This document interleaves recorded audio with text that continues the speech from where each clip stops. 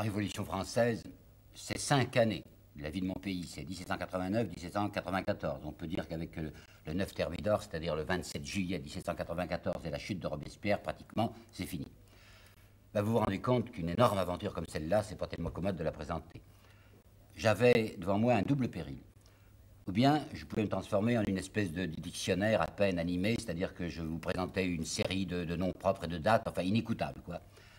Ou alors, comme l'histoire est passionnante et pathétique en elle-même, m'attacher au pathétique et au pittoresque. Mais c'est pas ça qui est intéressant, c'est pas sérieux, il s'agit pas de faire ni du pittoresque, ni du pathétique, ni du nouveau, il s'agit de faire du vrai. Alors voilà comment j'ai commencé. Je me suis dit, quelles sont les idées que j'ai maintenant, il y a un an avant d'avoir commencé à travailler, quelles sont les idées que j'ai sur la Révolution française? Qu'est-ce qu'on m'a appris? Qu'est-ce que les manuels m'ont appris? Au fond, vous le savez, je suis un professeur d'histoire littéraire, je n'ai fait de l'histoire que par raccro, j'ai été amené à l'histoire par l'histoire littéraire, mais enfin, je ne suis pas un spécialiste. Alors il fallait donc que j'étudie et je partais de ma base de départ. Qu'est-ce que c'est? C'est les manuels. Je suis un ancien écolier qui a été dressé par les écoles laïques de la Troisième République. Mon père aussi avait été, il avait, il avait 13 ans en 1878, c'est-à-dire quand les républicains ont pris le pouvoir, les opportunistes. Nous appartenons presque à la même génération, en ce sens que ça soit à ce moment-là Jules Ferry ou Gambetta ou Paul Bert qui étaient à la tête de la France, ou alors de mon temps un migrant, un Bartou ou Poincaré, c'est tout de même la même chose. D'un côté, c'était les opportunistes, l'autre part, c'était les radicaux. Enfin, nous, les écoliers, nous étions façonnés de la même façon. Alors, qu'est-ce qu'on nous a appris? Qu'est-ce que je sais, grosso modo, sur la Révolution? Et au fond, qu'est-ce que le public sait sur la Révolution? Vous voyez, ça se présente comme ça. En 1789, la vieille monarchie française était pas mal sclérosée, elle était pleine de désordres administratifs et financiers, ça allait très mal au point de vue financier précisément, et la banqueroute était menaçante. Au cours du XVIIIe siècle, siècle des Lumières, comme on dit, les esprits s'étaient ouverts, des gens avaient agi sur l'opinion publique, si bien qu'en 1789, un mouvement national, un grand mouvement national se produit, une revendication. On décide, le roi décide, sous la pression de l'opinion publique, de convoquer ce qu'on appelle les États généraux. Les États généraux, c'était les trois ordres de la nation, le clergé, la noblesse et le tiers-État, c'est-à-dire ceux qui n'étaient ni nobles ni ecclésiastiques, c'est-à-dire les roturiers. Alors les États généraux se réunissent et presque tout de suite des difficultés naissent, des gens d'action se font entendre, qui parlent haut, des gens comme Sieyès et comme Mirabeau.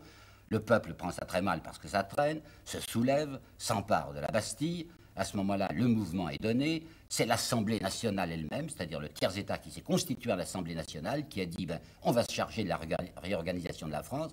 C'est l'Assemblée elle-même qui, dans une fameuse nuit, la nuit du 4 août 1789, abolit les privilèges. Les nobles, paraît-il, saisis d'enthousiasme, renoncent eux-mêmes à leurs privilèges et dans le même mois d'août 1789, c'est la fameuse Déclaration des droits de l'homme, liberté, égalité, fraternité. En plus, la question financière a été réglée, plus question de banqueroute, parce qu'on a trouvé 3 milliards ou 3 milliards et demi, une belle somme, c'est-à-dire qu'on a pris les biens ecclésiastiques. Malheureusement, le roi, qui faisait semblant d'être d'accord, il n'était pas d'accord. Il cherchait tous les moyens de revenir à son ancien régime, à son pouvoir absolu. Et il avait l'idée qu'il pourrait le faire par des moyens de force. Il avait en effet l'intention d'aller chercher des troupes du côté de l'Est, de Montmédy ou Metz, des troupes fidèles avec le marquis de Bouillé, et de faire un coup sur Paris.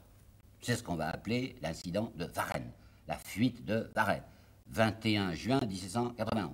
Le roi s'évade, va essayer de trouver des troupes, mais on le rattrape, on l'a reconnu en cours de route, la fameuse histoire de Drouet qui a couru à travers la forêt, enfin je vous raconterai ça. Le roi est obligé de revenir à Paris. Il revient, il a l'air tout gentil, tout à fait docile, donc les choses semblent tourner rond. Le roi règne mais ne gouverne qu'à peine, et le pouvoir réel est entre les mains de, la Chambre qu'on a constituée, qui s'appelle donc l'Assemblée législative. C'est cette Assemblée législative qui est chargée de faire le bonheur des Français. Seulement, il y a l'Europe, c'est-à-dire les rois d'Europe, en particulier l'empereur d'Autriche et le roi de Prusse. Ces rois sont très mécontents de ce qui se passe en France, ou du moins assez mécontents, c'est ce qu'on m'a dit, et voudraient rétablir une monarchie régulière, c'est-à-dire absolue en France, parce que ça pourrait être très contagieux pour eux. Alors ils sont menaçants, et devant cette menace, la guerre finit par éclater. 20 avril 1792. Et cette guerre qui commence, commence mal, commence même extrêmement mal. Les troupes françaises sont culbutées, les Prussiens entrent sur le territoire national. Le 19 août 1792, les voilà qui déferlent à travers la, France dans la direction de, Verdun, puis de la Champagne. Et ils se font précéder par un manifeste que l'on appelle le fameux manifeste de Brunswick. C'était le duc de Brunswick qui commandait les troupes allemandes. Ce manifeste est effrayant, il est destiné à terrifier les Parisiens. On leur dit si vous vous défendez, si vous osez vous défendre, ben, la ville de Paris sera rasée. Le résultat est le contraire de ce qu'ils avaient espéré, ça met les Parisiens hors d'eux-mêmes, ils se soulèvent, ils renversent la monarchie, c'est le 10 août, il n'y a plus de roi, c'est la République. N'empêche que la situation est toujours catastrophique. Et à ce moment-là, va se produire, trois semaines après le 10 août, vont se produire les massacres de septembre, enfin, les prisonniers qui sont massacrés. Danton, à ce moment-là, se fait beaucoup remarquer. Il est, comme on dit, l'âme de la résistance. Il a prononcé une phrase illustre de l'audace, encore de l'audace, et toujours de l'audace, et la France sera sauvée. Ben oui, effectivement, elle est sauvée le 20 septembre 1792 par la victoire de Valmy. Le nouveau pouvoir s'appelle maintenant la Convention, et à la tête de la Convention, comme troupe de choc, il y a les Girondins. Les Girondins et la Convention commencent par faire le procès de ce roi qui était complice de l'ennemi et on l'exécute. On lui coupe la tête le 21 janvier 1793. Mais des malheurs continuent à s'abattre sur le pays. Il y a un général, le généralissime même, il ne faut porter pas ce titre, mais c'était le premier général, qui s'appelle Dumouriez, qui trahit, qui passe à l'ennemi. Et puis parallèlement, il y a toute une région de la France, l'Ouest, enfin la Vendée, qui se soulève. Et le territoire national est occupé. Alors la République bande ses muscles, comme on dit, elle crée un gouvernement très fort qui s'appelle le Comité de salut public. Le Comité de salut public balaye les Girondins qui semblent trop mous et c'est la terreur, régime affreux, régime atroce, mais probablement nécessaire devant la crise épouvantable que subissait le pays. Seulement, les républicains ont le malheur de se diviser, ils s'entre-dévorent. Robespierre est devenu pratiquement le chef de ce pouvoir à la date du 27 juillet 1793, et Robespierre va envoyer à la guillotine Danton lui-même, le 5 avril 1994. Il se perd, Robespierre. Il se coule à ce moment-là. Tourne au tyran. Voilà que les situations se redressent, les Vendéens sont écrasés, nouvelle libération du territoire, les étrangers sont repoussés, la victoire de Fleurus arrive, alors les gens se disent, bah, la terreur n'a plus de raison d'être, et on va se débarrasser de ce Robespierre couvert de sang le 9 Thermidor, c'est-à-dire le 27 juillet 1994. il est vrai qu'à partir de ce moment-là, la République ne battra plus que d'une aile. Elle se traînera de secousse en chaos jusqu'à ce qu'un certain général qui s'appelle Bonaparte déclare qu'il se charge de tout le 18 Brumaire, 9 novembre 1999. Ben, c'est ça, l'idée reçue. C'est l'idée sur laquelle j'ai vécu pendant longtemps. Et je vous le disais tout à l'heure, c'est une idée qui m'a été inculquée par les manuels scolaires, les manuels de la République laïque.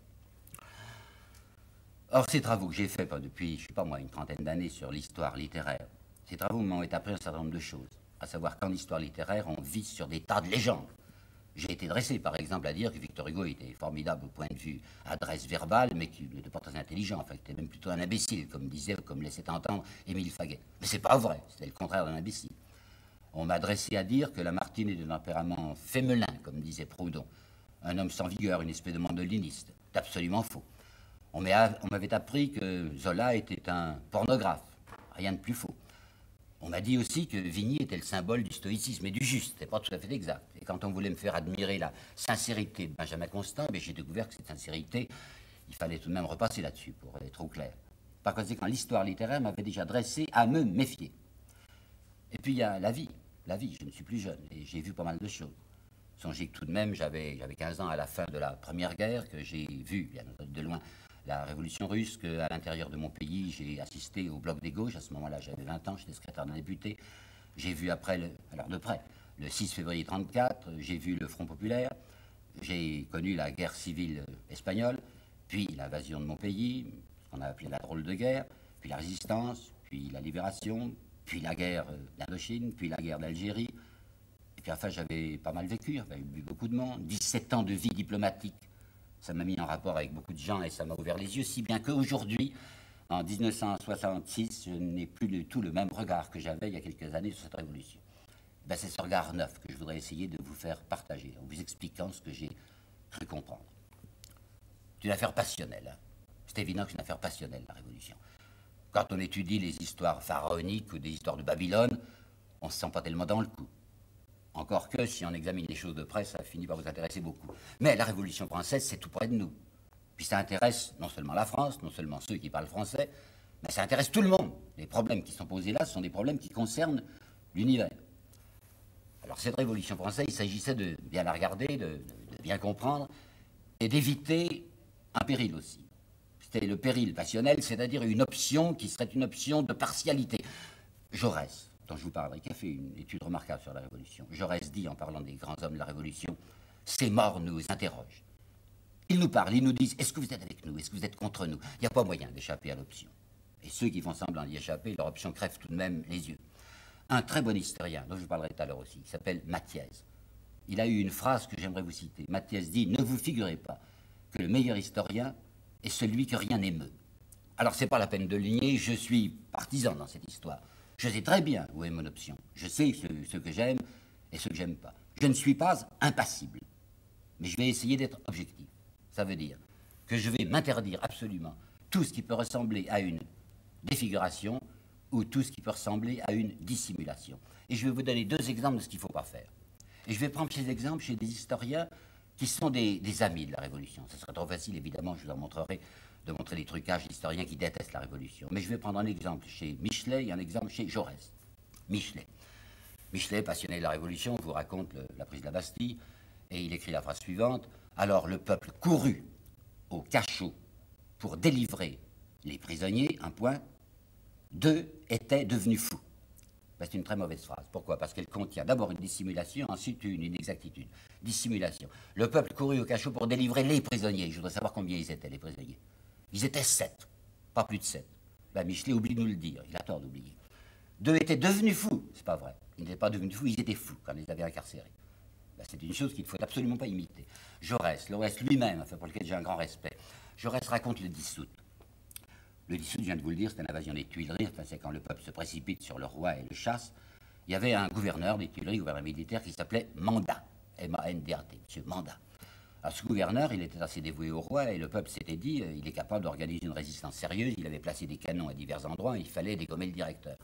Alors, on fait venir ce chef de la garde nationale, on le fait venir à l'hôtel de ville où s'est constitué un comité insurrectionnel. C'est Danton, du reste, qui le fait venir. On lui tente un piège, on ne lui dit pas pourquoi il doit venir, mais du moment que c'est l'hôtel de ville qui a le soin de la garde nationale, il doit y aller. Alors, mandat y va et on l'arrête. On lui met la main dessus pour l'empêcher de préparer sa défense du château. Très bien. Mais il faut dire aussi qu'après l'avoir arrêté, on l'a tué.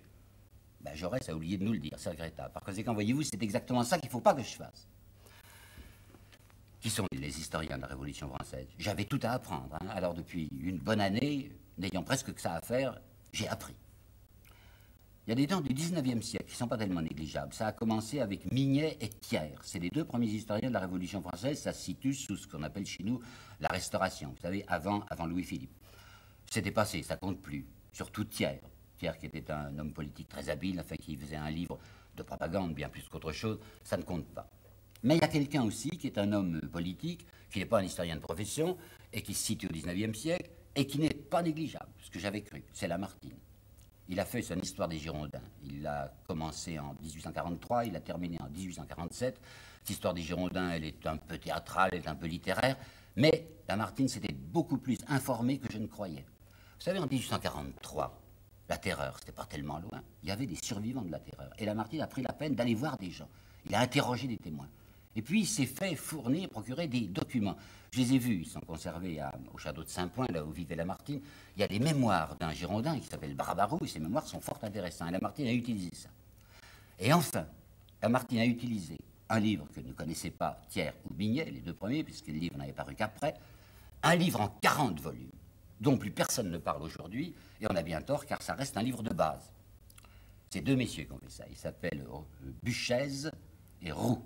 Buchez et Roux ont fait 40 volumes qui ont paru sous la monarchie de Juillet, et ces 40 volumes s'appellent Histoire parlementaire de la Révolution française. Et pourquoi parlementaire? Parce qu'ils ont cherché tous les discours. Il y avait le journal officiel, vous savez, qui s'appelait Le Moniteur. Il y avait aussi les actes des sociétés, par exemple le Club des Jacobins, le Club des Cordeliers. Et bien Buchez et Roux, dans un travail inouï, enfin un travail de bénédictin, ont rassemblé tous ces documents, tous ces discours, si bien que dans les 40 volumes que Lamartine avait sur sa table quand il travaillait, vous avez les discours prononcés jour par jour, ou tous les deux, trois jours, quoi, par euh, Danton, Robespierre, Mirabeau, etc. Michelet fait deux objections à ce livre de Boucher-Zéro. Il dit ils sont un peu naïfs, messieurs Boucher-Zéro, parce qu'ils se contentent de reprendre les textes tels qu'ils les lisent dans le moniteur, et ces textes sont en partie truqués. C'est vrai ce qu'il dit là, Michelet, c'est vrai.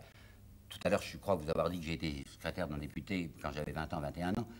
Et j'avais vu quelque chose qui m'avait un petit peu scandalisé, c'est que lorsque ce député avait fait une intervention à la Chambre, on lui envoyait presque tout de suite après, avec une rapidité incroyable, vous savez, 3-4 heures après, il avait sur sa table les, épreuves de son discours.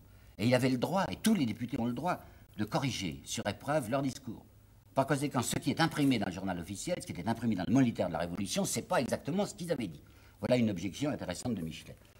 Et deuxième objection, qui n'est pas du tout intéressante, celle-là qui m'énerve beaucoup. Michelet dit Buchez et Roux ont tort de poser la question sociale dès 1789. Elle va se poser en 92, mais elle n'est pas posée en 1789. Et bien Michelet se trompe complètement. Alors nous arrivons à Michelet, ben, c'est le personnage numéro un de la Révolution. Là, puisque je vous ai dit que je dirais la vérité, alors allons-y. Ben, j'ai beaucoup changé sur Michelet. Quand j'étais gamin, enfin quand j'étais jeune, quand j'étais adolescent, j'avais une admiration passionnée pour Michelet. Ce qui m'a amusé, c'est qu'étudiant un écrivain français peu connu à l'étranger, c'est bien dommage, qui s'appelle Jules Vallès, j'ai vu que ce Jules Vallès, il avait la même évolution que moi. Il raconte que quand il était jeune et qu'il lisait l'histoire de Michelet, qu'il entendait, dit, battre le tambour républicain dans les faubourgs, cette musique-là, dit-il, elle tirait directement sur mon cœur. Ben, moi aussi, je marchais. Et à la fin de sa vie, oh, il est mort jeune, Vallès avait pas mal changé sur Michelet parce qu'il avait abordé le personnage de plus près. Moi aussi. Quand j'ai relu, au cours de cette année, quand j'ai relu l'histoire de la révolution de Michelet, je ne m'y suis plus reconnu. Je me suis dit, mais mon Dieu, comment ai-je pu admirer ça? Bien entendu, il y a le prestige du style, enfin, c'est un écrivain Michelet. Mais il y a des quantités de pages, je vous assure, qui sont, pardonnez-moi cette expression affreuse, mais qui sont, qui sont bouffonnes. Si vous lisez l'histoire de la prise de la Bastille par Michelet, ou surtout la nuit du 4 août, ou encore l'histoire de la Fédération, bah, vous savez, il faut vraiment se retenir pour s'empêcher de bouffer. c'est impossible, ce sont des effusions de l'âme, c'est du transport, c'est du lyrisme. Et puis quelquefois, ces péants se transforment en, danse du scalp. Car notre Michelet, c'est un homme qui a des haines, des haines stridentes. En particulier, il ne peut pas supporter Robespierre. En 1946, j'étais donc à l'ambassade de France à Berne, et un jour, euh, l'ambassadeur, M. Opno, avait invité à déjeuner Bernanos. Et je me rappelle toujours que, au, café, je ne sais plus pourquoi, Bernanos s'était mis à parler de Michelet, et dans des termes qui m'avaient vraiment scandalisé. Il avait dit Michelet, mais c'est de l'histoire d'Épinal. Moi, je vivais encore sur mes anciennes idées sur Michelet, et vous savez, j'étais très bien élevé, alors j'ai rien dit, mais après, quand il a été parti, j'étais l'ambassadeur, enfin, il va tout de même fort, Bernanos, Michelet, Image d'Épinal. Ben, vous savez, Bernanos, il n'allait pas assez fort. C'est pas des images d'Épinal, c'est des bandes dessinées, c'est une histoire pour bandes dessinées, Michelet, pas plus. Il y avait Louis Blanc. Louis Blanc avait commencé en même temps que Michelet. Michelet, c'est de 47 à 53 qu'il a écrit ses sept volumes. Et Louis Blanc avait commencé aussi en 47, l'année où les Girondins de Lamartine paraissent, mais il avait travaillé 12 volumes jusqu'en 1862. Ben, les 12 volumes de Louis Blanc sont bougrement plus intéressants que ceux de Michelet. Et du reste, Louis Blanc passe son temps à relever les erreurs de Michelet. Il dit, mais ceci est une affirmation fausse. Michelet, en 1868, a fait une très mauvaise réponse, hautaine, parce que vous savez, Michelet, hein, hautaine, mais nul.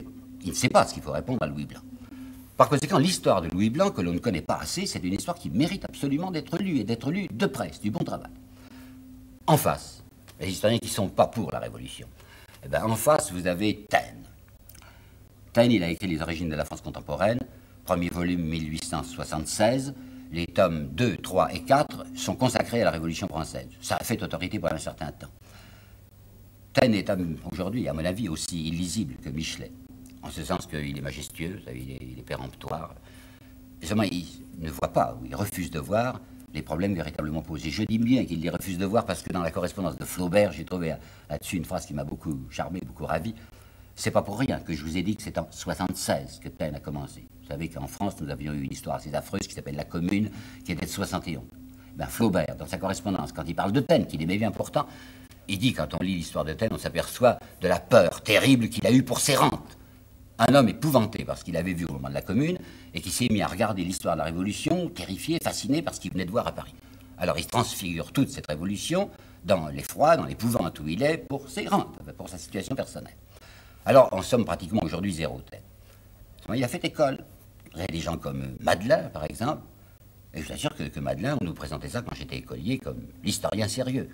Mais non, Madeleine, c'est l'opposé, si vous voulez, de, Michelet, mais c'est tout contraire de l'objectivité. Tenez, par exemple, il y a un certain massacre dont je vais vous parler, qui est du 17 juillet 91, ça se passe au Champ de Mars. Ben, M. Madeleine, ça le gêne, parce que c'est la bourgeoisie qui a tiré sur le peuple, alors ça, c'est des choses qu'il ne faut pas trop dire. Alors il a cette phrase, toute brève, toute gentille. Il dit La manifestation fut dispersée par la force armée. Un point, c'est tout. Le carnage qui s'est produit, euh, pas question. Vous avez aussi M. Fonck Brintano, c'est la littérature de vulgarisation. Et puis quelqu'un qu'il faut bien nommer, qui est vivant, qui est un historien, s'appelle M. Gaxot. Et M. Gaxot, en 1928, a écrit une histoire de la Révolution française qui a eu un succès considérable, puisqu'en 1939, on en était déjà à la 115e édition, et qu'aujourd'hui, M. Gaxot a réuni ce volume dans son Histoire des Français. C'est le type de l'histoire pour rire. C'est l'histoire vue par l'école Maurras, c'est-à-dire l'école d'action française, où la vérité ne compte pas, où ce qui compte, c'est une certaine propagande. Le type exemplaire de cette histoire, entre guillemets, c'est un certain précis signé Dutrec-Roson. En réalité, c'était deux officiers supérieurs qui s'appelaient Larpan et Delbecq. Le précis sur l'affaire Dreyfus. Je peux en parler ayant bien étudié de près l'affaire Dreyfus. Et j'ai découvert, là j'ai compris, enfin, quelle était la méthode des historiens d'action française qui s'appellent Larpan, Delbecq ou qui s'appelle Gaxot. La méthode, c'est un aplomb imperturbable dans l'imposture. Alors maintenant, revenons aux historiens sérieux. Ben, c'est au 19e siècle, au 20e siècle que ça part avec, euh, avec Jaurès. On n'y pense jamais, et j'ai mis du temps à me percevoir que Jaurès était un très bon historien. Jaurès a été battu aux élections de, 1898, alors il n'a été député qu'en 1902. De 1998 à 1902, cet homme qui n'est plus député passe son temps à étudier, à étudier de près, vous savez, très sérieusement l'histoire de la Révolution française. Il va en sortir huit volumes, qui aujourd'hui sont un petit peu dépassés du point de vue de l'information, mais qui quand même comportent quelque chose de tout à fait nouveau, c'est-à-dire justement l'importance de la question sociale dès le début. Alors vous avez ces huit volumes de Jaurès. J'ajoute que Jaurès, qui est d'ailleurs venu député, a été responsable d'une création extrêmement importante, la commission d'histoire économique de la Révolution française. Histoire économique, c'est capital. Ben, sans Jaurès, il n'y aurait pas eu cette équipe de chercheurs, toujours aujourd'hui au travail, vous savez, on est loin d'avoir fini, sur l'histoire économique de la Révolution française. À côté de Jaurès, qui? Aulard, historien Aulard, qui était pas mal.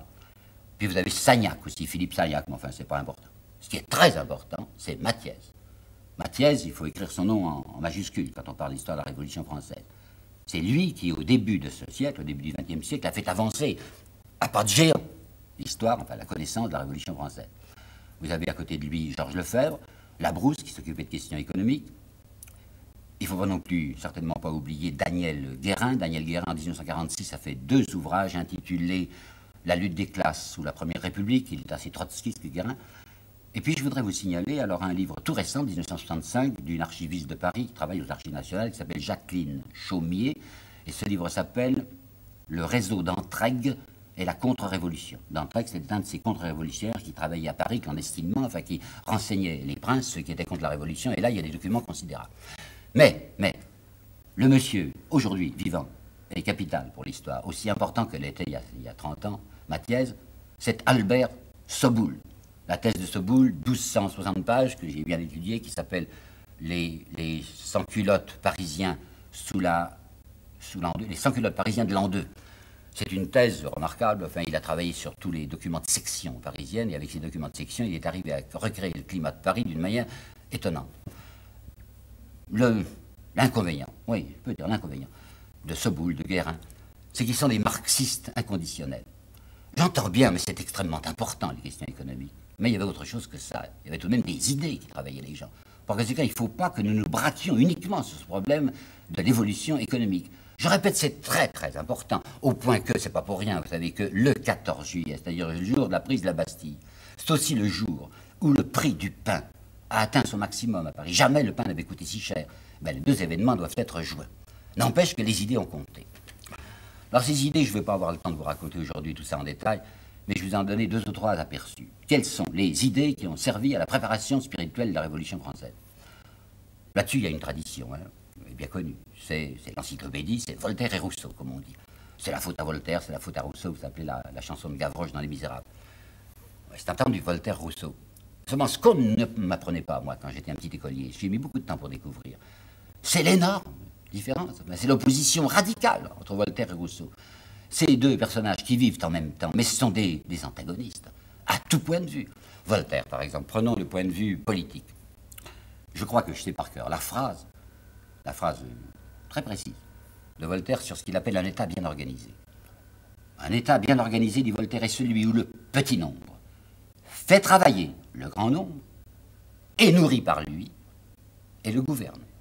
Par conséquent, le but de, Voltaire, c'est de conserver, comme il le dit, ces gueux ignorants. J'appelle gueux, dit-il, l'homme qui n'a que ses bras pour vivre, et il veut un despotisme éclairé. Un despote absolu mais éclairé, c'est-à-dire qu'il pensera comme lui spirituellement. Voilà la politique de Voltaire, tandis que la politique de Rousseau, c'est autre chose. Rousseau dit, mais la souveraineté, le pouvoir réside dans la nation, dans le peuple, dans la multitude. Jamais Voltaire n'aurait accepté ça. Voltaire avait besoin, je viens de vous le dire, des gueux. Rousseau est quelqu'un qui dit l'origine des grandes fortunes est presque toujours une origine scandaleuse. Rousseau est quelqu'un qui s'aperçoit que la France se divise entre deux groupes. Il y a les mangeurs d'un côté, il y a les mangés de l'autre. Il y a environ 500 000, même pas mangeurs, et puis il y a 24 millions de mangés. Et Rousseau est quelqu'un qui appelle les mangés à se défendre. Opposition absolue. Sur le plan religieux, encore davantage, savez que Voltaire, sa grande préoccupation, c'est d'évincer le, christianisme, un point même extraordinaire, puisque dans une lettre à d'Alembert, je crois, il lui dit Vous ne croyez pas que cinq ou six hommes bien nés, hommes de qualité, cinq ou six hommes bien nés qui s'entendent, seraient capables de réussir, là où autrefois douze faquins ont réussi. Que c'est les douze faquins? C'est les douze apôtres et cinq ou six hommes bien nés qui s'entendent, c'est les encyclopédistes. Donc Voltaire, carrément, veut extirper le christianisme. Le président Hainaut lui disait en souriant un jour, en fait, tout de même, monsieur de Voltaire, vous ne pensez pas que vous allez réussir à, en venir à bout du christianisme Si, dit Voltaire, et c'est ce que nous verrons.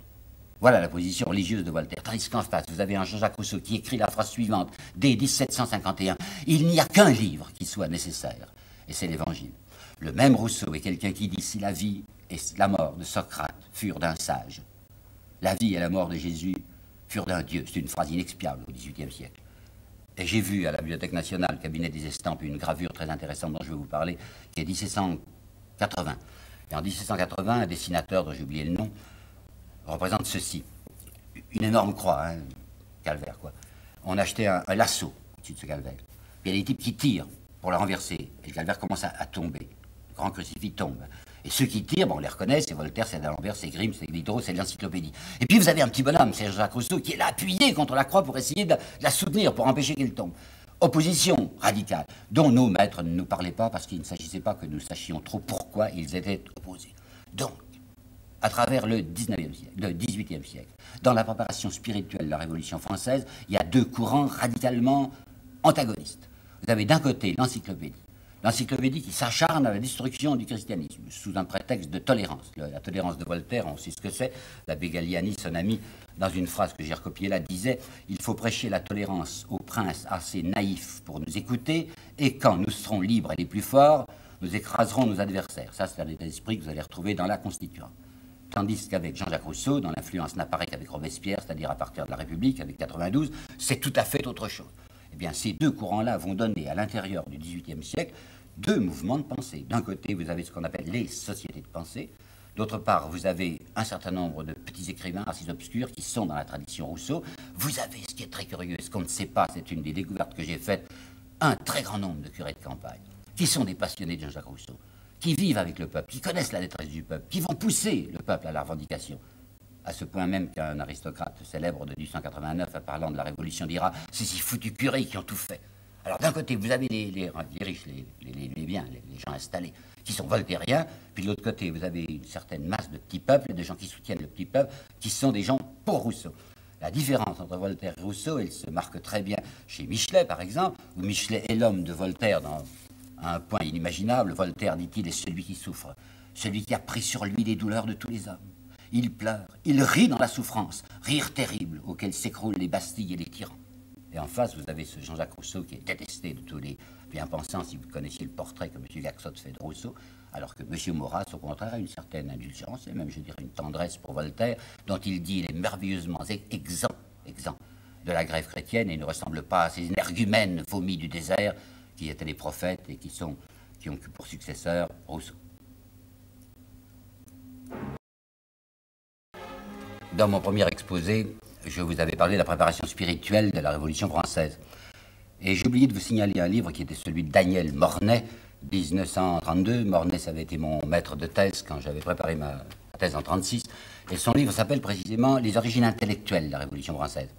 Ben, Mornay était très orienté du côté de Michelet, vous savez, à ses amis de l'encyclopédie. Et dans ce livre de 1932, avec une netteté absolue, il reconnaît que du point de vue politique, l'encyclopédie n'a eu aucune influence sur la Révolution française. Du point de vue religieux, beaucoup, des constituants, etc. Mais du point de vue politique, zéro. Je n'avais pas parlé non plus des loges maçonniques. Il y a un spécialiste en France, si on peut dire, M. Bernard Failly, qui a écrit en 59, si je ne me trompe pas, une histoire qui s'appelle La Grande Révolution, et il donne une, importance extraordinaire à la préparation de la Révolution dans les loges maçonniques, j'en suis moins sûr que lui. Les loges maçonniques, c'est très complexe, vous savez. Il y avait des éléments antagonistes aussi dans ces loges. Il y avait des gens qui étaient au fond athées qui ne le disaient pas. Il y avait des gens qui étaient très euh, dévots. Louis XVI, le, brave Louis XVI, qui était même ultra dévot, ben, il appartenait à une loge maçonnique. Par conséquent, quand on parle de l'influence de la franc-maçonnerie sur la Révolution, elle est réelle, mais elle s'exerce dans des sens multiples. Puis ce qu'il faut également noter, c'est les influences étrangères. Voyez-vous, les Français, nous avons un peu trop tendance à considérer que c'est nous qui avons été les initiateurs. Mais il y avait déjà un grand mouvement qui se préparait en dehors de la France. D'abord, il y avait eu la Révolution anglaise, d'autrefois, vous savez, avec une fascination d'une certaine partie de l'intelligence française du côté de ce qu'on appelait la Constitution britannique, qui n'était d'ailleurs pas une constitution. Il y avait des anglomanes qui disaient, ben, en France, il faudrait faire quelque chose à l'imitation de l'Angleterre, c'est-à-dire avec un roi, mais deux chambres, les communes, les lords, et en particulier les lords très importants.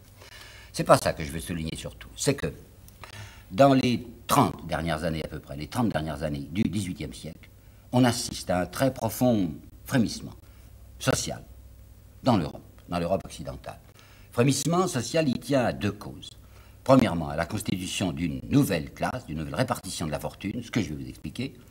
Et puis, deuxièmement, à deux phénomènes conjugués, une hausse constante des prix et une augmentation démographique considérable c'est pas que la natalité augmente, c'est que les gens meurent moins, étant donné qu'il y avait moins de famine et qu'il n'y avait pas de grande guerre exterminatrice. Mais cette hausse de la natalité est considérable, puisque dans les 50 ans à peu près du XVIIIe siècle, avant 1789, la hausse de la population a été de 60% en France, a été de 100% en Angleterre. Alors on assiste à des choses comme celle-ci, une révolution, vraiment quelque chose d'assez terrible, une, une émeute qui ressemble à une révolution, à Londres en 1780. Du 2 au 6 juin, le centre, la cité de Londres, est en feu. Ça a commencé sur des problèmes religieux. En fait, ça a dévié tout de suite. C'est devenu une affaire sociale. Les petites gens, les pauvres, les malheureux, la détresse, fait, Dieu sait s'il y en avait, des misérables à Londres, ont attaqué la Banque d'Angleterre. Alors vous imaginez ce qui s'est produit. Enfin, la bourgeoisie s'est armée et les miséreux n'ont eu qu'à rentrer sous terre. Vous avez à partir de 1781, dans les Pays-Bas, un grand mouvement national de protestation qui est à la fois politique et social. Ils s'intituleront cela les patriotes. Et si en France, à partir de 1799, on désignera sous le nom de patriotes les révolutionnaires, c'est à l'imitation de ce qui s'était passé dans les Pays-Bas. Ça a commencé en 1781, ça a éclaté en, 1800, en 1787. À ce moment-là, le statutaire, enfin celui qui dirigeait les Pays-Bas, a fait appel à des puissances étrangères. Ce sont des troupes anglaises, ce sont des troupes prussiennes qui sont intervenues pour écraser les révolutionnaires. Vous avez Genève. Genève en 1782, où il y a eu aussi une tentative des, natifs, en fait, ceux qui n'étaient pas citoyens de Genève, c'est-à-dire l'immense majorité de la ville, contre ce petit conseil d'administration qui était composé de banquiers et qui tenait absolument la ville. Ça n'a pas duré longtemps. Là aussi, les gens de bien ont fait appel à la puissance militaire étrangère. Ce sont des troupes françaises, ce sont des troupes piémontaises qui sont arrivées à Genève pour remettre l'ordre qu'on appelle l'ordre établi. Et puis, vous avez l'influence américaine. Ça, c'est assez intéressant. C'est en 1776, vous le savez, que les Américains ont fait leur révolution, et ce sont eux qui ont lancé la fameuse phrase que voici, tous les hommes sont créés égaux, ils sont investis par le Créateur de certains droits inaliénables, la vie, la liberté et la recherche du bonheur. Ce sont des phrases qui étaient inhabituelles, bien entendu, qui s'adressaient au-delà de l'Atlantique euh, à l'univers, semblait-il.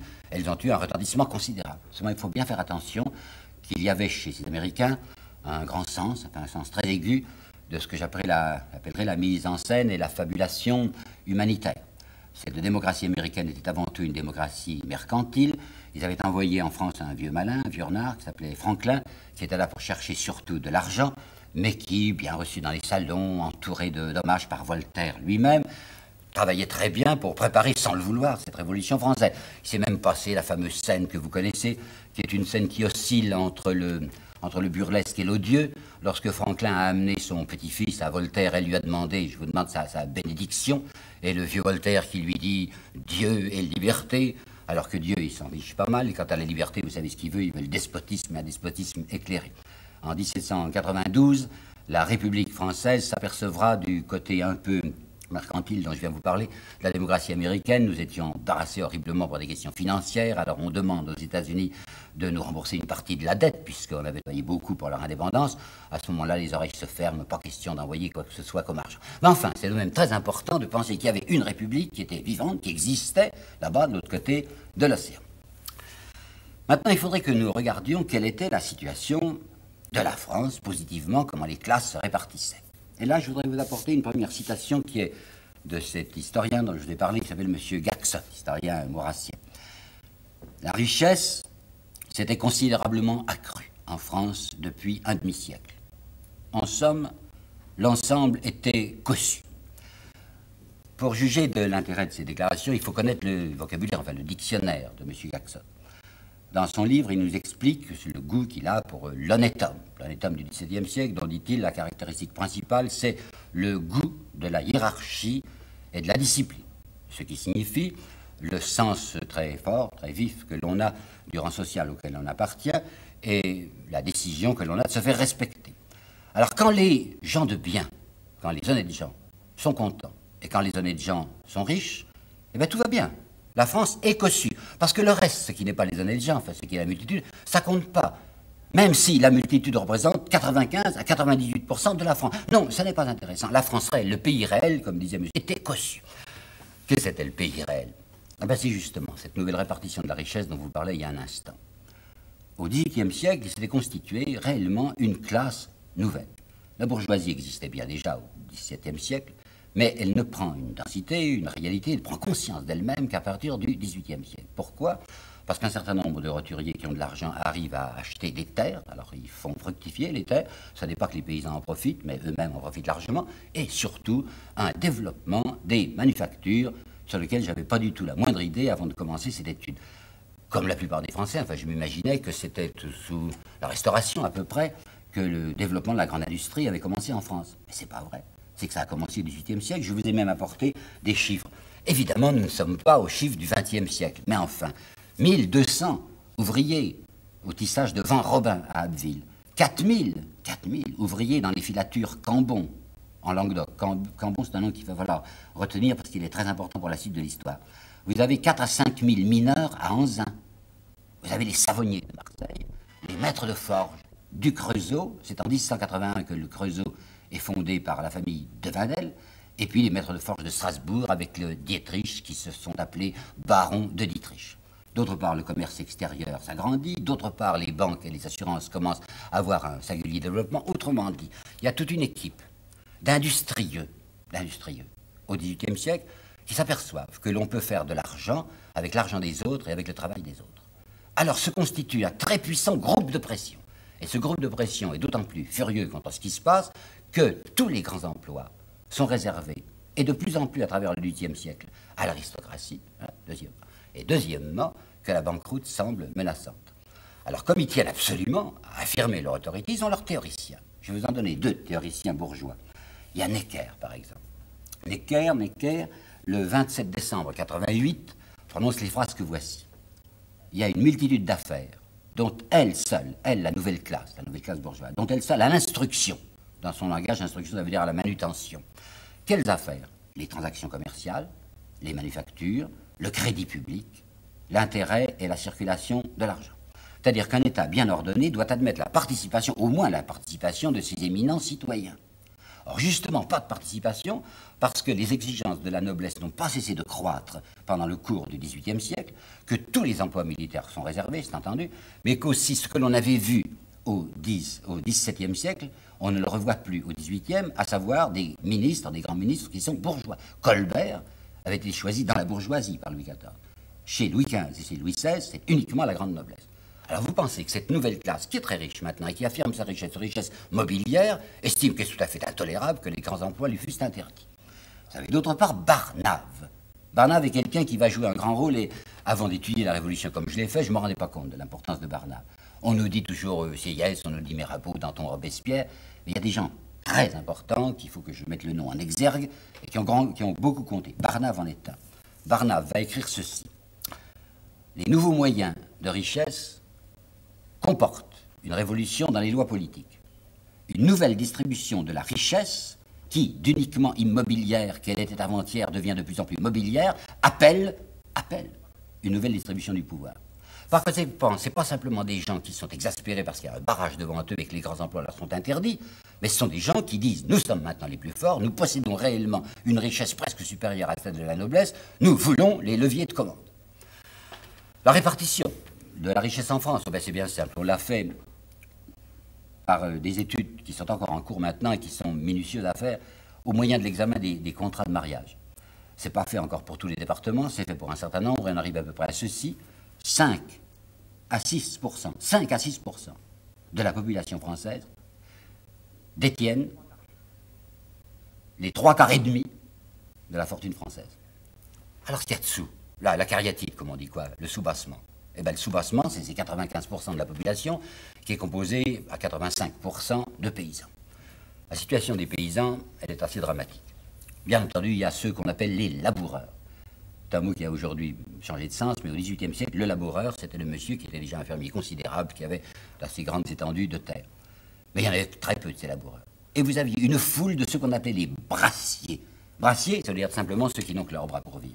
Les brassiers, c'était le, paysan sédentaire qui avait son petit lopin, qui avait une chèvre, qui avait une vache.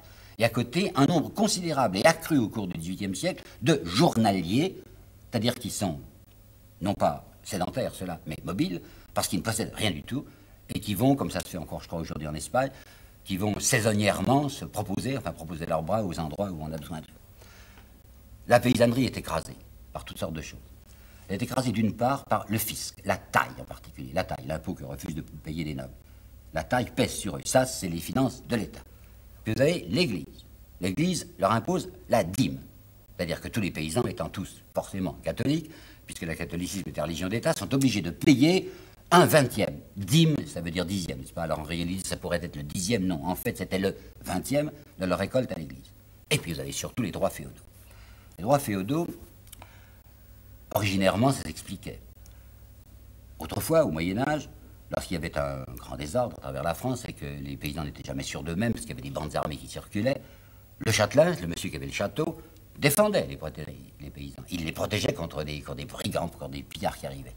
Et il leur demandait en échange, en échange de cette protection, un certain nombre de droits. Ces droits s'appelaient grosso modo les champards et les lots, L-O-D-S. Champards, c'est campi pars, la partie du champ. C'est-à-dire que le propriétaire, le châtelain, prélevait une partie de la récolte.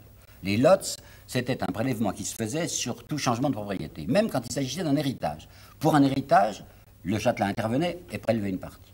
Puis vous aviez des droits aussi qui prélevaient sur toute vente. Ainsi, le père de Chateaubriand, c'est Chateaubriand qui le raconte lui-même, le père de Chateaubriand euh, s'enrichissait assez bien en prélevant une taxe sur toutes les transactions commerciales quand il y avait des foires à Combourg ou à côté de Combourg. Ça rapportait des sommes considérables. Alors peu à peu, au XVIIIe siècle, les paysans commencent à dire, mais enfin, quel sens ça a-t-il? Ce prélèvement que rien ne justifie. C'est-à-dire qu'on nous oblige à verser une partie de notre récolte en échange de services qui ne sont plus rendus. Et même, il y avait un certain nombre de ces services que, paraît-il, le châtelain prenait à sa charge, c'est-à-dire tiens, des chemins, enfin, la rectification des ponts, par exemple, lorsqu'un petit pont s'écroulait. Et le père de Chateaubriand, comme tant d'autres, ne s'occupait pas, absolument pas de la voirie ni des ponts. Par conséquent, la noblesse rurale ne faisait rien pour les paysans, mais prélevait. Ça prenait de plus en plus les proportions d'un vol. Ajoutons qu'il y a le drame des finances nationales. Pourquoi est-ce qu'elles vont si mal avec une France riche, une France dont la richesse s'est accrue Et là, je devrais vous citer une phrase d'Edgar Faure dans son livre de 1961, son très remarquable pour Turgot. Il dit L'accroissement de la richesse nationale s'était en fait traduit par un appauvrissement des pauvres. Alors pourquoi ça n'allait pas la richesse nationale? Je veux dire les finances de l'État. Tout simplement parce que sur trois groupes, il y en avait deux qui refusaient de participer au char de la nation. Il y avait la noblesse, il y avait le clergé, il y avait la roture. Les roturiers, les bourgeois étaient assujettis à l'impôt, les riches, nobles et les riches ecclésiastiques refusaient de payer. On en arrivait au bord de la banqueroute. Alors cette fois, ça va plus. Le groupe de pression dont je vous ai parlé, premièrement, il est furieux parce qu'il n'accède pas aux emplois. Deuxièmement, il désire avoir les leviers de commande. Et en plus, alors c'est le comble, si on arrive à la banqueroute, nos rentes, car ce sont presque tous des rentiers, nos rentes vont s'effondrer. Rivarol, qui est un écrivain de droite, a eu une phrase intéressante. Il a dit Ce sont les rentiers qui ont fait la révolution. je trouve que c'est assez vrai. Et à ce propos, il faudrait que je vous apporte encore une de ces phrases de Michelet qui font ma joie. Il faut savoir, écrit Michelet, il faut savoir à quel point les idées d'intérêt sont restées secondaires dans la Révolution française. Oui, la Révolution fut désintéressée. C'est son côté sublime. Oh, elle est bien bonne. Enfin, c'est une question d'argent, c'est une question de pouvoir. Et puis par là-dessous, il y a la multitude, il y a la cariatide, comme dit Victor Hugo, dont les gens ne veulent pas s'occuper. Alors les faits maintenant. Les privilégiés, ils ont un auxiliaire considérable. C'est les parlements. Qu'est-ce que c'est que les parlements? Des groupements judiciaires. Il y a le Parlement de Paris, qui a une juridiction extrêmement étendue, ça couvre à peu près un tiers de la France, et les parlements se sont octroyés des droits qui ne leur étaient absolument pas fixés. Qu'est-ce que c'était que les parlements? C'était à la fois des, chambres de justice et c'était des chambres d'enregistrement. Lorsqu'un édit royal paraissait, les gens des parlements étaient les conservateurs, ils colligeaient, comme on dit si vous voulez, ces documents, ils les classaient.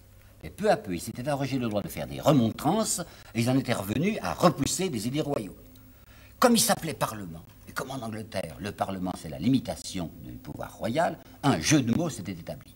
Les parlementaires bénéficiaient d'une espèce de popularité, en ce sens qu'ils s'opposaient à l'absolutisme royal. Mais pourquoi s'y opposait-il Parce que le roi désespérément essayait de faire payer les privilégiés, que les parlements refusaient que les privilégiés payassent quoi que ce soit parce qu'eux-mêmes en faisaient partie, mais comme ils étaient dans l'opposition, comme ils étaient même l'unique opposition, le petit peuple, les gens malheureux, les gens écrasés, applaudissaient à ces parlementaires qui étaient en réalité les instruments les plus, les plus dociles et les plus bornés du conservatisme social.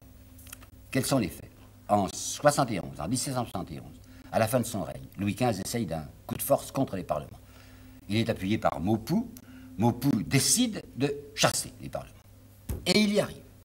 Et comme dit dans une bonne phrase Edgar Faure, il dit au prix au prix de la haine de toute une classe, virgule, la sienne, Maupoux était arrivé à briser la fronde parlementaire. 1771. Mais c'est la fin du règne de Louis XV, et voilà Louis XVI qui monte sur le trône en 1774. Pauvre Louis XVI, dont je vous parlerai, c'est un brave homme. Il a besoin, il le disait, j'ai besoin d'être aimé, enfin je veux que mon peuple m'aime. Alors comme il sait que le peuple applaudit toujours au Parlement, il fait revenir le Parlement en 1774. C'était une gaffe sans nom, puisque déjà très difficilement Louis XIV y était arrivé. Il avait brisés, les parlementaires. Voilà le pauvre Louis XVI qui les ramène. Et il fait venir au pouvoir Turgot. À ah, Turgot, c'est encore un de ces cas où la légende l'emporte sur la vérité.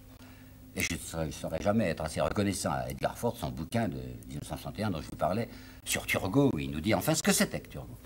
Turgot avait l'appui de l'encyclopédie. Pourquoi? Parce qu'il n'allait pas à la messe, alors ça suffisait pour les encyclopédistes. Mais dès que Turgot est arrivé au pouvoir, on a bien vu ce qu'il a fait. Il a ramené les parlements. Les parlements dont on s'était débarrassé en 1771. Il les a ramenés. Il ne va absolument pas toucher aux privilégiés. Il ne veut surtout pas importuner les nobles. Et même lui qui est un croyant a le, chic et la gentillesse de ne pas vouloir non plus importuner le clergé. Il a une doctrine économique extrêmement ferme.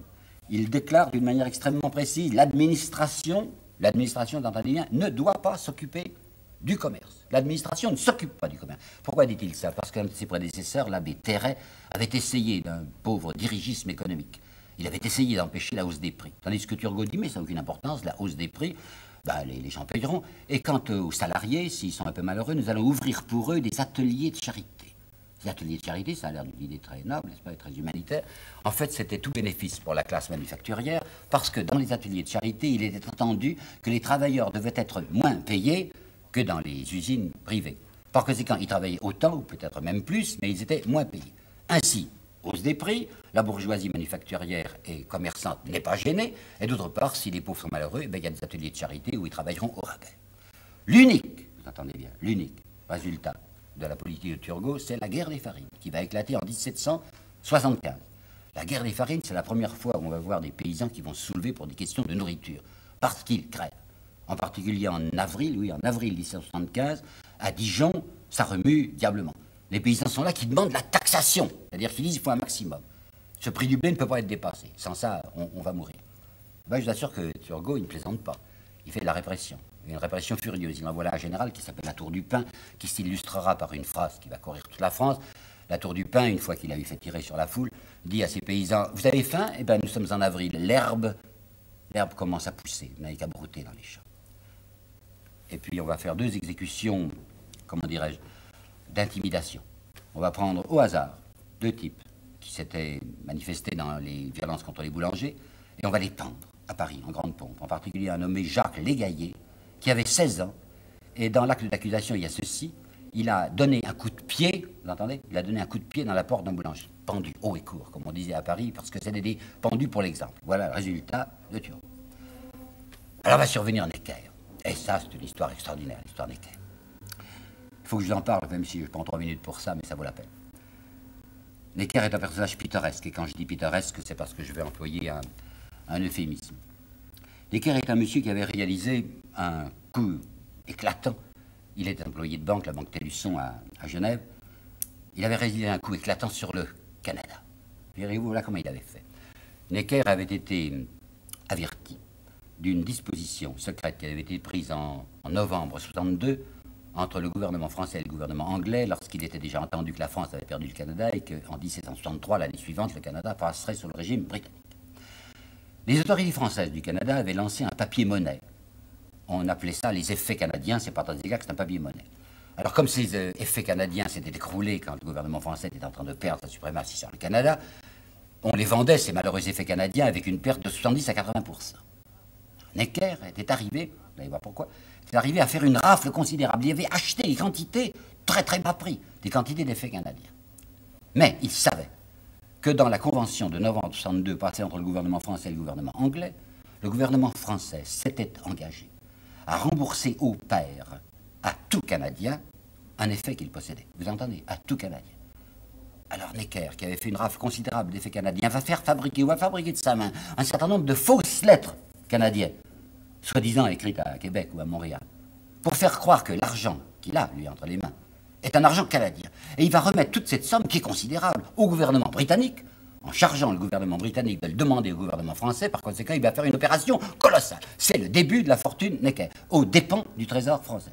L'année suivante, il va faire une très jolie opération aussi, une belle spéculation sur les blés. Enfin, c'est un monsieur qui a une grosse stature. Ce monsieur a de grandes ambitions.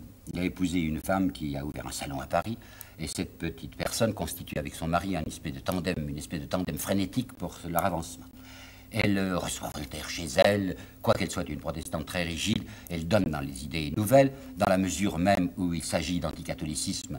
Alors c'est parfait, elle est extrêmement contente. Et l'encyclopédie constitue autour des Necker ce qu'on pourrait appeler une claque travailleuse. C'est d'Alembert lui-même qui va pousser Necker. Dans un certain jour du 25 août, du 25 août 1773, c'est d'Alembert, c'est d'Alembert en personne, qui, dans une séance officielle de l'Académie française, va lire un éloge de Colbert rédigé par Necker. Ça, je ne peux pas me retenir de, vous lire ce que M. Edgar Faure appelle un insupportable galimatia. Il faut, disait Necker, à la tête des finances françaises, un homme dont le génie étendu soit capable de parcourir toutes les circonstances. Un homme dont l'esprit flexible et moelleux sache y conformer ses desseins. Un homme doué d'une âme ardente et d'une raison tranquille. Tout le monde a compris, enfin c'était lui-même qu'il est en train de se proposer. La correspondance littéraire de, de Grimm et Meister correspondance littéraire qui était la grande ennemie de Jacques Rousseau, vous savez, c'était un instrument de l'encyclopédie, dans son tome 10, à la page 281, écrit à propos de cet éloge de Colbert par Necker, M. Necker a deviné l'âme de Colbert par la seule analyse de la sienne propre. Bon, alors il a derrière lui le clan encyclopédique, il arrive au mois d'août 1776, il est nommé chef des finances françaises. C'est un coup double formidable. Premièrement, c'est la première fois qu'un banquier, et un banquier roturier, va devenir un chef des finances françaises. Deuxièmement, comme euh, comme Turgot, et c'est la raison pour laquelle l'encyclopédie le servait, il n'était pas catholique, il était protestant. Alors qu'est-ce qu'il va faire une fois qu'il est arrivé? Eh bien, il va surtout ne pas importuner, pas plus que Turgot, les privilégiés. Oh, pas question de les faire payer. Il va faire une politique systématique et furieuse d'emprunt. Chateaubriand, dans ses mémoires d'automne, l'appelle Necker l'emprunteur. Mais c'est vrai, mais c'est que c'est prodigieux. Prodigieux, les emprunts que fait Necker. C'était une politique de douceur, vous comprenez, c'était avoir de l'argent qui ne coûtait rien, puisqu'il n'y avait pas d'impôts nouveaux, mais seulement la France s'endettait d'une manière horrible. Surtout que Necker, avec des banquiers genevois, était arrivé à mettre au point un système d'emprunt viagers extraordinaire. Les emprunts c'était ceci. On trouvait des petites filles, on appelait ça les jeunes filles de Genève. Des jeunes filles, des petites filles qui avaient 7-8 ans, mais qui avaient eu précédemment la petite vérole, enfin elles étaient immunisées. Alors on se disait, ces, ces gamines, mais elles ont une très longue vie devant elles. Alors on constituait des rentes sur elles, et comme les emprunts viagers de Necker étaient à 12%, 13%, 14%, lui, Necker et des banquiers genevois misaient sur ces petites filles. Alors, comme il n'y avait pas, dans les dispositions légales, comme il n'y avait pas de limitation d'âge, on pouvait prendre des rentes viagères sur une gamine de 8 ans, et comme il y en a beaucoup qui ont vécu jusqu'à 80 ans, c'était le Trésor français qui allait en pâtir. Ben, comme Necker, qui avait fait semblant de ne plus appartenir à sa banque, mais il avait mis son frère à sa place, il avait fait changer de nom, il s'appelait plus Necker, il s'appelait Germanie, du nom d'une terre roturière que Necker possédait du côté de Morges. Alors la banque Télusson Germanie, c'est-à-dire la banque toujours d'équerre, trouvait, dans le placement des emprunts, des courtages nourrissants. Au point que quand Necker va quitter le, pouvoir français, après avoir publicitairement, du reste, prêté 2 millions au trésor, prêté, hein, il ne les a pas donnés, il y avait des intérêts, il va être capable d'acheter le château de Coppet parce que ça l'a pas mal enrichi d'avoir traversé les finances françaises. Mais le résultat, c'est que lorsque Necker quitte les finances françaises, vous m'entendez, la moitié, la moitié du budget passe aux arrérages des emprunts. C'est une vraie catastrophe. Le roi qui a été assez embêté a congédié Necker en 1881. Necker a publié à ce moment-là un bilan absolument truqué pour faire croire qu'il avait fait de l'économie au trésor français. Mais il fait, il faut trouver autre chose. Alors successivement, on fait appel à Calonne puis à Brienne. Pauvre Calonne essaye d'une subvention territoriale, c'est-à-dire un impôt foncier, et il réunit les notables en disant, c'est peut-être des gens qui seront compréhensifs. Les notables disent, pardon, ça ne nous regarde pas, c'est le Parlement, c'est le Parlement qui s'occupe des impôts, et le Parlement refuse. Alors l'évêque Brienne, l'homénie de Brienne, va essayer de refaire le coup de Maupoux. Vous vous rappelez, en 1771, il avait brisé le Parlement. Le 8 mai 88, Brienne recommence le coup, détruit le Parlement, met à sa place une cour plénière et dit on va faire payer tout le monde. Alors ça marche. Ça, je vous assure que ça ne marche plus. Les parlements s'agitent, l'opinion publique elle-même, toute la bourgeoisie est folle furieuse. Attention aux dates, c'est le 8 mai 88 que Brienne fait son coup contre les parlements, 8 mai, et le 21 juillet 1788, c'est ce que l'on appelle les États de Visille. Les États de Visille, c'est une espèce de préfiguration des États généraux. Ça se passe à Visille, c'est-à-dire en Dauphiné, et je vous expliquerai pourquoi ça se passe en Dauphiné et qui y a derrière, en particulier les industriels Perrier. Elle est célèbre, cette réunion de Visille dont je vous parlais la dernière fois. Le château de Visille, dans le Dauphiné. C'est donc le 21 juillet 1788, à la suite de ce qu'avait fait Brienne lorsqu'il avait renvoyé les parlements. Et je vous disais également que c'était les Perriers qui étaient là-dessous. Qu'est-ce que c'est les Perriers? C'est un nom qui va beaucoup compter dans l'histoire française. On va trouver un Perrier à la Banque de France après le coup d'État de Brumaire. On va trouver un Perrier qui est banquier et en même temps Premier ministre sous Louis-Philippe. On va trouver un Casimir Perrier, toujours la même famille, qui va être plus tard président de la République, a fait une famille, comme vous voyez, considérable. C'est très grand notable. Ben, c'est les Perriers qui ont eu l'idée de cette réunion de Visille en juillet 88. Il faut dire qu'ils ont des conseillers, des assesseurs, enfin des auxiliaires de bonne volonté. Il y en a deux en particulier. Il y a le nommé Barnave, dont je vous ai déjà parlé, et qui est vraiment quelqu'un d'important. Et puis il y a Mounier, Monnier, qui est un avocat de la région aussi, qui est un garçon intelligent. Alors, quelle est l'idée de Visille ben, Ça s'était beaucoup agité. J'avais même employé un mot vulgaire la dernière fois pour vous dire que ça avait bardé à travers la France lorsque Brielle avait fait son coup du 8 mai. Et dans la région du Dauphiné, c'est-à-dire à Grenoble, ça avait bardé très particulièrement puisque le 7 juin, une espèce d'insurrection s'était produite. On avait appelé ça la journée des tuiles. Les gens étaient montés sur leurs maisons, avaient détuilé leurs maisons pour bombarder les soldats qui étaient là pour rétablir l'ordre. Ça avait donné beaucoup à réfléchir, ça, à la bourgeoisie. C'est-à-dire que le quatrième État, si je puis dire, c'est la multitude, se mettait à remuer, c'était très inquiétant. Il y avait même divers signes, je vous ai apporté là deux petits témoignages, divers signes qui donnaient à penser aux gens de bien. Il y avait un dicton qui courait, une espèce d'apoque très brève que voici. Les gens se répétaient ces phrases. Le roi dit Je mange tout. Le noble dit Je pille tout. Le soldat dit J'interdis tout. Le prêtre dit J'absous tout. Et l'homme en blouse dit Je paie tout. Très mauvais, des choses comme ça. Et puis Sébastien Mercier, l'auteur du tableau de Paris, dans, dans l'année 1788, donc ça nous intéresse particulièrement, écrit ce qui suit.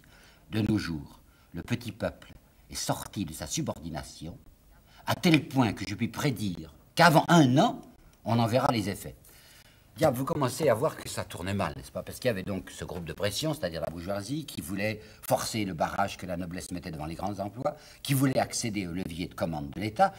Mais tout ça à condition naturellement que la fameuse cariatide, le peuple, le peuple qui travaille, comme dit Voltaire, et qui nourrit les autres, que le peuple ne bouge pas. Il ne faut pas que le quatrième État puisse déranger ces messieurs dans leur opération. Quelle est l'opération? Ce sont des gens qui veulent se substituer à la noblesse, ou s'il n'y a pas moyen de se substituer, partager avec la noblesse, s'asseoir euh, avec elle au festin national. Alors, les Mouniers, les Barnabes, les Perriers, quand ils ont vu que dans la région de Grenoble ça commençait à aller mal, ils se sont dit il faut agir vite. On a donc fait une espèce de réunion de notables, préfiguration, comme je vous dis, des États généraux. On a fait venir des aristocrates, on a fait venir un certain nombre d'ecclésiastiques, ça, ça comptait pas, et on a fait venir surtout de la bourgeoisie possédante. Et là, on leur a fait une proposition d'alliance. On a dit à l'aristocratie, écoutez, vous n'allez pas pouvoir y couper, hein, c'est forcé, c'est fatal, un jour ou l'autre, vous serez obligé de payer des impôts, les curés aussi. Alors, on va s'arranger. Vous voyez bien que nous avons un, ennemi commun. L'ennemi commun, c'est le peuple, enfin, c'est le soubassement, c'est la cariatide, c'est la multitude, c'est-à-dire ceux qui travaillent. Par conséquent, alliance possible. Pourquoi pas? Bon, vous allez payer des impôts, ça ne sera pas agréable, mais nous qui sommes la nouvelle classe, la nouvelle classe, la puissance mobilière, on va s'arranger avec vous, on va partager si vous voulez, parce que vous garderez vos prérogatives, vos titres, enfin pas vos privilèges, mais vos titres. Et puis on a des filles, nous. Alors par conséquent, vous pourrez épouser nos filles.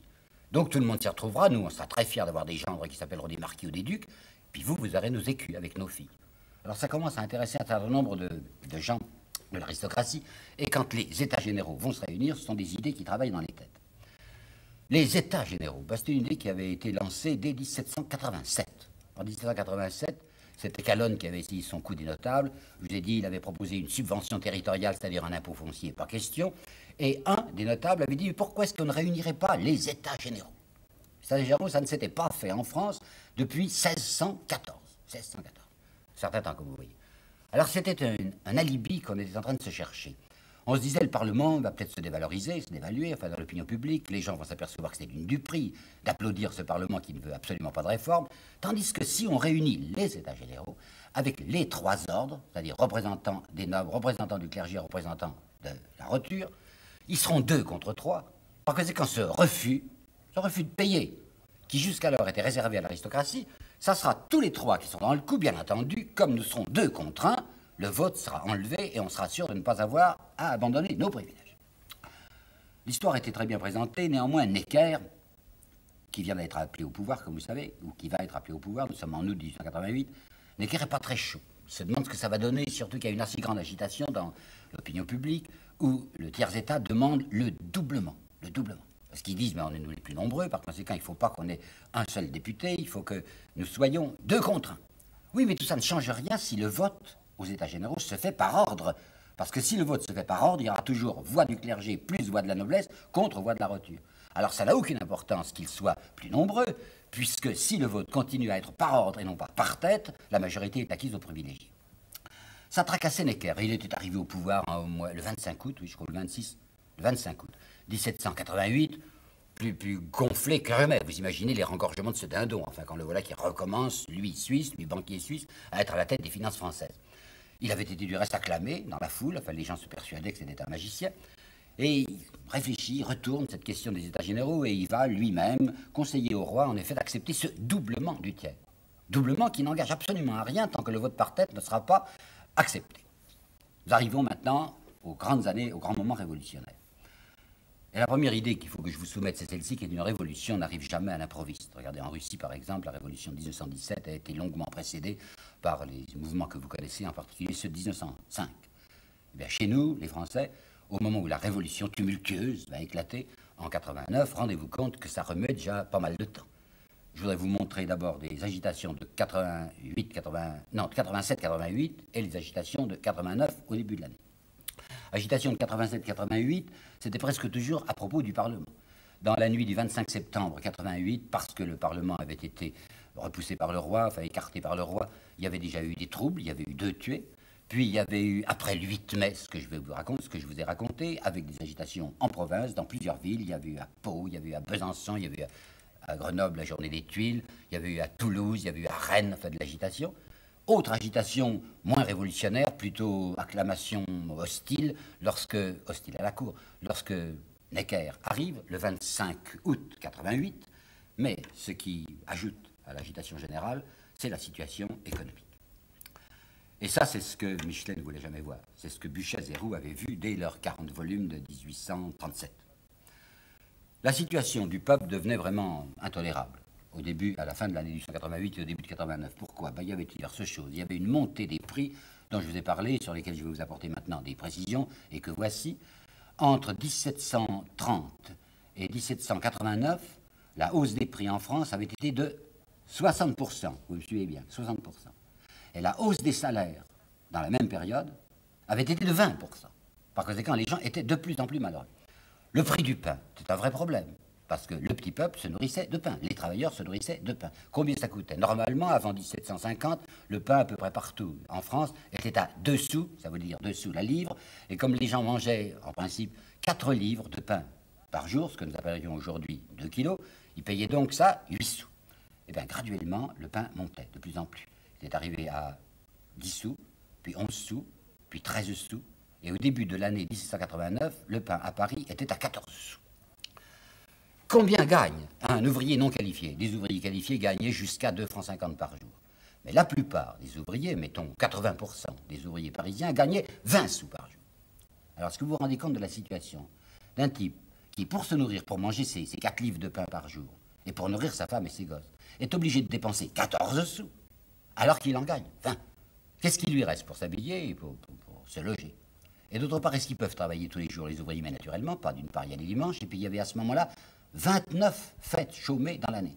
Par conséquent, l'ouvrier parisien était un garçon qui n'arrivait pas à vivre, étant donné qu'il travaillait moins de 300 jours par an, qui gagnait environ 20 sous par jour, et que le pain lui coûtait déjà 14 sous.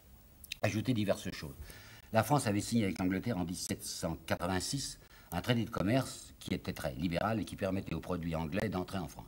Alors à partir de 1787, un certain chômage s'établit, surtout dans les tissages et puis du côté de Lyon à cause des soyeux, parce que les manufactures anglaises arrivent à vendre beaucoup moins cher que les manufactures françaises. Vous avez dès 1776 une crise de mévente des vins. Région productrice de vin, c'était Bordeaux, c'était la Bourgogne, c'était le Languedoc. Le Bordelais est moins touché, mais du côté du Languedoc et de la Bourgogne, il y a une crise à partir de 77, je vous dis, une crise de surproduction, effondrement des cours. Vous avez d'autre part la catastrophe atmosphérique, c'est bien le mot, du 13 juillet 88. Aujourd'hui, hein, on pense toujours 14 juillet 89, hein, mais je vous assure que les Français se sont beaucoup rappelés pendant des tas d'années ce qui était arrivé, et qui paraît-il en effet était tout à fait extraordinaire, le 13 juillet 88. Un ouragan, un orage invraisemblable.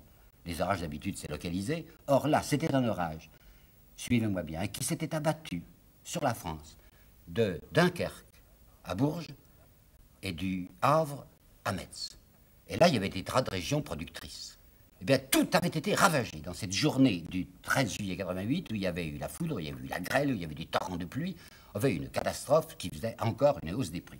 Vous avez d'autre part, depuis 1775, le mur des fermiers généraux. C'est une chose que j'aurais dû connaître depuis longtemps. C'est extraordinaire. Vous savez ce qu'on fait de découverte quand on se met à étudier la Révolution de près. Le mur, aujourd'hui c'est le mur de Berlin, mais il y avait un certain mur des fermiers généraux qui avait été construit autour de Paris pour des octrois. Qu'est-ce que c'est que les fermiers généraux? C'étaient des, banquiers, la plupart du temps, qui se proposaient au roi pour faire rentrer une partie des contributions. Alors l'arrangement était assez sympathique. Le roi leur disait Vous allez me fournir tant de millions, et puis débrouillez-vous, personnellement le roi ne s'intéressait pas à la manière dont il se procurait ces millions. Supposer que les fermiers généraux se soient engagés à verser 30 millions au roi, eh bien, ils en faisaient cracher enfin 60-70 millions à la population et le reste était entièrement bénéfice. Et c'était les fermiers généraux qui s'étaient attribués les droits d'octroi de Paris. Et pour que les droits, c'est-à-dire que toute marchandise qui entrait de la campagne à Paris paye une certaine taxe, pour que ces droits d'octroi soient respectés, et pour qu'il n'y ait pas de contrebande, un mur, un mur de 3,52 m avait été établi avec 40 ouvertures. Et aux 40 ouvertures, il y avait les cablous, comme on disait, ou les douaniers, qui étaient là, qui faisaient payer les gens. Qu'est-ce que ça rapportait? Ça extorquait à la population parisienne, pour pouvoir manger, environ 30 millions par an. C'est le chiffre que je vous ai donné tout à l'heure. Sur ces 30 millions par an, je ne sais pas ce que l'État touchait, mais les fermiers généraux, c'était leur mur, touchaient, eux, ces 30 millions. Ils en versaient peut-être une quinzaine au roi. Ça leur permettait, vous comprendrez, d'avoir de très beaux hôtels particuliers, en particulier Place Vendôme. Alors vous avez le traité de commerce de 86, vous avez les vins, la maison des vins. Vous avez le 13 juillet 88 avec euh, la catastrophe atmosphérique, le mur des fermiers généraux, et puis alors la campagne, à travers toute la fin du siècle, depuis 1760 environ, était de plus en plus malheureuse parce que une grande partie de la noblesse de province, qui n'avait pas les moyens de vivre à Paris, qui n'étaient pas des courtisans parisiens, vivait quelquefois assez difficilement, et avait donc imaginé d'accroître leurs droits féodaux par des recours à ce qu'on appelait des feudistes, FE, feudistes. Les feudistes, c'était des gens qui s'étaient spécialisés, en fait des types de la basoche, dans la recherche de ce, qu'on de ce que l'on nommait les terriers. Un terrier, c'était le document, le document de base, le parchemin sur lequel était établi le droit que le seigneur s'arrogeait sur un lot, sur un champard, etc. Alors, la noblesse française du XVIIIe siècle avait engagé un certain nombre de feudistes qui inventaient de nouveaux droits féodaux, qui retrouvaient ou faisaient semblant de retrouver d'anciens terriers, enfin d'anciens parchemins, ce qui avait pour résultat d'accroître encore les charges de la paysannerie. Ajoutez qu'au milieu du siècle, la noblesse s'était fait accorder un tiers, tout à coup, un tiers des biens communaux. Biens communaux, ça appartenait aux communautés rurales. La noblesse s'était fait accorder un tiers. Et troisièmement, elle s'était fait accorder le droit de clôture, c'est-à-dire que les paysans pauvres qui pouvaient faire pâturer leurs quelques bêtes sur le sol du, patron, enfin du sol du seigneur, ne pouvaient plus maintenant que c'était clôturé. Ce que l'on appelait le droit de vaine pâture était un droit aboli. vous vous rendez compte qu'au début de l'année 89, ce ne sont plus simplement des émeutes d'opinion, comme celles de 87-88 pour le soutien au Parlement, ce sont des émeutes de famine. Et des émeutes de famine que voici, au début de l'année 89, Bretagne, Nantes, le Nord et la Provence. Ça va évidemment de plus en plus mal, au point qu'un phénomène inédit se produit, inédit en France, pas inédit en Angleterre. Peut-être vous rappelez-vous l'autre jour quand je vous racontais qu'il y avait eu des journées très dramatiques à Londres, où la cité était en feu, on avait attaqué la Banque d'Angleterre. C'était entre le 2 et le 6 juin 1780. Et je vous avais dit, à ce moment-là, la bourgeoisie s'est armée et les miséreux n'ont plus qu'à rentrer sous terre. Eh bien, au début de l'année 1789, se produit en France ce phénomène jusqu'alors inédit, c'est que la bourgeoisie s'arme. Les gens ont le droit à ce moment-là d'acheter des armes comme ils voulaient. Alors, les propriétaires, les propriétaires ruraux, les propriétaires de manufactures organisent déjà des milices parce qu'ils voient que le petit peuple affamé se met à bouger. Vous avez d'autre part à Paris les 26, 26, 27 et 28 avril 1789 une grosse émeute. C'est ce qu'on appelle l'émeute Réveillon. Je vais vous en dire un mot. Réveillon, c'était un marchand de papier peint qui avait une grosse manufacture dans le faubourg Saint-Antoine que je vous dise tout de suite, euh, dans le Paris de cette époque, il y avait les deux grands faubourgs ouvriers, c'était le faubourg Saint-Antoine et le faubourg Saint-Marceau, qu'on appelait aussi le faubourg Saint-Marcel. Faubourg Saint-Antoine, c'était surtout le meuble, puis il y avait cette ouvrier de papier peint, et faubourg Saint-Marcel, qui était de l'autre côté de la Seine, c'était les tanneries. Le 24 avril, le bruit se répand que Réveillon, le patron, a prononcé une certaine phrase. Cette phrase, ce serait ceci Après tout, mes ouvriers peuvent bien vivre avec 15 sous par jour. 15 sous. Alors que le pain est à 13 sous, 13 sous,5. Alors ça se répand comme une traînée de poudre, dans la liste un épouvantable bonhomme, enfin il veut nous affamer. C'était pas ça qu'il avait dit. Rébellion était un homme assez honnête, je crois. Et même, je sais, il y a une enquête qui a été faite là-dessus par euh, Jacques Gottschow. M. A publié il y a deux ans, ou l'année dernière peut-être, un livre sur la prise de la Bastille, qui est admirable information. Ben, ce détail que je vais vous donner, je l'ai trouvé dans Gottschow. Réveillon était un homme qui, ayant été frappé d'une partie de chômage à cause d'une rivalité britannique, avait payé, personne ne le faisait, avait payé ses ouvriers en chômage. Un peu moins, mais il les avait payés. Et il avait dit, il faudrait arriver à une réduction des prix, des prix de la vie, des denrées, à une réduction telle que l'ouvrier puisse vivre avec 15 sous par jour. Ça ne voulait pas dire du tout, dans l'état où sont les prix, l'ouvrier peut vivre avec 15 sous par jour. Mais dans l'état où sont les nerfs aussi à ce moment-là, ben, le bruit se répand, que Réveillon est un épouvantable bonhomme qui veut nous affamer, il veut nous donner 15 sous, et une émeute se produit. Une émeute tellement violente, parce que des ouvriers arrivent aussi pour soutenir ceux du Faubourg Saint-Antoine, ils arrivent du Faubourg Saint-Marceau, la troupe est obligée de donner.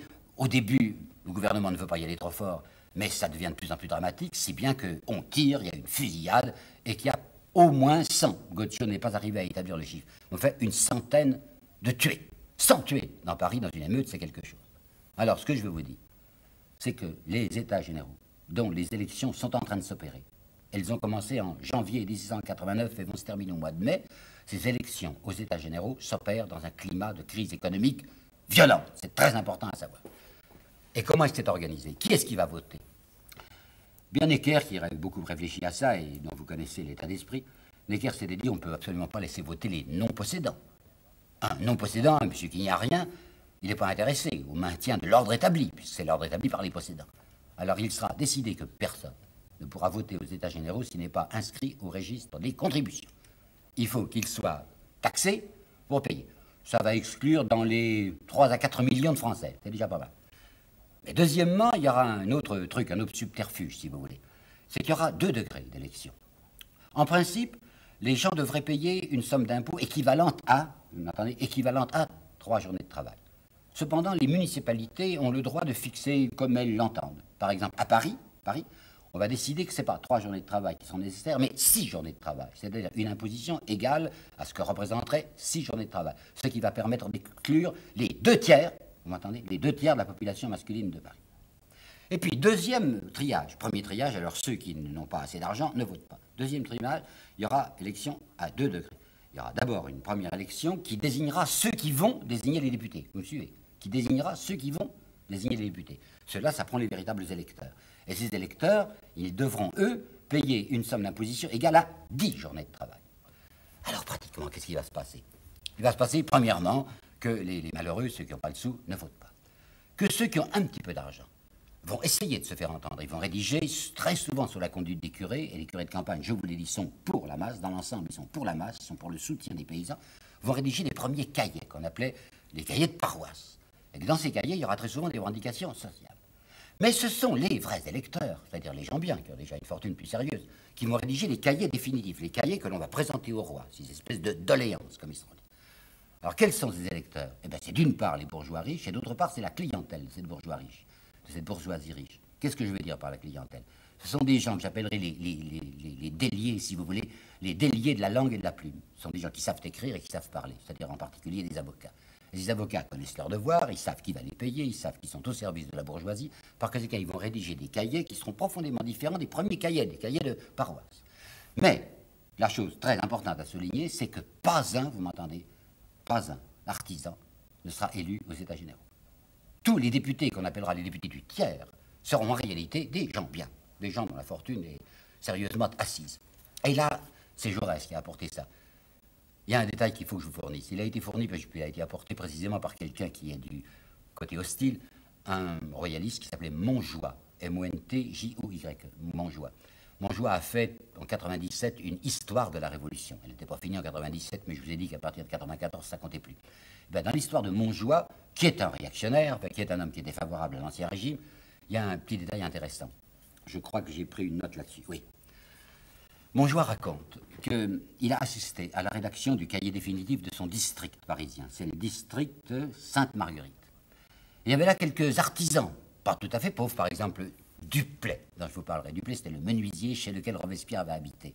Duplay, il ne faut pas vous le figurer comme un ouvrier, c'était un maître artisan, c'était un homme qui avait une petite menuiserie avec cinq ou six ouvriers. Ces gens-là payaient assez d'impositions pour avoir le droit de parler. Mais enfin, c'était un artisan.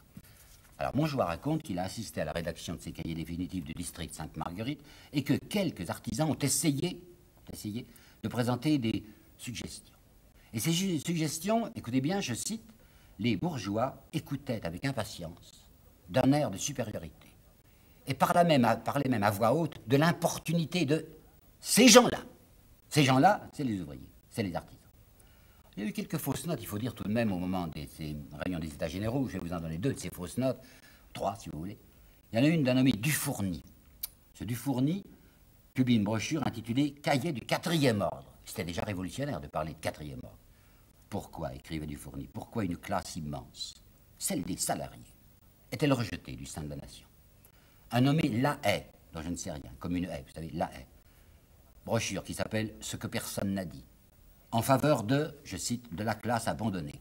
Quel est le district de Paris, écrit cela, et quel est le district de Paris qui a fait la moindre motion pour elle? Ben Vous voyez, quand on essayait d'en faire une, on disait ces gens-là n'ont pas voix au chapitre.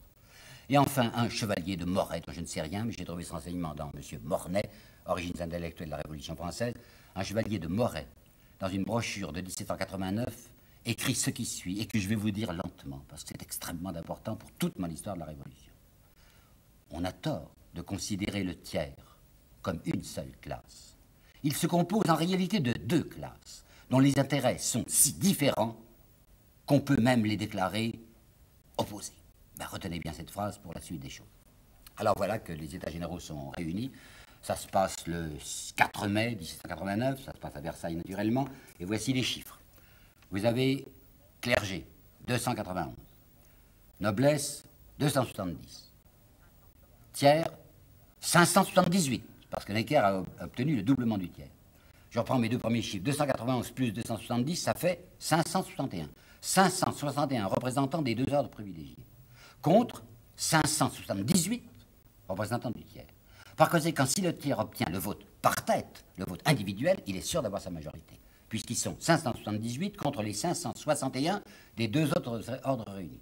Et d'autre part, il y a un certain nombre de députés du tiers qui comptent déjà sur des voix de la noblesse.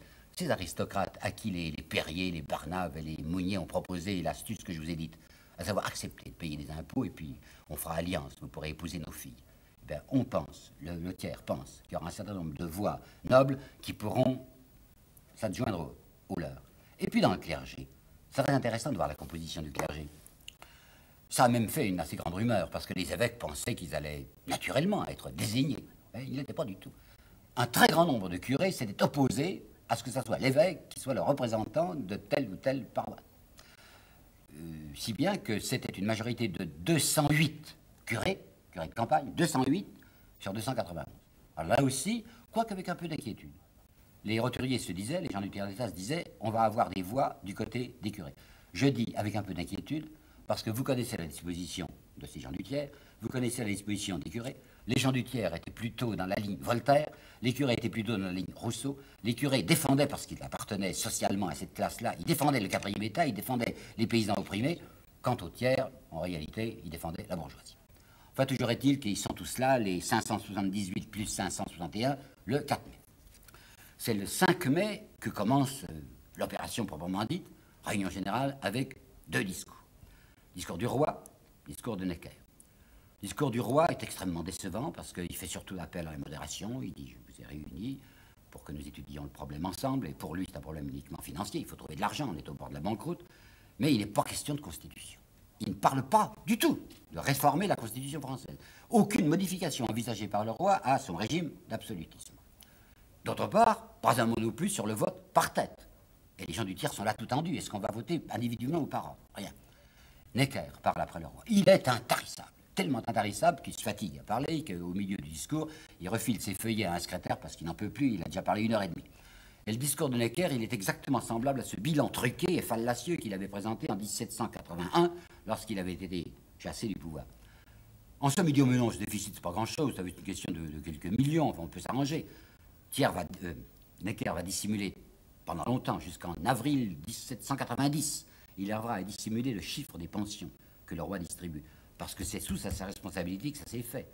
C'est quand Necker était chef des finances françaises que 15 millions ont été donnés d'un seul coup au frère du roi, le comte de Provence, et que 14 millions avaient été donnés à Artois, autre frère du roi, celui qui deviendra Charles X, alors que Provence va devenir plus tard Louis XVIII. C'est sous Necker que la famille Polignac, parce que la reine était extrêmement bien avec Madame de Polignac, c'est sous Necker que la famille Polignac va se faire attribuer 700 000 francs de pension, 700 000 francs de pension, pour avoir le chiffre aujourd'hui, il faut multiplier par, par 4. Enfin, vous voyez à peu près ce que ça donne. Et si on parlait en dollars, ben, ça serait 700 000 dollars d'aujourd'hui. Tout ça, responsabilité de Necker. Si bien que ce cahier rouge, comme on disait, le cahier des pensions, Necker va le garder sous clé pour que personne ne sache jusqu'en 90. Ça fait très mauvais effet son discours. Comment? Mais le déficit n'est pas si grave que ça, mais il doit nous en compter. Enfin, c'est pas vrai. Et c'est là où Mirabeau, pour la première fois, va se faire entendre. Mirabeau va dire Mais le déficit, c'est notre trésor national. Qu'est-ce qu'il veut dire par là? C'était assez une jolie formule. Mirabeau est un homme qui trouvait des formules. Il y a un déficit. Et un déficit terrible, beaucoup plus gros que M. Necker ne veut nous le dire. Le roi a besoin d'argent. Eh bien, nous sommes décidés à en trouver. Oh, c'est pas nous qui allons payer, mais on va lui en trouver de l'argent au roi. Seulement, on ne lui donnera que s'il passe par nos conditions. Et nos conditions, vous savez ce qu'elles sont, c'est-à-dire autorisation à la roture d'entrer dans les pouvoirs et finalement levier de commande à la bourgeoisie. Mirabeau, notez bien, hein, Mirabeau, c'est pas un homme du tiers état. C'est un homme de la noblesse. Il a essayé de se faire déléguer par la noblesse, et comme il avait une réputation impossible, les nobles n'en ont pas voulu, si bien que les gens du tiers-état l'avaient recueilli. De même que l'abbé Sieyès, dont je vais vous parler dans un instant, l'abbé Sieyès aurait dû être, puisqu'il était prêtre, délégué du clergé, pas du tout. Le clergé n'en avait pas voulu, pour des raisons trop faciles à comprendre, et c'était le tiers qui l'avait recueilli. Alors Mirabeau fait cette phrase formidable, question, nous donnerons bien de l'argent à Sa Majesté, mais à la condition que Sa Majesté passe par nos fourches caudies. Et nous allons arriver au drame très important, du 17 juin. Ce 17 juin, tout à coup, voyant que rien ne se faisait, que la noblesse refusait de s'associer au tiers pour la vérification des pouvoirs, que le clergé faisait de même, qu'il y avait bien un certain nombre de curés qui avaient rejoint, mais pas assez, le tiers-État va faire son coup de force. Et c'est ce 17 juin que le tiers-État va se proclamer, vous entendez, va se proclamer Assemblée nationale. Nous ne sommes que le tiers-État, mais nous sommes toute la nation. Et Sieyès avait lancé sa fameuse brochure Qu'est-ce que le tiers-État Tout. Que demande-t-il à être quelque chose? Et c'est là, pour terminer cet exposé, c'est là que je veux souligner l'imposture, la fourberie de Sieyès. Qu'est-ce que le tiers-État Tout. Qu'est-ce qu'il demande à être quelque chose? Et quand Sieyès dit tiers-État, qu'est-ce qu'il entend? Est-ce qu'il entend les 24 millions et demi de mangeurs sur les 25 millions de Français, pas du tout. Il entend la toute petite élite ou écume, si vous voulez, comme vous L'écume du tiers-État qui représente, qui est représentée par la bourgeoisie précédente. Il fait semblant d'annoncer que c'est la nation qui parle et que c'est l'Assemblée nationale, alors que c'est en réalité la bourgeoisie qui décide de prendre le pouvoir et qui ne veut pas être importunée par l'acariatide dont le rôle doit rester le même, c'est-à-dire des esclaves, nourriciers et muets. Nous allons nous trouver aujourd'hui en présence d'événements considérables et violents. C'est juillet 89, c'est la prise de la Bastille. Et peut-être vous vous rappelez que dans mon premier exposé, je vous parlais de ce dressage que j'ai subi, comme tous les petits écoliers de France, écoliers de la Troisième République, où dans les manuels, on nous présentait une certaine image convenable de la Révolution française. C'était une, mise en condition, quoi. Les écoliers, c'est de futurs électeurs, et il est important qu'ils soient orientés. Alors aujourd'hui, nous allons trouver en présence de phénomènes que je voudrais bien regarder d'un regard neuf, et vous exposer comment, en vérité, ils sont produits.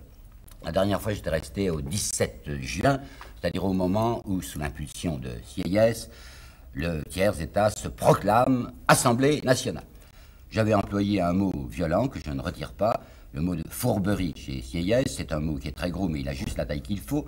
Pourquoi fourberie chez Sieyès et chez Mirabeau Parce que, je le répète, ces gens font semblant de parler au nom de la nation, mais ce qu'ils appellent nation, c'est-à-dire en fait 24 millions et demi de gens, c'est cette toute petite élite ou écume qui représente la bourgeoisie possédante.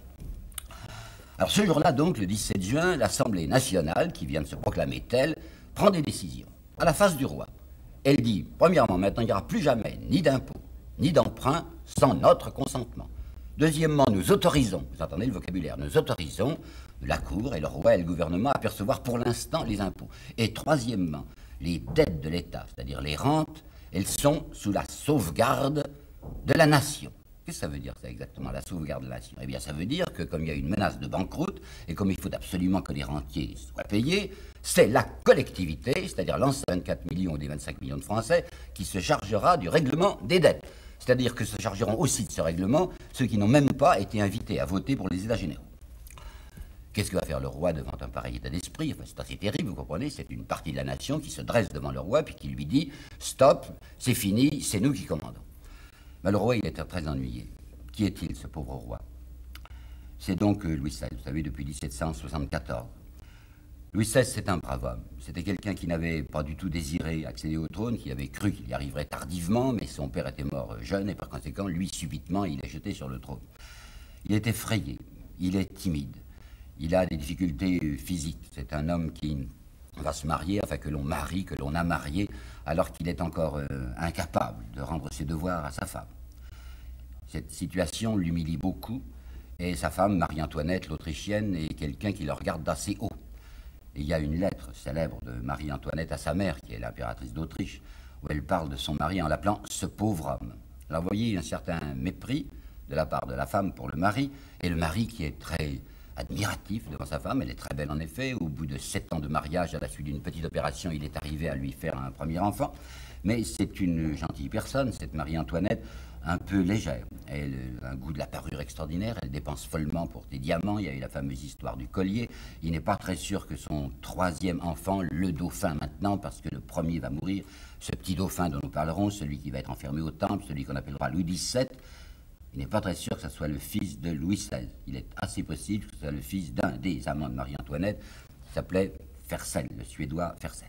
Alors, quel peut être l'état d'esprit du roi et de la reine devant ce qui se passe, devant cette espèce de, révolte, enfin d'insurrection d'une partie de la nation qui s'intitule le tiers-État? Exaspération chez la femme. Marie-Antoinette trouve ça inconcevable. Elle se demande quel drôle de mariage elle a fait, quelle idée elle a eu d'aller se jeter chez ces Français qui se mettent brusquement en révolution.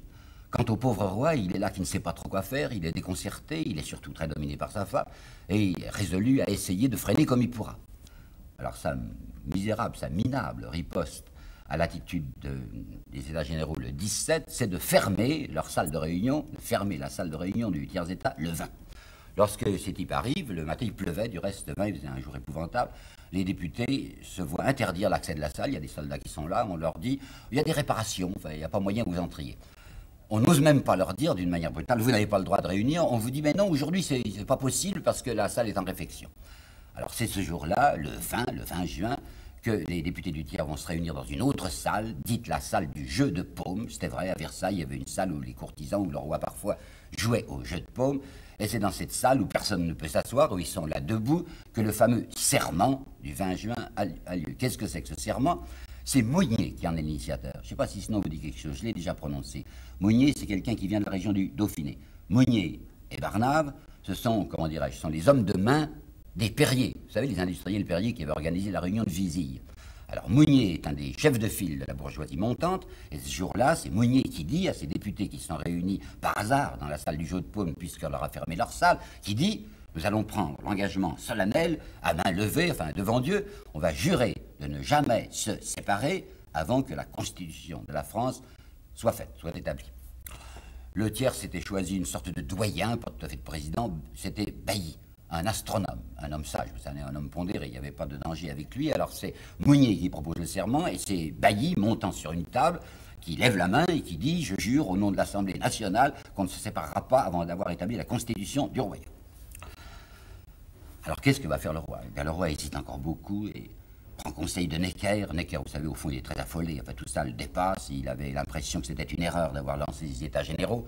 Enfin, tout de même, le roi décide de faire une séance royale il va réunir tous les ordres, le 23. Dans l'histoire traditionnelle, la séance du 23 apparaît comme un, est présentée comme un coup de force du roi. Je n'en suis pas tellement convaincu. Si l'on écoute les propos que va tenir le roi ce 23, on voit qu'il cède pas mal de choses, qu'il recule sur bien des points. C'est un ton, si vous voulez, autoritaire, mais autoritaire pour avouer les concessions. Quelles concessions? Eh bien, ce 23, le roi annonce qu'il accepte et même qu'il ordonne l'égalité fiscale. Ça, il n'avait jamais osé le faire. Vous savez qu'on avait tenté depuis des années, depuis 1771, enfin à cause de l'opposition des parlements, on avait tenté d'obtenir que les nobles se décident, et que le clergé aussi se décide à payer. Jamais on n'avait pu y arriver, il y avait l'obstacle du Parlement. Le roi se dit, après tout, les États généraux sont utiles en ce sens qu'ils sont, les gens de la roture sont assez nombreux pour imposer leur volonté aux nobles. Je ne veux pas le dire, moi, le roi, qu'ils sont nombreux et qu'ils imposent la volonté, mais je m'en vais me servir de ce levier pour faire payer ces nobles qui refusaient de payer. Alors, un, égalité fiscale. Deux, dans cette même séance du 23, le roi accepte quelque chose de très important, important la périodicité des États généraux. Eh bien, ça veut dire pratiquement il y aura une chambre maintenant. Ce n'est plus la monarchie absolue. C'est le roi qui accepte, qui est à côté de lui, une sorte de conseil de direction, ou du moins consultatif. Les États généraux seront réunis périodiquement, il ne dit pas quand. Mais enfin, il les consultera. Et troisièmement, ce qui est vraiment très important, il accorde à ces États généraux le droit de contrôle sur le budget. Ça, la rupture pouvait être content. Le tiers État pouvait se dire, mais ça c'est rudement intéressant. Pour la première fois, nous aurons notre mot à dire sur la répartition du budget national. Et puis, il annonce deux choses encore. Il annonce la suppression des lettres de cachet, c'est-à-dire qu'on ne pourra plus brusquement et sans procès interner quelqu'un. Et il promet, il promet la liberté de la presse. Vous voyez que c'était pas mal tout de même. Il y avait un progrès considérable. Le tiers avait obtenu beaucoup de choses. Seulement, le roi continuait à refuser que les délibérations se fassent par tête, il voulait toujours que ça soit par ordre. Par conséquent, les bourgeois qui étaient là pour essayer de saisir les leviers de commande de l'État étaient furieux parce que rien n'était encore possible, la noblesse continuant à occuper tous les emplois. Si bien qu'ils réfléchissent sur place avec Mirabeau, Mirabeau qui, comme Sieyès, était en train de se pousser, il réfléchissent à ce qu'il faut faire, rapidement. Mirabeau avait fait une chose aussi fourbe que celle de, de Sieyès, le 17. Mirabeau avait prononcé, je ne me rappelle plus si c'est le 17 ou le 18, une phrase sur laquelle je vais appeler votre attention. Il avait parlé de ce tiers-État dont il avait dit Le tiers-État, pour être formidable, n'a qu'à se faire immobile. Qu'est-ce que ça veut dire C'est l'idée de la grève générale, finalement. Ces gens n'ont qu'à rester immobiles, c'est-à-dire à ne plus travailler, pour que tout s'arrête. Oui, grève générale. Seulement ça, c'est une fourberie égale à celle de Sieyès. Celle de Sieyès, c'était de dire nation lorsqu'il pensait simplement aux 200 000 profiteurs. Et l'astuce de Mirabeau, c'est de faire semblant qu'il représente ces travailleurs, alors que la bourgeoisie est absolument décidée absolument résolue à les obliger à travailler. Pas question qu'ils s'interrompent jamais de travailler. Alors qu'est-ce que va faire Mirabeau dans cette fameuse séance du 23 L'incident est partout, seulement il a été raconté d'une curieuse façon. L'incident, le voici. Le roi a prononcé son discours le 23, vous m'avez entendu, messieurs, et maintenant, séparez-vous, séparez-vous, hein, Chacun, chaque ordre ira dans sa salle. Les nobles sortent, le clergé sort, et le tiers-état reste. À ce moment-là, le maître des cérémonies, qui s'appelait le marquis de Dreux-Brézé, s'approche de Bailly, qui s'est constitué, vous savez, le doyen ou une sorte de président du tiers-état, et lui dit, du reste assez poliment, Messieurs, vous avez entendu les ordres de Sa Majesté, veuillez vous séparer. C'est alors que Mirabeau se précipite et prononce une phrase retentissante qui a un retentissement énorme, enfin on en parle toujours aujourd'hui comme d'une chose extraordinaire. C'est à ce moment-là que Mirabeau va s'approcher du marquis de Debrézé et lui dire, et lui dit, nous sommes ici de par la volonté du peuple, mon Dieu, quel peuple, de par la volonté du peuple, et nous n'en sortirons que par la force des baïonnettes. force des baïonnettes, ça retentit comme quelque chose, un cliquetis d'armes, et on se dit, tiens, mais c'est très énergique ce que dit Mirabeau. Mais voulez-vous écouter avec moi de nouveau cette phrase? Nous sommes ici par la volonté du peuple, et nous n'en sortirons que par la force des baïonnettes. Ce qui signifie, si jamais le roi emploie les baïonnettes contre nous, eh bien nous céderons. C'est-à-dire que c'est une soumission conditionnelle. Tout aurait été différent si Mirabeau avait dit Nous sommes ici de par la volonté du peuple. Et si le roi utilise la force contre nous, nous appellerons à notre secours le peuple, c'est-à-dire les bras nus et les gens à pic, et nous n'en sortirons pas. Tandis qu'il n'en est pas question. Mirabeau, vous allez le voir de plus en plus, Mirabeau est quelqu'un qui a une terreur et un dégoût du peuple, et qui dit à aucun prix, il faut faire appel à ce fameux quatrième état, c'est-à-dire la multitude, c'est-à-dire les travailleurs. Le marquis de, de a une réponse que je ne peux pas citer ici parce qu'elle est extrêmement inconvenante. Lorsque Mirabeau lui fait cette phrase en disant nous sortirons que pour la, par la force des baïonnettes, il tourne les talons en jetant une interjection inconvenante. Il va trouver le roi et il lui dit ces messieurs veulent pas bouger. Et le roi, qui est presque aussi inconvenant, répond ils veulent pas s'en aller, ben foutre qu'ils restent. Et il va céder. Le roi va céder parce que le lendemain, le lendemain 24 juin par conséquent, le clergé, poussé par les petits curés, qui sont 208 sur 291, le clergé vient rejoindre ce tiers-État qui s'est constitué en Assemblée nationale.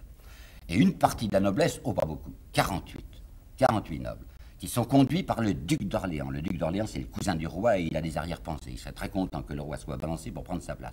Conduit par le duc d'Orléans. Et conduit par un certain marquis de Lafayette qui s'était illustré dans la guerre de l'indépendance, qui avait servi les révolutionnaires américains, qui avait donc un certain prestige. 48 nobles ayant à leur tête le marquis de Lafayette, le duc d'Orléans que j'aurais dû nommer le premier, et deux messieurs qui s'appellent les frères Lamette, L-A-M-E-T-H. Ces frères Lamette qui sont aussi des, entre guillemets, des Américains.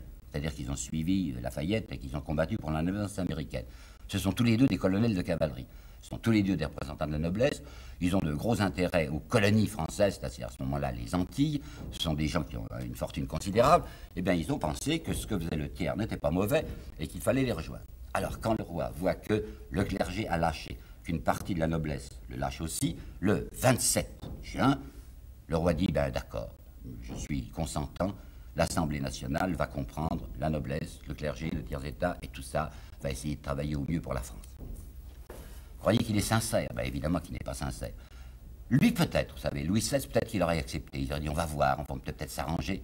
Mais sa femme, Marie-Antoinette, est absolument résolue à ne pas s'arranger. Elle a du reste un conseiller qui est Breteuil, le gros Breteuil. Un personnage euh, tonitruant. C'est Madame de Stahl, je crois, qui raconte dans ses souvenirs, considérations parce qu'on l'entendait toujours marcher, Breteuil. Il marchait en frappant des talons, il avait un ventre considérable, un poids très lourd, et il poussait d'aussi grands cris que la force de ses talons le lui permettait.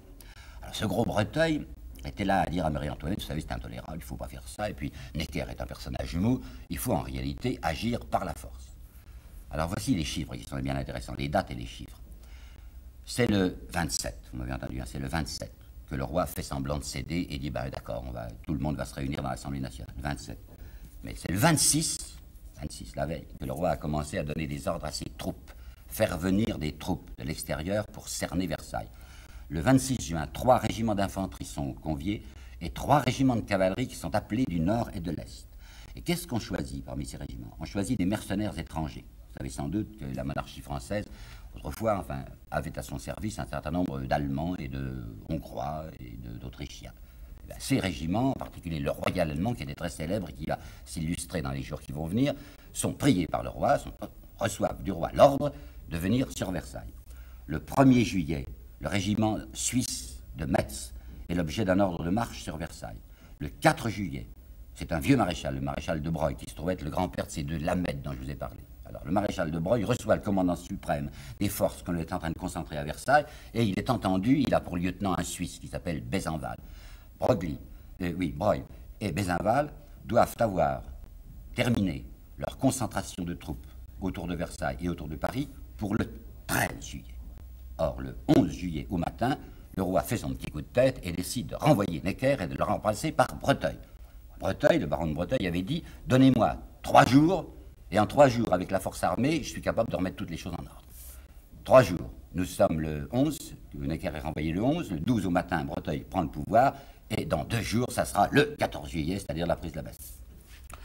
Alors c'est là où il faut bien regarder. C'est vers 9h euh, du matin, le 12 que la nouvelle se répand dans Paris, le roi a fait un coup de tête, le roi a renvoyé Necker, il prend Breteuil et des troupes commencent à arriver. Émotion. Émotion considérable dans Paris, les gens se mettent à courir les uns autour des autres, enfin place du Palais Royal en particulier, on s'agite énormément. Seulement, ce qui me frappe beaucoup, c'est qu'il y a une sorte d'enthousiasme populaire sur le nom de Necker. Je comprends très bien, ah, je comprends très bien que les rentiers, que les financiers, que les hommes d'argent soient furieux du renvoi de Necker parce qu'ils se disaient, avec Necker, c'est nos rentes qui sont certainement payées. D'autant plus que Necker avait aussi des rentes sur l'État. Vous vous rappelez qu'il avait prêté 2 millions au Trésor français en 1778. Publicitairement, il avait fait un grand bruit sur ces 2 millions et qu'il entendait récupérer les, les naturels. Alors je suis complètement convaincu, enfin ça va tout seul, que les rentiers parisiens, que la bourgeoisie financière de Paris est furieuse du renvoi de Necker. Ce qui me frappe, qui me stupéfie, c'est que la petite plèbe parisienne marche, mais nous avons déjà vu la pauvre petite plèbe parisienne marcher lorsqu'on renvoyait les parlements, lesquels travaillaient contre elle. C'est pas la première fois qu'elle prend, pardonnez-moi cette expression vulgaire, des vessies pour des lanternes, mais cette expression vulgaire et traditionnelle a ici son plein emploi parce que prendre Necker pour une lanterne, c'est en effet prendre une vessie pour une lanterne, puisque Necker c'était une panse, enfin c'était un, surgonflé, un boursouflé. Toujours est-il qu'effectivement les bustes, vous entendez, les bustes de Necker et du duc d'Orléans se trouvent dans la matinée du 12 promenés à travers Paris. Où est-ce qu'on en a trouvé des bustes? Dans un musée, un musée de cire qui s'appelait le musée Corsius, qui était la préfiguration de ce qui est aujourd'hui encore, je crois, le musée Grévin à Paris, musée de cire. Alors des gens, des industrieux, enfin des types astucieux, sont allés chercher les bustes du duc d'Orléans et le buste de Necker et on va promener ça glorieusement entouré de palmes dans les rues de Paris. Le mouvement est parti du Palais Royal. Qu'est-ce que c'est que le Palais Royal? Palais Royal, ça appartenait, c'est un immense château, qui appartenait au duc d'Orléans. D'Orléans, c'était la plus grosse fortune de France, mais c'était aussi un homme qui dépensait tellement, qui s'était terriblement endetté, et très peu de temps, trois ans avant la Révolution, il avait décidé d'ouvrir au public une partie de son palais royal, et en particulier, il avait fait établir autour de la grande cour d'honneur des galeries. Il y en avait des galeries en pierre, il y avait des galeries en bois, et là, s'étaient établies toutes sortes de maisons interlopes. Enfin, il y avait des tripots, il y avait des maisons de tolérance, qu'on n'appelait pas ça comme ça à ce moment-là, on disait des lupanas, il y en avait des quantités. Du moment que c'était la propriété du duc d'Orléans, la police n'avait pas le droit d'y entrer, mais les pauvres n'y entraient pas non plus. Il fallait être bien habillé, il fallait être correct. Or, ce palais royal, c'était le centre d'agitation parisienne. Une espèce de milieu d'eau trouble où tous les intrigants pouvaient s'agiter. Et comme c'était dans les locaux, le territoire du duc d'Orléans, le duc d'Orléans dirigeait tout ça avec ses agents. Alors, comme l'agitation principale, le 12 juillet au matin, sort du palais royal, nous pouvons être à peu près convaincus que le duc d'Orléans était derrière et même qu'il avait probablement répandu de l'argent. Quelqu'un va surgir ce jour-là, c'est Camille Desmoulins. Camille Desmoulins, il jouera un rôle dans notre histoire, il faut que nous le regardions un instant. C'est un personnage complexe, vous savez, Camille Desmoulins. J'ai bien regardé les visages, c'était tellement intéressant d'étudier les visages, et nous avons pas mal de portraits de Camille. Il était jaune, il était bilieux. Il avait quelque chose de curieux dans le regard, une sorte d'incertitude, un peu louche ce regard. Louche, pas du tout parce qu'il était bigle, pas du tout, mais quelque chose de, trouble dans le regard. C'est un garçon qui était capable de violents entraînements et en même temps qui était capable de tendresse et de gentillesse. À ce moment-là, Camille Desmoulins, c'est un garçon qui n'a pas le sou. Il aura bientôt le sou, parce qu'il va finir par épouser une petite euh, Lucille Duménil qui avait beaucoup d'argent, qui va lui apporter d'un seul coup 100 000 francs. Mais pour l'instant, il n'en a pas. Eh bien, ce 12 juillet au matin, quand euh, les Parisiens apprennent que Necker est renvoyé, qu'il y aura peut-être un coup de force de la cour, Camille Desmoulins, au Palais Royal, dans ce milieu grouillant, grimpe sur une table, sort un pistolet qu'il avait dans sa poche, dresse ce pistolet et crie aux armes la cour va venir nous attaquer, il faut que nous le défendions. Et comme il est sur une table, que c'est en juillet, que cette table est à la hauteur des, des branches d'arbres, il arrache une feuille, une feuille verte, il la met à son chapeau. Verte parce que c'est la couleur de l'espérance, tous les gens arrachent des feuilles, ce qui permettra à Madame de Stahl plus tard de raconter que Camille Desmoulins avait choisi la couleur verte que c'était la couleur de la livrée, c'est-à-dire les domestiques de Necker. Je vous assure que personne n'y avait pensé à ce moment-là. Verte, simplement, feuille d'espérance. Aux armes, il a crié. Dans cette journée, le tumulte devient de plus en plus grave dans Paris. Et en fin d'après-midi, le régiment, le royal allemand, donc des Allemands qui étaient là, qui étaient commandés par le prince de Lambesque, le royal allemand, devant l'agitation de Paris, fait une charge. Attention, on a un peu exagéré dans l'histoire, on a dit ils ont chargé, on se représente tout de suite sabre au clair, des cavaliers au galop, mais on ne sait pas tout à fait ça. Les dragons de Lambesque étaient là, tout près du palais royal et de la place qui est aujourd'hui la place de la Concorde, la place Louis XV, et ils ont avancé, ils ont avancé dans la foule pour la repousser. Il s'est trouvé qu'un vieillard a été piétiné, il n'est pas mort, mais enfin il a été piétiné. alors des gardes françaises. Les gardes françaises, c'était des soldats qui étaient au service du roi et qui étaient cantonnés pour une part à Paris. Des gardes françaises prennent brusquement le parti de la foule et se mettent à combattre le royal allemand, parce qu'ils sont français et que les autres sont des Allemands. C'est très mauvais, ça, ça donne l'impression d'une indiscipline dans l'armée. Alors, la suite, retenez ce que je vais vous dire dans l'armée, la suite se présente comme ça. Toute la journée du lendemain 13, les Parisiens, excités et poussés par un certain nombre de gens, sont là à chercher à se procurer des armes. Parce qu'ils se disent, nous sommes cernés, il y a des troupes qui sont déjà venues jusque dans le champ de Mars, qui n'est pas tellement loin, vous savez, pas des invalides. Il y a d'autres troupes qui vont certainement arriver par Versailles, d'autres vont arriver par Vincennes. Il nous faut des armes. Ils vont vers l'hôtel de ville, bien sûr. L'hôtel de ville était dirigé à ce moment-là par quelqu'un qu'on appelait le prévôt des marchands, qui pratiquement c'était le maire, qui s'appelait Flessel. Flessel n'aime pas beaucoup cette foule un peu dégnillée qui vient lui demander des armes, mais ils sont très nombreux les gens, et alors on leur donne les 350, 360 fusils qui étaient conservés à l'hôtel de ville. On les leur donne sans joie. Flessel a même dit, je crois qu'il y a des armes chez les Chartreux. C'est une drôle d'idée. il y avait un couvent de Chartreux qui était là, la foule se précipite chez les Chartreux. Non, il n'y a pas d'armes, mais il y, a du blé qu'on va enlever chez les Lazaristes aussi. En il faut trouver des armes. Alors les gens se précipitent au garde-meuble. Mais le garde-meuble, c'était surtout un musée. Alors il y avait des armes historiques, il y avait des, il y avait des il y avait des cuirasses. Alors il y a certaines personnes qui se mettent des halbards dans les mains et des cuirasses sur le corps. Un peu ridicule, mais ça, c'est pas un armement. Dans la même journée du 13, deux bateaux de poudre, pleins de barils de poudre, sont trouvés, enfin sont repérés, ils sont là sur la Seine. les poudres devaient être débarquées pour être envoyées à l'arsenal ou ailleurs. La public, le public le sait, je ne sais pas comment, c'est un prêtre, c'est l'abbé Lefebvre, qui organise la distribution des poudres. Les gens reçoivent des petits sachets de poudre, mais il n'y a toujours pas de fusils. Alors où est-ce qu'ils sont les fusils? On est allé à l'arsenal, l'arsenal est vide. Mais on sait qu'il y a deux endroits où sont des fusils à Paris. D'un côté, c'est l'hôtel des Invalides, et d'autre part, c'est la Bastille. La Bastille, c'est un morceau. Vous savez, c'était une énorme forteresse qui était au faubourg Saint-Antoine, avec des tours de 30 mètres de haut, avec des canons qui étaient braqués entre les, entre les créneaux. Pas facile à enlever. Tandis que les Invalides, ça semblait plus facile. Alors le 14, 14 au matin, et il s'était produit dans l'année du 13 au 14 quelque chose de très dangereux, très redoutable. Le petit peuple s'était jeté sur le mur des fermiers généraux, vous vous rappelez, le mur de l'octroi, et avait incendié 40 octrois sur 54. Ça commençait à prendre une mauvaise allure de quatrième état en mouvement. Le 14 au matin, toujours conduit par ce prêtre, l'abbé Lefebvre, 8 à 10 000 personnes se précipitent dans la direction des Invalides pour prendre des armes. Il y en a en effet, il y a plus de 30 000 fusils et quelques canons, les Invalides. Qui dirigeait les Invalides? C'était le marquis de Sombreuil. Et eh bien, le marquis de Sombreuil se laisse faire, parce qu'il voit qu'il y a 10 000 personnes, qu'il y a des gens qui sont absolument résolus à entrer, par la force s'il le faut. Le marquis de Sombreuil ne dit rien, enfin, laisse passer les gens, et le pillage, ou la saisie des fusils s'organise. Les invalides, les invalides, c'est à côté, à côté du champ de Mars.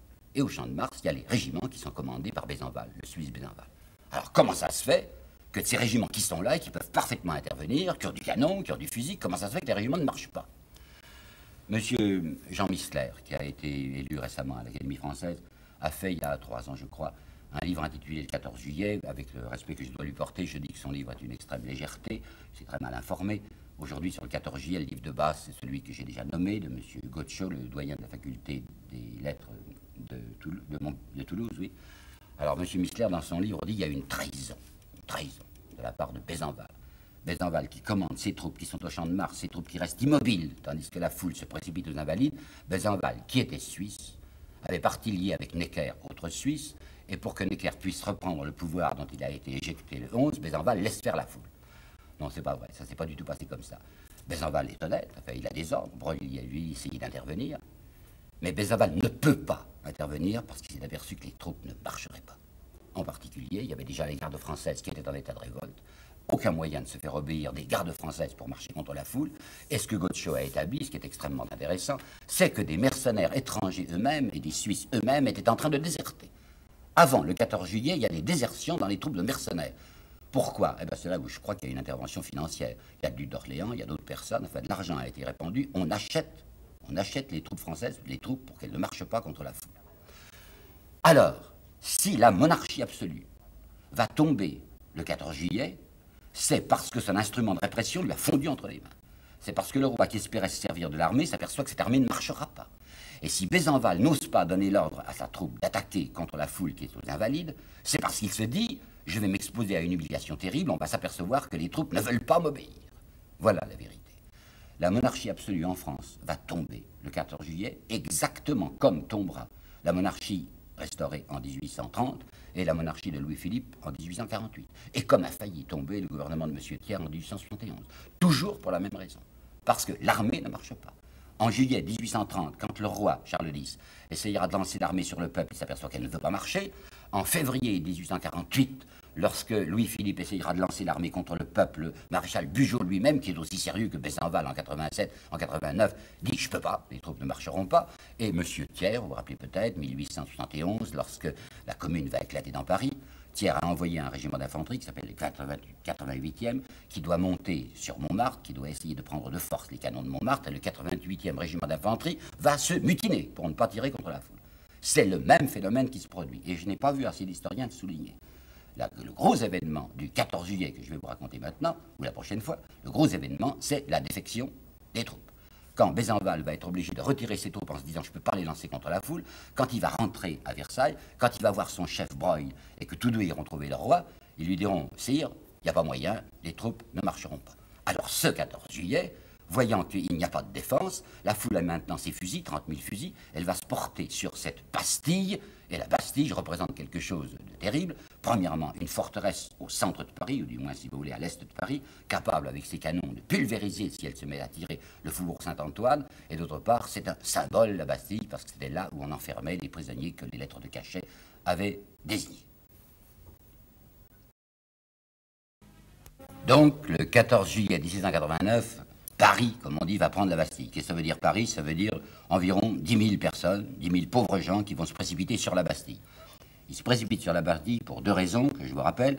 Premièrement, parce qu'ils veulent trouver les armes qui sont à la Bastille pour se défendre contre le coup de force possible de Versailles, c'est-à-dire du roi. Et deuxièmement, parce que la Bastille est une forteresse menaçante et qu'il faut essayer d'éliminer ce danger dans Paris. Les faits de la prise de la Bastille sont bien connus aujourd'hui. Je vous rappelle pour la troisième fois, je crois, l'admirable bouquin de M. Gotcho qui permet de suivre les événements pas à pas. Vous savez qu'il divers temps, on a essayé de parlementer. Des délégués de l'hôtel de ville sont venus trouver le directeur, le gouverneur qui s'appelait Launay et qui leur a dit il faut vous rendre. Et Launay a dit pas question, je dois défendre la Bastille. Il avait une très faible garnison, il avait 82 hommes, dont 32 Suisses, le reste c'était des invalides.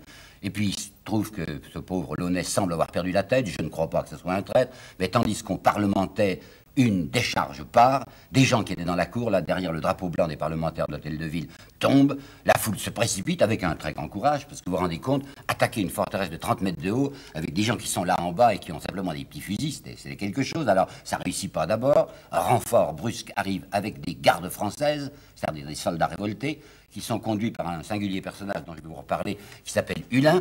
Ce Hulin arrive avec du canon, avec des gardes françaises, cette fois on enfonce l'affaire, on arrive à pénétrer à l'intérieur de la Bastille, le Launay capitule, ça y est, elle se rend. C'est le sens de l'histoire qui est intéressant. Qu'est-ce qui se passait ce jour-là? Pourquoi est-ce que ça se produisait? Chateaubriand. Chateaubriand qui, en 1821, était ministre de France en Prusse. Chateaubriand, qui était un royaliste fidèle, va écrire dans les mémoires d'Outre-Tombe en 1821 des phrases que je veux vous citer. Parce que cet homme et ce royaliste a compris la prise de la Bastille avait une haute signification. Il dit La nation ne se trompa point sur l'importance du fait moral. Sous cette colère était cachée l'intelligence, qui jetait les fondements du nouvel édifice. La Bastille était à ses yeux le trophée de sa servitude, le gibet de sa liberté. Mais il y a un autre texte, à mon avis encore plus important, et que je ne vois jamais cité, que je tiens à vous apporter. De Madame de Stahl, qui est Madame de Stahl, c'est la fille de Necker. Et dans ses considérations sur la Révolution française, première édition, 1818, tome 2, page 129, il y a une phrase que je trouve pathétique de la part de cette grande bourgeoise. Tout faisait croire aux gens de la classe ouvrière, elle écrit bien ça, hein. tout faisait croire aux gens de la classe ouvrière, les brassiers de la campagne, les prolétaires des villes, tout faisait croire aux gens de la classe ouvrière que le joug de la disparité des fortunes allait enfin cesser de peser sur eux. Ils se levaient dans cet espoir insensé. Ça va loin, une phrase comme ça. Ça signifie que Madame de Stahl, qui n'avait pas les yeux dans sa poche, s'apercevait bien de ce qu'il y avait derrière le 14 juillet. Il y avait les bourgeois, c'est entendu, mais il y avait tout ce petit peuple. Tout le petit peuple écrasé de la campagne, tous les prolétaires de Paris qui avaient 20 sous par jour pour manger, alors que ce jour-là, le pain s'était élevé à 14 sous et demi. Et ces gens se disaient, il y a un grand mouvement qui va se produire, peut-être que tout va changer, peut-être qu'on va sortir de notre asphyxie, peut-être qu'on va arriver à élever nos enfants. Voilà ce qu'il y avait sous le 14 juillet. Et puis il y a de très curieux excitateurs, vous savez. C'est curieux de voir ça.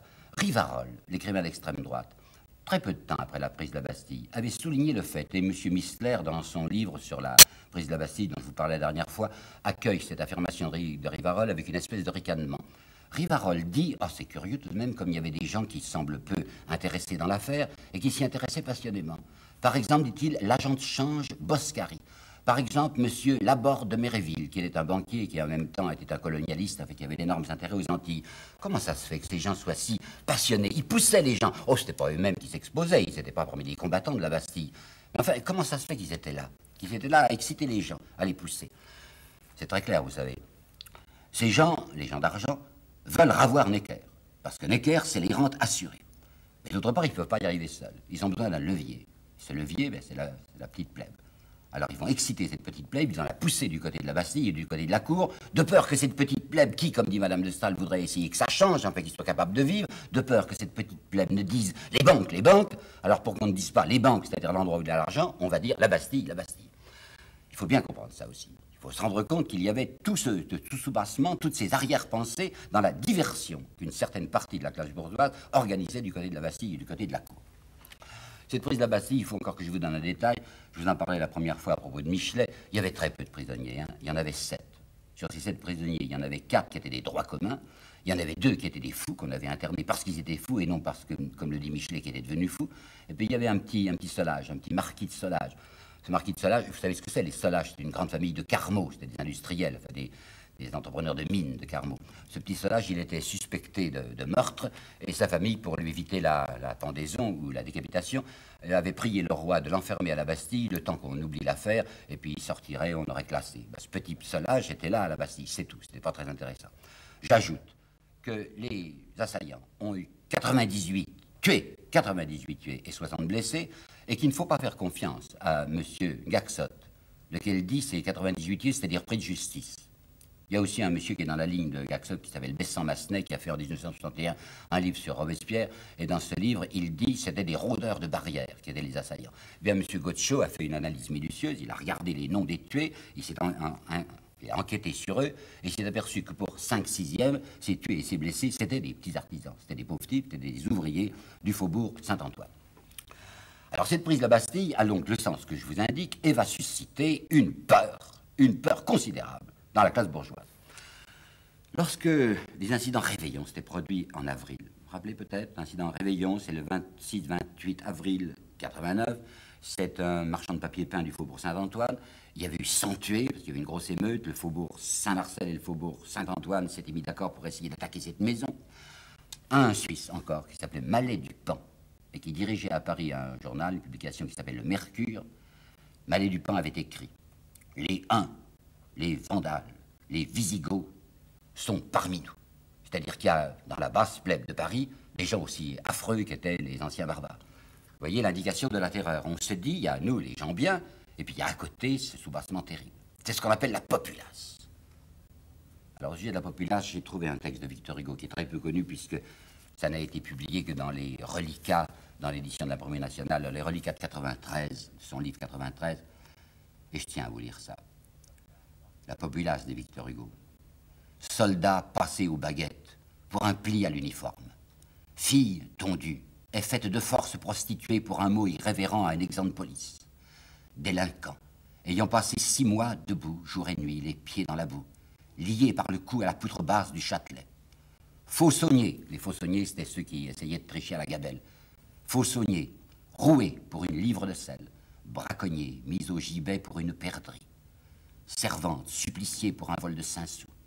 Tout ça, toutes ces âmes lamentables, les spoliés du, du fisc, les dévalisés par Versailles, toutes les fins, toutes les soifs, toutes les bouches tordues par le sanglot et le blasphème, toutes les poitrines pleines de vengeance. La voilà la populace. La populace, dit encore Victor Hugo, c'est la lie du pressoir social. C'est infortuné, c'est déshérité, c'est vaincu, c'est vagabonde, c'est vanupié, c'est affamé, c'est répudié, c'est désespéré, c'est la plaie sociale vivante. Une plaie devenue bouche, qui saigne, et qui hurle, et qui mord. Avant de s'indigner, dit Victor Hugo, devant la fureur du souffle, il faut savoir ce que c'était que l'horreur du miasme. Best entendu, il y a eu des choses qui ne sont pas très belles le 14 juillet. Les invalides et les Suisses s'étaient rendus. Ben, quand ces types se sont rendus, on en a tué pas mal.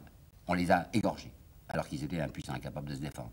Launay, qui s'était rendu, quand on le conduit à l'hôtel de ville, avant d'arriver à l'hôtel de ville, on lui enfonce une baïonnette dans le ventre. Flessel, le prévôt des marchands, dont la foule se dit, il a essayé de nous tromper, il n'a pas voulu nous donner des armes, on l'abat d'un coup de pistolet. Et bientôt, dans quelques jours, il y aura Foulon et Berthier qui vont avoir la tête coupée et on piquera, on plantera leur tête au bout de pique. Je comprends bien qu'il y avait là quelque chose de redoutable. Mais ce que je veux vous montrer, c'est la terreur qui commence à naître dans la classe bourgeoise. Dès le 11, dès le 11 juillet, le 11, hein, un comité permanent s'organise. Ça s'appelle comme ça, comité permanent. Qu'est-ce que c'est? Ce sont les 307 grands électeurs parisiens. Vous vous rappelez qu'il y avait deux étapes, on en a même fait trois pour le choix des délégués aux États généraux. Alors les grands électeurs, c'était des gens bien, il y avait Lavoisier par exemple, qui était un fermier général, ben, les 307 se constituent en comité permanent, c'est-à-dire qu'ils essayent de prendre le pouvoir dans Paris. Et ils décident, le 11, d'établir ce qu'ils vont appeler, parce que ça se présente bien, une milice citoyenne. Et cette milice citoyenne, c'est l'armement des gens convenables, en apparence contre la cour, parce a ce danger, en fait et surtout contre ce qu'ils appellent la populace. Le 12 au matin, à 6 heures du matin, les 307 se réunissent et décident qu'on va armer à toute vitesse 48 000 hommes dans Paris. Qu'est-ce que c'est 48 000 Ce sont les 48 000 qui avaient le droit de vote. Ces 48 000, ça devait être choisi, comme ils disent eux-mêmes, parmi les citoyens connus. On va leur donner un chef. Ce chef s'appellera le marquis de la Salle. Et ces 48 000 seront faits spécialement pour veiller sur la populace. Et dans la nuit du 14 au 15, ils vont procéder à des désarmements. Comme la foule, n'importe qui s'était emparé de fusils aux invalides, il s'agissait de ne pas laisser les fusils dans les mains des prolétaires. Alors des patrouilles civiques, c'est le mot qu'on va employer, des patrouilles civiques vont se répandre dans Paris dans la nuit du 13 au 14, donc avant la prise de la Bastille, pour essayer de reprendre leurs fusils à ces prolétaires. On va y aller doucement, vous comprenez? On va faire ami-ami avec eux. C'est très utile de les avoir, il faut simplement les tenir. Alors on ne va pas leur reprendre leurs fusils de force. Qu'est-ce qu'on va faire, comme ce sont des bourgeois qui sont la milice On va leur acheter leurs fusils. Ces types ont, volé les fusils aux invalides, parce qu'ils les ont gratuitement entre les mains. Et les patrouilles civiques s'approchent d'eux très gentiment, les gens sans aveu, comme on dit, et leur disent Ça vous fait pas plaisir enfin, de vendre votre fusil? Alors vous comprenez, le prolétaire qui avait ce fusil gratuit, tout à coup on lui donne 4 ou 5 livres, c'est-à-dire de quoi vivre plusieurs jours, naturellement il les vend, ce fusil. Alors la milice bourgeoise commence à pas mal travailler pour le désarmement de la populace dans la nuit du 13 au 14. Donc il y a les 48 000 citoyens solides. Le 14 maintenant. Quand je vous ai dit tout à l'heure que Hulin, ce personnage étrange, était survenu brusquement dans la prise de la Bastille, qui c'est Hulin? Hulin, c'est un drôle de gars qui était sorti de France et puis qui était allé se mettre au service de Genève en 1782. Vous vous rappelez peut-être qu'il y avait eu une insurrection à Genève parce que la plèbe en avait assez d'être dirigée par les banquiers. Les banquiers avaient gagné avec les forces étrangères, avec les forces françaises, avec les forces piémontaises. Une fois que les banquiers ont eu gagné, ils ont établi des milices. Ce petit monsieur Hulin s'était mis au service de la milice suisse, de la milice bourgeoise. Puis il était revenu en France il avait des liaisons avec euh. Pergaud, c'était un Suisse aussi, un Neuchâtelois. Comme il était suisse, comme un autre qui s'appelle Delesser, qui va se faire également remarquer dans cette préparation révolutionnaire. Comme il était suisse, il était bien avec Necker. Et Pergaud était un ami de Sulin, ou plutôt Hulin était arrivé à se mettre dans les bonnes grâces de Pergaud. Pergaud, le banquier Pergaud, mais il est, il est vous savez, le 13 et le 14. Il dit qu'il va même se charger de payer l'entretien de plusieurs bataillons de la garde civique. Alors c'est Pergaud et d'autres qui vont pousser Hulin afin de commencer à contrôler les événements qui se déroulent autour de la Bastille. Et à l'Assemblée Eh bien, à l'Assemblée, vous savez, on n'est pas fier. Pendant très longtemps, je m'étais imaginé que l'Assemblée devait suivre avec des yeux tout à fait intéressés ce qui se produisait dans Paris. Mais c'est pas vrai du tout, c'est qu'à l'Assemblée, on est épouvanté, on se dit, mais qu'est-ce qui se passe? Et Mirabeau en particulier est très effrayé. Mirabeau, voyons, dans une note que j'ai prise là, oui, Mirabeau, dès le 26 juin, dès le 26 juin, Mirabeau avait dit, 26 juin, tout doit s'accomplir par le seul concours, le seul, vous avez entendu, hein, par le seul concours des lumières et des intentions patriotiques. C'est-à-dire, c'est à nous, bourgeois, de nous occuper de l'affaire, mais il ne faut pas que le quatrième État s'en occupe. Le 9 juillet, il y a une intervention célèbre de Mirabeau, et sur laquelle j'ai quelque chose à vous dire qui va renverser la tradition. De même que je vous ai indiqué que la phrase de Mirabeau sur les baïonnettes n'avait pas du tout le sens qu'on lui donne, que Mirabeau ne disait pas « nous ne sortirons même pas devant les baïonnettes, mais au contraire, les gars, si le roi utilise la force, nous sortirons », de même, le 9 juillet, il y a une intervention célèbre de Mirabeau, où on nous dit, regardez avec quelle force Mirabeau s'oppose à la cour, puisqu'il va faire des représentations au roi, le 9 juillet, en disant c'est intolérable, ces concentrations de troupes dans Paris, qu'est-ce que vous voulez faire? Mais si vous regardez les arguments qu'emploie Mirabeau auprès du roi pour lui dire il ne faut pas concentrer une troupe à Paris, ils sont singuliers ces arguments. Mirabeau dit en effet à Sa Majesté que ces régiments qu'il amène dans Paris, s'ils sont mis en contact avec la plèbe parisienne, risquent de se dissoudre C'est donc Mirabeau lui-même qui avertit le roi en lui disant Attention, sire, si vous mettez vos soldats en contact avec la foule, vous n'êtes pas sûr d'obtenir l'obéissance. Par conséquent, Mirabeau, il n'a rien contre l'emploi de la force militaire contre Paris, il veut simplement que cette force soit contrôlée par eux, les bourgeois, et qu'elle serve à faire tenir tranquille la populace et pas autre chose. Et il avertit même le roi Attention, vous allez peut-être perdre votre instrument de répression. Le 12, le 12, donc encore avant la prise de la Bastille, un nommé Le Chapelier, qui est assez important, vous allez le retrouver plus tard dans une opération de premier ordre.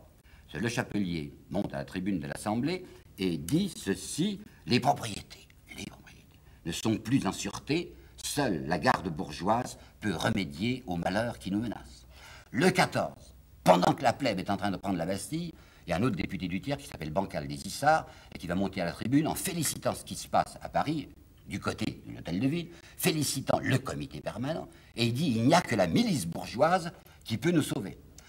Le 14, au soir, dans la nuit du 14 au 15, Dupont, Dupont de Nemours, va aller faire une visite au roi puis va se précipiter à Paris.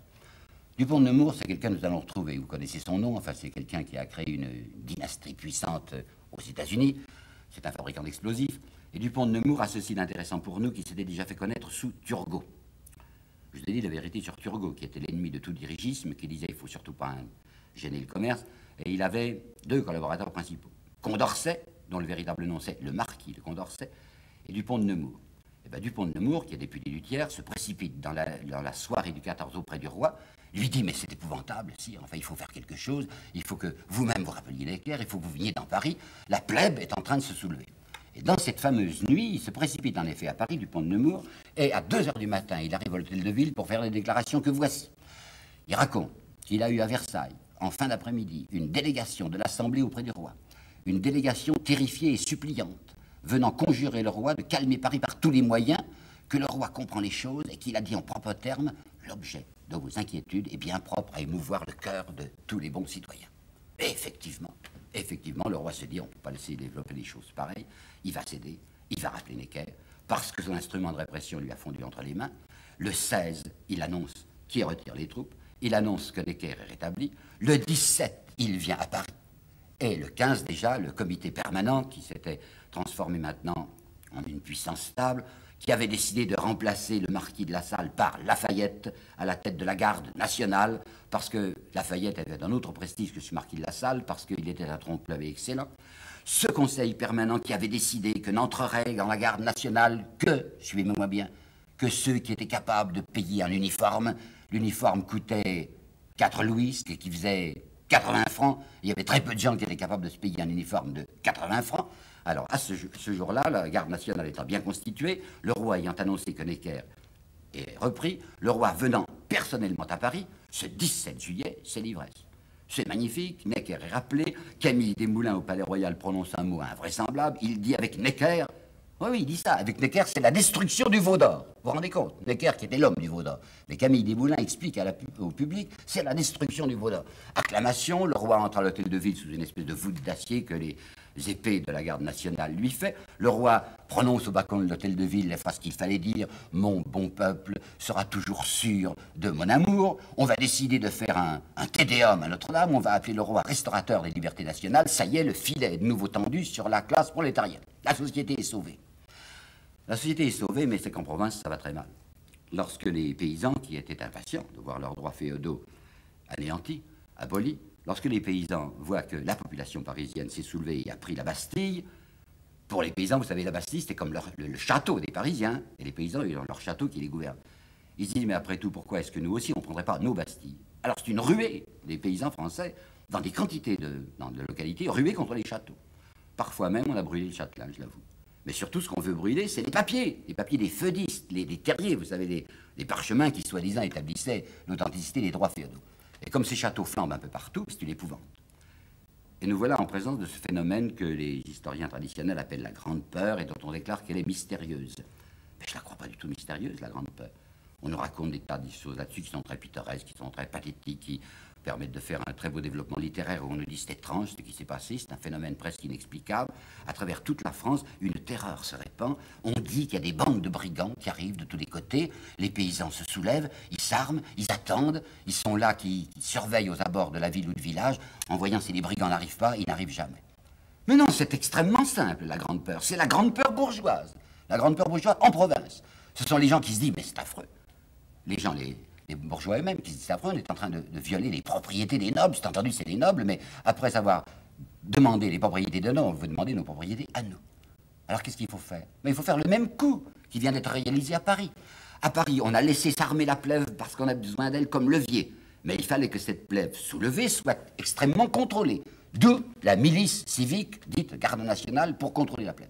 De même, à travers toute la province, vont s'organiser ces milices bourgeoises qui ont commencé à naître en avril. Il y a un de ces jours, quand je vous en parlais, je vous avais dit, retenez ce phénomène, c'est très important, c'est un phénomène inédit. Dès le mois d'avril, on avait vu se constituer à travers la France des milices bourgeoises, c'est-à-dire que la bourgeoisie s'armait. Elle s'armait parce qu'il y avait des émeutes d'affamés. Eh bien, la bourgeoisie va se mettre à s'armer en masse en juillet devant ces soulèvements des paysans. Alors on s'arme, on leur dit, il y a un danger. Ceux de Paris, les bourgeois de Paris, disaient il y a le danger du côté de Versailles, il y a les troupes de Versailles qui vont venir nous attaquer. En province, on leur dit il y a les aristocrates, ceux qui sont en effet à Versailles, mais qui vont peut-être faire venir des troupes étrangères. Il nous faut des soldats. Engagez-vous avec nous, on vous surveillera. Engagez-vous pour la protection des biens, de tous les biens, les vôtres comme les nôtres. En fait, tout simplement, on va essayer de mobiliser le plus grand nombre possible de pauvres un peu abrutis qui ne se rendent pas compte pour marcher contre les affamés qui se sont jetés contre les châteaux. La répression terrible. Il y a des chapelets de pendaison, vous savez, à travers la France. La bourgeoisie n'y va pas de main morte. Ces malheureux paysans affamés qui ont touché au château, ils sont pendus par masse. La répression est particulièrement furieuse en Dauphiné, c'est-à-dire du côté des Perriers, les Perriers, Barnave, Mounier, vous savez, alors que ce n'était pas là, cependant que les incidents les plus graves s'étaient produits. Voilà ce qu'on fait du côté de la province. Et maintenant, qu'est-ce que fait l'Assemblée? L'Assemblée, elle est très effrayée par ces nouvelles qui arrivent de province. Elle avait été très contente d'abord, le 17, quand elle dit ça y est, le filet protecteur est mis sur le monstre, les Vandales, les, les Huns, les Goths de Paris sont maintenant dominés par nos patrouilles. À ce propos même, je devrais vous dire dans une parenthèse que j'ai vu une estampe qui est très singulière, qui est de la fin de juillet, une estampe un peu méchante, où il y a ceci le patrouillotisme a remplacé le patriotisme. C'est-à-dire qu'il y a des patrouilles civiques pour le désarmement des misérables, toujours pour la surveillance des gens sans aveu, et que ces patrouilles civiques remplacent maintenant l'élan patriotique. Vous savez, une légende patriotisme a remplacé le patriotisme, c'est une légende trop intellectuelle pour la foule. C'est un très vilain, ce monsieur qui avait écrit ça, mais ça n'a pas grand importance. Bon, alors revenons à l'Assemblée nationale maintenant, quand elle apprend que les châteaux flambent. Lali le marquis de Lali Tonindal, c'était le fils de ce Lali qui avait défendu Voltaire, qui avait très bien défendu Voltaire. Marquis de la Nadal décide de faire une protestation très violente de l'Assemblée nationale contre les faits qui se passent en France et il dit qu'il faut faire une adresse à la nation pour déplorer et condamner ces événements tragiques. Robespierre va apparaître ce jour-là pour la première fois. Qui c'est Robespierre? C'est un député du tiers-État d'Arras, mais il ne ressemble pas beaucoup, député aux autres députés du tiers-État. C'est un garçon qui n'a pas eu de chance, Robespierre. Il avait un frère et une sœur.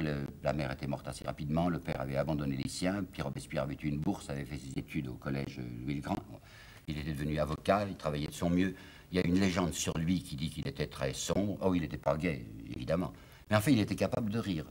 J'ai examiné, je vous ai dit à quel point c'est important les visages, j'ai examiné des, des, portraits, il y en a de nombreux, des portraits de Robespierre. Son regard va s'assombrir, va se durcir. Mais c'est le Robespierre de 20 ans, 21 ans que je voudrais vous montrer. C'est un garçon gentil, avec quelque chose comme une espèce de candeur dans le regard. Robespierre était capable de, de bon rire. Camille Desmoulins, par exemple, qui était son camarade au début de 89, le faisait rire, mais le faisait rire à s'en plier, enfin des, fous rires. Oui. Mais c'est un garçon grave, parce qu'il a compris, il est un des rares qui ont compris que le problème est un problème social. À savoir qu'il y a cette masse d'écrasés et que ces gens ont le droit de vivre. Alors il s'est constitué sans le dire, oui, il fait pas de bruit s'est constitué le défenseur de ces écrasés, de ces opprimés, enfin de ces asphyxiés. Et quand la Lindal va faire son petit discours à la Chambre en disant il faut une adresse furieuse à la nation disant stop, Robespierre demande la parole et dit attention, enfin c'est peut-être pas le moment de nous opposer à ceux qui sont réellement les écrasés, les exploités, il y a autre chose à faire pour eux. Cependant, il y en a d'autres qui ne veulent pas l'écouter. Il y a un nommé Salomon, le 3 août, qui déclare les propriétés de quelque nature que ce soit. Attention, hein, propriété aristocratique, ça irait, mais les nôtres, de quelque nature que ce soit, sont la proie du plus coupable brigandage. Un nommé Target, qui est un légiste, déclare Les troubles dont une partie du pays est le théâtre portent l'atteinte la plus funeste au droit sacré, sacré, au droit sacré de la propriété. Tout ça, c'est de la violence. Et devant ce qui se passe dans les violences de parole, et devant ce qui se passe en province, le chapelier a une idée de génie. Il dit non, c'est pas ça qu'il faut faire. Il faut faire une mise en scène. Et cette mise en scène, ce sera la nuit du 4 août. La nuit du 4 août, brusquement, il y a deux délégués de l'aristocratie qui se sont entendus, M. de Noailles et M. d'Aiguillon, qui vont succéder à la tribune pour annoncer, en apparence, qu'ils renoncent au droit féodal. Alors il faut entendre Michelet à ce moment-là, Michelet a père-pied presque. Michelet, il dit Voici l'heure solennelle où la féodalité abdique, abjure, se maudit elle-même. C'est un attendrissement, c'est une exaltation sans borne, c'est la France visible dans toute la richesse de son cœur. La nuit du 4 août emportait les mille ans du Moyen Âge. Il se connaît plus, Michelet. Depuis cette nuit merveilleuse, plus de classe, rien que des Français. Vive la France Plus de classe, tu parles. En réalité, la nuit du 4 août, c'est un festival de mime, vous comprenez? C'est une grande mise en scène. C'est une plaisanterie. Ce sont des gens qui font semblant de renoncer aux droits féodaux, mais qui les ont déclarés rachetables. Car Noailles et l'Aiguillon l'ont dit Les droits féodaux sont déclarés rachetables. Qu'est-ce que ça veut dire? Ça veut dire cette espèce de raquette que les nobles faisaient sur les paysans. Ce raquette, puisqu'ils leur prenaient de l'argent en contrepartie de services qu'ils ne rendaient pas. Ce raquette, les raquetteurs décident Oh ben on va y renoncer. On va y renoncer à condition que vous nous indemnisiez largement. Et le duc d'Aiguillon a même dit Nous demandons à être indemnisés au denier 30. Qu'est-ce que ça veut dire le denier 30 ça veut dire que pour qu'un paysan cesse de payer ses droits féodaux, on lui demande de verser immédiatement une somme équivalente à ce qu'il aurait versé pendant 30 ans. Vous entendez Pendant 30 ans. C'est ça, la nuit du 4 août, la fameuse abolition des privilèges. C'est une énorme mystification. Alors, poursuivant sur sa, sur sa lancée, l'Assemblée décide de faire la déclaration des droits de l'homme. La déclaration des droits de l'homme, c'est une nouvelle mystification. Il y a trois points particuliers. Premièrement, on annonce que la loi maintenant, c'est l'expression de la volonté générale, ce n'est plus l'expression de la volonté d'un seul homme, le roi. Mais attention, comment est-ce qu'elle va être définie, la volonté générale? Qui va voter? Qui va l'établir, la loi? Eh bien, on s'arrangera pour que ce soit uniquement les possédants qui l'établissent. Deuxièmement, tous les hommes naissent et demeurent libres et égaux en droit. Vraiment? Est-ce que le salarié va être égal en droit à celui qui l'emploie? Cette deuxième articulation de la Déclaration des droits de l'homme n'a pas d'autre signification que ceci. Nous demandons que tous les emplois soient ouverts à la roture, aux roturiers comme les autres. Et troisièmement, article 14 de la Déclaration, les propriétés sont déclarées dorénavant inviolables et sacrées. Sacré, c'est le mot qu'avait employé, qu'avait employé Target. Sacré. Flaubert, quand il parlera des événements de 1848, dira alors la propriété monta dans les respects au niveau de la religion et se confondit avec Dieu. Ben, ça avait commencé avant 1848, ça avait commencé avec la Déclaration des droits de l'homme. La propriété étant déclarée inviolable et sacrée, ça veut dire que quiconque oserait proposer une nouvelle répartition de la propriété un peu plus humaine, celui-là commettra un attentat et un sacrilège. Ça va, les gens votent, le 24 août, la décision est prise, 24 août, le filet protecteur dont je vous ai parlé est bien établi. Il y a tout de même un petit point qui est gênant. Les ateliers de charité dont avait parlé Turgot, les ateliers de charité. Les ateliers de charité fonctionnaient dans la mesure même où il y avait encore plus de détresse dans Paris, et 10 000 prolétaires chômeurs avaient été employés à l'atelier de charité de Montmartre. Maintenant que la bourgeoisie est tranquille, maintenant que le roi s'est rallié, maintenant qu'il a parlé de l'amour de son peuple, on va liquider ces, ces 10 000 hommes que la bourgeoisie appelle volontiers les brigands, les brigands de Montmartre. On va leur envoyer du canon pour les faire partir de Montmartre. Et c'est Hulin, vous savez, l'homme de Périgord, c'est Hulin qui va se charger de conduire les canonniers pour faire partir les 10 000 brigands de Montmartre, c'est-à-dire les malheureux prolétaires. On va leur remettre à chacun 24 sous et un passeport, puis qu'il aille se faire pendre ailleurs. Et un journaliste qui s'appelait Loustalo, dans un journal Les Révolutions de Paris, rapporte une parole que je tiens à vous dire. Loustalo dit J'ai assisté au départ de ces malheureux. Ils étaient là 10 000, complètement abrutis, vous savez, On leur, donne un passeport 24 sous, puis vous partez. Hein, vous quittez Paris, on ne veut plus vous voir. Et Loustalo dit J'étais entouré de gens qui disaient Il y a longtemps qu'on aurait déjà dû tirer dessus, dû tirer dessus à mitraille. La bourgeoisie a tellement peur de ces pauvres qu'elle voulait déjà les mitrailler. Oh, il n'y aura pas besoin de mitrailler ceux-là, ils sont 10 000 et ils sont terrifiés. Mais quand en 1848, il y aura aussi des ateliers, on ne les appellera pas de charité, mais ils le sont, les ateliers nationaux, il y aura 100 000, on les mitraillera et ça tournera un peu plus mal. Nous allons arriver maintenant à un autre événement très grave, c'est l'événement des journées d'octobre, où de nouveau l'Assemblée sera confrontée avec le peuple et vous allez voir ce qu'elle fera pour se défendre. Au début d'octobre, dans les tout premiers jours d'octobre 1689, un pénible incident va se produire, c'est ce qu'on appelle dans l'histoire les journées d'octobre. De quoi s'agit-il? Ben, Il s'agit que le pain, la soudure n'est toujours pas faite pour le pain. Vous vous rappelez qu'en 88, il y avait une récolte déficitaire à cause de la catastrophe atmosphérique du 13 juillet 88. La récolte de 89 avait été bonne, mais en septembre, la farine n'était pas moulue et le pain de Paris était toujours aussi cher. Alors comme c'est très important que la classe populaire puisse au moins manger du pain convenablement, on s'était arrangé tout de même pour essayer de les alimenter le mieux possible, mais le pain était toujours d'une cherté excessive. Alors, agitation dans les faubourgs, et voilà qu'au début d'octobre, tout au début d'octobre, un incident éclate. Cet incident, c'est le suivant, c'est à Versailles que ça s'est passé. Le, roi avait fait venir un nouveau régiment, régiment de Flandre.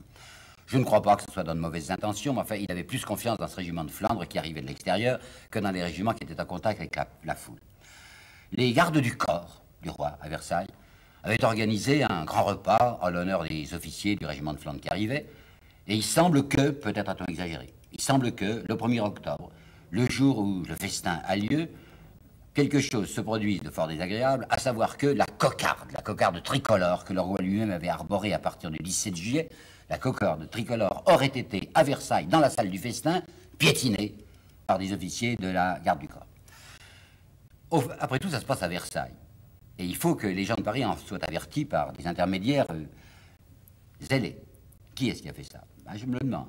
J'ai bien l'impression tout de même que c'est les émissaires du duc d'Orléans. Vous vous rappelez l'intérêt que porte le cousin du roi, duc d'Orléans, à se pousser. Il se dit que les événements tournent mal, peut-être ce roi sera détrôné. Et comme il est appelé, lui, constitutionnellement, à être le régent en attendant que le fils du roi, le petit dauphin, soit capable de monter sur le trône, j'ai assez l'impression que c'est le duc d'Orléans qui, grâce à ses émissaires, l'émissaire qu'il avait à Versailles, fait répandre la nouvelle dans le palais royal, le fameux bourbier dont je vous ai parlé, enfin le, grouillement permanent, et les gens s'excitent en disant c'est monstrueux, un attentat antinational s'est produit à Versailles le 1er octobre, on a piétiné la carte. Il faut dire cependant qu'il y avait depuis le milieu de septembre quelqu'un qui va surgir devant nous, qui va avoir une importance extraordinaire, quelqu'un qui se fait connaître et qui a de l'audience. Ce quelqu'un, c'est Marat. Nous avons déjà vu apparaître Robespierre à la veille du 4 août. Et qui est Marat? Marat, presque tous ces révolutionnaires, vous savez, c'est des gens très jeunes. Marat, il n'est pas jeune. Lui, il a déjà 46 ans. Marat, M-A-R-A-T. Mais ce T, il l'a ajouté. Car son véritable nom, c'est Marat, M-A-R-A. Son père est un Italien. C'est un ancien moine, oui, oui, un moine catholique, qui s'est déprétrisé, qui était euh, de Sardaigne, qui s'est converti au protestantisme et qui était venu vivre à Genève. Peut-être a-t-il été converti au protestantisme par la femme qu'il va épouser et qui est, elle, une Française. Donc ce Marat, Jean-Paul Marat, est le fils d'un Italien et d'une Française. Quelle Française s'appelle Cabrol, sa mère? C'est une Sévenole, c'est-à-dire une camisarde, une protestante, vous savez, de ces malheureux qui se révoltaient contre les dragonnades et qui avaient un très vif sentiment, je ne dis pas républicain, mais d'exiger de, la tolérance, qui était trop nécessaire à leur égard. Alors ce Jean-Paul Marat, il avait eu une carrière assez agitée, il avait fait de la médecine, il avait fait des études sur l'électricité. Et puis en septembre 89, à Paris, il lance un journal qui va s'appeler L'Ami du Peuple. Marat a une réputation affreuse. Michelet en particulier est déchaîné contre Marat presque autant contre Robespierre. Il dit que c'est un épileptique, c'est un maniaque du sang. Ce n'est pas exact. Marat, en effet, à plusieurs reprises, a dit que si l'on coupait un certain nombre de têtes, cela assurerait sans doute la tranquillité de plusieurs millions d'autres. Et quand Marat écrit ça, il se borne à riposter à un journal d'extrême droite qui s'appelait Les Actes des Apôtres, où écrivait Rivarol. Et dans un numéro des Actes des Apôtres que j'ai eu sous les yeux, ce journal d'extrême droite disait si l'on coupait un million de têtes, un million, un million de têtes en France, tout rentrerait dans l'ordre. Marat se bornait à dire non, si on coupe simplement cinq ou 600 têtes d'aristocrates, tout rentrera dans l'ordre, mais dans un autre ordre. Bon, ce Marat, il est très respecté. Quand il sera mort, on va l'assassiner en, juillet 93, le frère de Robespierre, Augustin, dira l'estime qu'il lui portait parce que c'était un homme désintéressé. Pauvre, son ami du peuple aurait pu lui rapporter de l'argent, ça se lisait beaucoup. Il donnait. Moi, c'est vrai. Il donnait tout ce qu'il avait. Quand on l'aura assassiné, on s'apercevra qu'il n'y a à peu près rien chez lui. Et dans un rapport de police que j'ai vu et qui m'a impressionné, il y a ceci la popularité de Marat tient à son intégrité. L'intégrité, disait ce policier, l'intégrité, c'est un des dieux du peuple. Et bien voilà que Marat écrivait des choses menaçantes. Pensez que dans son premier numéro de l'Ami du Peuple, qui est du 15 septembre 89, il parlait de la nuit du 4 août comme il fallait pas en parler. C'est-à-dire, comme je vous en ai parlé moi-même, il disait Ce qui leur inspira tant de grandeur d'âme, c'est le reflet des flammes de leur château à ces aristocrates. Michelet parlait d'attendrissement, d'exaltation, vous savez. En réalité, ce n'était pas l'Esprit Saint qui soufflait sur les aristocrates. C'était la, lueur de ces châteaux en feu qui leur donnait une panique. Il a mis le doigt, Marat, sur l'imposture de la Déclaration des droits de l'homme. Cette belle déclaration n'a de prix, avait-il écrit, que pour l'homme à qui sa fortune permet de jouer un rôle. Elle n'est rien pour le peuple. On ne peut pas dire mieux la vérité. Seulement, c'est des vérités à ne pas dire. C'est inquiétant. Ce qui me fait penser que ces journées d'octobre, dont je vais vous parler en un instant, ces journées d'octobre ont été orientées. Je veux dire qu'elles sortent du palais royal, Hein, ce sont des gens qui ont, qui ont faim instantané, mais c'est curieux que ça ne soit pas sorti du faubourg Saint-Antoine ou du faubourg Saint-Marceau, là où était la population prolétarienne qui crevait. Comment ça se fait que ça sorte du palais royal, où ne venaient pas les pauvres Il fallait avoir de l'argent, être distingué, bien habillé pour venir avec les prostituées du palais royal. Comment ça se fait que ça part de là ben, Je crois, voyez-vous, que c'est une récidive de l'opération Bastille.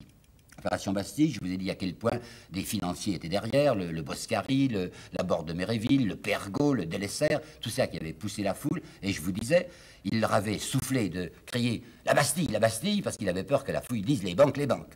Et ben, je crois que c'est le même coup. Comme le peuple a faim, comme il y a un danger, un danger social, des émissaires bien intentionnés, aussi bien des gens de finance que des gens du Duc d'Orléans, soufflent aux gens Versailles, Versailles, on a piétiné la cocarde tricolore parce que c'est insurrection populaire probable, ne doit surtout pas se diriger du côté des gens qui ont de l'argent, mais du côté de la cour. Ça ne sera pas très haut, ces journées d'octobre. Ce sont des femmes qui en ont pris l'initiative. Chateaubriand, il l'a vu. Il raconte ça dans les mémoires d'outre-tombe. Il était là. Il n'était pas le premier jour, il n'était pas le 5, mais il était le 6 et ce qui décrit avec sympathie. Vous avez vu que Chateaubriand est quelqu'un qui, à propos de la prise de la Bastille, ne parle pas comme les réactionnaires. Il s'aperçoit quelque chose dessous d'important. Chateaubriand dit c'était assez affreux tout de même. Il y avait un certain nombre de poissons. Il n'y avait pas que des putains, vous savez, mais il y en avait pas mal. Il y avait aussi des, mères de famille qui étaient là, qui crevaient, enfin, qui trouvaient qu'ils n'avaient pas assez de pain pour nourrir leurs enfants. Mais il y avait pas mal de ces filles du palais royal. Elles constituaient la, la base du palais royal. Vous savez, les prostituées, elles étaient toutes là. Chateaubriand dit, il y en avait qui étaient à cheval sur des canons, ils imaginaient les plaisanteries qu'elles pouvaient faire. Bon, et eh bien toute cette foule se précipite à Versailles, ça va encore le premier jour, il n'y a pas trop de désordre, mais le lendemain, le 6 octobre au matin, une partie des manifestants franchit, franchit la grille du château, et dans le château il y a le roi et la reine, ces gens pénètrent dans le château, coupent la tête à deux gardes du corps, et il y a même un certain Nicolas qui apparaît à ce moment-là, c'était un homme extraordinaire, ce Nicolas, il était, était modèle pour une académie de peinture, et il se travestissait d'une manière habituelle en esclave grec. Il avait en plus une grande barbe. Mais ce Nicolas, avec un petit couteau, il va, il va découper. Il va découper la tête des deux gardes du corps qu'on a trucidés pour entrer dans le palais. Et ces deux têtes, que l'on aura préalablement frisées, seront mises au, bout de pique quand le roi va être ramené. Alors les, les, manifestants arrivent dans le château, la reine est obligée de s'enfuir parce que les gens arrivent jusque dans son appartement par un couloir dérobé comme on dit. Elle se précipite chez le roi, elle n'avait pas l'habitude de passer la nuit avec lui, enfin elle y va parce qu'elle a peur. Le roi est très courageux, très noble, le roi s'avance devant cette foule qui est, sanglante, vous savez, qui est sanguinaire, et leur dit Faites ce que vous voulez, mais ne touchez pas à mes gardes du corps, parce qu'il venait de voir qu'on avait deux qui étaient assassinés. Et puis il promet qu'il va revenir à Paris. Et effectivement, il revient. Et ce 6 octobre, quand le roi arrive à Paris, c'est pas très gai, vous savez, c'est un défilé assez sordide. Il y a ces deux têtes hein, au bout des pics. On les a conduites chez un, chez un perruquier de Sèvres pour leur faire une très jolie frisure. Alors il y a ces têtes qui sont coupées là autour du carrosse du roi. Il y, a, Lafayette qui est arrivé avec la garde nationale qui caracole à la portière du, roi. Le roi est très sombre, très inquiet. On me ramène à Paris. Il n'avait pas l'habitude de vivre à Paris. Il y, a, plus de 70 ans que la monarchie avait quitté Paris pour s'établir à Versailles. Il était plus tranquille. On le recolle dans ces tuileries qui étaient désaffectées depuis très longtemps, où il n'y a rien de prêt. Juste à, toute vitesse, on a préparé quelques appartements, il s'en plaindra beaucoup, le roi.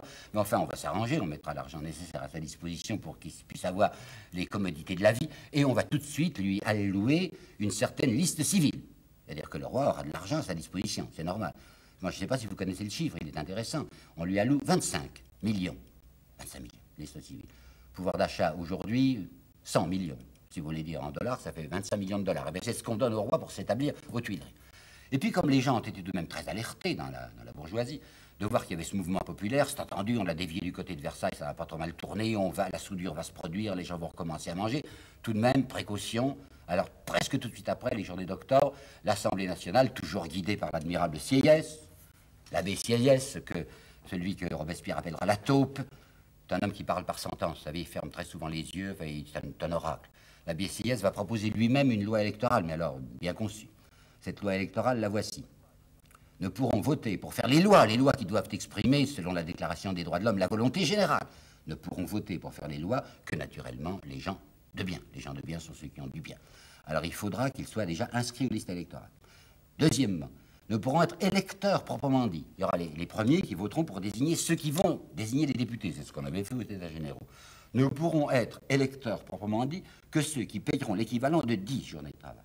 Et pour être éligible, il faudra payer ce que l'on appelait à ce moment-là le marque d'argent. Un marque d'argent égale 50 journées de travail. Là, vous voyez le, triple triage. À la base, pour pouvoir voter, il faut déjà payer environ le prix de trois journées de travail. Pour être électeur du second degré, il faut payer 10 journées. Pour être éligible, il faut payer 50 journées de travail. C'est Sieyès qui a eu un mot extraordinaire. Il était spécialiste des trouvailles. Oui, c'est vraiment une trouvaille. C'est lui qui avait dit on va distinguer les citoyens français entre actifs et passifs. Les actifs sont ceux qui prépareront les lois. Puis les passifs, c'est là où je trouve que c'est, j'indique que c'est vraiment une trouvaille. Les passifs, c'est les travailleurs, vous comprenez? Les travailleurs. Ceux-là, ils n'ont pas le droit de voter. C'est vraiment admirable, ça voulait dire tout simplement que la fameuse cariatide, enfin que le soubassement devait être réduit à l'obéissance passive. Bon, alors maintenant ça va à peu près, les gens mangent, il n'y a plus d'agitation dans Paris, l'Assemblée nationale va pouvoir faire son métier, c'est-à-dire une réorganisation de la France, et il y en avait Dieu ses besoins.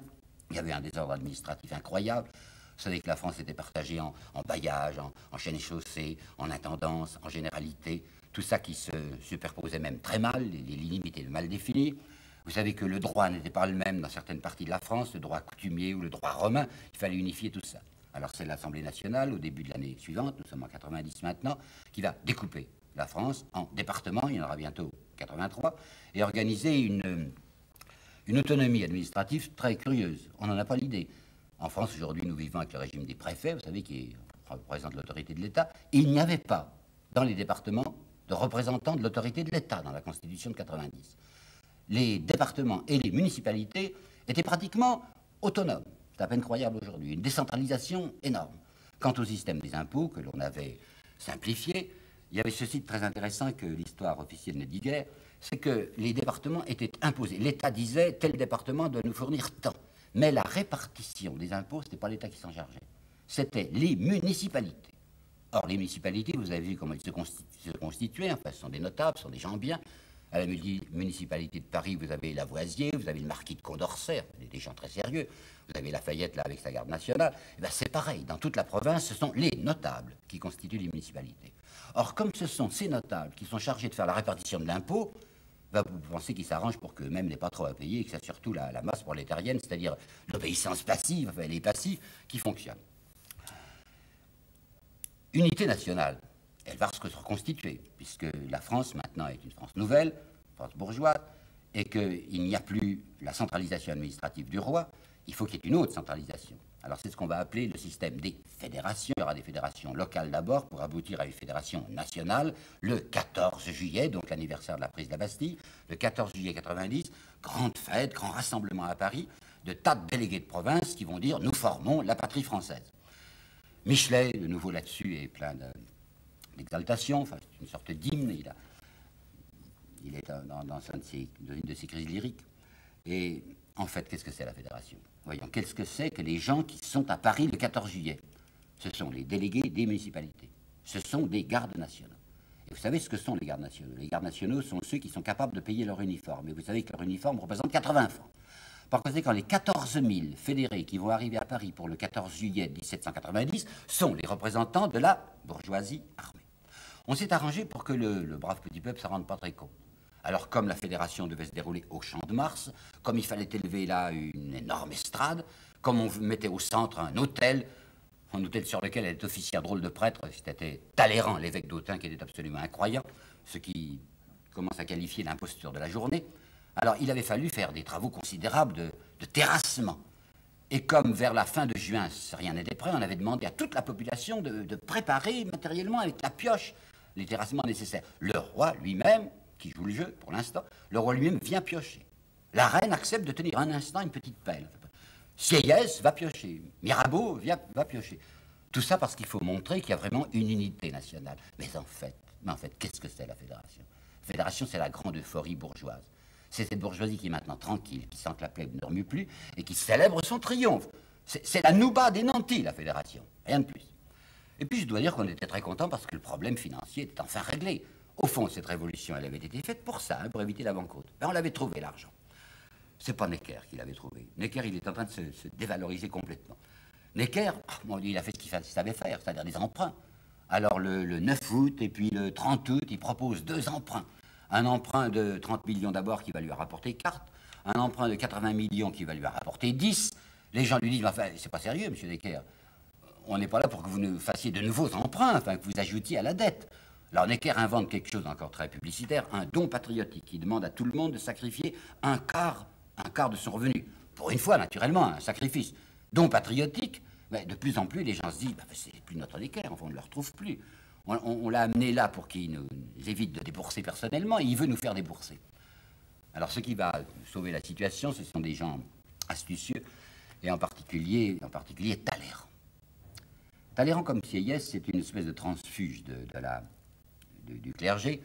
Il n'est pas plus croyant que Sieyès, il y avait des quantités de prêtres qui ne croyaient rien à ce moment-là.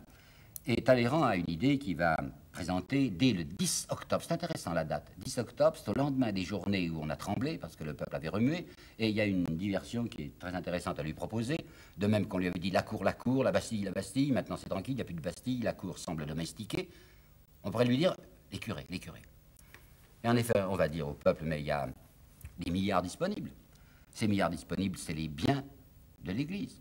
Parce que ce n'est pas dépouiller l'Église que de lui prendre ses biens. Étant donné, ah, on va pas prendre les biens des aristocrates, on va pas prendre les biens des bourgeois, pas question, parce que ça, c'est des biens authentiques, des propriétés réelles.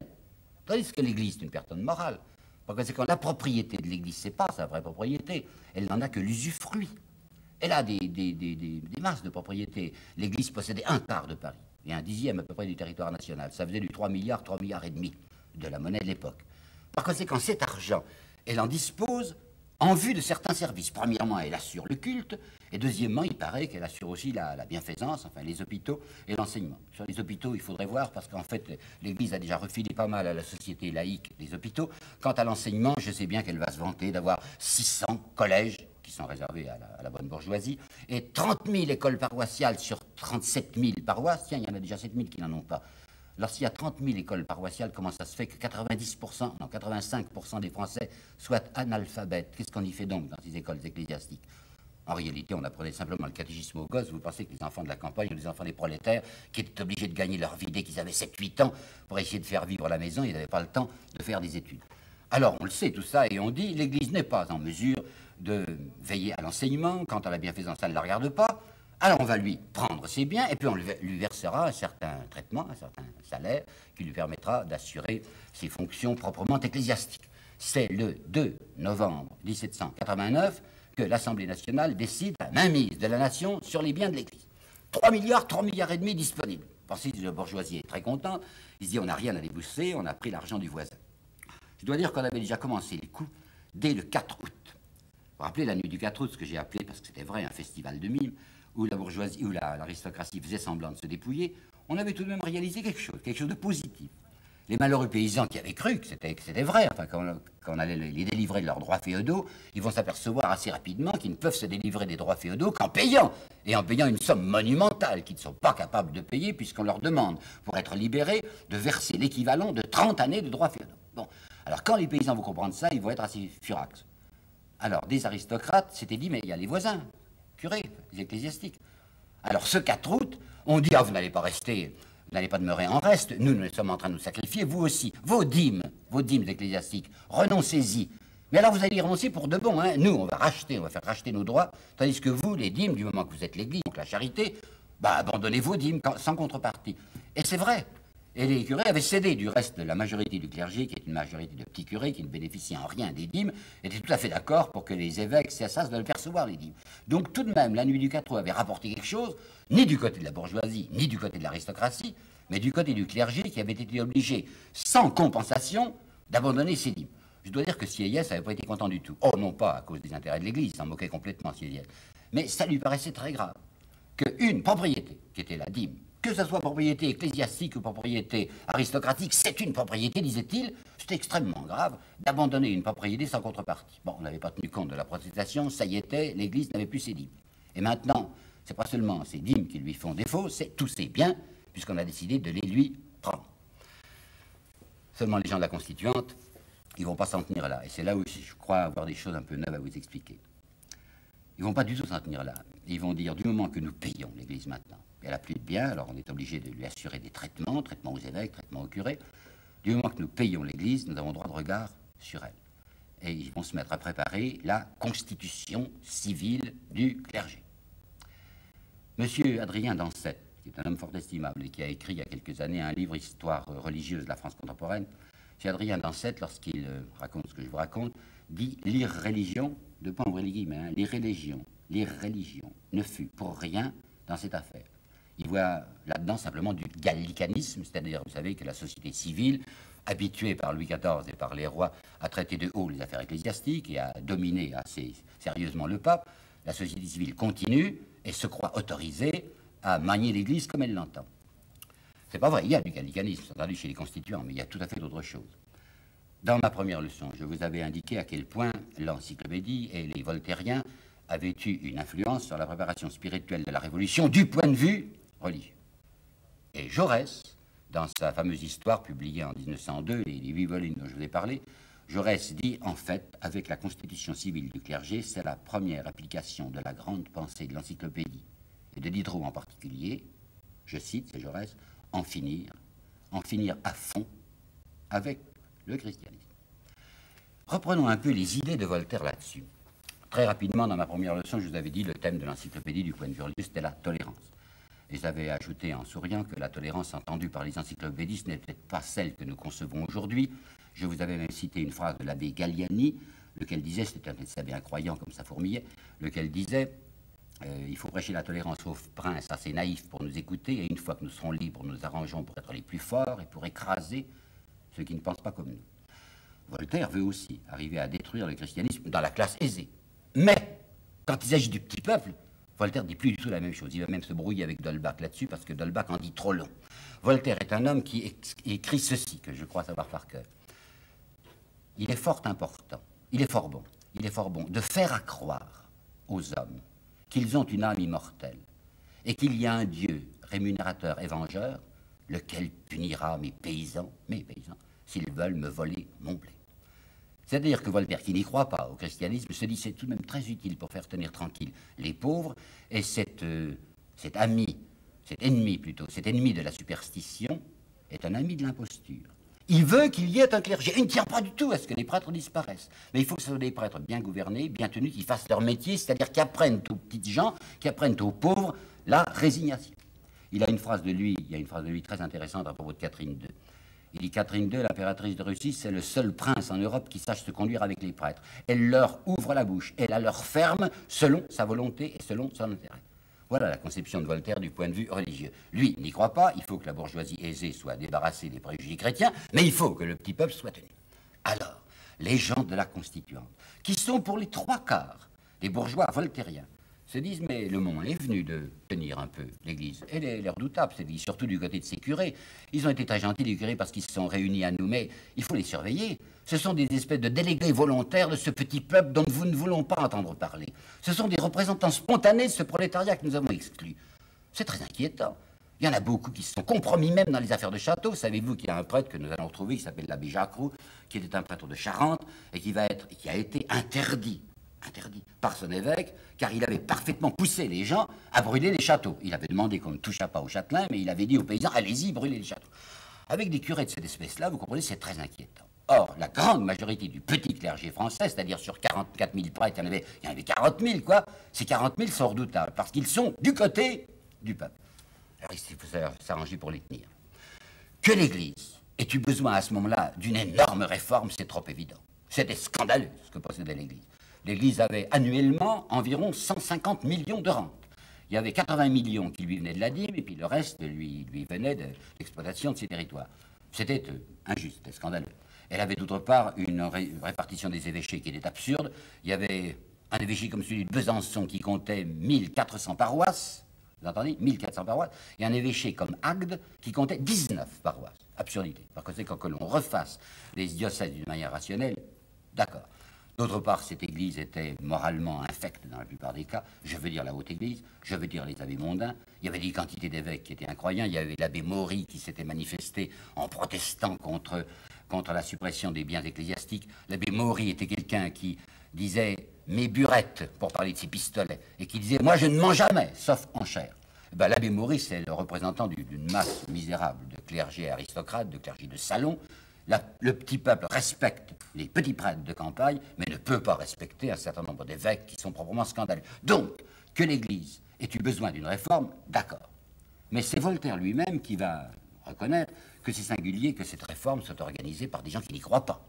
C'est Michelet qui dit organiser l'Église chrétienne sans croire au christianisme, il y a là quelque chose de gênant pour l'esprit. C'est Michelet lui-même qui dit un peu plus loin, curieux spectacle d'un Voltaire réformant l'Église et prétendant la ramener à la rigueur apostolique. En fait, le marquis de Condorcet, qui est furieusement anti-religieux, puisqu'il représente l'esprit encyclopédique sur la Révolution, Condorcet, dans un numéro du 2 décembre 92 de son journal, qui s'appelle La Chronique de Paris, dira la vérité. Il dira Avec la constitution civile du clergé, nous avons essayé de créer un schisme. Nous avons essayé de lancer à l'intérieur de l'Église une contre-Église. Nous avons essayé de lever des volontaires contre l'Église traditionnelle. En faisant quoi? Justement en les payant, en les payant bien. Parce que les curés, jusqu'à présent, avaient ce qu'on appelle la portion congrue, c'est-à-dire qu'ils avaient 700 francs et le vicaire avait 350 francs par mois. La constitution civile du clergé va assurer au clergé, au curé, 1200 francs au lieu de 700, et au vicaire, 750 au lieu de 300. Alors on se dit, comme on va les payer plus cher, ils vont se rallier. Et on va leur imposer quoi? Premièrement, l'autorité civile de son propre chef, sans consulter le peuple, sans réunir même un conseil national, décide l'interdiction des vœux religieux. Aucun Français n'aura plus le droit de se consacrer à, Dieu, par exemple, de se consacrer aux soins des malades. Interdiction. Déjà, nous avons vu que la Déclaration des droits de l'homme faisait croire que tous étaient égaux devant la loi et que tous avaient le même droit. C'est pas vrai, puisque les pauvres n'ont pas le droit de voter. Maintenant, c'est ceux qui ont intention de se faire religieux qui n'ont pas le droit de le faire. Et deuxièmement, on va décider que l'Église sera maintenant constituée par élection, c'est-à-dire que ce sont tous les citoyens actifs, attention, actifs, ah, pas les passifs, tous les actifs qui éliront, qui choisiront les curés et les évêques, et remarquez jusqu'où on va, puisque ce sont des protestants, ce sont des juifs, ce sont des voltairiens, ce sont des incroyants, qui choisiront les curés, qui choisiront selon leur goût, selon leur cœur, et que si un prêtre, par exemple, ou un vicaire est un passif, c'est-à-dire s'il ne paye pas assez d'impôts, il n'aura pas le droit de participer à l'élection de l'Église. C'était inconcevable, naturellement inconcevable. Et c'est ça la grande pensée des voltairiens de la Constituante, parce qu'ils se disent ce que nous imposons de force, sans avoir consulté le chef de l'Église, sans avoir consulté un concile national, ce que nous imposons de force au clergé français, il y en a une grande majorité qui ne marchera pas. Leur conscience leur interdira de marcher. Alors, alors comme ces curés sont extrêmement redoutables, comme ils sont du côté du peuple, nous allons nous arranger pour les dénoncer au peuple, on va leur dire, vous voyez, ils ne marchent pas dans la constitution civile du clergé parce que ce sont les ennemis du progrès, et ainsi on va couper du peuple ceux qui sont ses premiers défenseurs. Nous avons assisté la dernière fois à l'opération anti-Église de la constitution civile du clergé, opération qui se doublait à l'arrière-plan d'une opération anti-plèbe. Il y a eu des drames de conscience, vous vous en doutez. Il y avait environ 44 000 prêtres en exercice en France. et bien, plus de la moitié, 23 000 environ, ont refusé le serment qu'on exigeait d'eux. Mais drame de conscience, parce que, évidemment, parmi ceux qui ont prêté le serment, il y en avait beaucoup qui étaient attirés par les prix nouveaux. Hein. Je vous ai rappelé qu'un curé passait de 700 francs à 1200 francs, un vicaire passait de 350 francs à 750 francs. Ils avaient avantage. Alors il y a des gens qui, même malgré leur conscience, se sont dit bon, on va se rallier étant donné qu'on touche davantage. Robespierre n'a pas beaucoup aimé ça. Il y a un texte de lui qui est de 92 où il dit quiconque renonce, même à une erreur qu'il prend pour la vérité, pour des raisons de cupidité, est un être méprisable. Bon, ben, il y en avait certainement. Mais en revanche, il y avait des types très bien. Je pense à l'abbé Grégoire, par exemple. Grégoire, c'était le curé d'Amberménil, qui était une petite paroisse de Lorraine. Grégoire s'était fait remarquer presque tout de suite aux assemblées, aux États généraux, lorsqu'il avait été l'un des tout premiers prêtres à quitter son ordre pour venir rejoindre le tiers. Il est devant un drame de conscience lorsqu'on lui impose cette constitution civile du clergé, mais il se dit à tout prix, il ne faut pas se couper du peuple. Il devine peut-être l'opération des voltairiens qui se disent on va persuader à la petite plèbe que, les curés ne sont pas avec elle, et moi, je veux rester avec elle. Et puis, vous avez un type comme euh, l'abbé Jacques Roux. J'avais parlé de lui allusivement la dernière fois. Je vous avais dit qu'il y avait des prêtres qui avaient été jusqu'à soutenir les paysans quand ils se précipitaient contre les châteaux en juillet 89. Ben, cet abbé Jacques Roux de Charente en était un.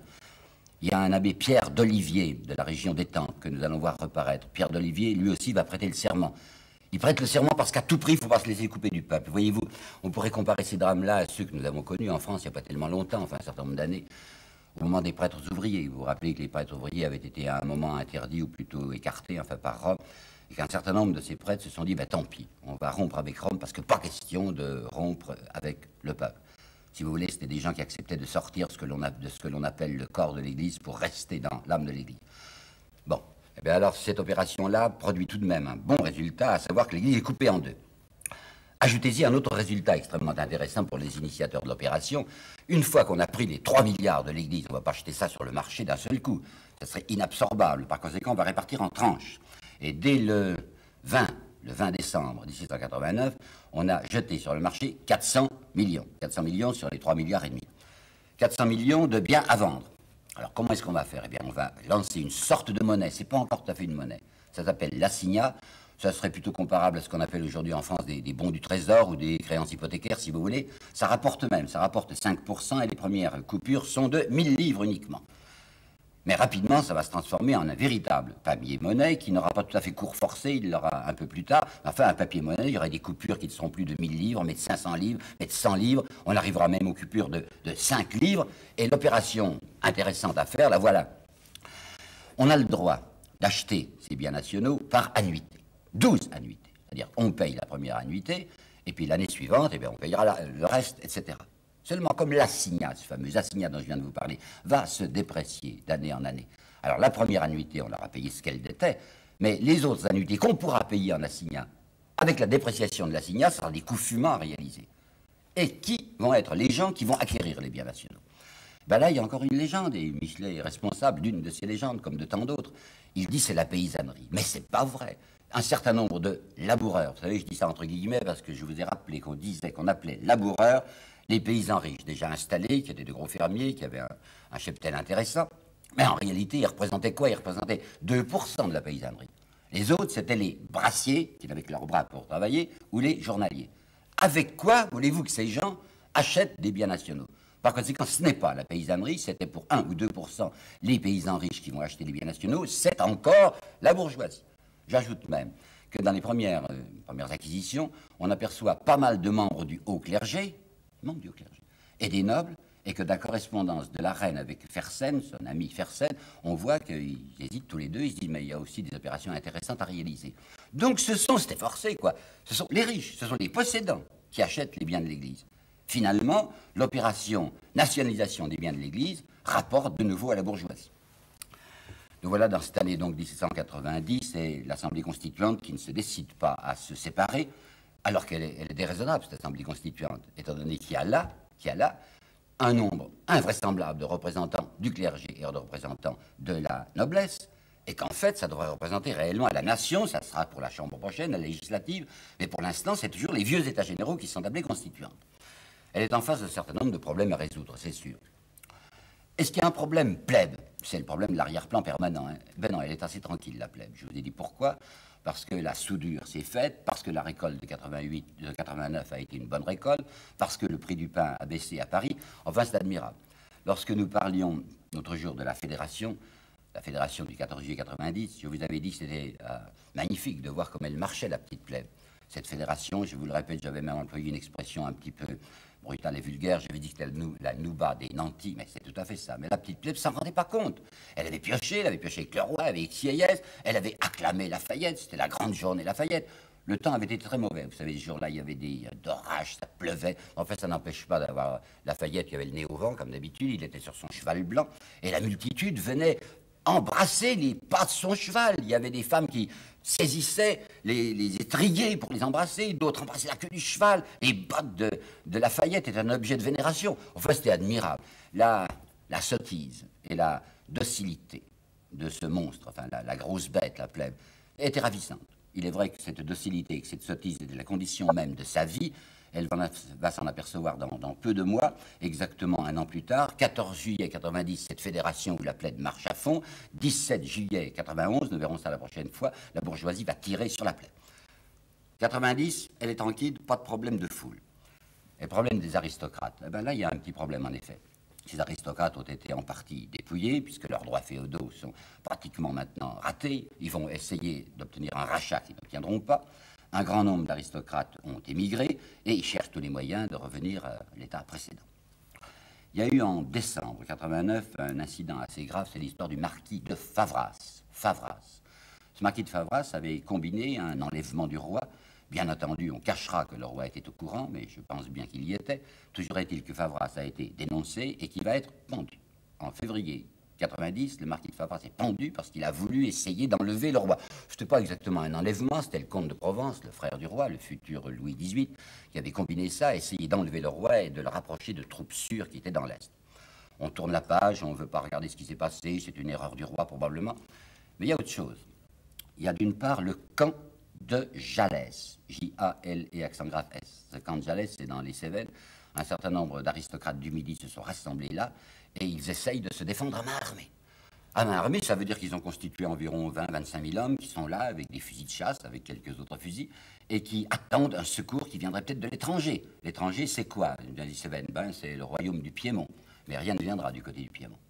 Le chef de ces insurgés du camp de Jalès, un nommé Froment, quand il voit la constitution civile du clergé, il se dit mais c'est un atout formidable qui nous est venu. En effet, les aristocrates étaient les gens les plus athées. Vous savez, dans l'aristocratie, on n'y croyait plus à ces légendes chrétiennes. Mais tout à coup, voilà que la constituante prend position contre l'Église traditionnelle. Par conséquent, ça va obliger un certain nombre de catholiques à prendre position également contre le mouvement révolutionnaire. Donc, c'est tout à gagner pour les aristocrates. Alors, le froment, il va trouver le comte d'Artois. Comte d'Artois, futur Charles X, qui avait émigré dès juillet 89. Comte d'Artois est à Turin. Jalès, Turin, il se dit si je pouvais faire venir des troupes de Turin jusqu'au Jalès, ça serait parfait. Et la chose intéressante à vous dire, c'est la stupeur, entendez, la stupeur qu'a éprouvé le comte d'Artois et qu'ont éprouvé tous les gentilshommes qui l'entouraient, lorsque Froment est venu leur dire, vous savez, il y a un moyen pour nous, une aubaine inattendue, enfin un atout formidable qui nous vient, on va pouvoir s'appuyer sur les catholiques. Ah, il commence par ne pas en croire ses oreilles, le comte d'Artois. Il dit les catholiques, mais c'est justement eux qui sont les plus hostiles à notre égard. Oui, mais a la constitution civile du clergé. Par conséquent, maintenant, comme on a une grande partie des catholiques français qui vont être braqués contre le mouvement révolutionnaire à cause de la constitution civile du clergé, vous vous rendez compte de cette piétaille qui nous vient. Et effectivement, effectivement, c'est ce qui va se produire avec la persécution de l'Église. On aboutira bientôt à la fameuse armée catholique et royale de Vendée. Mais en fait, quand ce n'est pas extrêmement dangereux. Ils ne font pas de sortie. Ils sont là simplement armés. On arrivera à les désarmer à la fin de l'année 90 et au début de 91. Autre problème, l'armée. Alors là, il y, a, deux problèmes, si vous voulez, dans l'armée. Premier problème, quelle est l'attitude des généraux? Est-ce qu'ils vont se soumettre? Robespierre, Robespierre, il est terriblement préoccupé par les généraux. Il le sera toute sa vie, sa courte vie, puisqu'il va mourir en 94. Et même le fils de Carnot, j'aurais beaucoup à vous parler de Carnot, le fils de Carnot dira, mais c'était une inquiétude, un soupçon maladif chez Robespierre, les généraux. Il les guettait toujours. Vous savez, je comprends très bien l'attitude de Robespierre. Qu'est-ce qu'un général C'est un monsieur qui a le pouvoir coercitif entre ses mains. Les généraux sont les chefs de l'armée. Et l'armée, c'est ce qui a les canons, ce qui a la poudre, ce qui a les fusils. Quelle tentation pour les généraux d'intervenir dans la politique et de faire donner leurs canons contre la multitude pour imposer le régime de leur choix. Alors en 90, Robespierre regarde perpétuellement du côté de l'Est. Pourquoi l'Est? Parce qu'il y a là le marquis de Bouillé, marquis de Bouillé qui commande des forces importantes à Metz, et il se dit tout le temps, est-ce que ces gens-là ne vont pas essayer de faire un coup de force, de venir militairement sur Paris pour nous détruire notre révolution? Ça ne bouge pas. Bouillé ne dit rien au début de l'année 90. Par conséquent, les généraux semblent tranquilles. En revanche, il y a eu des indisciplines dans l'armée.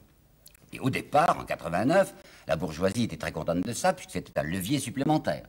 Vous vous rappelez que je vous ai dit, c'est une idée que je souligne avec beaucoup de force, que si la monarchie absolue est tombée, c'est parce que son instrument de répression lui a fondu entre les mains. Vous vous rappelez que le Suisse Bézenval, qui commandait en second au 14 juillet, le premier c'était Breuil, est venu trouver Breuil, qui est venu trouver le roi, et qui lui a dit Je ne peux pas donner les ordres à la troupe de marcher parce qu'elle ne marchera pas. Ça, ça avait pas mal séduit la bourgeoisie en disant ben, on pourra faire notre opération sans être intimidé par la, par la troupe. Seulement maintenant que la bourgeoisie a gagné, il lui faut avoir une troupe très domestiquée, une troupe à son service, qui peut servir éventuellement à la défense extérieure, mais qui doit surtout servir d'instrument de répression contre la plèbe. Alors, pas question d'indiscipline. Hein. L'indiscipline, il y a quelques mois, c'était parfait. L'indiscipline, maintenant, zéro, fini. À Brest, il y a deux équipages de navires qui se sont révoltés. Je vous assure que la bourgeoisie ne badine pas, on fait prendre un certain nombre de marins et tout rentre dans l'ordre. Mais gros événement, alors gros incident, le 30 août 1790 à Nancy. C'est même pas un régiment français, c'est un régiment suisse qui se, révolte, qui se mutine, le régiment des Suisses de Châteauvieux parce que ces gens s'étaient mêlés d'aller regarder un peu les comptes du régiment et qui s'étaient aperçus que leur solde était payé d'une manière irrégulière, s'étaient aperçus qu'on trichait sur les fournitures, qu'on ne leur donnait pas suffisamment à manger. Enfin, ils avaient fait une mutinerie et ils avaient été soutenus dans cette mutinerie par des troupes françaises proprement dites. Alors immédiatement, ça se passe à Nancy, immédiatement le marquis de Bouillé, qui est un cousin de Lafayette et qui commande, je viens de vous le dire, à Metz, envoie des régiments sûrs, régiments étrangers, enfin des régiments croates, des régiments hongrois, des régiments allemands, qui viennent tirer, 300 morts, hein, tirer sur les Suisses du Château-Vieux et sur les troupes françaises de Nancy, immédiatement, ça rentre dans l'ordre, il y aura 33 pendus, il y aura 40 condamnations à perpétuité aux galères, ça ne bouge plus. félicitations à ce moment-là, félicitations générales à ce qui passé pour ce qui s'est passé du côté de Nancy. Le roi remercie Bouillet d'avoir agi avec vigueur et l'Assemblée elle-même lui dit c'est parfait. Quant à Lafayette, c'est son cousin, il lui dit mais bravo, vous avez rétabli la discipline dans l'armée. Problème à peu près réglé. Et il y a un troisième problème, ou quatrième si vous voulez, dans l'année 90 qui est assez curieux. On en parle guère dans nos histoires de la Révolution française, je le trouve bien curieux, bien intéressant, bien savoureux. C'est l'affaire des colonies. La France n'avait plus beaucoup de colonies à ce moment-là. Vous savez qu'elle avait perdu au cours du XVIIIe siècle, au cours de la, fin de la monarchie, elle avait perdu son empire des Indes, elle avait perdu le Canada. Et quand on disait les colonies, c'était pratiquement les Antilles.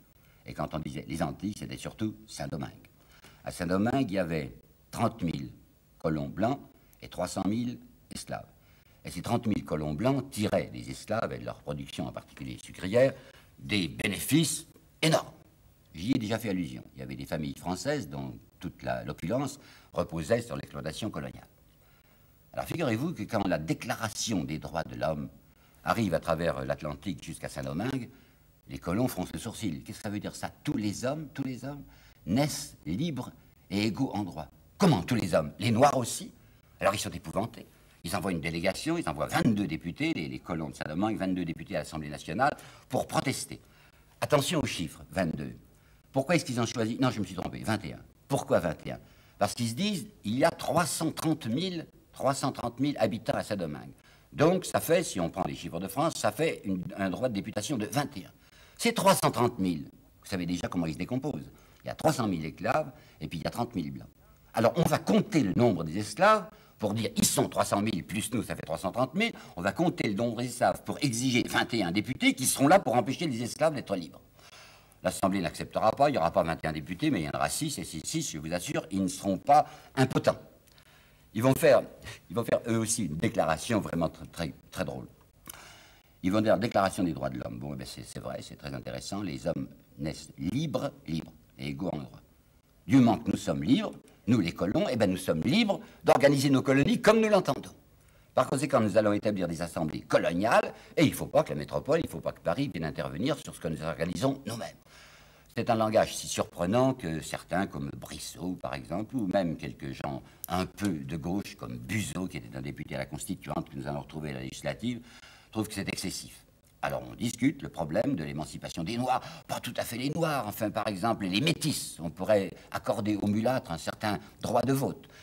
Mais se constitue immédiatement à Paris ce que nous nommerions aujourd'hui dans le langage contemporain un lobby colonial. Le lobby colonial se réunit à, dans un bel hôtel qui s'appelle l'hôtel Massiac.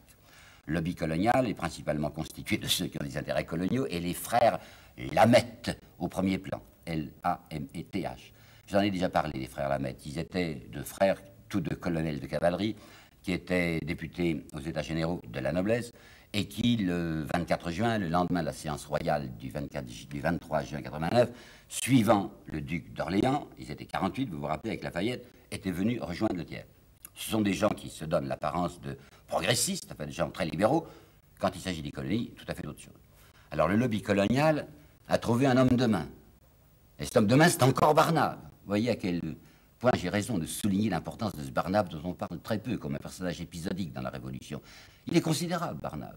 Vous vous rappelez que c'était lui qui avait été l'artisan de Visille, l'homme des Perriers. Il était aussi dans la main d'un banquier parisien qui s'appelait Laborde de Méréville, dont je vous ai dit qu'avec l'agent de chance Boscari, Laborde de Méréville et Pergaud, le banquier suisse, et Lesser, le banquier suisse, étaient parmi les plus incandescents pour pousser le peuple en juillet 89. Barnave, maintenant, est l'homme du lobby colonial. Et Barnave, l'autorité, Madame de Stahl racontera dans ses considérations qu'elle l'estimait beaucoup, c'était un homme, dit-elle, c'était un homme d'une rare distinction eh ben, l'homme d'une rare distinction, qui a en effet une grande autorité à l'Assemblée, va obtenir ceci qui est assez prodigieux, qu'aucune décision ne pourra être prise par l'Assemblée nationale concernant les colonies sans, sans l'avis préalable des autorités coloniales. Résultat, le 24 août 91, Saint-Domingue prendra feu et les esclaves noirs à qui on n'a rien voulu accorder se révolteront et finalement la France perdra Saint-Domingue un certain nombre de modifications importantes se produisent dans la vie politique française au cours de l'année 90. Il y a d'abord le départ de Necker. Ah, vous savez, ça, c'est sans aucune importance. Parce que Necker est totalement dévalué. il y a une chose qui lui a porté grand préjudice, deux choses si vous voulez. Il y avait d'abord son système d'emprunt auquel il avait voulu encore recourir. On avait dit il est tombé sur la tête. Enfin, des emprunts maintenant, ça intéressait passionnément Necker, les emprunts, parce que les emprunts, c'est les banques qui s'en occupent naturellement. Il y a un courtage pour les banques. Et comme il continuait en douce à être banquier, il tenait beaucoup à ses emprunts parce que ça lui rapportait. On l'avait congédié du côté emprunt.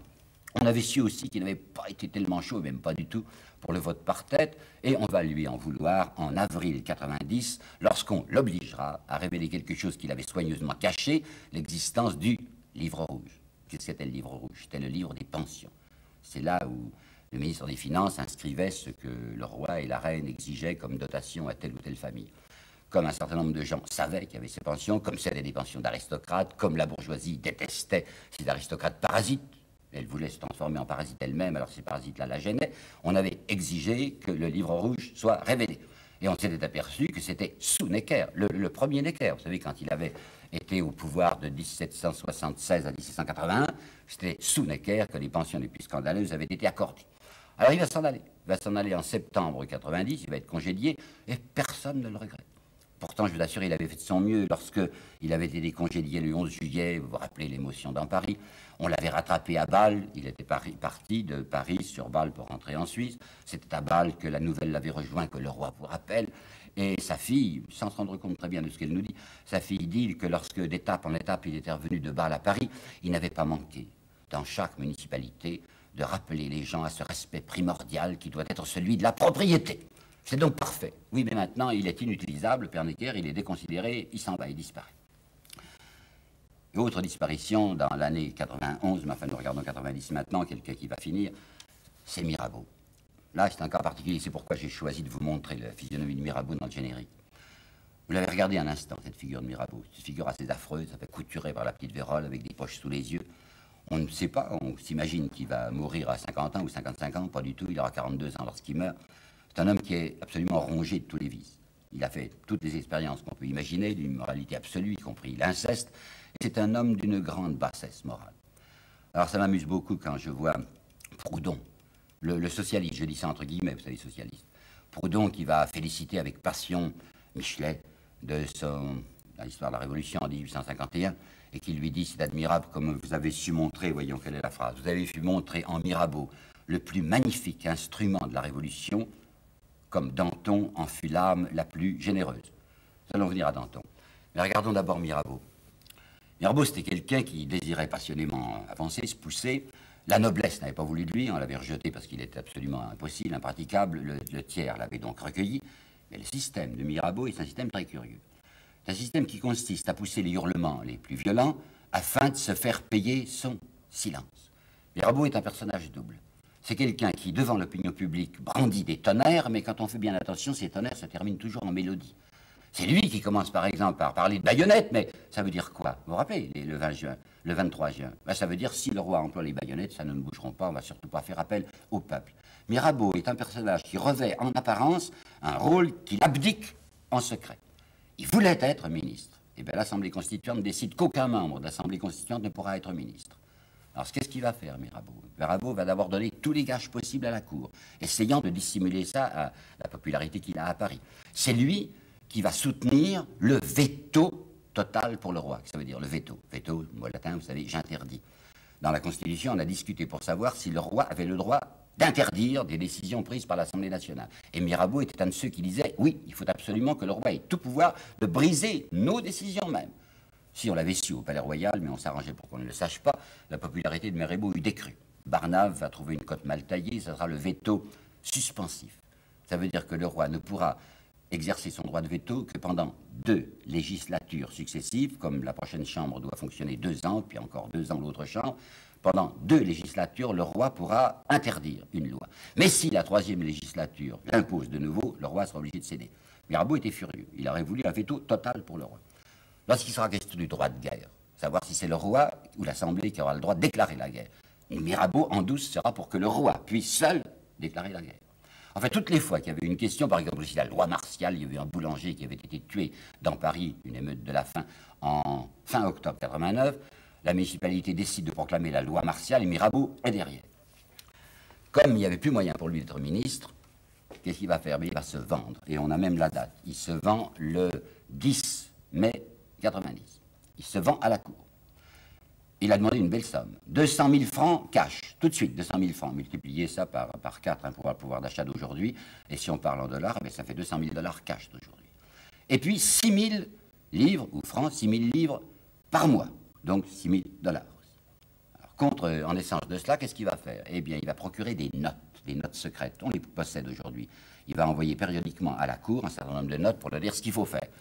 Il y en a une qui est très particulièrement remarquable, c'est la note numéro 43, elle est de février 91, où il dit à la Cour, donnez-moi de l'argent, je vais les répartir, et cet argent nous servira à provoquer dans le public parisien des motions, des incendiaires, parce que ça terrifiera les constituants et ça les rapprochera encore de, Sa Majesté. Eh bien, ce Mirabeau va mourir entre deux filles le 2 avril 91. La popularité reste intouchée, elle va totalement disparaître un an plus tard lorsqu'on ouvrira l'armoire secrète du roi et qu'on trouvera la correspondance avec Mirabeau, mais pour l'instant, il est au sommet de sa gloire. Si bien même que la Constituante décide qu'une église qui est en construction, qui s'appelait Sainte-Geneviève, sera détournée de sa destination, ne sera plus église, sera le panthéon des grands hommes, et on décide que le premier grand homme qui vient de mourir et qui va entrer au panthéon, ça sera Mirabeau. Marat, qui écrivait à l'ami du peuple depuis un certain nombre de mois, va immédiatement, à la date du, 6 avril 91, va immédiatement, dans son ami du peuple, pousser un, cri de colère. Comment dit-il Mirabeau. Alors que lui, il ne fait que soupçonner et que flairer. Mirabeau ou Panthéon. Et comme l'Assemblée constituante a déclaré qu'après Mirabeau, on y mettrait les cendres de Voltaire, ce jour-là, le 6 avril 91, Marat éclate, enfin explose, et dit comment, comment Voltaire, Voltaire au Panthéon, Voltaire qui a toujours été rampant devant les despotes, Voltaire qui était un homme d'argent, Voltaire qui serait contre nous dans notre révolution. Vous voulez le mettre au Panthéon? Ben, Naturellement, vous savez pourquoi Parce que Voltaire, Voltairien, la constituante, l'hostilité au christianisme, Voltaire a tout à fait sa place au Panthéon de la constituante. À côté de la disparition de, de Mirabeau, vous avez l'apparition alors d'un personnage nouveau qui est Danton. Il y avait un club, il y avait deux clubs. Il y avait le club des Jacobins, qui s'était créé d'abord sous le nom de club breton. Pourquoi? Parce que les initiateurs étaient des Bretons, en particulier le Chapelier. Le Chapelier, député de Bretagne, un personnage, il faudrait que vous voyiez son visage, un personnage avec une grosse mâchoire de consommateur, un homme rude, enfin, qui sa question était sur les questions d'argent. Alors ce club breton s'était réuni d'abord à Versailles. Quand l'Assemblée était venue à la suite du roi de Versailles à Paris, ce club s'était établi dans le couvent des Jacobins, d'où leur nom, les Jacobins. Mais c'était des gens qui étaient vraiment trop orientés vers le, vers le progrès, un certain progrès politique, pas social, ce qui fait qu'au cours de l'année 90, les Jacobins se découpent. Il y en a qui restent aux Jacobins, et puis il y a un club tout à fait aristocratique, le club chic, qui s'appelle la Société de 89, qui se constitue. Il fallait payer simplement 10 francs pour être membre des Jacobins, il faudra payer 100 francs, 100 francs, un chiffre, pour être membre de la Société de 89. C'est la, la distinction de la Révolution, c'est ce qu'il y a de vraiment bien par exemple M. Condorcet, naturellement, le marquis de Condorcet, ou Sieyès, ou Lafayette, seront de la Société de 89 et ne seront plus de cette vilaine Société des Jacobins qui tourne mal. À côté, il y a un autre club. Or, celui-là, tout à fait populaire. C'est le club mal vu. Il faut payer deux sous, deux sous par mois pour en être. C'est le club des Cordeliers. Pourquoi Cordeliers? Parce qu'ils se réunissent au couvent des Cordeliers, parce qu'il y avait à ce moment-là dans Paris des districts on avait découpé Paris en 60 districts pour les élections aux États généraux. Au cours de l'année 90, ces districts s'appelleront sections, passeront du nombre de 60 au nombre de 48. Et ce qui avait été au début le, district des Cordeliers s'appellera maintenant la section du théâtre français. Attention, aujourd'hui, pour nos oreilles contemporaines, théâtre français, ça veut dire la comédie française. À ce moment-là, ça voulait dire ce qui est l'Odéon. C'est le quartier actuel de l'école de médecine. Et c'est pas pour rien que dans ce quartier, à Paris actuellement, vous savez, il y a la statue de Danton parce que c'est le quartier de Danton et que le club des Cordeliers, c'est le club Danton. Ben Danton, Danton, c'est quelqu'un qui vient d'Arcy-sur-Aube. C'est pas un sans-culotte, enfin, c'est quelqu'un dont le père était déjà un procureur, toute petite bourgeoisie si vous voulez, et c'est quelqu'un qui a d'immenses ambitions. Cet homme va se diriger vers Paris, va obtenir, grâce à son mariage, de l'argent. Il épouse la fille d'un cabaretier, mais qui a de l'argent, la petite Charpentier, qui a environ 100 000 francs. Et avec ça, il va pouvoir acheter une charge. Il est avocat au Conseil du roi. En même temps, il est entré dans la police secrète, la police secrète de Louis XVI, sous M. Talon. Puis arrive la Révolution. Danton est un garçon qui a un très grand mépris du peuple. Les mémoires de Lamette là-dessus sont très claires. Il nous parlera, dit-il, de la sale démocratie. C'est un mot qu'il a employé devant Lamette, l'officier de camarerie Lamette. Et il expliquera un jour à son ami Camille Desmoulins la vérité dans la Révolution, c'est qu'il faut se mettre dessus. C'est-à-dire qu'il y a des gens qui étaient dessus, qui étaient les aristocrates, nous, on va se mettre dessus à la place. Il est servi par son visage, il est athlétique. Du reste, quand il va être élu à la, municipalité, il va faire un discours où il va dire ceci La nature m'a donné en partage les formes athlétiques et la physionomie âpre de la liberté. Je ne sais pas trop ce que ça veut dire. Ça veut dire qu'il était très vilain, il avait la lèvre couturée, il avait le nez écrasé, mais il avait des yeux bleus et incandescents. C'est un Forban, un Forban jouisseur, quelqu'un qui va entrer dans les vues de Mirabeau, quelqu'un qui va être payé par Mirabeau pour faire sa politique. Voici qui était Danton, mais à côté de Danton, il y avait Marat, et Marat est un personnage autrement grave dont l'audience est considérable et dont je vous parlerai la prochaine fois.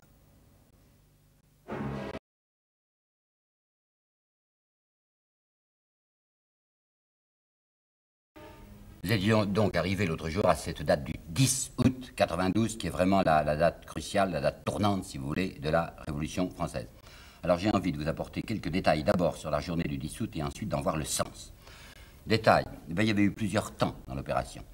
D'abord, quand on avait décidé, dans la nuit du 9 au 10 août, on, c'est ce fameux comité insurrectionnel des gens du quatrième État, des gens qui n'ont rien à voir avec la politique, mais qui veulent précisément avoir à s'en occuper, on avait décidé qu'il fallait essayer d'abord d'empêcher la garde nationale, qui est requise pour la défense des Tuileries, d'organiser une défense sérieuse. Le chef de la garde nationale, c'était un nommé Mandat. C'était à tour de rôle qu'il y avait un général de la garde nationale, c'était Mandat. Mandat était très favorable au roi, comme beaucoup de gens dans la garde nationale bourgeoise. Alors, Danton, qui avait reparu dans la nuit, revenant d'Arcy-sur-Aube, qui avait reparu dans la nuit du 9 au 10, Danton tente un piège. C'est Danton qui dit au comité insurrectionnel, vous allez faire venir Mandat, et peut-être que vous vous souvenez de mon premier exposé où j'ai parlé d'une la défaut qu'avait eu Jaurès dans son histoire. Jaurès avait caché quelque chose qui s'est passé qui n'était pas très beau. On a tendu ce piège à mandat, on lui a dit venez à l'hôtel de ville, on a besoin de vous parler. Et une fois qu'on l'a pris à l'hôtel de ville, on l'a coincé, enfin on l'a emprisonné, mais également on l'a tué. Alors c'était plus sûr qu'il soit mort pour que la défense ne fût pas organisée. Donc, la défense des Tuileries semble désorganisée puisque la garde nationale n'a plus de commandement. Et puis, deuxièmement, qu'est-ce qu'il y a? Ben, Il y a des Suisses, ils sont 800 Suisses, les Suisses, les mercenaires qui sont là, et on se dit, avec les milliers de gens qui vont attaquer, ces Suisses ne pourront pas se défendre et naturellement, ils vont se rendre. Alors vous savez ce qui se passe. La foule arrive à envahir, se trouve dans la première cour intérieure des Tuileries. Il y a une très grande porte. Derrière cette porte, à environ 20 mètres, il y a un escalier gigantesque. Et lorsque la foule arrive devant cet escalier, il est garni par ces Suisses. Les Suisses ont des habits rouges. C'est une espèce d'énorme masse verticale qui est sur l'escalier. Ils sont 7 ou 800 qui sont là avec leurs fusils. La foule ne veut pas les tuer, n'a pas envie d'abord de se faire tuer, c'est évident, et essaye de parlementer avec eux, de fraterniser avec eux. Il y en a au premier rang qui ont des halbardes et des fusils, alors on leur touche leur halbarde, on leur fusil, enfin vous êtes des frères, vous êtes des camarades.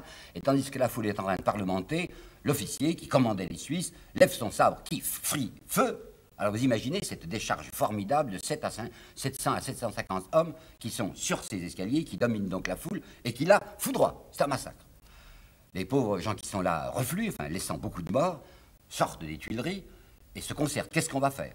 C'est à ce moment-là qu'arrive le faubourg Saint-Marcel, faubourg Saint-Marceau. La plupart de ceux qui sont là, c'est les fédérés marseillais qui sont arrivés le 30, les fédérés que les Girondins eux-mêmes avaient convoqués.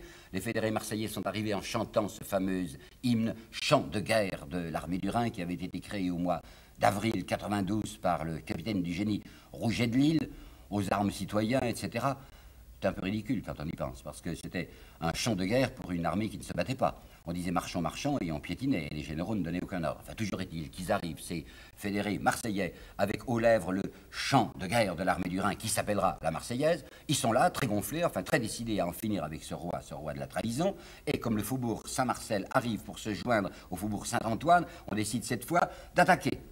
On ira face au canon des Suisses. Alors c'est en effet terrible cette attaque-là. La foule est en effet bien plus nombreuse, c'est entendu, mais elle perd beaucoup de gens. Et le roi qui s'est sauvé, le roi qui s'est enfui, qui s'est réfugié tout près, vous savez, l'Assemblée nationale, la, législative, enfin, elle touchait le palais des Tuileries. Il a eu à faire 150 mètres. Il s'est réfugié dans l'Assemblée, il donne un ordre écrit aux, Suisses, cessez le feu. Par conséquent, c'est l'invasion autorisée par le roi, et c'est là où se passent des scènes sur lesquelles il ne faut pas jeter le voile. Ça, c'est atroce. Les Suisses sont désarmés, les Suisses sont massacrés. S'il y a environ 400 morts du côté de la foule, il y aura 1000 morts du côté des Suisses. Il y a des quelques gentilshommes courageux qui étaient venus pour défendre le roi. Le père de Lamartine, par exemple, était venu de sa province pour mettre son épée, comme il disait, au service du roi. ça sera pendant toute la fin de la journée du 10 août des massacres de gens qui ne sont pas capables de se défendre. Le père de Lamartine, c'est la nuit, c'est caché dans Paris, il est arrivé à traverser la Seine sur une petite barque, il a payé quelqu'un pour le transporter et il s'enfuira du côté de sa province. Voilà les détails. Maintenant, le sens, ça c'est bien plus intéressant, le sens de l'opération. Eh ben, D'abord, c'est un réflexe de défense. Tout le monde avait compris que la Cour était un foyer de connivence avec l'étranger, que la Cour c'est un centre de trahison. Par conséquent, c'était absolument impossible d'accepter que dans cette guerre, alors que les coalisés qui tardaient allaient tout de même venir, impossible d'accepter qu'au centre même de Paris, à la tête de l'État, il y ait un foyer de connivence avec les envahisseurs. Donc, réflexe de défense. Mais ce qui est beaucoup plus important, c'est que c'est l'irruption, cette fois, c'est la participation à la politique française de ce quatrième État qui jusqu'à présent en avait été exclu, c'est-à-dire tous les salariés, tous les pauvres gens, enfin les passifs. Si vous voulez, c'est l'irruption de la France dans les affaires françaises. Et ça va très loin quand on pense à ce que va dire Robespierre, Robespierre qui est au premier rang cette nouvelle commune insurrectionnelle, et qui déclare ceci. Le peuple est enchaîné dès qu'il dort. Il est méprisé dès qu'il ne se fait plus craindre. Il est vaincu dès qu'il pardonne à ses ennemis avant de les avoir complètement domptés. Observez, dit-il, ce penchant de certains, et certains c'est Lafayette, pour qui sont associés comme équivalents les mots de pauvre et les mots de brigands. Ben, on ne saurait mieux dire. Vous vous rappelez peut-être que les malheureux ouvriers de l'atelier de charité de 89, on les appelait les brigands de Montmartre. Les brigands, c'était des pauvres types à qui on donnait 20 sous par jour. Les vrais brigands, disait Robespierre, ce sont ceux qui ne veulent constituer la République que pour eux-mêmes et qui suivent en tout l'intérêt des riches. Ils sont les honnêtes gens. Ils sont les gens comme il faut. Et nous, comme ils disent, nous sommes les sans-culottes, c'est-à-dire la canaille. Puis Robespierre n'est pas seul à penser ainsi. Il y a quelqu'un de la législative qui ne s'est pas encore manifesté, qui s'appelait Couton. Et Couton qui pense tout à fait comme lui. Couton qui va immédiatement réclamer l'abolition, enfin l'abolition complète à sans rachat de ces fameux droits féodaux qui sont fictivement abolis depuis 89, mais qui sont toujours exigés, mais non payés du reste, exigés par les paysans. Couton va dénoncer ces industrieux qui font mine de se rallier à la Révolution, mais à la condition d'y perpétuer l'influence, c'est-à-dire la domination de leur classe. Et puis il va apparaître quelqu'un qui m'intéresse bien, que j'aime bien, un pasteur protestant, qui n'est pas du, même type que ce pasteur Lassource que nous avons vu, et que ce pasteur Rabot Saint-Étienne, qui était de ces pasteurs bien pensants, vous savez, qui avait certainement la haine du clergé, mais qui avait encore une haine décuple à l'égard de la classe pauvre. Eh le pasteur Jean-Bon Saint-André est quelqu'un qui, du Midi, qui s'est fait honnir à Montauban, là où il va être élu, pour avoir dit un foulon vaut bien un fabricant. Par conséquent, à partir du 10 août, c'est donc l'irruption du quatrième État dans la politique française et la lutte qui va se déchaîner maintenant. Mathieu Mathiez, l'historien Mathiez, Albert Mathiez, l'a admirablement défini en disant ça va être le combat entre ceux qui ont fait le 10 août et ceux qui n'ont pas pu l'empêcher. La législative, l'Assemblée législative, elle était là en principe pour deux ans, puisque dans la Constitution, la Chambre était élue pour deux ans. Pour deux ans, ça fait donc qu'ayant été s'étant réunie le 1er octobre 91, elle devait durer jusqu'au 30 septembre 93. La législative, chambre censitaire, et maintenant il est question de suffrage universel, la législative comprend qu'elle ne peut plus subsister, elle accepte son suicide, elle déclare que le 20 septembre, elle tiendra sa dernière réunion, et que la nouvelle Chambre, qui sera une convention, c'est-à-dire une constituante numéro 2, se réunira le 21 septembre. Ils ne sont pas tellement affolés, figurez-vous, les gens de la législative. Pas tellement parce qu'ils se rassurent en se disant, premièrement, cette fois, on a obtenu ce que Robespierre avait, on a obtenu le contraire de ce que Robespierre avait obtenu au sujet de la Constituante. Vous vous rappelez que Robespierre, en mai 90, avait fait voter ce décret par quoi aucun membre de la Constituante ne pouvait être membre législatif. Tandis que cette fois, on a décidé que les membres de la législative pouvaient se représenter aux élections. Alors ils se disent, avec nos influences locales, puisque nous sommes les notables, puisque nous sommes les gens considérables de nos, de nos provinces, il y a bien des chances qu'on y arrive. Et puis deuxièmement, une chose dont je ne vous ai pas parlé encore et qui est importante, le petit nombre des votants en France. Il y a très peu de gens qui votent, figurez-vous. On pense toujours que la Révolution française est un immense mouvement, avec des multitudes en mouvement, mais ce n'est pas vrai. Aux élections des, des États généraux, figurez-vous que dans Paris, il y avait tout de même 42 000 ou 45 000 types qui avaient le droit de vote. 42 000, 45 000 sur la population de 700 000 habitants, c'est entendu. Mais même sur ces 40 000, il n'y en avait que 11 000 qui avaient voté. Et toutes les fois qu'on faisait une élection, par exemple pour celle du maire, Pétion, en novembre, c'est le 14 novembre 91, toujours le même chiffre. Il y a environ 10 000 personnes qui votent. Il y a un troupeau, il y a un immense troupeau aux yeux bandés de gens qui disent mais la politique c'est pas pour nous, enfin c'est au-dessus de nous. Par conséquent, même avec le suffrage universel, les gens de la législative se rassurent en se disant après tout, nous avons affaire à ces masses amorphes, à ces bêtes de somme de la province, à ces journaliers, à ces paysans à qui on va remettre entre les mains un bulletin de vote, ils ne sauront pas quoi en faire. Donc on va s'en tirer. Donc les notables sont là. En principe, il n'y aura plus besoin d'être propriétaire foncier pour devenir député. Mais en fait, on va y arriver. Alors qu'est-ce qu'ils font, les gens de la législative, avant de se séparer? Ben, Ils se prononcent sur le sort du roi sans se prononcer sur le régime.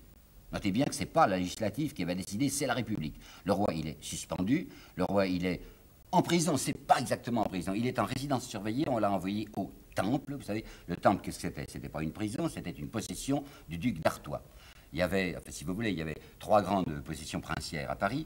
Il y avait le Luxembourg qui appartenait à Provence. Provence, c'est le, futur, c'est le frère du roi, c'est le futur Louis XVIII. Il y avait Artois, le comte d'Artois, qui possédait justement le temple, il y avait le duc d'Artagnan qui avait le palais royal. Alors le temple, c'est le château du comte d'Artois. C'est là qu'on va mettre le roi. Légende, image d'Épinal encore. On dit c'est épouvantable, ce malheureux roi qui est enfermé au temple avec sa famille. Mais attention, il faut voir les dispositions. On lui a voté, il n'y a plus de liste civile, naturellement, on sait pourquoi il utilisait, sa liste civile. Il l'utilisait pour acheter des gens comme Danton. Alors plus de liste civile, il n'est plus roi, il est suspendu. Mais savez-vous ce qu'on lui donne pour vivre au temple On lui donne 500 000 francs. Et il faut multiplier par 4 pour avoir le pouvoir d'achat d'aujourd'hui. Par conséquent, ce citoyen qui n'est qu'un simple citoyen, qui n'est plus le roi, il a une disponibilité assez sympathique. il a quelque chose comme 2 millions d'aujourd'hui. Et il est au temple, très bien traité. Il y a trois matelas dans son lit. Sa table, car il est extrêmement gourmand, sa table est alimentée de la manière la plus princière. Enfin, il n'est pas malheureux au temple, sinon qu'il est en résidence surveillée. Il faut un gouvernement, un gouvernement provisoire, en attendant ce que va décider la, Convention. Alors, ce gouvernement provisoire qu'on va appeler Conseil exécutif provisoire, ce gouvernement, naturellement, va comprendre les Girondins qui avaient été exclus le 12 août. Vous vous rappelez peut-être qu'ils avaient été furieux, qu'ils avaient tenté la journée du... qui avait été exclus, pardonnez-moi, le 12 juin. Ils avaient été furieux, ils avaient tenté la journée du 20 juin pour se faire rétablir, le roi n'avait pas marché, maintenant qu'il n'y a plus de roi, ils reprennent le pouvoir. Alors on revoit apparaître Roland, on voit Servant, il y a Dumouriez qui, maintenant a demandé un commandement, et ces Girondins vont s'adjoindre un membre de plus qui est Danton. Ah ça c'est très intéressant qu'ils aient choisi Danton. Les gens de la législative sont furieux contre la commune. La commune c'est ce gouvernement insurrectionnel, ce gouvernement qui n'est pas encore légitimé par un vote des gens qui sont là sans pouvoir. Alors ils ont besoin tout de même de s'entendre avec ces gens-là. Et comme Danton est un des membres de la commune, on va choisir Danton. Oh, surtout pas Robespierre. Mais on va choisir Danton pour l'annexer à ce nouveau gouvernement provisoire. Danton est poussé par Condorcet. Il a été recommandé par le marquis de Condorcet, lequel a prononcé deux phrases que je tiens à vous dire. Condorcet, parlant de la révolution qui vient de s'accomplir, du 10 août, a dit Il y a des instruments méprisables d'une révolution nécessaire. Qu'est-ce que c'est les instruments méprisables ben, C'est la petite plèbe, c'est les actifs. Et il a dit, d'autre part, avec Danton, avec le citoyen Danton, il y a toujours moyen de s'arranger, parce qu'il est toujours facile, ceci est entre guillemets, hein, il est toujours facile de le rattacher aux bons principes. Qu'est-ce que c'est que les bons principes? C'est la défense de la propriété. On sait que Danton est un homme vénal, on sait que Danton, tout petit bourgeois au début de la Révolution, est maintenant un grand bourgeois, on sait qu'il a sa gentilhommière de Arcis-sur-Aube, alors on se dit, celui-là qui fait mine d'être un homme d'extrême gauche, nous allons le prendre au gouvernement, précisément parce qu'il nous aidera à lutter contre un homme de gauche pour de bon, qui s'appelle Robespierre. Et puis on va faire à la législative ce qu'on était là pour faire. Ils avaient deux idées, vous savez, ils voulaient faire la guerre, ils voulaient faire la guerre aux prêtres. Alors quelqu'un qui surgit maintenant et qui aura une grosse importance de plus en plus, quelqu'un qui s'appelle Cambon, fait prendre, à peine la législative va-t-elle se dissoudre, fait prendre un nouvel arrêté contre les prêtres, l'arrêté du 26 août, disant qu'ils seront susceptibles de déportation dans les 15 jours s'ils ne se rallient pas à un nouveau serment. Il est très appuyé, Cambon, Cambon c'est un industriel, c'est un homme qui avait créé en 1774 la société Cambon-Fils dans le Languedoc, c'est un grand industriel de tissage. Cambon est appuyé par quelqu'un à cette horrible commune, cette exécrable commune. Il est appuyé par Manuel. Manuel, c'était le procureur, un ami de Pétion. Et Manuel, il se spécialise dans la diversion anticléricale.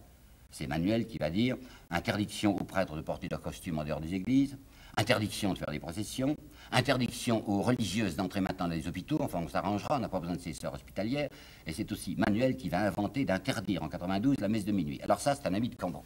Mais l'exécrable commune a obtenu tout de même le 17 août quelque chose qui fait beaucoup froncer les sourcils aux gens du pouvoir, la création d'un tribunal spécial. Tout à l'heure, plus tard, on l'appellera tribunal révolutionnaire. après qu'il aura été un instant supprimé, comme vous verrez. Le 17 août, on a créé sur la demande de la commune et avec l'appui bienveillant de Danton, un tribunal qu'on appelle le tribunal criminel, ou encore, si vous voulez, le tribunal spécial, et qui est là pourquoi? Qui est là pour juger précisément ceux qui ont connivé avec le roi et avec l'étranger. Et alors la guerre ben, La guerre, ça va mal. Quoique les coalisés soient très mous, puisque c'est uniquement le 19 août, vous entendez, le 19 août, alors que la guerre doit avoir commencé en principe le, le 20 avril, c'est le 19 août que les Prussiens pénètrent sur le sol français. Et ce même 19 août, il se passe quelque chose de capital, c'est que Lafayette, Lafayette, général, généralissime d'une des trois armées françaises, Lafayette ce jour-là trahit. Oh, c'était facile de voir, puisque depuis le 18 mai, il était en rapport avec les étrangers, il avait promis de ne pas se battre contre les coalisés, contre les envahisseurs, parce qu'il voulait rétablir l'ordre à Paris. Maintenant que le roi, son cher roi, est tombé, Maintenant, il va essayer d'entraîner ses troupes contre Paris. Rien à faire. Les volontaires qui sont là ne veulent pas le suivre. Alors le 19 août, le jour même où les Prussiens entrent sur le sol national, le général Lafayette passe à l'ennemi. On ne le dit guère aujourd'hui dans les histoires, vous savez. J'ai regardé dans, dans, des, dictionnaires. On dit que Lafayette a cessé de combattre à partir du 19 août. Mais il est passé dans les rangs adverses. Et comme le roi ne l'aimait pas, comme la reine le détestait, il a une très désagréable surprise, Lafayette. Il pensait qu'on allait l'accueillir chez les coalisés à bras ouverts, pas du tout, on va le mettre en prison, et jusqu'à la fin de la Révolution, il sera en prison en Autriche. N'empêche que les Allemands les Prussiens avancent. Le 23, le 23 août, ils sont devant Longwy, et qu'ils prennent rapidement, la ville ne se défend qu'à peine, et les voilà le 30 août devant Verdun, et ça, Verdun, s'ils le prennent, c'est la Champagne ouverte, c'est Paris qui va être investi. Alors là, regardons bien, regardons bien le rôle de Danton. La légende de Danton, c'est ceci, c'est l'âme de la résistance. C'est un mot que j'ai employé déjà à son sujet. C'est celui qui va prononcer le 28 août un discours tonitruant où il appellera tous les Français à se précipiter en masse vers la frontière. Et c'est le même qui, le 2 septembre, le 2 septembre, va prononcer les phrases célèbres de l'audace, encore de l'audace, toujours de l'audace, et la France sera sauvée. Voilà le personnage apparent de Danton. Mais il y a un personnage occulte. Le même Danton qui prend cette attitude ultranationale, qui est l'homme du patriotisme, qui demande à tout le monde de se précipiter vers la frontière, Danton est un homme qui est avant tout pour la défense de la propriété et qui se dit plus je ferai partir de jeunes Français, de prolétaires, d'illettrés, plus je les ferai partir sur la frontière, plus ça fera une purge dans Paris, parce que c'est quand les éléments les plus dangereux pour la stabilité sociale vont partir du côté de la frontière. Et qu'est-ce qu'il fait parallèlement? Il a une combinaison secrète avec Pétion. Pétion, c'était le maire. Pétion, c'est un homme qui venait de la gauche. Quand il était à la Constituante, c'était un ami de Robespierre. Pétion, Buzot et Robespierre représentaient l'extrême gauche de la Constituante. Et vous avez peut-être vu avec moi Pétion s'avancer d'année en année, enfin de mois en mois, du côté de la réaction. Le comte d'Entraigue, nous savons ça depuis le livre de Jacqueline Chaumier, Le réseau d'Entraigue à la contre-révolution. Le comte d'Entraigue écoute et note les propos que tient le maire de Paris, Pétion. Il est toujours maire de Paris, malgré la commune insurrectionnelle qui a, bien voulu le conserver, parce qu'il est resté passif pendant le 10 août. Mais Pétion est un homme de plus en plus terrifié. Pétion est l'homme qui a dit plutôt le despotisme que le règne de la canaille. Alors Pétion, d'accord avec Danton, va trouver le roi, ça on ne le savait pas, on le sait depuis peu de temps, va trouver le roi au temple et essaye d'obtenir que le roi négocie avec les Prussiens qui s'avancent en leur disant ceci. On ne peut pas répondre de ma sécurité dans Paris. Il y a ce fameux quatrième État qui est maintenant lancé dans l'arène politique. Il y a cette commune insurrectionnelle. Par conséquent, si les Prussiens approchent trop près approche trop près de Paris, la législative elle-même, le conseil exécutif lui-même n'aura pas le pouvoir de protéger ma vie. Le temple va être envahi, on va me tuer, moi et mes enfants. Par conséquent, arrêtez-vous. Donc Pétion et Danton négocient par l'entremise du roi avec les Prussiens en disant arrêtez-vous pour sauver la vie du roi. Mieux, euh, Danton va négocier, et pourtant il n'a aucun titre. Danton est chef de la justice. Il n'est pas chef des affaires étrangères, mais il a une très grande ascendant, une très grande autorité à cause de sa stature, ses formes athlétiques dont il parlait, il se fait écouter, fortement écouter, je vous l'assure, d'un monsieur comme Lebrun et qui en a donné les affaires étrangères.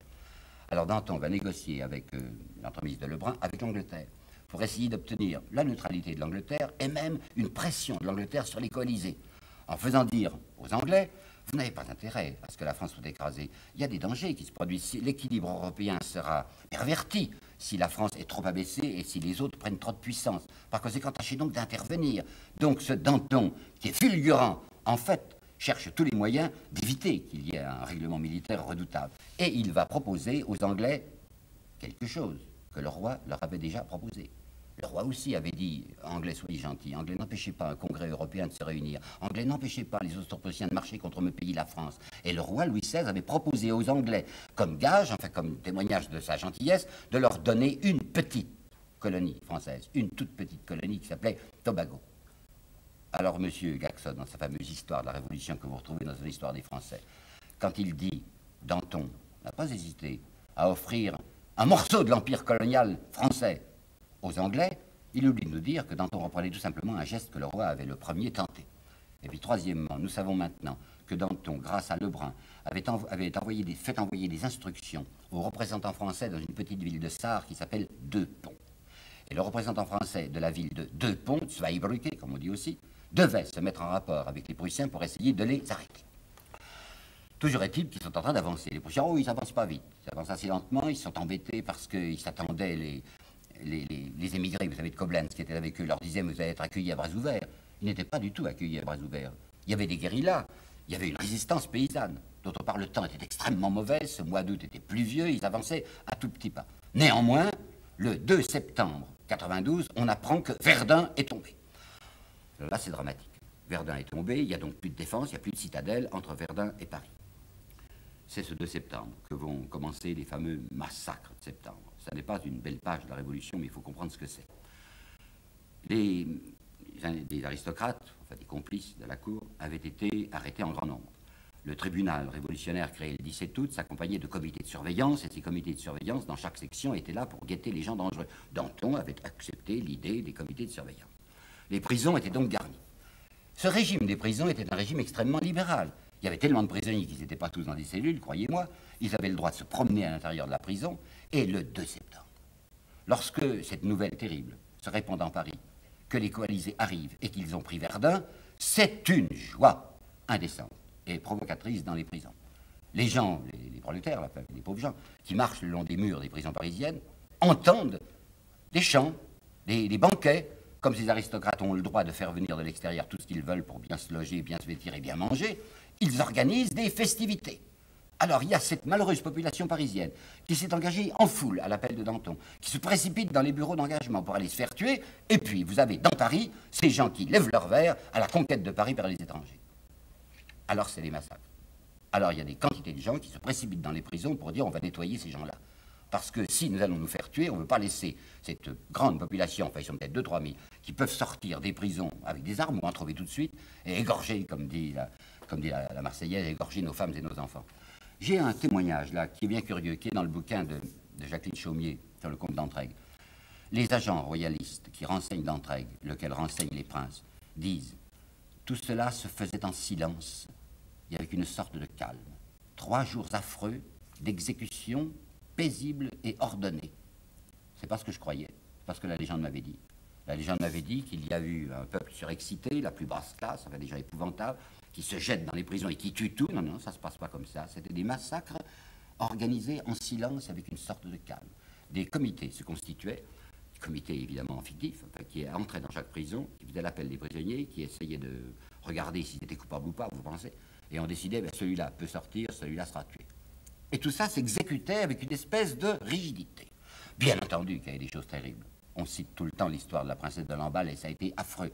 Un sadisme de la foule s'est exercé sur le, sur le corps de cette malheureuse. Il y a des choses que je ne peux pas raconter ici. Bien sûr qu'il y avait des quantités de prêtres qui, à la prison des Carmes, je crois, qui n'étaient pas dangereux, puisque la plupart des dangereux étaient partis. Ceux qui étaient là, c'était justement ceux qui avaient fait confiance à la Révolution. Et eh bien ces prêtres sont tous massacrés. Mais ce qui est très intéressant, c'est de voir le rôle de chacun dans cette histoire. Dieu sait que les massacres de septembre vont servir à la Gironde pour attaquer les gens de la montagne, c'est-à-dire la gauche. Les gens de la Gironde n'ont pas bougé dans les massacres de septembre. J'ai eu sous les yeux un article de Gorsas, G-O-R-S-A-S, qui était un journaliste girondin, qui disait c'est eux ou nous. Eux, les aristocrates, ou nous, les républicains. Parce que ces gars, il faut les nettoyer. Roland était ministre de l'Intérieur. Et Roland n'a rien fait pour arrêter les massacres. Peut-être que c'était dangereux. Enfin, il n'a pas bougé. Brissot, dans son journal qui s'appelle Le Patriote français, parle de mesures nécessaires. Voilà ce que disent les Girondins. Marat, oui, Marat, a signé une circulaire. Il est du comité de surveillance de la commune. Il a signé le 2 septembre au soir une circulaire aux autres communes insurrectionnelles de France qui venaient de se constituer dans les grandes villes, où il dit cet exemple salutaire de Paris doit être suivi. Évidemment, ce n'est pas très noble. Enfin, si vous voulez, il faut penser à Charles IX. Charles IX, au moment de la Saint-Barthélemy, avait lui aussi fait faire une circulaire à ses intendants de province pour leur dire faites la même chose. Et eh maintenant, c'est l'inverse. Ce sont les aristocrates qui vont payer. Et Danton Danton, plusieurs personnes raconteront qu'on est allé le supplier d'intervenir et qu'il a répondu Je me fous des prisonniers. Danton n'est pas un sanguinaire, mais Danton est un type qui se dit il faut que je garde le contact avec cette foule qui me fait confiance, quand ça ne serait que pour mieux la tenir. Par conséquent, je n'interviens pas. Quant à Robespierre, Jaurès lui-même, qui est plutôt favorable à Robespierre, Jaurès est navré de ce que Robespierre a fait ce jour-là. Je suis, moins navré que lui. Jaurès dit il a fait quelque chose de terrible ce jour-là, Robespierre. Il a demandé l'arrestation, il a demandé l'arrestation de Roland, ministre de l'Intérieur, et de Brissot, grand collaborateur girondin. Il a demandé l'arrestation parce qu'il a dit ce sont des complices de l'étranger. Comment peut-on dire une chose pareille? Mais avant de croire que Robespierre est saisi de frénésie ou de délire, il faut se renseigner. Complice de l'étranger? Mais savez-vous qu'un des journalistes des Girondins, qui s'appelait Cara, il n'y a pas un mois, avait dit mais il faudrait peut-être un prince tout de même sur le trône de France. Pourquoi pas un prince anglais, le duc d'York? Qu'est-ce que ça veut dire? Que ces Girondins veulent absolument avoir un maître en France Avoir un despote éclairé peut-être, toujours la vieille idée voltairienne. Il faut savoir que ce même Gara, trois jours avant, c'était pas de chance, trois jours avant le manifeste de Brunswick, ce manifeste où on annonçait l'égorgement aux Parisiens, dans son journal, Gorsas, Cara avait dit Brunswick, c'est un, c'est un général plein de lumière, c'est un général qui a eu Voltaire, c'est un général qui est pas mal orienté du côté des idées révolutionnaires. ça paraissait tout de même stupéfiant. Il savait également, Robespierre, que Pétion avait dit, et ça nous le savons également par les réseaux d'entrailles, avait dit il faudrait faire venir un prince étranger sur le trône français, un prince protestant de préférence. Et je suis convaincu que Robespierre savait ce que négociait en douce Danton avec euh, que nous avions à Deux Ponts, soit Ébruquet, donc négociation secrète avec l'ennemi. Robespierre s'était dit, il y a un grand mouvement national dans Paris à ce moment-là, il faut en profiter pour nous débarrasser de ces gens qui sont volontairement ou involontairement des collaborateurs de l'ennemi. Sommes le 2 septembre, les massacres se terminent le 6 septembre, il y en aura eu encore un atroce à, Versailles où de malheureux types qui n'en pouvaient rien. Le duc de Cossé-Brissac, par exemple, va payer de sa vie le fait d'avoir été le chef de la garde constitutionnelle. Et nous arrivons au 20 septembre, qui est une date bien importante puisqu'elle est à la fois la date du dernier jour de l'Assemblée législative et la date de Valmy. Je vais finir sur Valmy. Valmy, 20 septembre. Donc les Prussiens étaient descendus lentement. Vous voyez-vous qu'après avoir gagné, après avoir conquis la place de Verdun, il n'avait pas du tout fait ce déferlement sur lequel le roi comptait pour le sauver, sur lequel Danton, à propos duquel Danton était dans cette inquiétude, il s'était avancé lentement.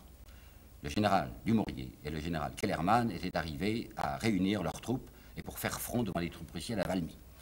Pendant des années, j'ai cru, comme le croient encore beaucoup de Français, que ça a été une très grande victoire remportée par les troupes républicaines françaises. Victoire, si vous voulez, mais parce qu'il n'y a pas eu de combat. Savez-vous qu'il n'y a eu qu'un duel d'artillerie à n'y a jamais eu de corps à corps. Que pour des raisons un peu mystérieuses que j'essaierai de lui la prochaine fois, la fameuse infanterie prussienne, qui était, paraît-il, invincible, n'a pas attaqué. Le duc de Brunswick est là.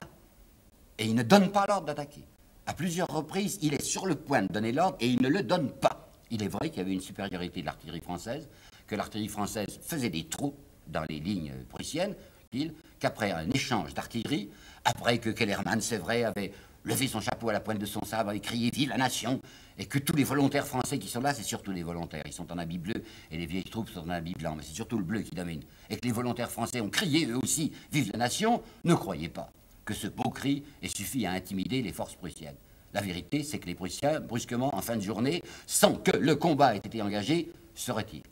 Danton se félicite, c'est une histoire excellente, ça ne pouvait pas être mieux, surtout que Danton avait eu soin avec Dumouriez, qui est son ami et je dois dire son complice, de placer à Valmy, qui donc, le fils de Égalité. Égalité, c'est le nom nouveau du duc d'Orléans. Le fils d'Égalité, Égalité 2, si vous voulez, s'appelle le duc de Chartres. Qui c'est ce petit duc de Chartres qui a à peine 20 ans? Mais c'est le futur Louis-Philippe. Alors on l'a mis là à Valmy afin de lui donner un rôle exceptionnel et que si par bonheur il y a une victoire, on pourra dire cette victoire a été remportée non seulement par les troupes républicaines de Dumouriez, mais aussi par le fils de Philippe Égalité, car l'idée secrète de Danton et l'idée de Dumouriez, c'est de substituer à la monarchie de Louis XVI une monarchie orléans. Nous voici en présence de la convention qui va se réunir le 21 septembre 91, 92, c'est-à-dire le lendemain même de Valmy, et quand ils se réunissent, les conventionnels, ils ne savent même pas qu'il y a eu le succès de Valmy la veille. Et le gros événement auquel nous allons assister, c'est la mort du roi. Vous venez de voir dans le générique ce visage dramatique. Les élections à la Convention s'étaient déroulées à partir du 5 septembre, donc antérieurement à Valmy. Je vous ai expliqué l'autre jour que les Prussiens avançaient lentement, avançaient prudemment, par conséquent les élections avaient eu le temps de se produire. Il faut toujours être loyal, je vous ai dit que je m'y appliquais de mon mieux. Eh bien, il faut reconnaître que les élections à la Convention ont été partiellement des élections truquées, du moins à Paris. Pourquoi truquées? En ce sens qu'il y a eu des pressions terribles le comité insurrectionnel, le comité Robespierre, enfin il n'y avait pas que lui, il y, avait, il y avait même cinq prêtres dans le comité insurrectionnel et dans la nouvelle commune. Ce comité insurrectionnel va se faire régner une sorte de demi-terreur à Paris sur les électeurs. Peut-être vous rappelez-vous que 20 000 citoyens de Paris avaient protesté contre l'agression du peuple contre le roi le 20 juin. Eh bien il est déclaré, on décide, que tous ceux qui ont signé la protestation des 20 000 seront exclus du droit de vote. C'est une indignité. D'autre part, tous les journaux réactionnaires, tous les journaux royalistes ont été supprimés. Et enfin, dans un certain nombre de sections de vote, il a été décidé que le vote ne serait pas secret, mais que le vote aurait lieu à voix haute, de quoi intimider ceux qui voulaient être réactionnaires. Par conséquent, soyons sincères, les élections parisiennes à la Convention ont été des élections dirigées, terriblement dirigées. Le résultat, c'est que c'est toute l'extrême gauche cordelière, vous savez, les cordeliers où il fallait payer fallait payer 10 centimes pour être membre du club du cordelier, ce sont ceux-là qui vont constituer la députation parisienne.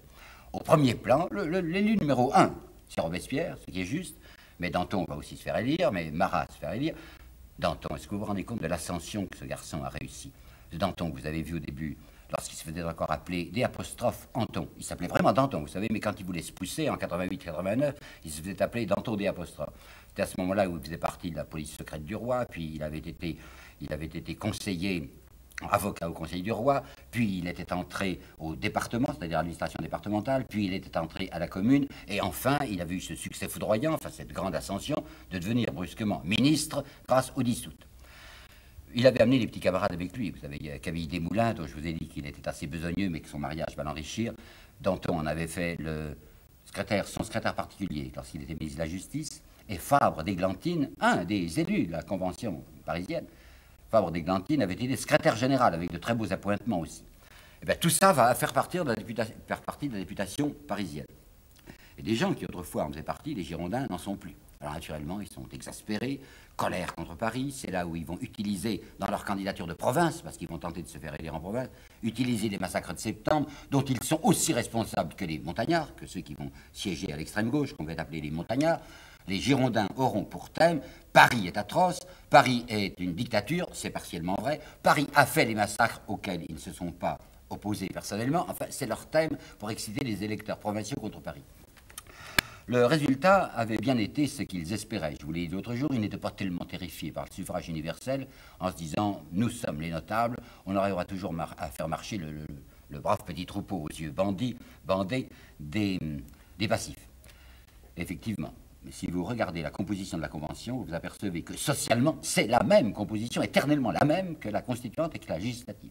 On a beau avoir maintenant le suffrage universel, c'est toujours les grands notables, c'est toujours les propriétaires, c'est toujours les possédants qui sont arrivés, qui sont parvenus à être les délégués de la France. Deux ouvriers pourtant. Deux. On ne le dit pas assez. Oh, deux sur 750, c'est pas beaucoup. Enfin, il y a deux ouvriers qui vont faire partie de la Convention. On n'avait jamais vu ça. Mais comme ils sont que deux, c'est pas terrible. Il y en a un qui s'appelle Armonville. C'est un quart d'heure de laine. Et il a été élu dans la Marne. Puis un autre qui s'appelle Noël Pointe. C'est un ouvrier qui travaille dans les armureries Saint-Étienne. Enfin, sur les 750 députés de la Convention, qui est pour la première fois élu au suffrage universel, vous avez deux ouvriers. Tout le reste est composé de bien-pensants. En plus, comme les constituants, non seulement les membres de la législative, mais comme les constituants ont aussi le droit de se présenter, on voit dans cette constituante numéro 2, qu'est la Convention. Pourquoi dis-je constituante? Parce qu'il faut refaire une constitution. On voit dans cette constituante numéro 2 reparaître des constituants importants, dont un qui n'avait pas fait beaucoup de bruit, dont je vais vous parler, mais d'autres qui étaient bien connus, puisque Sieyès, qui n'avait pas été membre législatif, bien sûr, le voilà revenu. Boissy d'Anglas, qui est un, un, protestant à la façon de Rabot Saint-Étienne, c'est-à-dire très préoccupé de la propriété, le voici réélu, et a nommé Barrère, Barrère de Vieuxac, car c'est un aristocrate Barrère, bien qu'il fasse l'homme de gauche. Barrère de Vieuxac, qui s'était pas beaucoup fait connaître dans la Constituante, va reparaître maintenant dans la Convention et il tiendra le rôle que vous devinez déjà. Le premier jour, le 21 septembre, le premier jour de la réunion de la Convention, Danton demande la parole. Danton devait choisir entre ses fonctions de ministre et ses fonctions de député. Il n'était pas admis, il n'était toujours pas admis qu'un député puisse devenir ministre. Roland, lui, qui est ministre de l'Intérieur, va conserver son poste de ministre. Danton a préféré quitter son poste de ministre de la Justice pour avoir les coups des franches et pour pouvoir travailler à l'intérieur de la Convention. Ce premier jour, le 21 septembre 92, Danton, c'est très important ceci. Danton va prononcer un grand discours. Et le voici, l'essentiel. Jusqu'ici, on a excité le peuple parce qu'il fallait lui donner l'éveil contre les tyrans. Maintenant, il faut que les lois soient aussi terribles contre ceux qui porteraient atteinte à la révolution, c'est-à-dire à l'ordre, à l'ordre social tel qu'il est et qui est très bien combiné. Abjurons donc toute exagération et déclarons que les propriétés, virgule, toutes les propriétés individuelles, territoriales, industrielles seront éternellement maintenues. Ça, c'était le grand gage, vous comprenez, c'était essentiel. On avait horriblement peur de ce qui allait se passer du point de vue social, on avait peur d'une retouche de la propriété, d'une redistribution de la propriété, et Danton qui a été choisi sur le conseil de Condorcet, parce que paraît-il, il est toujours facile de rattacher au beau principe, Danton donne le gage principal, le gage sur lequel on compte d'abord, à savoir, il ne sera pas touché à la répartition de la propriété. Vous avez entendu, c'est un adverbe, éternellement. Ça a paru un peu ridicule tout de même, tellement il mettait le paquet alors dans le décret que l'on va prononcer, que la Convention prononcera le premier jour, le 21 septembre 92, on se bornera à dire les propriétés sont sous la sauvegarde de la nation. Et à côté de ça, Robespierre, lui, qu'est-ce qu'il dit? Je tiens à vous indiquer ça tout de suite, parce qu'il y a la fameuse légende, une de celles contre lesquelles j'ai à me battre, que la bataille Danton-Robespierre est une rivalité de personnes. C'est Michelet qui a raconté cette histoire-là. Robespierre jaloux de la popularité de Danton. Mais c'est une opposition essentielle. Il faut que vous preniez conscience de l'opposition absolue qu'il y a entre la pensée de Danton, qui est un conservateur, et la pensée de Robespierre, qui est quelqu'un qui voudrait modifier quelque chose à cette structure indigne de la société où il y a des quantités de gens qui sont asphyxiés.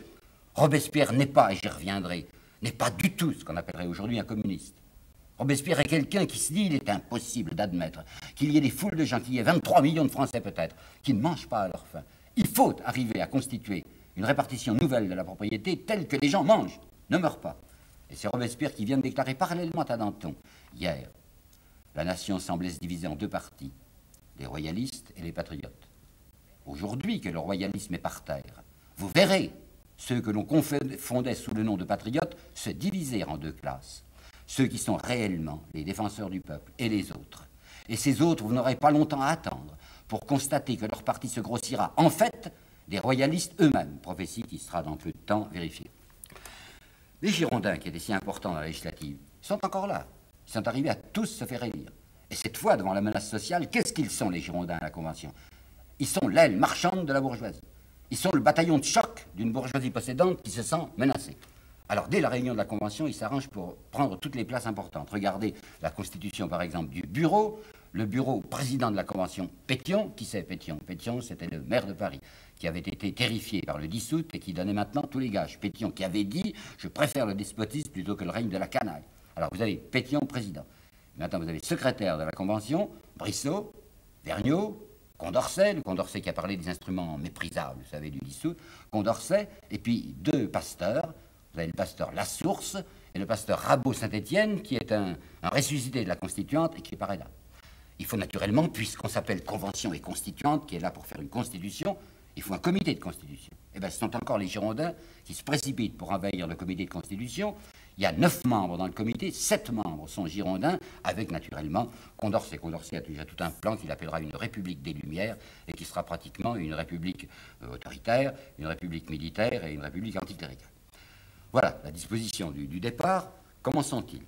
Eh bien, Ils sont furexcités, ils sont furieux contre Robespierre, à cause des paroles que Robespierre a prononcées, parce que c'est l'homme le plus dangereux. Et ils vont avoir un, truc, pardonnez-moi cette expression vulgaire, ils vont avoir un procédé de combat assez singulier. Ce procédé de combat consiste à appeler Prussiens ceux qui menacent la propriété telle qu'ils l'entendent. Alors là, je voudrais ouvrir une parenthèse. J'ai étudié, enfin longtemps avant d'avoir fait la Révolution française, d'avoir étudié la Révolution française, j'avais étudié la guerre de 70 ou la guerre de 70, comme on dit. Et j'avais fait là cette petite découverte qu'on m'a reprochée, mais enfin tout de même, je l'ai dit parce que je savais que c'était vrai que les gouvernants de 1870, au moment où la République a été proclamée, le 5 septembre, sont des gens qui sont terrifiés par le mouvement social qui peut se produire. Paris est assez révolutionnaire à ce moment-là, Et les gens qui ont pris le gouvernement sous le nom de gouvernement de la défense nationale sont en réalité un gouvernement de défense sociale. Ces gens s'intéressent beaucoup moins à l'invasion des Prussiens, des Prussiens de 1870, qu'aux menaces sociales. Ben, vous savez ce qu'ils vont, faire, les Jules? Jules Favre, Jules Ferry, Jules, Simon, Jules Trochu, ce qu'ils vont faire en 1870, c'est exactement ce qu'avaient fait déjà les Girondins et les gouvernants. Ce sont des, des préjules, si je puis dire, les Girondins. Ce sont des gens qui se disent mieux vaut, oh, mais mieux vaut certainement une invasion de la France que quelque chose qui touche à la structure des propriétés. Alors, une des astuces, une des scandaleuses astuces de ces fameux Jules de Paris, c'était d'appeler Prussiens les révolutionnaires parisiens. Et ces révolutionnaires, c'était justement des gens qui voulaient qu'on se batte. La patrie était en danger, comme disait Blanqui, et il fallait qu'on se batte contre les Prussiens. Or, les gens de 70, les gouvernants de 70, ne voulaient pas se battre. Et l'énorme scandale de ce qu'on a appelé la défense de Paris, c'est l'immobilité de l'armée afin que les Prussiens puissent gagner. Alors, les Jules disaient, vous, révolutionnaires, vous êtes des Prussiens. C'est exactement ce que j'ai retrouvé sur les lèvres des Girondins. Le pasteur Lassource, par exemple, le 17 septembre, écrit Les agents de l'étranger, les agents de l'étranger, se préparent à piller Paris.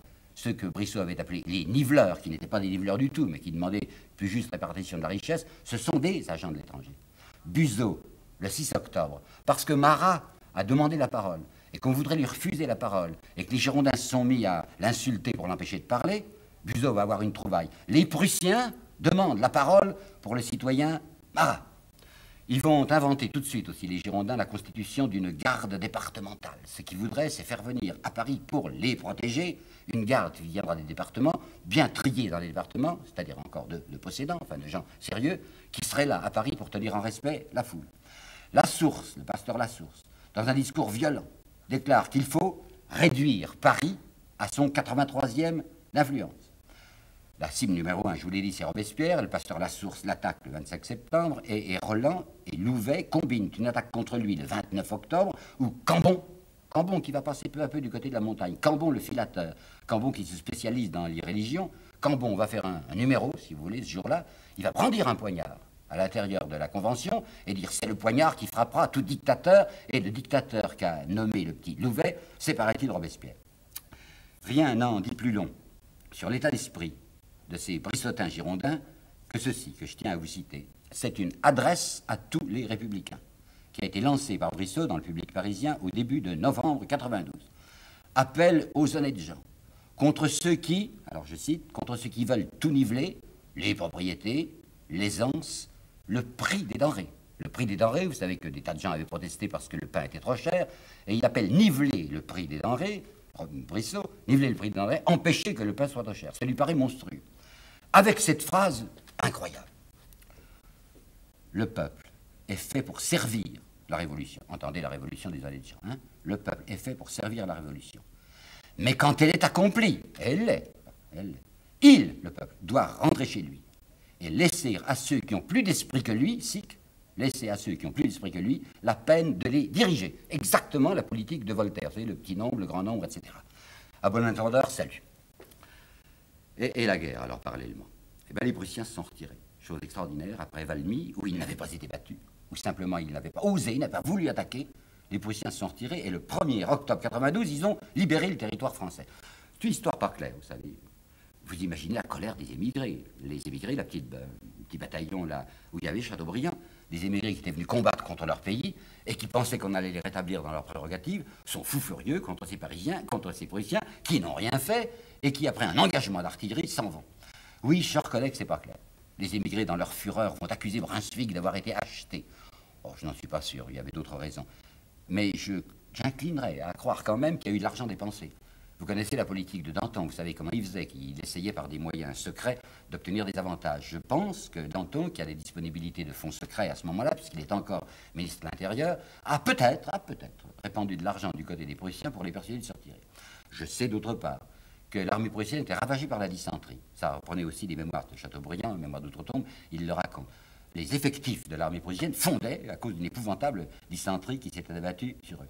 Et puis surtout, mais surtout, la Pologne, l'éternelle Pologne. La question de la Pologne n'est pas réglée. Les Prussiens se demandent ce qu'ils font à s'engager comme ça dans une guerre avec la France, alors que leur intérêt capital, pour surveiller ce que font les Autrichiens et ce que font les Russes, c'est la Pologne. Toujours est-il qu'ils s'en vont et que le 1er octobre 92, le territoire français est libéré. Ben alors, puisque le territoire est libéré, on peut passer aux choses sérieuses, on peut passer à la Constitution. Mais vous vous rappelez les raisons qu'avaient les Girondins de faire la guerre. Alors, pas question, parce que le territoire est libéré, pas question de s'arrêter. Il y a même une lettre aussi inouïe que le texte que je viens de vous lire de Brissot, une lettre de Roland, où avec une candeur incroyable, Roland dit il faut poursuivre la guerre parce que sans ça, les soldats vont revenir. Qu'est-ce que c'est que les soldats? C'est pour la plupart des volontaires. Qu'est-ce que c'est que les volontaires? C'est des paysans, c'est des ouvriers, c'est des illettrés, c'est du quatrième état, c'est des passifs. Et si les volontaires reviennent avec leurs fusils entre les mains qu'on n'aura peut-être pas pu leur arracher, qu'est-ce qui va advenir de la République, de leur République bourgeoise? Par conséquent, à tout prix, occuper les soldats, continuer la guerre. Mais deuxièmement, une raison encore bien plus importante, je vous l'ai indiqué, les Girondins ont fait la guerre pour des raisons d'argent, parce qu'ils voulaient de l'argent.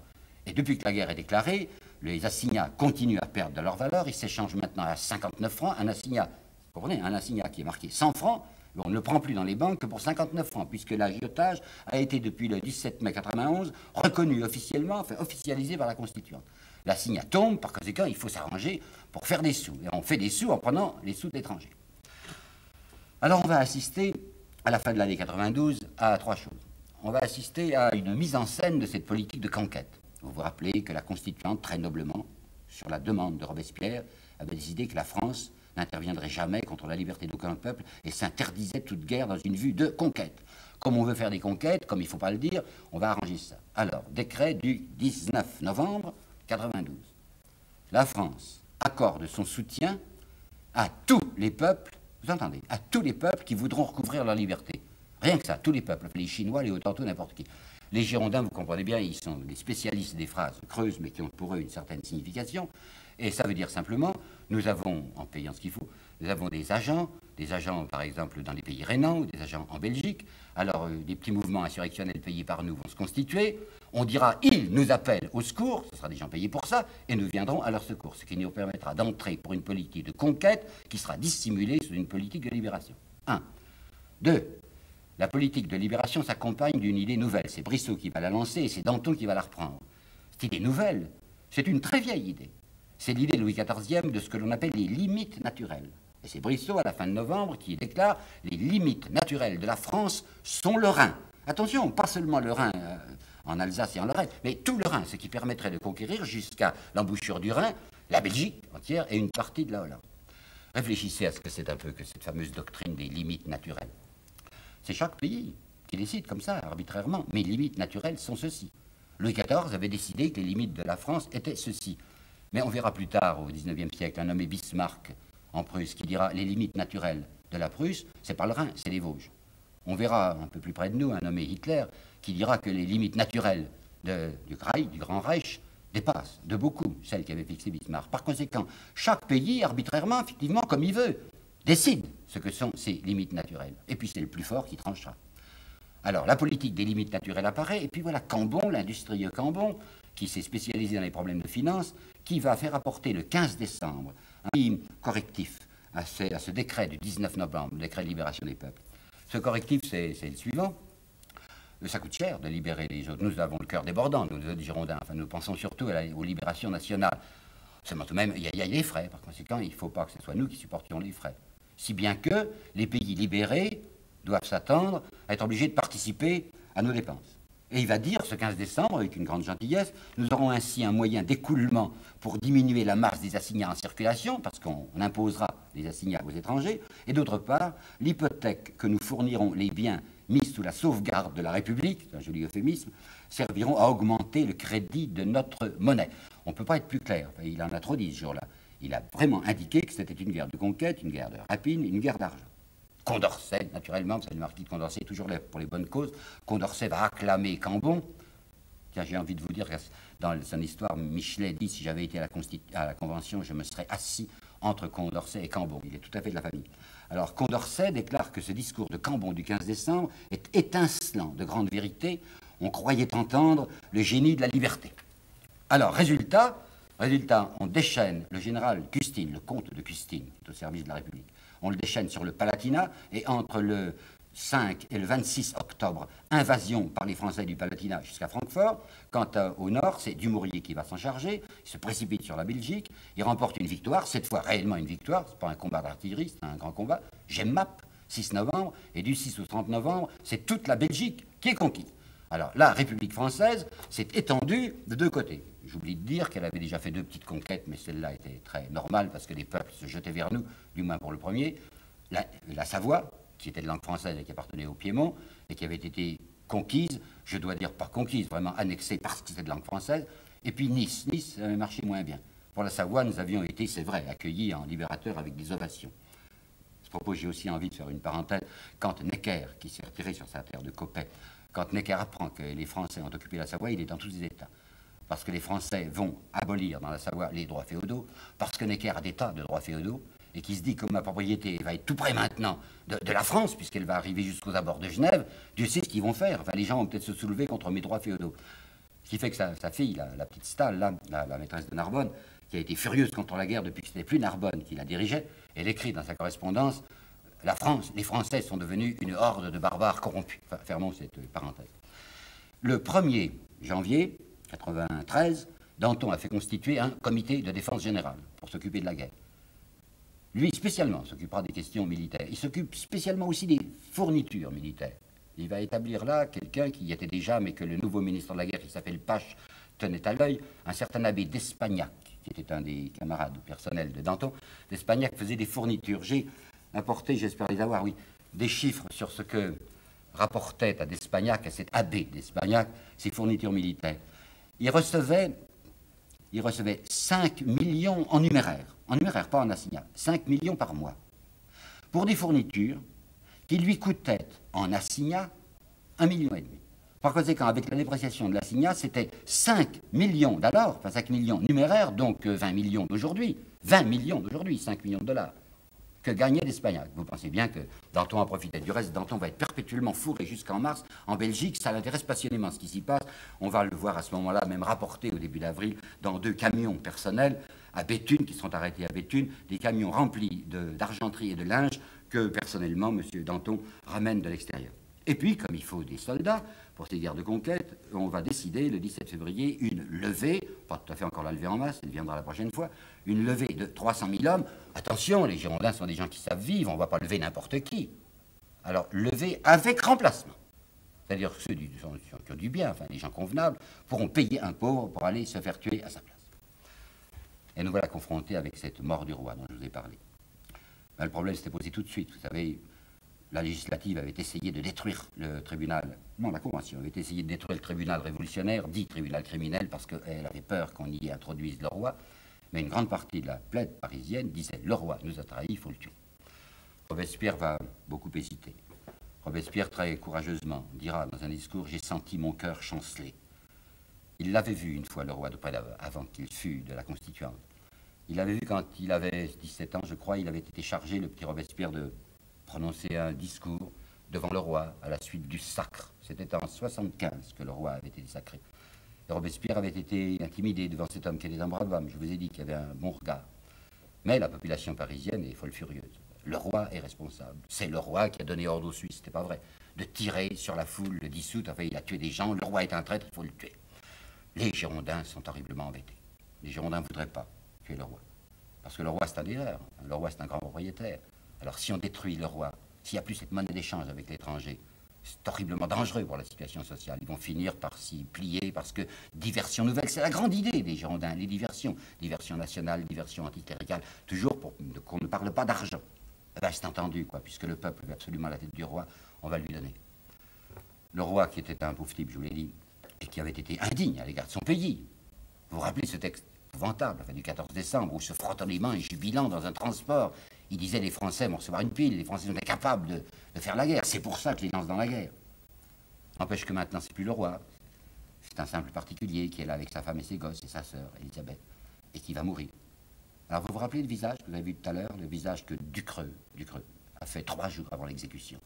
Autrefois, ce roi, il était tout gonflé assez moche. Il n'avait pas de noblesse, pas de dignité.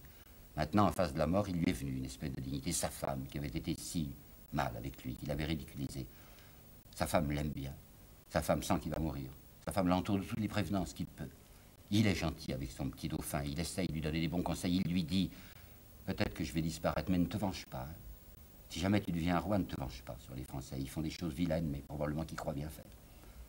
Jusqu'à la fin, le roi va croire qu'on va le sauver. S'imagine qu'il y a des gens dans Paris, il en a en effet, des gens qui vont faire un coup. Et sur la guillotine même, quand il va monter avec ce prêtre qu'on l'a autorisé à avoir un prêtre réfractaire, mais enfin qui n'était pas tout à fait français, l'abbé Edgevort, donc on avait autorisé le roi à avoir cet homme qui le conduirait jusqu'à la guillotine. Quand il s'approche de la guillotine pour prononcer quelques paroles, il dit Je suis innocent en français. Et à ce moment-là, c'est le comte de Beaufranchet et non pas Santerre qui va dire au tambour roulé pour lui couvrir la voix. À ce moment-là, il y a encore des chances que le roi se disait Il va peut-être se produire dans cette foule qui est là un mouvement pour me sauver. Et non, il n'y aura pas de mouvement. Alors vous savez qu'on le couche sur la guillotine, il avait le coup très gras. Là, le coup près de la guillotine est mal tombé, peut-être parce qu'il avait le coup trop gras. Il a fallu que Samson, Samson qui était le, bourreau, appuie ses deux mains sur le coup près pour arriver à trancher la tête. Et silence dans la foule. Aucune acclamation. On a remarqué là égalité. Égalité, c'est épouvantable, duc d'Orléans. Que Danton était arrivé à faire élire à Paris. Dans cette députation d'extrême gauche de Paris, de la Convention, il y avait égalité, il y avait le duc d'Orléans. Il est là, qui regarde. C'était le dernier qui aurait dû être là. Il avait voté la mort du roi. Il était là, paraît-il, avec une redingote violette et une petite badine et un chapeau rond. Et il regardait cet homme qui avait contribué à pousser à la guillotine. Je voudrais finir sur cette mort du roi par un mot de Victor Hugo, qui est peu connu. Je crois même que c'était moi qui l'avais trouvé dans les carnets intimes il y a quelques années. J'en suis pas sûr, pardonnez-moi. Hugo disait Si le roi n'avait pas été guillotiné, l'histoire n'aurait vu que son ventre. La guillotine lui a rendu service. Maintenant, on ne voit plus que sa tête. Cette dramatique que vous avez vue tout à l'heure. Revenons à la situation intérieure. Ben, la situation intérieure, elle est compliquée parce qu'il y a des émeutes. Des émeutes pas tellement politiques, des émeutes de la faim, des gens qui crèvent. Alors Robespierre est toujours là pour les soutenir et il va dire les choses comme ceci. Quel est le premier objet de la société? C'est de maintenir les droits imprescriptibles de l'homme. Et quel est le premier de ces droits? Celui d'exister.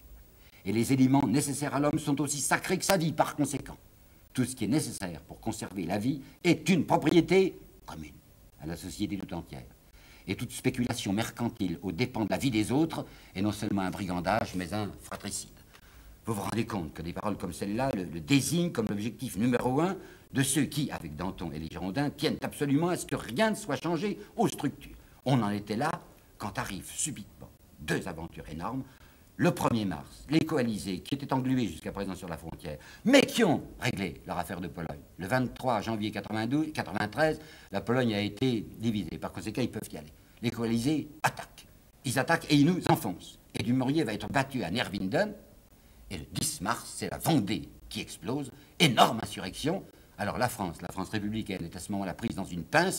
Vous avez les coalisés qui attaquent cette fois pour de bon sur le nord et l'est, et vous avez à l'ouest la Vendée qui prend feu. C'est la grande crise de 93.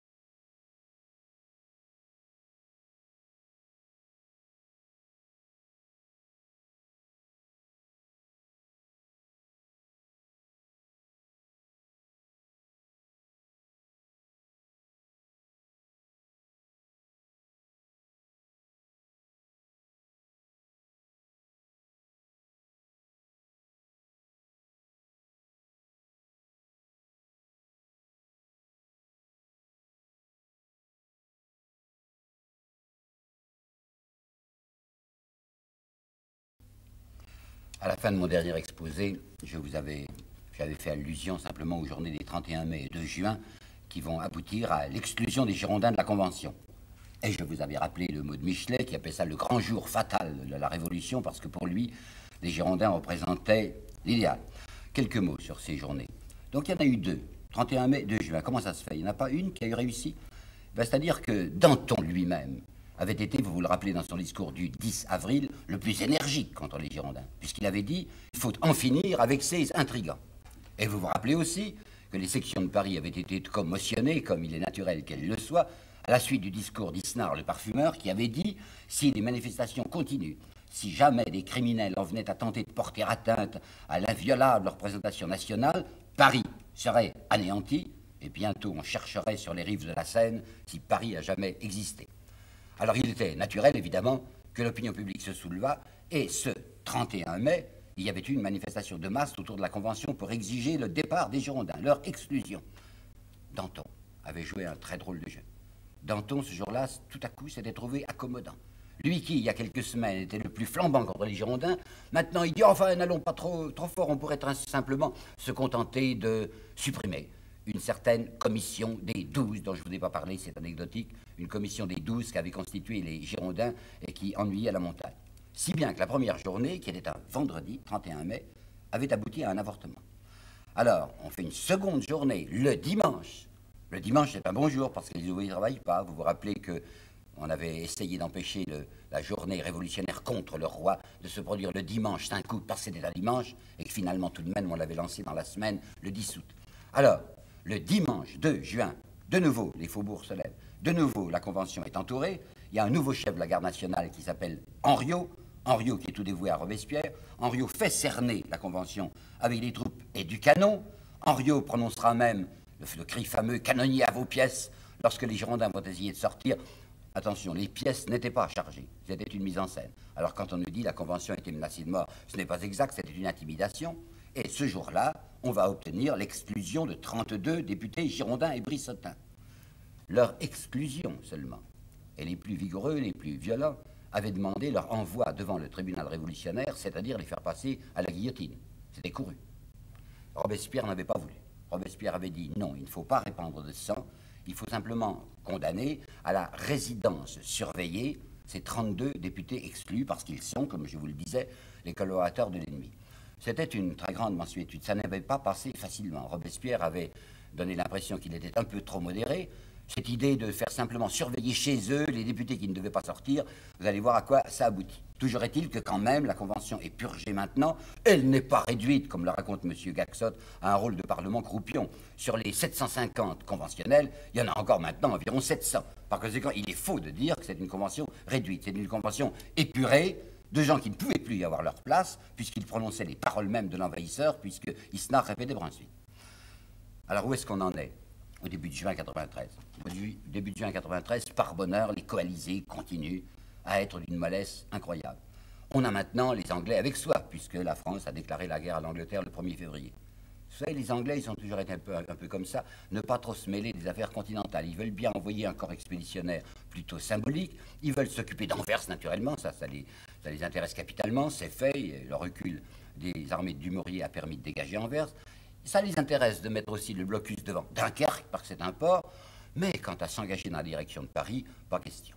Par conséquent, par bonheur, et une fois de plus, la République est sauvée par cette mollesse des coalitions. Mais, il y a la Vendée.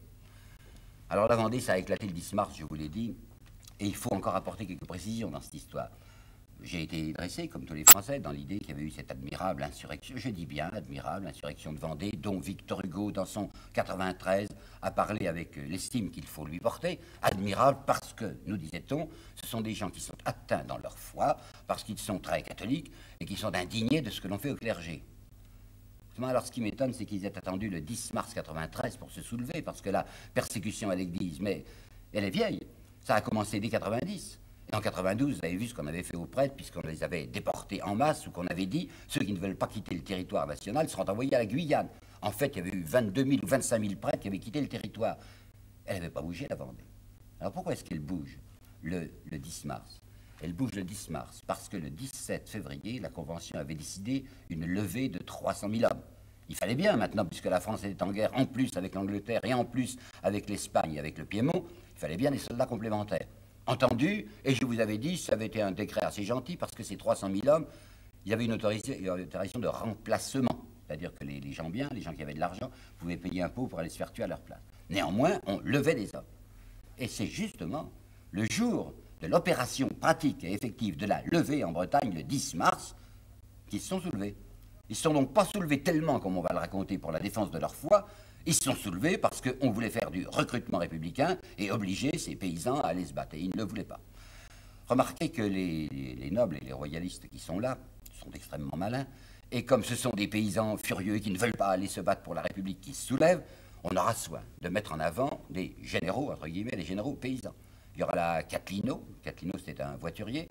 Il y aura Stofflet, qui était un garde-chasse du comte de Montlévrier. Alors on dira, ce sont les paysans qui suivent leur propre chef, leur chef du terroir, le paysan Catlino, le paysan Stofflet.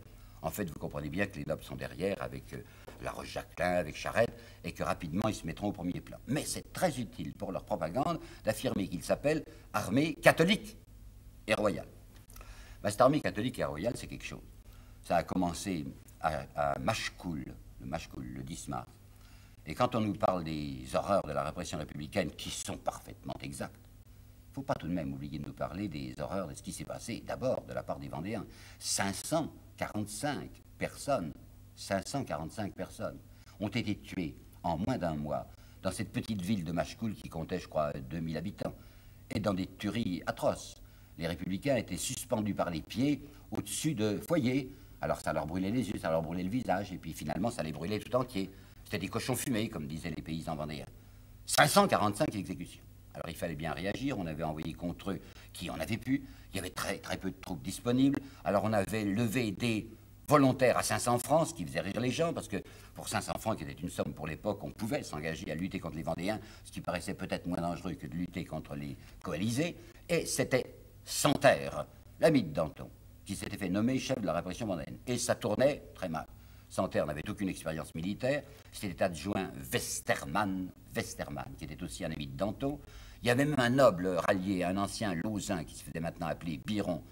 Eh ce général de Biron, cet aristocrate, avait accepté de prendre du service de la Convention contre les Vendéens. Mais tout ça s'opérait dans des conditions misérables. Les troupes, ces volontaires à 500 francs, n'étaient pas extrêmement courageuses. Et on avait trouvé aussi le moyen d'envoyer là des déserteurs autrichiens parce que les troupes françaises avaient tort, quand elles étaient face à l'ennemi, de brandir des billets, des assignats de 100 livres, et de dire aux soldats qui étaient dans les tranchées, il n'y avait pas de tranchées, mais qui étaient dans le camp adverse, si vous venez chez nous, vous aurez 100 livres par an. Et un certain nombre de déserteurs prussiens et autrichiens étaient passés. Alors on avait envoyé ces racailles contre les Vendéens, c'était de drôles de troupes, si bien que les armées républicaines étaient plusieurs fois battues. La mensuétude de Robespierre, dont je vous ai parlé le 2 juin, lorsque Robespierre s'était absolument opposé à ce que l'on tuât les Girondins, c'est-à-dire qu'on les envoya devant le tribunal révolutionnaire, elle lui coûte cher. En effet, sur les 32 qui ont été arrêtés, qui sont en résidence surveillée, 20 s'échappent. S'échappent tout de suite, ils étaient à peine surveillés. Et qu'est-ce qu'ils vont faire? Eh bien, Vergniaud et ses camarades se réunissent à Caen, en Normandie. Et là, carrément, ils lèvent, ils lèvent, vous entendez les Girondins, ils lèvent une petite armée pour marcher contre Paris. Cette fois, les voiles sont déchirées. Cette fois, les Girondins qui, avec dans la voix de Vergniaud le 4 mai, avait dit Homme de la Gironde, levez-vous, ils se lèvent pour de bon, militairement. Ils joignent leurs efforts à ceux de la Vendée, joignent leurs efforts à ceux des coalisés, et avec le général Wimpfen, essayent de marcher sur Paris. Le 6 juin, c'est Marseille. Marseille, où il y avait déjà une municipalité honnête, qui maintenant fait une municipalité à la fois girondine et royaliste. Sécession de Marseille par rapport à Paris. Le 7 juin, c'est Bordeaux, et Bordeaux annonce la constitution à Bourges d'une sorte de contre-convention. Le 12 juillet, c'est Toulon, et ça dans des circonstances navrantes. Toulon flotte.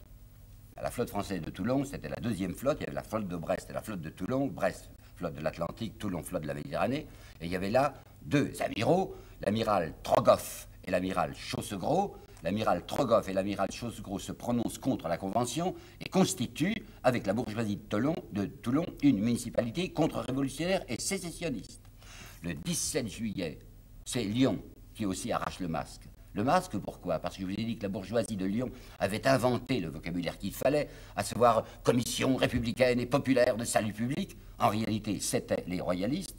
Et le 17 juillet, les royalistes font un coup de force contre les ouvriers et font passer à la guillotine Chalier. Chalier, le mystique républicain qui avait demandé des 6 millions, 6 millions aux riches. Si bien qu'à la fin de juin 93, 60, 60 départements français, grâce aux Girondins, sont en rébellion contre Paris. Vous vous rendez compte de la situation. Alors voilà ce qui va se produire. Il va se produire que Danton, qui a été lamentablement mou dans la, direction de son comité de salut public de juillet, Danton qui vient de se remarier le 17 juin, avec une toute petite fille. Il a 35 ans, Danton, et sa femme était morte en février. Il se remarie le 17 juin avec une gamine qui a 15 ans. Danton, qui est passionné par ce nouveau mariage, ne travaille pas. Il avait fait des choses d'une mollesse euh, insigne, puisqu'il avait laissé plusieurs des Girondins décrétés d'arrestation, arrestation de résidence surveillée le 2 juin. Il en avait laissé deux qui étaient ministres continuer à exercer leur fonction de ministre. Vous aviez Clavière, vous aviez Lebrun, qui ridiculement venaient au Conseil des ministres accompagnés d'un gendarme, mais continuaient leurs opérations. Danton s'était spécialisé, je vous l'ai dit, dans les affaires militaires. Il détestait celui qui était chargé de la guerre. Ça avait été d'abord Pache, c'était maintenant le colonel Bouchotte au comité exécutif. Vous vous rappelez, ce comité exécutif provisoire qui, tant que la Constitution n'existe pas, est tout de même là. Et Bouchotte, le colonel Bouchotte, était quelqu'un qui aurait voulu lutter contre le système abominable des fournitures militaires. Danton avait déjà obtenu la tête de Pache, toujours sur des questions de fournitures militaires, parce que Dumouriez n'aimait pas Pache. C'était du temps où Dumouriez et Danton étaient collés comme ça. Maintenant, il n'y a plus de Pache, il est devenu maire de Paris. C'est Bouchotte, le colonel Bouchotte, qui lui aussi voudrait remettre de l'ordre dans cette question des fournitures. Et Danton est arrivé à imposer d'Espagnac, l'abbé d'Espagnac, vous savez, qui gagnait, qui gagnait 5 millions or par mois dans les fournitures militaires, c'est Danton qui est arrivé à remettre d'Espagnac. Alors, par bonheur, lorsque le comité de salut public va être renouvelé, il était renouvelé mensuellement, et que nous arrivons au 10 juillet, où il va être renouvelé, Danton dit Oh, je suis fatigué, j'ai pas envie d'y entrer. Il annonce de me faire renouveler, par conséquent, Danton se retire le 10 juillet. Alors Robespierre fait entrer le 10 juillet au comité de salut public trois hommes, trois hommes sûrs. C'est Couton, c'est Saint-Just et c'est le pasteur Jambon Saint-André. Les voilà qui entrent au comité. Alors vous me dites, mais pourquoi est-ce que Robespierre n'y entre pas? Robespierre n'y entre pas pour une première raison, et que voici? Robespierre est un homme malade. Depuis 1789, Robespierre est constamment sur la brèche. Non seulement quand il était constituant, puis quand il est maintenant conventionnel, il assiste, bien sûr, c'est son devoir, à toutes les réunions, mais en plus, il travaille au Girondin, aux Jacobins. Et lorsqu'il n'était pas membre de la législative, puisque personne de la constituante ne pouvait être membre de la législative, il était là tous les jours aux Jacobins prononçant des discours. Un homme qui habite, vous le savez, chez ce menuisier Duplay, petit appartement extrêmement simple, il a une petite mansarde, sa fenêtre donne sur le hangar où travaillent les menuisiers. Cet homme pense, mais fait vraiment du matin au soir, à ce travail révolutionnaire. Il dort pas. Il est extrêmement là. Même le 12 juin, il avait annoncé qu'il allait se retirer, qu'il n'en pouvait plus. Alors quand un nouveau comité de salut public se constitue, il dit Je ne suis pas de taille à prendre sur mes épaules cette responsabilité. Si bien que le 10 juillet se constitue un CSP, un comité de salut public, sans Robespierre, mais avec trois amis.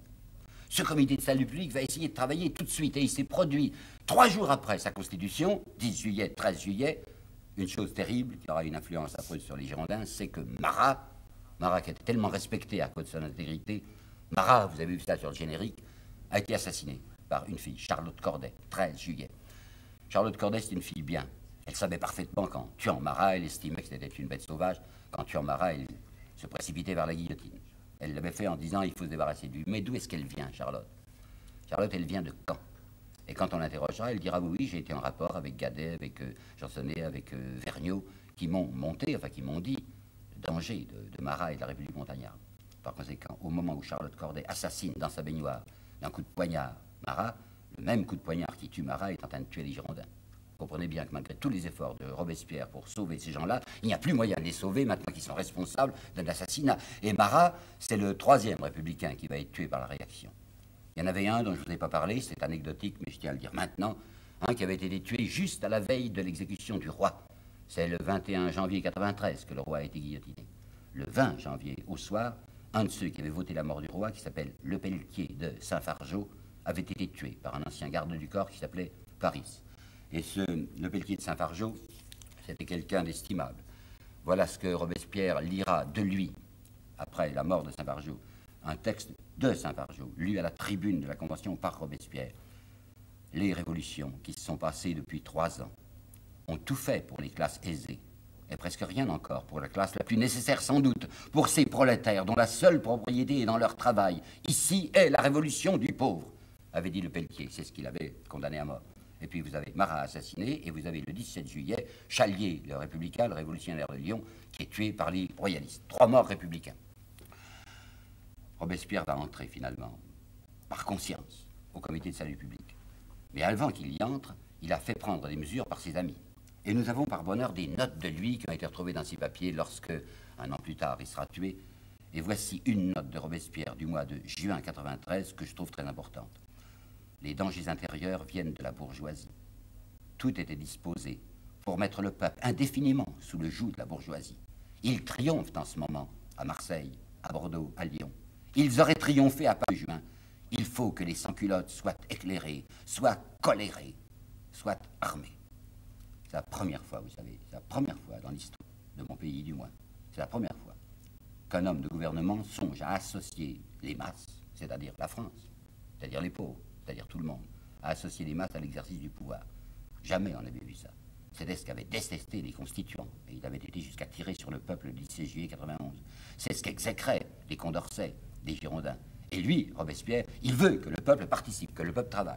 Alors on avait pris déjà un certain nombre de mesures, on, c'est-à-dire Couton, Saint-Just et, et Jambon-Saint-André. Le 3 juin, les biens d'émigrés qui ont été saisis vont être vendus par parcelle parce que les parce que les montagnards à la Robespierre ne veulent pas qu'on recommence le coup qu'on a fait avec les biens du clergé. Où sont-ils passés, les biens du clergé? Entre les mains de la bourgeoisie. Ils l'ont encore, encore accru son pouvoir. Cette fois, ce sera par petites parcelles pour que les paysans pauvres puissent en obtenir. Le 10 juin, partage des biens communaux et en faveur des plus déshérités. Le 24 juin, Robespierre a prononcé une parole qui est menaçante parce que sans rien dire, c'était contre Danton. Danton essayait maintenant, alors que la situation était si dramatique, essayait encore des négociations avec l'étranger. Il était prêt à bâcler une peine n'importe comment. Le 24 juin, Robespierre fait prendre le décret que voici. La République ne traite en aucun cas avec un ennemi qui occupe son territoire. Et le même 24 juin, Robespierre a obtenu le vote de la, nouvelle euh, Constitution. Il n'a pas obtenu ce qu'il voulait. Il n'a pas obtenu que l'on mit dans la Constitution ces restrictions au droit de la propriété dont je vous ai parlé l'autre jour en les soulignant beaucoup. Robespierre disait c'est faux que la propriété soit toujours sacrée et inviolable. Il y a des propriétés inadmissibles. Et bien ça, la Convention, qui est composée tout de même d'un ventre, vous savez, d'un marais considérable, de notables, de propriétaires, la Convention n'a pas voulu suivre. Du moins a-t-il obtenu, dans sa Constitution du 24 juin, la reconnaissance, un, du droit au travail, c'est-à-dire que les Français, la collectivité française, garantit à chacun du travail, c'est ce qu'en 1848 les révolutionnaires demanderont et ce qui sera naturellement écarté. Droit au travail, droit à l'assistance, et droit à l'instruction. Robespierre se préoccupe de l'instruction publique, car il veut non seulement colérer, mais éclairer le petit peuple, c'est-à-dire leur ouvrir les yeux sur leurs conditions d'exploiter. Et voici le 27 juillet. 27 juillet, un membre du comité de salut public est parti, c'était Gasparin. Et il était parti parce que le comité de salut public avait prononcé l'arrestation d'un général. On n'avait jamais vu une chose pareille. Ce comité de salut public rénové agissait. Et le général Custine, qui n'avait pas su défendre Mayence, Mayence avait été encerclé pendant des mois et Custine n'avait rien fait pour le défendre, Custine est arrêté et va passer dans le tribunal révolutionnaire. Alors, un des membres d'Antoniste, bien sûr, d'Antoniste du comité de salut public, l'abbé Gasparin, avait dit Moi, je m'y oppose, je trouve ça dégoûtant, je ne veux absolument pas qu'on touche aux généraux. Alors, comme il y a une place vacante, c'est Jambon, Jambon Saint-André, vous savez, le, pasteur, l'ami de Robespierre, qui va trouver Robespierre. Il lui dit Il faut que vous veniez. Je vous assure qu'il n'en a aucune envie, Robespierre. Mais il y va tout de même. Il est malade, il est souffrant, il n'en peut plus. Il dit Est-ce que je pourrais porter un poids pareil sur mes épaules? Mais je crois qu'il faut. Le 27 juillet 1793, 27 juillet, Robespierre entre au comité de salut public. Et si je viens de répéter 27 juillet, c'est que quand est-ce qu'il va mourir, Robespierre? Quand est-ce qu'on va le tuer? Le 27 juillet 94. Par conséquent, le jour où Robespierre entre au comité de salut public, il a juste, juste un an à vivre. On va nous parler, tous les livres nous parleront de la dictature de Robespierre. Mais qu'est-ce que c'est que cette blague? C'est pas un tyran, Robespierre. C'est un membre du comité de salut public. Et le comité de salut public est renouvelable et renouvelé, en effet, tous les mois. Le comité de salut public, c'est une délégation de la Convention. Il n'y a absolument aucune tyrannie, il y a simplement le prestige personnel d'un Robespierre qui, depuis 1791, dans l'opinion publique, est appelé l'incorruptible, et c'est précisément cette autorité morale, ce prestige moral de Robespierre qui va entraîner sa perte, parce qu'on le détestera. Alors qu'est-ce qu'il fait? Robespierre, membre du comité de salut public, il se préoccupe de l'unité nationale. Il y a les 60 départements qui sont en révolte, il faut essayer d'écraser ça. Alors, il va envoyer une expédition militaire pour arrêter Wimpfen. Wimpfen, c'est le général qui est au service des Girondins de Caen. À Vernon, il, serait, est pulvérisé, la petite route de Wimpfen. Ça, c'est arrangé. Lyon, maintenant. Lyon voudrait bien s'arranger avec Marseille et avec euh, Toulon, puisque ce sont des villes en insurrection, pour faire une espèce d'énorme rébellion, une Vendée, une Vendée du Sud-Est, si vous voulez. Heureusement, il y a un département fidèle entre Lyon et la Provence. Il y a la Drôme. Dans la Drôme, il y a un nommé Julien. Julien de la Drôme, pas tout à fait différent d'un autre Julien qui lui est pasteur, qui est de Julien de Toulouse et qui est un affairiste et un corrompu. Non, ce petit Julien de la Drôme est un homme qui comprend ce qu'il faut faire. Il faut absolument empêcher les Lyonnais d'avoir une unité avec le Midi. Alors il fait tenir tranquille cette Drôme grâce à son prestige personnel et Lyon est coupé de cet appui du Midi sur lequel il comptait. Marseille, du reste, va être repris militairement le 25 août. Les départements se rallient en grand nombre parce que vous savez, c'était humain, enfin on va toujours du côté de la victoire. Et comme euh, la victoire pense maintenant du côté de la République et du côté de la Gironde, ces départements se disent il ne faut pas se mettre mal avec Paris, ils se rallient. Et enfin, la guerre de Vendée va être conduite d'une autre façon. Kléber, le jeune général Kléber, avait commandé la forteresse de Mayence qui avait été encerclée depuis le mois de mars, depuis, oui, depuis mars, et qui avait tenu jusqu'au 25 juillet. C'est pour ça qu'on avait condamné Custine parce qu'il n'était pas venu au secours de Mayence. Lorsque Mayence va être obligé de se rendre parce qu'ils sont dans la famine, ce 25 juillet, les Autrichiens vont accepter que la garnison sorte, non pas seulement avec ses bagages, comme on dit, mais avec armes et bagages. Et les Mayençais, comme on va dire, sous la conduite de Kléber, vont sortir alors que les Autrichiens leur présentent les armes.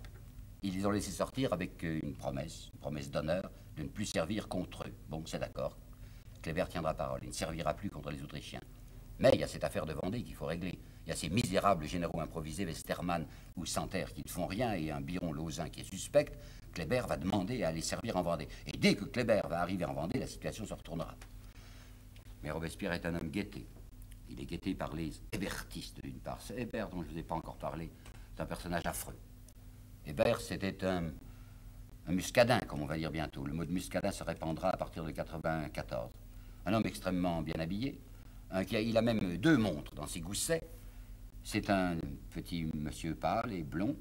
Il a épousé une ex-religieuse et il a lancé un journal ordurier qui s'appelle Le Père du Chêne et qui a malheureusement une très grande diffusion. Je voudrais vous apporter, oui, deux citations du Père du Chêne pour vous montrer le genre de ce monsieur Hébert. Il parle de Madame Roland, Manon Roland. Vous savez, la pauvre petite Manon, elle avait été arrêtée. Cette salope édentée, cette salope édentée, dit-il, avec ses faux cheveux. Non, elle avait d'admirables cheveux noirs. Pleure tes crimes, vieille guenon, en attendant que tu les expies sur l'échafaud, foutre. Sur Marie-Antoinette, la veuve maintenant, elle est seule dans sa prison du Temple, et elle va passer à la guillotine. On ne sait pas quel est le goujat qui lui a fabriqué ces avortons d'enfants, éclopés et bossus, sortis de ce ventre ridé à triple étage. Oui, il y a de quoi être écœuré. Et bien évidemment, le père du chêne, avec euh, Hébert, groupe autour de lui des impatients des gens qui gâtent Robespierre, qui trouvent que Robespierre était bien trop mou, que Robespierre a, été absurde de ne pas vouloir faire tuer les Girondins, qu'il faut les faire tuer. Sont des hommes de sang. Notez qu'autour d'Hébert, il y a des types bien. Billot, Billot Varenne, par exemple. C'est quelqu'un de parfaitement estimable. Mais il fait partie de ce groupe excité. Il y en a de bons, il y en a de mauvais, comme toujours. Vincent, Roncin, Vincent, c'est le collaborateur, le premier collaborateur de Bouchotte. Bouchotte, le ministre de la Guerre. Et Vincent est quelqu'un de bien. Ronsin, chef de l'armée révolutionnaire dont je vais vous parler, c'est quelqu'un de moins bien. Toujours est-il qu'il y a autour de ce groupe-là des hébertistes, des gens qui sont contre Robespierre. Et Danton. Danton, maintenant, il commence à être fatigué un peu de ses amours nouvelles avec sa petite femme de 15 ans et il va commencer à essayer de travailler. Alors, qu'est-ce qu'il fait? Danton lance d'abord un ami qui s'appelle Lacroix, ou de Lacroix, mais il avait fait tomber le 2. Ce gros Lacroix, qui était encore plus gros que Danton, qui était une espèce de pince, l'avait accompagné à bien des reprises dans ses pillages de Belgique. Alors le 11 août, la Croix, poussée par Danton, réclame l'application immédiate de la Constitution. Comment? Appliquer la Constitution maintenant, au moment où la France est divisée, est envahie Pas possible, cette Constitution ne peut s'appliquer que quand la paix victorieuse sera venue.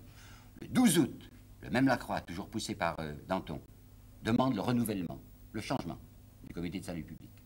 La convention ne marche pas, on va maintenir Robespierre et ses amis.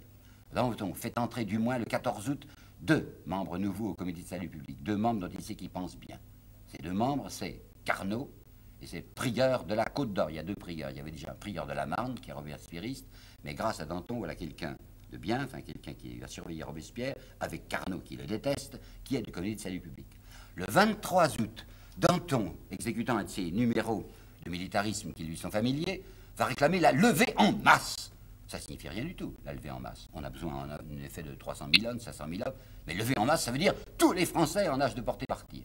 Numéro qu'il exécute pour se mettre en avant. Robespierre ne veut pas prendre position contre cette levée en masse, puisque ça fait très démagogique, mais il demande simplement, bon, ben, décidons la levée en masse, mais à condition qu'il n'y aura plus de remplacement militaire, que les riches partent aussi. Ça, ça ne plaît pas beaucoup à Danton. Mais Danton est à ce moment-là dans une certaine idée d'extrême gauche, le fameux turbo, vous savez, il coûte que.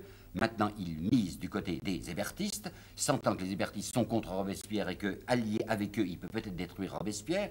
Et le voilà qui, le 25 août, dans un discours aux Jacobins, déclare Je me fais honneur d'être né sans culotte. Mais c'est pas vrai. Il n'est pas du tout né sans culotte, c'est le fils d'un procureur. C'est un monsieur qui est bien loin d'être sans culotte maintenant, qui est un gros propriétaire. Et voilà que, le 28 août, une nouvelle terrible arrive sur Paris. Toulon. Toulon était déjà en sécession. Enfin, il y avait tout de même la flotte qui était là. Les deux amiraux dont je vous ai parlé, l'amiral Torgoff et l'amiral Chosegros, livrent, livrent leur flotte aux Anglais. Décidément, il n'a pas beaucoup de chance, la Révolution, avec ses généraux, avec ses amiraux.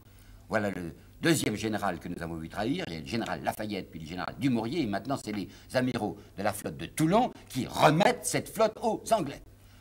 Cette nouvelle arrive à Paris le 29 et le 30 août.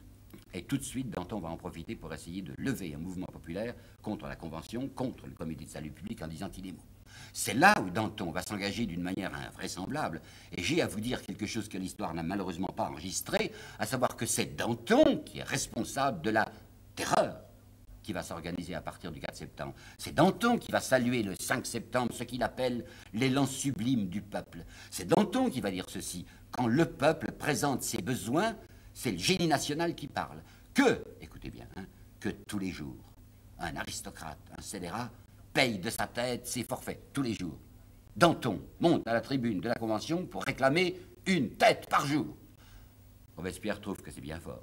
Mais enfin, profitant de ce mouvement populaire, il va obtenir des choses qu'il désirait depuis longtemps, le maximum, le maximum des denrées que les paysans demandaient depuis si longtemps, que les pauvres avaient demandé du temps de Turgot. Vous savez ce que ça leur avait coûté quand Turgot avait fait pendre le petit Légaillé 15 ans parce qu'il avait donné un coup de pied dans la porte d'une boulangerie. Ben, cette fois, ça y est, maximum. Et un maximum qui sera contrôlé par une petite milice qu'on appelle l'armée révolutionnaire, dont le jeune Roncin sera le chef. On ira, cette petite armée révolutionnaire, 5000 hommes et, 200, et 1200 canonniers, circulera autour de Paris pour vérifier que les paysans vendent leur blé comme il faut au prix qu'on a fixé. Quel prix? Eh bien, on a décidé que les denrées de première nécessité seraient vendues un tiers plus cher qu'elles n'étaient en 90 et que les salaires seront augmentés de la moitié. Par conséquent, Robespierre fait là, enfin, quelque chose en faveur de la classe euh, ouvrière. La moitié. Par conséquent, il y a les, salaires plus augmentés que ne peuvent être augmentés les denrées. Il travaille aussi du point de vue de la guerre, naturellement, Robespierre. Il va s'occuper maintenant d'essayer de renouveler l'état d'esprit militaire. Et c'est ça dont je vous parlerai, parce qu'il y a encore une légende à ce propos. Vous allez voir ce qui va se produire à la fin de l'année 1793. Vous allez voir ce qu'on va appeler le moral des armées républicaines. La légende l'attribue à Carnot. En fait, c'est aux amis de Robespierre, c'est à Couton, c'est à Saint-Just, c'est à Robespierre lui-même qu'on le devra. Et si la République va être sauvée à la fin de l'année 93, ce n'est pas, comme l'a prétendu à Carnot, c'est bien au groupe robespierriste qu'elle le doit. Le 6 septembre 93, Robespierre, qui est membre du comité de salut public, je vous le rappelle, depuis le 27 juillet 1993, fait adjoindre deux nouveaux membres au comité. C'est Billot-Varenne et c'est Collot d'Herbois. Billot-Varenne, je vous ai dit un mot de lui l'autre jour. Je n'ai pas, pensé à vous dire qu'il avait une petite perruque rousse qui faisait rire les gens. Billot-Varenne, c'est un rectiligne. Je veux dire que c'est pas du tout un homme à la manière de Hébert, qui était un arriviste, un intrigant et un cupide. Billot, c'est un homme sûr, solide, évidemment violent. C'est quelqu'un qui est tout à fait favorable à la terreur. Il a à côté de lui Colodère-Bois, qui n'est peut-être pas de la même noblesse. Colodère-Bois, c'est un acteur, c'est un ancien acteur, comme Fabre d'Églantine, l'ami de, de Danton. Enfin, ils sont toujours ensemble parce qu'ils pensent de même. Robespierre a pensé qu'on ne pouvait prendre pas l'un sans l'autre. D'accord. Alors voilà constitué ce qu'on pourrait appeler le grand comité de salut public. Ce grand comité de salut public qui va être en fonction jusqu'au 9 Thermidor et qui, de loin, vu où nous sommes maintenant, semble unitaire. C'est pas vrai. Il y a beaucoup de rivalité à l'intérieur du comité de salut public. Il donne à la France l'impression d'être un bloc, il n'est pas du tout un bloc, il y a des fissures et nous le verrons assez. Mais enfin, en cette fin d'année 1793, à cause du prestige personnel de Robespierre, on va dire, on va dire ce qu'il compromettra, c'est le comité Robespierre. Ben, le comité Robespierre, je vous assure qu'il travaille. Et comme la question militaire est une question capitale, puisque de nouveau ça va très mal, puisqu'il y a les puisqu'il y a la Vendée, puisqu'il y a encore du danger du côté de Toulon et de Marseille, qu'est-ce qu'on peut faire? Eh Il y a Saint-Just qui va s'occuper spécialement des questions militaires. Saint-Just, il a des idées. Il y a aussi quelqu'un au comité de sûreté générale qui est à côté, qui s'occupe parfois de questions militaires. Il y a là Lebas, le petit Lebas, qui est un homme d'Arras, comme Robespierre. Et Robespierre aime bien, c'est lui qui l'a fait entrer au comité de sûreté générale. Alors quand on se réunit entre comités et qu'on discute sur ce qu'on peut faire sur les questions militaires, Robespierre dit peu de choses, mais Saint-Just et Lebas parlent assez souvent, et Carnot naturellement. Alors qu'est-ce qu'ils disent? Eh bien d'abord, c'est Robespierre qui a obtenu la cessation des fournitures à l'entreprise. Qu'est-ce que ça veut dire à l'entreprise? C'est-à-dire que quand le ministère de la Guerre avait besoin de fournitures militaires, il s'adressait à un soumissionnaire, comme d'Espagnac, qui fixait un chiffre et qui naturellement faisait des bénéfices monstrueux. Alors ça, c'est fini, c'est stoppé. Danton a beaucoup froissé les sourcils parce qu'il avait des amis chez les fournisseurs, et maintenant c'est directement l'armée, le ministère de la Guerre, qui va passer les commandes. Deuxièmement, on a décidé aussi de faire appel à des chercheurs, à des techniciens, à des savants. Ça, c'est extrêmement intéressant. On l'a oublié, mais cet effort militaire qu'a opéré la Convention et qu'a opéré le Comité de salut public, il faut que je vous en parle. À la fin de l'été 93, on a fait appel à des gens comme Berthelet, comme euh, Chaptal et comme Monge. On a à disposition un parc, un ancien parc royal qui s'appelait le Petit Meudon. Et c'est là où ces gens travaillent sur les techniques militaires. Qu'est-ce qu'on peut faire de plus? Par exemple, ils inventent la poudre au fulminate. Jusqu'à présent, c'était des boulets creux qui étaient envoyés à l'ennemi. Ben maintenant, ce sera des, c'était des boulets pleins. Maintenant, ce sera des boulets creux dans lesquels il y aura cette euh, force explosive. Aujourd'hui, c'est banal, hein, c'est les obus. Mais ce sont eux qui ont inventé ça. Également, l'observation aérienne. Ben, c'est la Convention qui l'a trouvée, avec des aérostats, pour regarder du plus haut possible et du plus loin possible les mouvements de l'ennemi. Et le télégraphe optique. Tout ça a été combiné par eux, par ces chercheurs, dans la fin de l'été 93. Puis Saint-Just est quelqu'un qui ne banit pas avec les généraux. Il y a une phrase de lui qui est bien intéressante où il dit Nous avons acquis le droit d'être méfiants. Ah ben, je pense, étant donné ce qui leur était arrivé avec l'admirable général Lafayette, avec le généralissime Dumouriez, avec les généraux, avec les amiraux Trogoff et, et Chaussegros à Toulon, il fallait les tenir, les généraux. Alors il y a une certaine circulaire de Saint-Just, une circulaire de décembre 93, que je tiens à vous citer. L'insubordination des généraux est la pire dans une république. Dans un État libre, c'est le pouvoir militaire qui doit être le plus astreint. Alors, le comité de salut public décide d'envoyer auprès de tous les généraux des commissaires. On appellera ça plus tard chez les Russes les commissaires politiques, le nom n'avait pas été trouvé. Des commissaires qui représenteront le pouvoir civil pour surveiller la conduite des généraux et qui auront droit d'arrestation sur les généraux. Si bien qu'il va s'opérer une, une valse de généraux comme on n'en a jamais vu les, vieux généraux qui sont là et qui se croyaient invulnérables. Custine, par exemple, ça a été un scandale inouï quand on a arrêté le comte de Custine et qu'on l'a fait passer à la guillotine. Mais il ne va pas passer seul, vous savez. Il y a Houchard, il y en a d'autres. Enfin, tous les généraux qui sont suspects et qui sont légitimement suspects, on leur coupe la tête. Alors on en trouve des jeunes. Et ça, ce n'est pas non plus, comme on l'a dit, c'est pas Carnot qui a inventé ça. C'est le bas, c'est injuste, qui ont dit il faut absolument trouver dans les cadres, dans les cadres de l'armée, dans les sous-officiers, des gens qui sont capables de devenir des officiers puis des généraux. Alors vous voyez Kléber, vous voyez Hoche, vous voyez Marceau qui surgissent en cette fin d'année 93. Ce qui va donner aux soldats un état d'esprit tout nouveau. Ce sont des gens sortis de nos rangs qui sont nos chefs maintenant. On peut leur faire confiance. Et il y a un thème sur le moral de l'armée révolutionnaire dont je veux vous parler parce qu'il ne fait pas partie de la légende que je m'applique tout le temps à détruire. On nous a appris dans nos classes, et c'était vrai, que les troupes révolutionnaires avaient un moral incroyable. Mais je vais vous apporter la preuve que c'est vrai, parce que je vais la tirer d'un ennemi, d'un ennemi, d'un adversaire. Mallet Dupin. J'en ai déjà plusieurs fois parlé, Mallet Dupin. C'est un Suisse qui s'était établi à Paris, qui dirigeait le Mercure de France. C'était ce Mallet Dupin qui avait trouvé cette admirable phrase au moment de l'émeute Réveillon en avril 89, lorsqu'il y a eu cette émeute de la faim et de la détresse, qui avait dit Les uns, les physicaux sont parmi nous. Mallet Dupin avait été envoyé en secret par la Cour pour préparer le manifeste de Brunswick, ce manifeste qui disait si un garde national ose se défendre, il sera tué. Si Paris traite avec indignité son roi et sa reine, Paris sera rasé. Eh bien, Mallet Dupin est un des rédacteurs de ce fameux texte Brunswick. Mallet Dupin, qui a émigré naturellement, essaye, comme le ton de compte dont je vous ai plusieurs fois parlé, de renseigner les émigrés et les princes sur le moral des troupes. Alors voilà ce qu'il va écrire, Mallet Dupin, au début de l'année 94. Il déplore la mollesse et le décousu des opérations réalisées par les coalisés. Bien entendu, ils ne s'entendent pas. Il parle avec tristesse de leur éternelle défensive. Et il oppose à l'état d'esprit des troupes coalisées l'état d'esprit des troupes françaises. Et c'est cet adversaire acharné et haineux de la Révolution qui écrit L'exaltation des troupes françaises dépasse toute croyance. C'est un vrai fanatisme.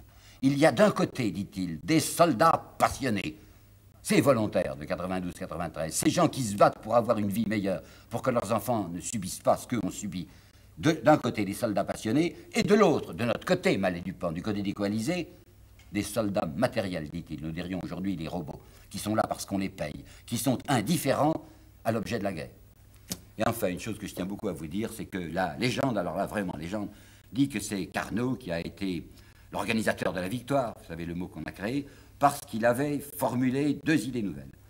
Il avait dit il faut perpétuellement agir par l'offensive. Et deuxièmement, il faut toujours agir par grande masse. Pas de petites opérations éparpillées. Quand on décide d'attaquer, qu'on attaque avec des masses de régiments pour avoir une supériorité numérique. Mais savez-vous que ce n'est pas du tout une idée de Carnot? C'est une idée qui a été proposée par Lebas et par Saint-André, Jean-Bon Saint-André, par écrit, par écrit, le 23 août. Exactement les deux thèmes. Il faut des offensives incessantes et il faut des attaques par masse. C'est ça qu'on appellera le plan Carnot. Toujours est-il qu'à la fin de l'automne 93, eh ben, ça marche pas mal. On voit en effet le 8 septembre les troupes françaises culbuter les étrangers à Honscott, près de Dunkerque. C'est Dunkerque qui a libéré les Anglais. Le 16 octobre, c'est la victoire de Vatigny. Vatigny, c'est devant Maubeuge. Cette fois, de même que Dunkerque vient d'être libéré, cette fois, c'est Maubeuge qui est libéré. Au sud, les Espagnols qui s'étaient avancés dans le Roussillon sont refoulés. Lyon est repris grâce à Couton. Couton, qui était député du Puy-de-Dôme, est passé dans le Puy-de-Dôme avant d'aller commander les troupes devant Lyon. il a ramassé des tas de gens enthousiastes dans le Puy-de-Dôme qui ont fait ce siège de Lyon qui tombe le 9 octobre. Le 17 octobre, les Vendéens, qui allaient de succès en succès, connaissent un premier échec, un très grave échec à Cholet, 17 octobre. Eh bien, il avait bien travaillé en trois mois. Le comité de salut public, depuis Robespierre y était entré. Mais il faut dire que parallèlement, il y avait la terreur. La terreur inventée et demandée par Danton. Danton, qui le 5 septembre a dit Je demande une tête par jour. Il y avait aussi un curé d'extrême gauche qui s'appelait l'abbé Royer. L'abbé Royer, aux Jacobins, le même 5 septembre, avait dit Je demande que la terreur soit mise à l'ordre du jour. La tradition, c'est que sans la terreur et sans la guillotine, la révolution n'eût pas pu survivre. Je n'en suis pas tellement sûr. Qui est responsable de la terreur? Initiateur Danton. Bon, mais d'autre part, qui sont ceux qui décident que les gens passent à la guillotine? C'est le comité de sûreté générale qui envoie les gens au tribunal révolutionnaire. Le tribunal révolutionnaire est présidé par Fouquier-Tinville, ou plutôt a comme accusateur public Fouquier-Tinville. Le comité de sûreté générale est beaucoup plus indépendant que l'histoire ne le prétend du comité de salut public. Réfléchissons bien à la situation. Que vous voyez la constitution de la France à ce moment-là. Il y a la Convention qui a tout pouvoir. La Convention a délégué d'abord des gens qui s'appellent encore le Conseil exécutif, mais il n'a plus guère de force, le Conseil exécutif. Ce sont surtout des administrateurs de département ministériel. Bon. Alors vous avez tout de même le Conseil exécutif provisoire, là où Danton s'était introduit dès le 10 août, vous savez. Vous avez ce comité de salut public, qui est l'héritier de ce qui avait été autrefois, à partir du 1er janvier 1993, le comité de défense générale, comité de salut public. À côté du comité de salut public, qui lui s'occupe de politique et de guerre, vous avez le comité de sûreté générale. Comité de sûreté générale, Danton l'avait peuplé de ces créatures, avec des forbans, enfin des gens impossibles. Il y avait là un ancien capucin, un moine libidineux, qui avait naturellement quitté le froc et qui s'était plusieurs fois pseudo-marié, mais qui avait fini par se marier avec une Autrichienne. Elle s'appelait Schoenfeld, mais elle avait changé de nom. Enfin, c'était ses frères qui avaient changé de nom. Ils s'appelaient maintenant les banquiers Frey. Frey parce que ça fait libre. C'était des Autrichiens qui avaient autrefois gagné un argent fou en faisant des fournitures militaires pour Joseph II, qui avaient établi une banque à Paris. Ils avaient une fille qui était pas mal. Alors Chabot avait épousé la fille Frey. Vous aviez Bazir. Bazir, c'était un bourgeois dijonnais qui s'occupait surtout de concussion en fin d'affaires. Vous aviez ce pasteur dont je vous ai déjà une première fois parlé, qui ressemblait guère au pasteur Jean-Bon Saint-André, le pasteur Julien de Toulouse, qui était un affairiste et un corrompu, qui allait également lui aussi de femme en femme. Alors Robespierre avait tenté, tenté une épuration du comité de sûreté générale, et le 13 septembre, c'est le 6 que Billot y est entré, le 13 septembre, Robespierre avait, dans la mesure où il le pouvait, hein, il n'est pas dictateur, avait essayé qu'au moins les gens les plus corrompus et les plus malfaisants de ce comité de sûreté générale en disparussent. Danton n'avait pas aimé ça puisque c'était sa clientèle, c'était ses amis. Et c'était à ce moment-là, 13 septembre, que Robespierre avait fait présenter la candidature de David, le dessinateur, David, le grand artiste David, qui du reste le plaquera, et de Lebas au comité de sûreté générale. Eh bien, c'est ce comité de sûreté générale sur lequel Robespierre n'a pas pouvoir. C'est un comité autonome qui dépend de la Convention. C'est ce comité de sûreté générale qui décide des guillotinades. Et je vous assure que, ça barde, si l'on peut dire, à la fin de l'année 93. Ah, je comprends très bien, oh, je comprends très bien qu'on y a envoyé un certain nombre de généraux, parce que c'était des personnages douteux. Je comprends très bien qu'on y a envoyé égalité. Vous savez, égalité du d'Orléans. On lui coupe la tête. Danton est le premier à assister à ça, ou du moins à ricaner en douce, parce que égalité ne sert plus de rien. C'est un des projets qu'il a eu, maintenant il a d'autres projets, donc égalité, on lui coupe la tête. Mais à côté de ça, pourquoi est-ce qu'il faut tuer Manon Roland? Manon Roland, Madame Roland, vous savez, son mari était arrivé à s'enfuir, lui, il n'a pas été de ceux qui vont être guillotinés, je vais vous en parler. Ce malheureux homme qui avait 59 ans à ce moment-là s'est suicidé dans une forêt près de Caen. Il y a deux autres des Girondins qui n'ont pas été attrapés, c'est Pétion et c'est Buzeau. Ils se sont sauvés à travers la France, ils se sont cachés dans la région de Bordeaux, à Saint-Émilion. On a retrouvé leurs cadavres dévorés, dit-on, par des loups, mettons plutôt par des chiens errants. Ils s'étaient suicidés, probablement s'était-il empoisonné. Et Buzeau, c'était le grand ami de Manon Roland. C'était un adultère chaste, vous savez. Il s'écrivait, il se tutoyait, il s'écrivait des lettres passionnées, mais il n'avait pas été à lui. Manon Roland, c'est une petite folle, c'est entendu, mais c'était quelqu'un de propre, quelqu'un de noble. Alors pourquoi faut-il tuer Manon Roland? Et surtout, pourquoi faut-il tuer la reine? La reine, je vous en ai assez parlé, hein. je vous ai dit à quel point elle avait trahi, en s'en rendant pas compte de ce qu'elle faisait. C'était une trahison littérale, totale, puisqu'elle essayait de renseigner l'ennemi sur les mouvements des troupes françaises. C'était une femme qui, autrefois, ne méritait pas beaucoup d'estime, enfin, qui, ridiculisait son mari. Mais elle a bien changé. Elle était esprit fort, autrefois. elle se moquait des choses religieuses. Elle trouvait que son mari était un dévot imbécile. Et puis maintenant, la proximité, proximité de la mort l'avait changé. Savez-vous qui a demandé que la reine passe en jugement Qui a demandé qu'elle soit envoyée devant le tribunal révolutionnaire C'est Barrère.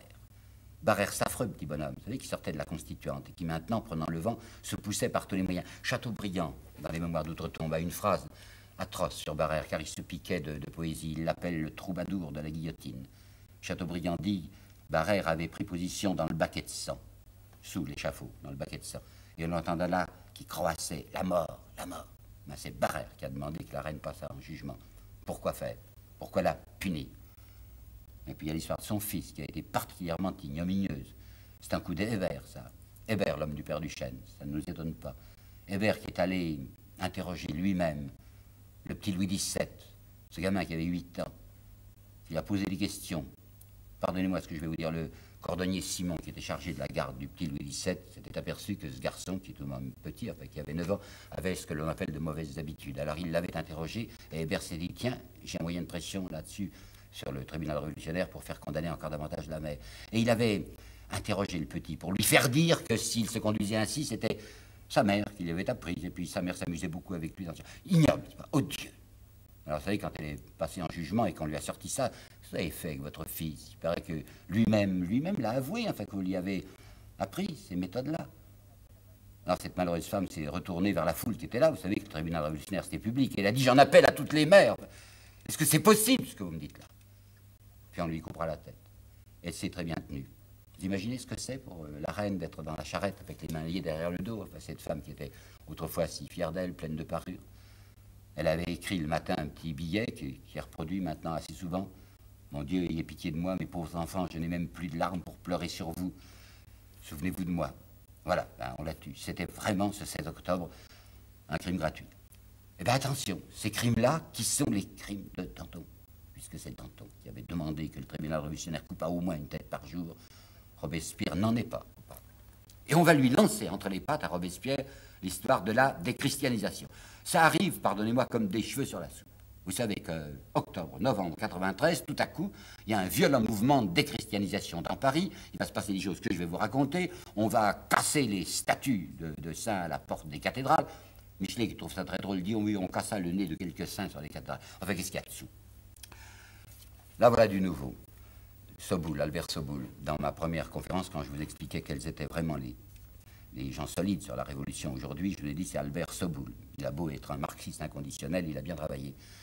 Et alors, dans sa thèse, qui est toute récente, sa thèse qui s'appelle Les sans-culottes parisiens de l'an 2, il a fait ce travail considérable de bénédictins, d'aller chercher les archives de toutes les sections, les 48 sections de Paris pendant l'an 2, et de bien regarder l'état d'esprit. il, il touchait perpétuellement le, pouls de Paris pendant l'année 93-94. Alors voilà ce que ce monsieur Soboul écrit à la page 286 de ses sans-culottes parisiennes de l'an 2. L'entreprise de déchristianisation a été systématiquement conçue et lancée par un certain nombre d'hommes qui n'appartenaient pas à la classe populaire. La déchristianisation lui a été suggérée par des hommes qui lui étaient étrangers. Un peu plus loin, on ne trouve aucun arrêté et même aucune délibération, ni d'assemblée générale de section, ni de société populaire, marquant une hostilité des sans-culottes à l'égard de l'exercice du culte en octobre et novembre 93. Alors d'où ça sort-il ben, Ça sort, on le dit, on, dit que ça sort surtout de Hébert, c'est vrai.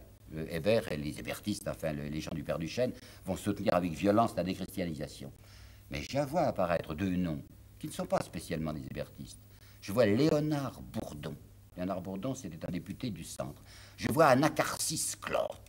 Klotz, c'était un Prussien, c'était un baron prussien qui s'était fait naturaliser français, qui prononçait du reste des paroles assez incohérentes, mais qui tout à coup se met en vedette au moment de cette déchristianisation. Qu'est-ce qu'il y a derrière? Ce qu'il y a derrière, c'est la continuation de cette vieille haine que les constituants voltairiens, que les gens de la législative du type Condorcet ou de la Gironde continuent à mener contre l'esprit de Jean-Jacques Rousseau.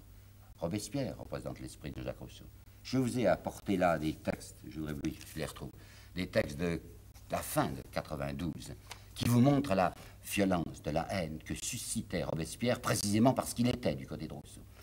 Brissot avait écrit le 14 décembre il a sapé, qui il C'était un malheureux qui s'appelait Jacob Dupont, qui avait fait le 14 décembre à la législative un grand discours sur l'athéisme. Dupont, il tournera mal, ce pauvre type. Et là, je, souris en pensant à la phrase que Jaurès a écrite sur lui, saluant le grand athée Jacob Dupont. C'était un prêtre qui s'était déprétrisé et qui sera bientôt arrêté pour avoir tenté de violer une vieille femme aveugle. Et il sera, il sera interné à Charenton. Ben, Brissot avait été transporté de joie par les affirmations athées de Jacob Dupont, et il avait dit, il, il, Brissot avait dit, il a sapé d'une main vigoureuse l'empire des prêtres que nos anarchistes veulent rétablir. C'est une phrase très importante. Nos anarchistes, c'est Robespierre et sa bande, paraît-il, veulent rétablir l'empire des prêtres. Alors lorsque Cambon, en novembre 92, avait demandé qu'on cesse à payer des indemnités au clergé constitutionnel, et que Robespierre avait dit c'est une indignité, enfin vous leur avez pris leur bien, vous avez eu raison, mais vous devez maintenant les entretenir et vous ne voulez plus dire parole, alors Condorcet, qui avait applaudi à l'idée de Cambon, avait dans son journal, la Chronique de Paris, du 9 novembre 92, écrit ce qui suit, ou fait écrire parce qu'il est possible que l'article soit du pasteur Rabot Saint-Étienne. C'est un prêtre, le citoyen Robespierre. Il s'est fait une réputation d'austérité qui vise même à la sainteté. Il monte sur les bancs, il parle de Dieu et de la providence. Il se dit l'ami des pauvres et des faibles, des faibles d'esprit, ajoute spirituellement l'auteur de l'article. Oui, Robespierre n'est qu'un prêtre et ne sera jamais qu'un prêtre. Ben, ce sont ces gens-là qui vont lancer contre Robespierre, qu'ils détestent pour des raisons bourgeoises, pour des raisons de propriété, qui vont lui lancer dans les jambes cette affaire de la déchristianisation parce qu'ils savent bien qu'il ne marchera pas. On veut refaire à Robespierre le coup qu'on a fait au petit curé de campagne avec la constitution civile du clergé. Alors vous voyez d'abord Fabre d'Églantine, qui est un ami de Danton, qui propose le 6 octobre son fameux calendrier révolutionnaire. Et quand l'abbé Grégoire lui demandera, mais fait pourquoi? Pour qu'il n'y ait plus de dimanche, répond Fabre d'Églantine. Calendrier révolutionnaire, il comporte du bien et du mal. Je veux dire qu'il y a des choses épatantes, admirables. C'est une trouvaille folle les mois. Vous savez, Prairial, Germinal, Messidor, Thermidor, c'est admirable, même phonétiquement. Il n'y a pas que ça, il n'y a pas que les mois. Vous savez qu'il y avait les jours, avaient des noms, c'était toujours des, noms de légumes. Ça s'appelait potiron, ça s'appelait tomate, ça s'appelait citrouille, on était obligé de mettre ça sur les lettres. Les, décadis, c'est-à-dire le, dixième jour qui remplaçait le dimanche, puis le quintidi, c'est-à-dire le cinquième jour qui remplaçait le jeudi, ils étaient soit zoologiques, soit aratoires. Alors il y avait un jour qui s'appelait âne, un jour qui s'appelait bœuf, un autre qui s'appelait vache. Aratoire, ça veut dire qu'il s'appelait pioche, il s'appelait pelle. Bon, alors ça, le calendrier révolutionnaire, c'est fait justement pour déchristianiser. Seulement, c'est peu de choses. Ce qui commence à être beaucoup plus sérieux, c'est ce qui se passe le 6 novembre. Dans la nuit du 6 au 7 novembre, Léonard Bourdon, qui est du centre, et Anacarsis Clotte, de quoi je me mêle, vont trouver l'archevêque de Paris, Gobel, l'archevêque constitutionnel, et le somme, le mettre en demeure de se déprétriser le lendemain. Pauvre Gobel, qui a probablement peur pour sa tête, s'est déprétrise le 7, le 7 novembre. Le 10 novembre, voilà qu'on s'est emparé de l'église Notre-Dame et on a décidé qu'on allait faire une fête de la raison. Alors c'est la femme d'un imprimeur hébertiste qui s'appelait Momoro qui va être déguisée en déesse de la raison et il y aura des danses, d'ailleurs assez convenables, à l'intérieur de Notre-Dame de Paris. Et puis on convie la convention à venir, on donne une seconde représentation, représentation de la fête de la raison à Notre-Dame et toute la convention y vient. Attention, une grande partie de la Convention est ravie de ce qui se produit. Et la Convention va être tout à fait d'accord avec le décret que demande le 16 novembre Cambon, l'éternel Cambon, qui demande la fermeture de toutes les églises. Alors Robespierre intervient. Robespierre commence à dire, mais de quoi s'agit-il? D'abord, il a fait prier euh, de venir s'expliquer aux Jacobins. De, quoi vous mêlez-vous? Vous êtes un baron prussien, c'est entendu, vous êtes fait naturaliser, mais pourquoi diable cette offensive antichrétienne? Aux Jacobins le 21 novembre, Robespierre va dire Mais c'est une méthode aristocratique, c'était les aristocrates qui étaient autrefois les athées. Et effectivement, en 93, le jour de la fête Dieu, un incident curieux s'était produit. Le prêtre s'était baladé dans les rues avec son ostensoir, et la garde nationale, ceux qui voulaient, on ne les obligeait pas, avait présenté les armes. Et voilà qu'un adjudant de la garde nationale euh, avait gardé son chapeau sur la tête, fumé sa pipe.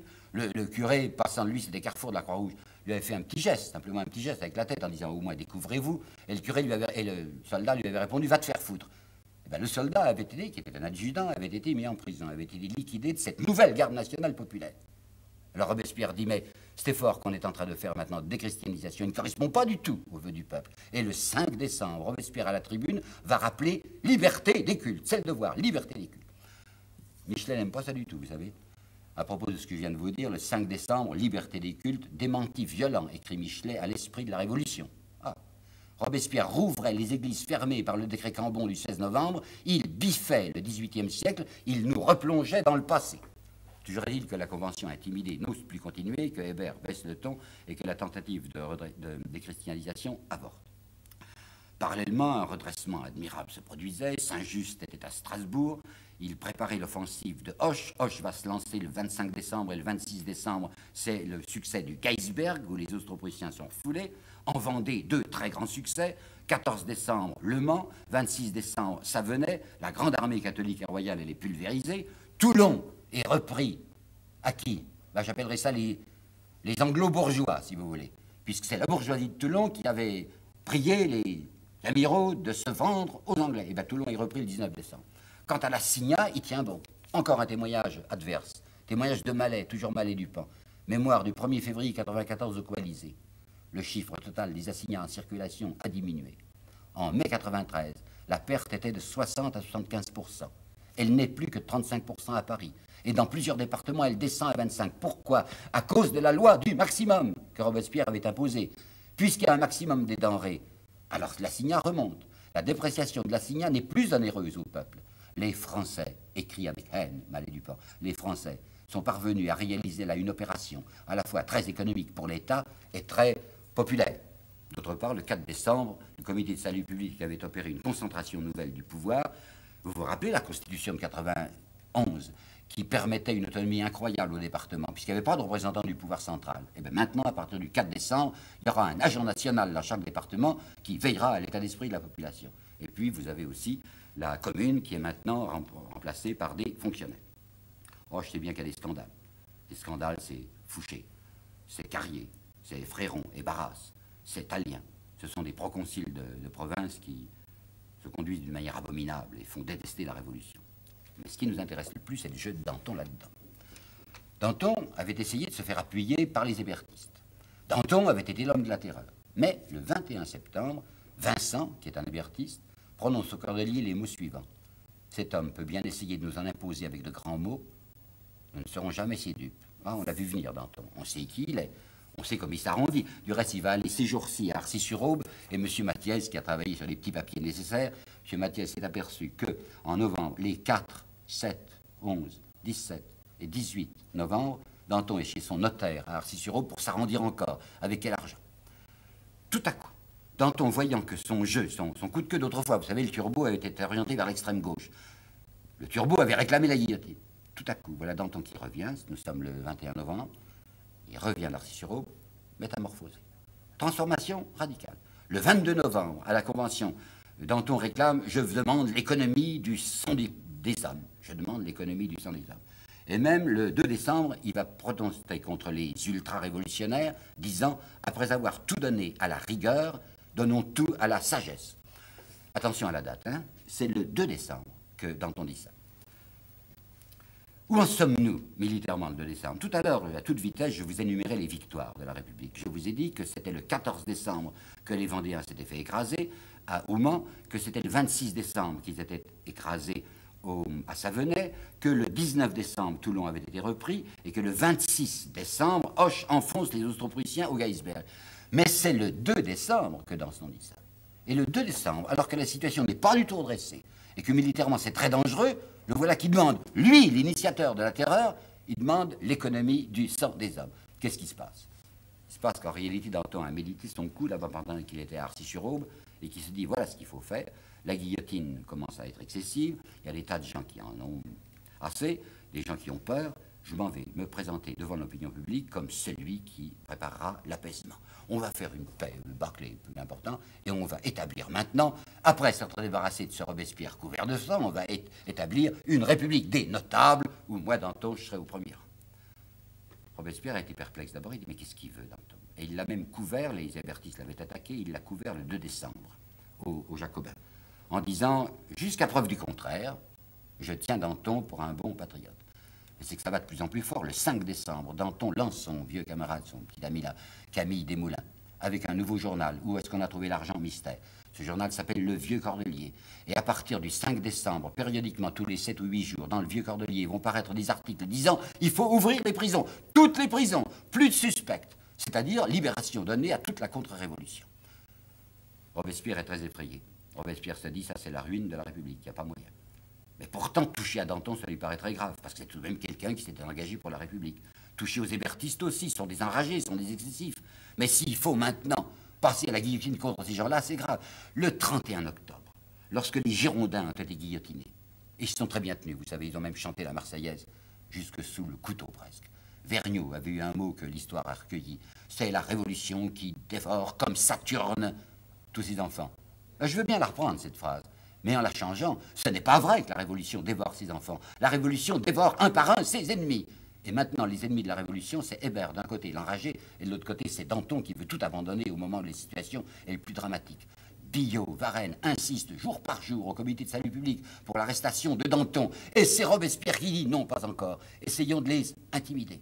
Alors, le 10 janvier, Robespierre fait arrêter Klotz, Anacarsis Klotz. C'était facile, c'était un à peine français, avertissement aux hébertistes. Et le 14 décembre, Robespierre fait arrêter Fabre d'Églantine, qui était l'homme de main de Danton, avertissement qu'il donne à droite et à gauche, avertissement aux hébertistes, avertissement à Danton, parce qu'il voudrait tout faire avant d'en venir, venir aux mesures extrêmes.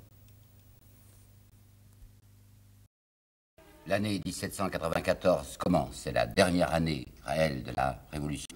Et il paraît, enfin si j'en croyais Michelet, qu'il faut maintenant, dit-il, du courage, un grand courage pour suivre euh, Robespierre dans son action. Et quand il dit un grand courage, ça veut dire qu'il faut lutter perpétuellement contre la nausée. C'est pas du tout mon avis. Robespierre est un homme malade. On ne l'a jamais assez souligné ici. Il y a un livre de Jean Massin qui date de 3 ou 4 ans, je crois, Robespierre, qui pour la première fois a indiqué qu'il ne fallait pas oublier ça, que Robespierre, depuis l'année 91 et surtout depuis l'année 92, est un homme qui se sent profondément atteint dans sa santé. Il a l'impression qu'il n'en a pas pour longtemps cet homme malade qui avait refusé d'abord d'entrer dans le comité de salut public et qui s'était dit je dois le faire, est en proie à une bataille terrible à cette fin de 93 et en début de 94. Robespierre, c'est l'homme de la ligne droite. Il a une certaine idée.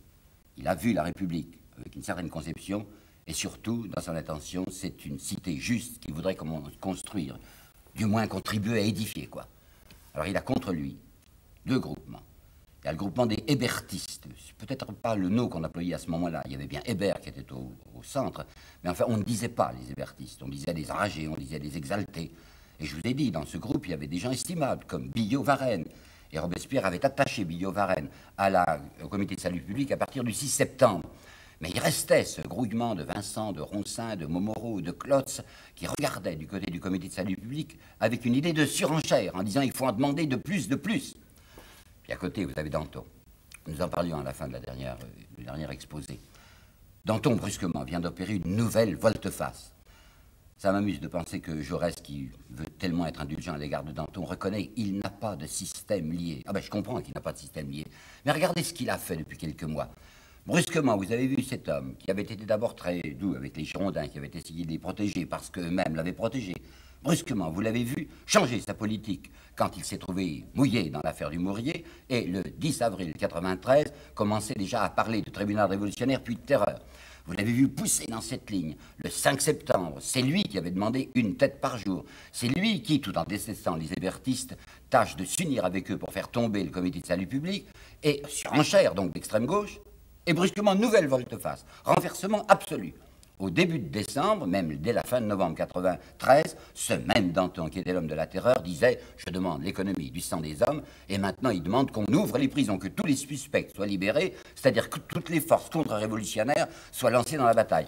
À un moment où la République est tellement menacée, les victoires ne sont pas gagnées encore, ni contre Toulon, ni contre les Vendéens, ni contre les coalisés, et Danton demande l'abandon de la politique républicaine. Robespierre manifeste une patience, oui, oui, une patience incroyable. Danton avait déchaîné quelqu'un à la tribune, il travaillait d'abord par personne interposée, un nommé Philippot. Philippot, c'est un nom oublié, mais à un certain moment, il a été important. Philippot était monté à la tribune pour faire une attaque très violente contre la politique suivie en Vendée, et derrière ceux qui l'attaquaient en Vendée, il attaquait qui? Il attaquait le comité de salut public.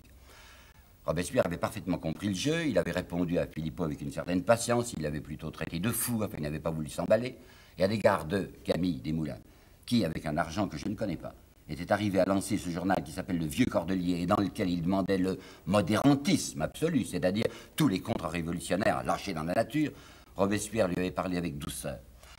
Camille Desmoulins, c'est un gamin. Je n'ai pas d'opinion très précise sur lui. J'ai essayé de vous le décrire un jour avec ce regard trouble qu'il avait, avec ce teint bilieux, avec ses antagonismes de caractère. En fait, il y avait chez lui à la fois de l'intrigant, de la riviste et et du gentil. C'était quelqu'un qui était absolument entre les mains de Danton, qui était un instrument de Danton. D'autre part, il s'était marié, Robespierre allait chez lui, il avait, il avait épousé sa Lucille, qu'il convoitait depuis des années, ils avaient un petit garçon, tout petit, qui s'appelait Horace. Robespierre aimait les gosses. Très souvent, il avait joué avec le petit Horace. Alors il se disait, s'il faut que je frappe Camille Desmoulins dans son jeune bonheur, enfin il est si content avec sa Lucille, s'il faut que je fasse disparaître le père de ce petit garçon que j'aime bien, tout de même terrible. Alors le 7 janvier il avait parlé aux Jacobins, c'est-à-dire dans l'intimité des Jacobins, quoi, pas à la Convention nationale. Il avait parlé à Camille, il avait essayé de lui dire Mais est-ce que tu te rends compte, Camille, de ce que tu fais? Tu vois pas où conduit ta politique Et Camille, tantôt étant derrière, avait mal répondu en disant Mais je suis pas un enfant, je suis, un grand garçon, enfin, je sais ce que je fais. Il avait été exclu ce jour-là des Jacobins, Camille. Eh bien, c'est encore Robespierre qui va le faire réintégrer dans les Jacobins, espérant toujours qu'il se reprendra. Puis il n'y avait pas moyen. On le voyait de plus en plus aller loin. Camille va même préparer un numéro de son vieux cordelier, ou sous une transposition antique, où il feint de parler de Caligula ou de Néron. C'est le comité de salut public, c'est Robespierre qui le met en scène, le, désignant comme un tyran. Robespierre, vous vous le rappelez, avait fini par frapper, double avertissement, hein, avertissement. Il avait frappé du côté des hébertistes en faisant prononcer le 10 janvier l'arrestation de Anacarsis Klotz et le 14 janvier l'arrestation de Fabre d'Églantine. Je n'ai pas le temps de vous raconter en détail l'histoire Fabre d'Églantine. Elle est horriblement malpropre. C'est là où le couvercle se lève sur ce grouillement d'affairistes, de corrompus, de gens affreux dont s'entourait Danton. C'est l'histoire de la Compagnie des Indes. Enfin, deux minutes si vous voulez. La Compagnie des Indes, c'est une vieille compagnie richissime à laquelle s'était beaucoup intéressé Necker, qui avait gagné pas mal d'argent, et la Convention avait décidé de la, liquider. Seulement pour liquider la Compagnie des Indes, il y avait deux moyens. Ou bien c'était l'État qui s'occupait de la liquidation, ou bien c'était la compagnie qui se liquidait elle-même. Alors vous pensez que si elle se liquidait elle-même, elle s'en tirait? Alors la Convention et le Comité de salut public a dit c'est l'État qui va s'en occuper. Bien ceux qui s'étaient fait charger de l'opération, c'est-à-dire Chabot. Chabot, je vous en ai parlé. Chabot, c'était cet ancien moine qui avait épousé la fille des banquiers Frey, Schoenfeld de leur vrai nom, qui s'appelait Frey. Chabot, c'était un intrigant, c'est un homme d'argent. Vous aviez Delaunay, vous aviez Bazir, vous aviez ce pasteur Julien, vous aviez Fabre d'Églantine. Tout ça grouillait dans l'histoire de la liquidation de la Compagnie des Indes. Et tout à coup, on s'aperçoit que le décret, le décret qui avait été pris par la Convention, responsabilité de l'État, disant c'est l'État qui va liquider, que ce décret a été falsifié dans sa rédaction définitive. Qui c'est qui a falsifié? Ben, On s'est demandé si c'était pas Fabre d'Églantine, scène comique, burlesque et misérable, où ils s'entre-déchirent les uns les autres. C'est d'abord Chabot qui vient trouver le comité de salut public. Non, c'est, pardon, c'est d'abord Fabre d'Églantine qui vient trouver le comité, qui dénonce les camarades en disant, vous savez, ce sont des fricoteurs, et puis il y, a de l'argent étranger qui est derrière. C'est vrai que Dieu sait qu'il y avait un grouillement d'étrangers, il y avait Proli, il y avait les Schoenfeld, Frey, il y avait le banquier suisse Pergaud, tout ça traficotait. Alors on a écouté, au comité de salut public, on a écouté ce qu'a dit Fabre d'Églantine, on a déjà incarcéré un certain nombre de messieurs, puis il y a Chavot qui vient faire une contre-dénonciation en disant j'ai reçu, j'ai reçu 100 000 francs de la Compagnie des Indes pour obtenir la corruption de Fabre d'Églantine. Alors moi, honnête, je vous dépose sur la table du comité de salut public ces 100 000 francs. Tout ça était tellement suspect qu'on finit le 14 janvier par arrêter Fabre d'Églantine lui-même, qui est évidemment en plein dans la corruption. Mais quand Robespierre accepte, accepte, enfin laisse arrêter Fabre d'Églantine, il se dit ça va peut-être arrêter Danton. Au moment où il y a cette double offensive contre lui, qu'est-ce qu'il fait Robespierre? Qu'est-ce que fait le comité de salut public? Je suis sûr qu'il travaille. On poursuit la préparation de la campagne, c'est l'hiver, et vous savez qu'à ce moment-là, la, la, guerre chômait, ce qu'on appelait les quartiers d'hiver. Mais il faut préparer l'offensive. Et par bonheur, toujours, ça a été l'éternel bonheur de la Révolution, les coalitions ne s'entendent pas. Vous vous rappelez peut-être que le 26 décembre, Hoche avait attaqué sur les lignes du Geisberg, c'est-à-dire dans la Haute-Alsace, avait enfoncé les troupes ennemies, et qu'à ce moment-là, il y avait eu des accords, comme toujours, entre les Prussiens et les Autrichiens. Brunswick, qui commandait les Prussiens, n'était pas venu au secours des Autrichiens. Ça l'amusait un peu de les voir prendre une pile. Toujours est-il que la guerre stagnait. Saint-Just, qui est tout à fait dans la ligne de Robespierre, s'occupe de cette grande pensée robespierriste, les infortunés, les pauvres gens. Et Saint-Just, le 26 février, va présenter un rapport dans lequel il dit La République ne vivra pas tant qu'il sera possible de soulever contre elle les malheureux. Les malheureux sont au-dessus des gouvernants. Les malheureux sont les puissances de la terre. Le besoin met le peuple qui travaille dans la dépendance de ses ennemis. Alors, pour la première fois, quelqu'un, un gouvernant, avait proposé autre chose qu'une vente, même au rabais, de parcelles de biens d'émigrés. Saint-Just, appuyé par Robespierre, avait proposé que l'on donnât, que l'on remît une partie des biens d'émigrés aux plus indigents des communes. Il avait demandé, le circulaire du 2 mars, je crois, à toutes les communes de France de préparer la liste des gens les plus pauvres et on leur aurait, on leur aurait donné des terres.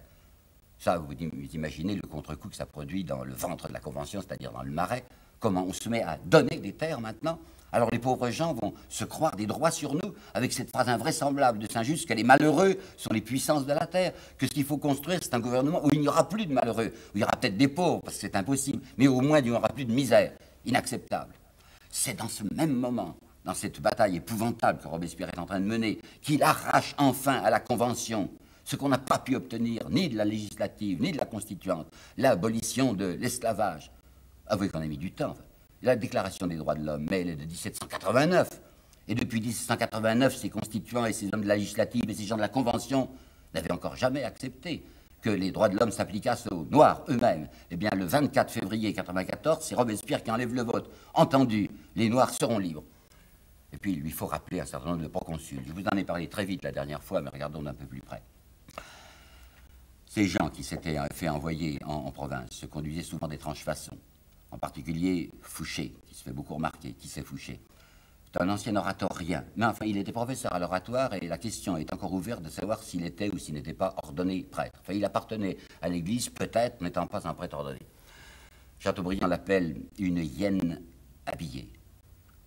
Et j'ai regardé les portraits de Fouché, c'est toujours tellement intéressant d'étudier les visages. Il n'a pas de regard. C'est un homme qui, volontairement, efface son regard, une espèce de regard aveugle, le regard trouble. On ne peut pas savoir ce qu'il pense.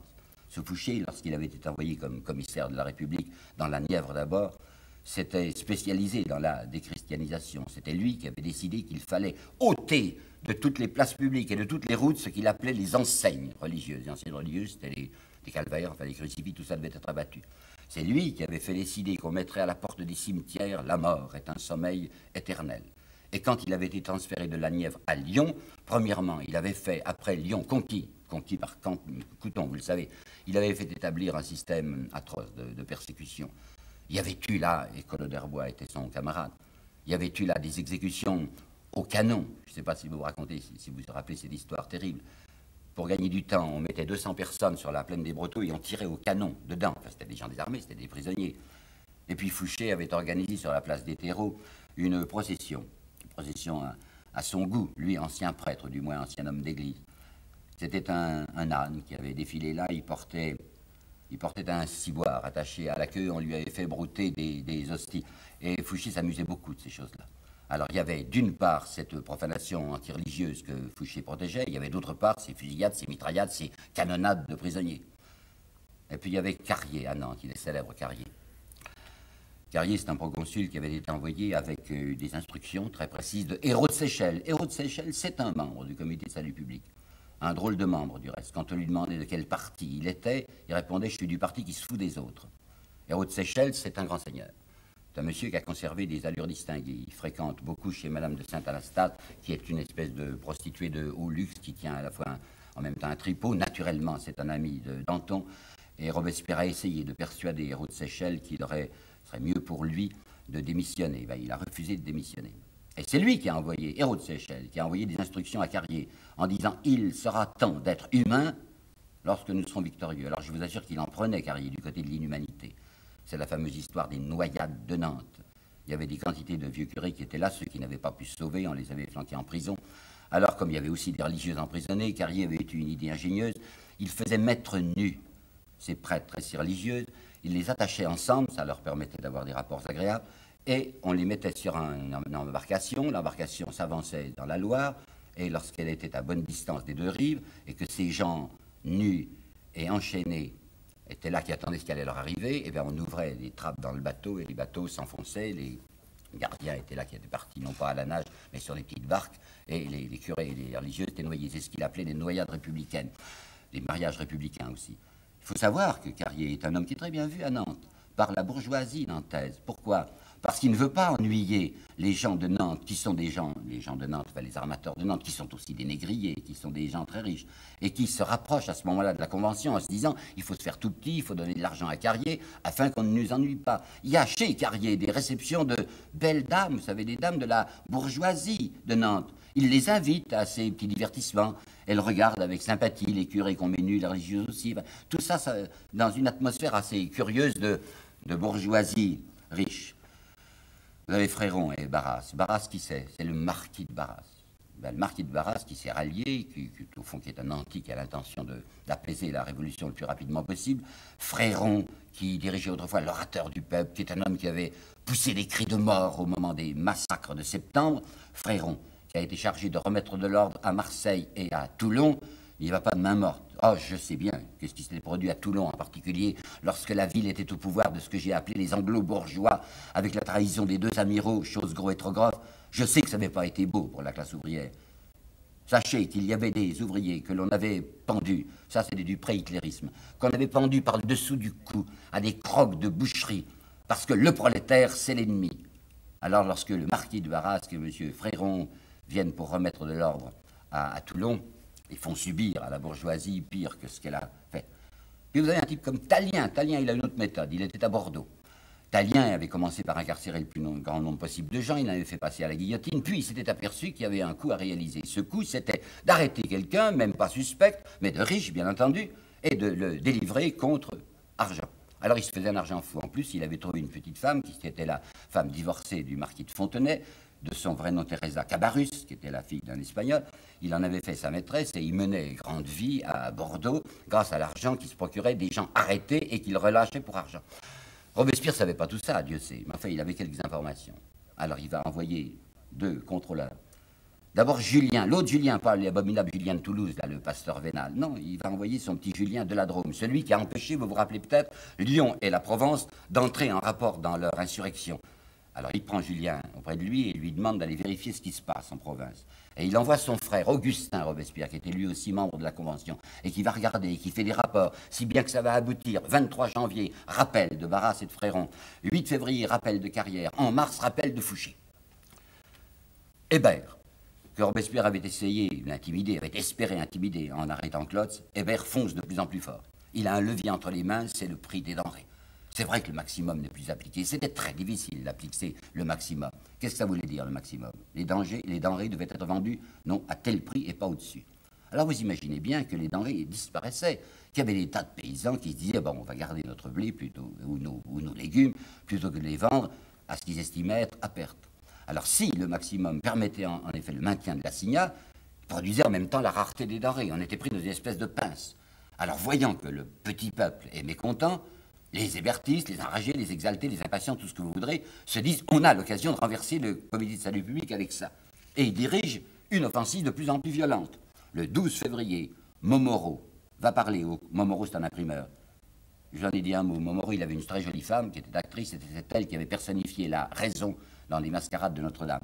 Eh bien, Momoro va dire les hommes usés en République, les jambes cassées en Révolution, nous traitent d'exagérés parce que nous sommes patriotes et qu'ils ne veulent plus l'être. C'est contre Robespierre.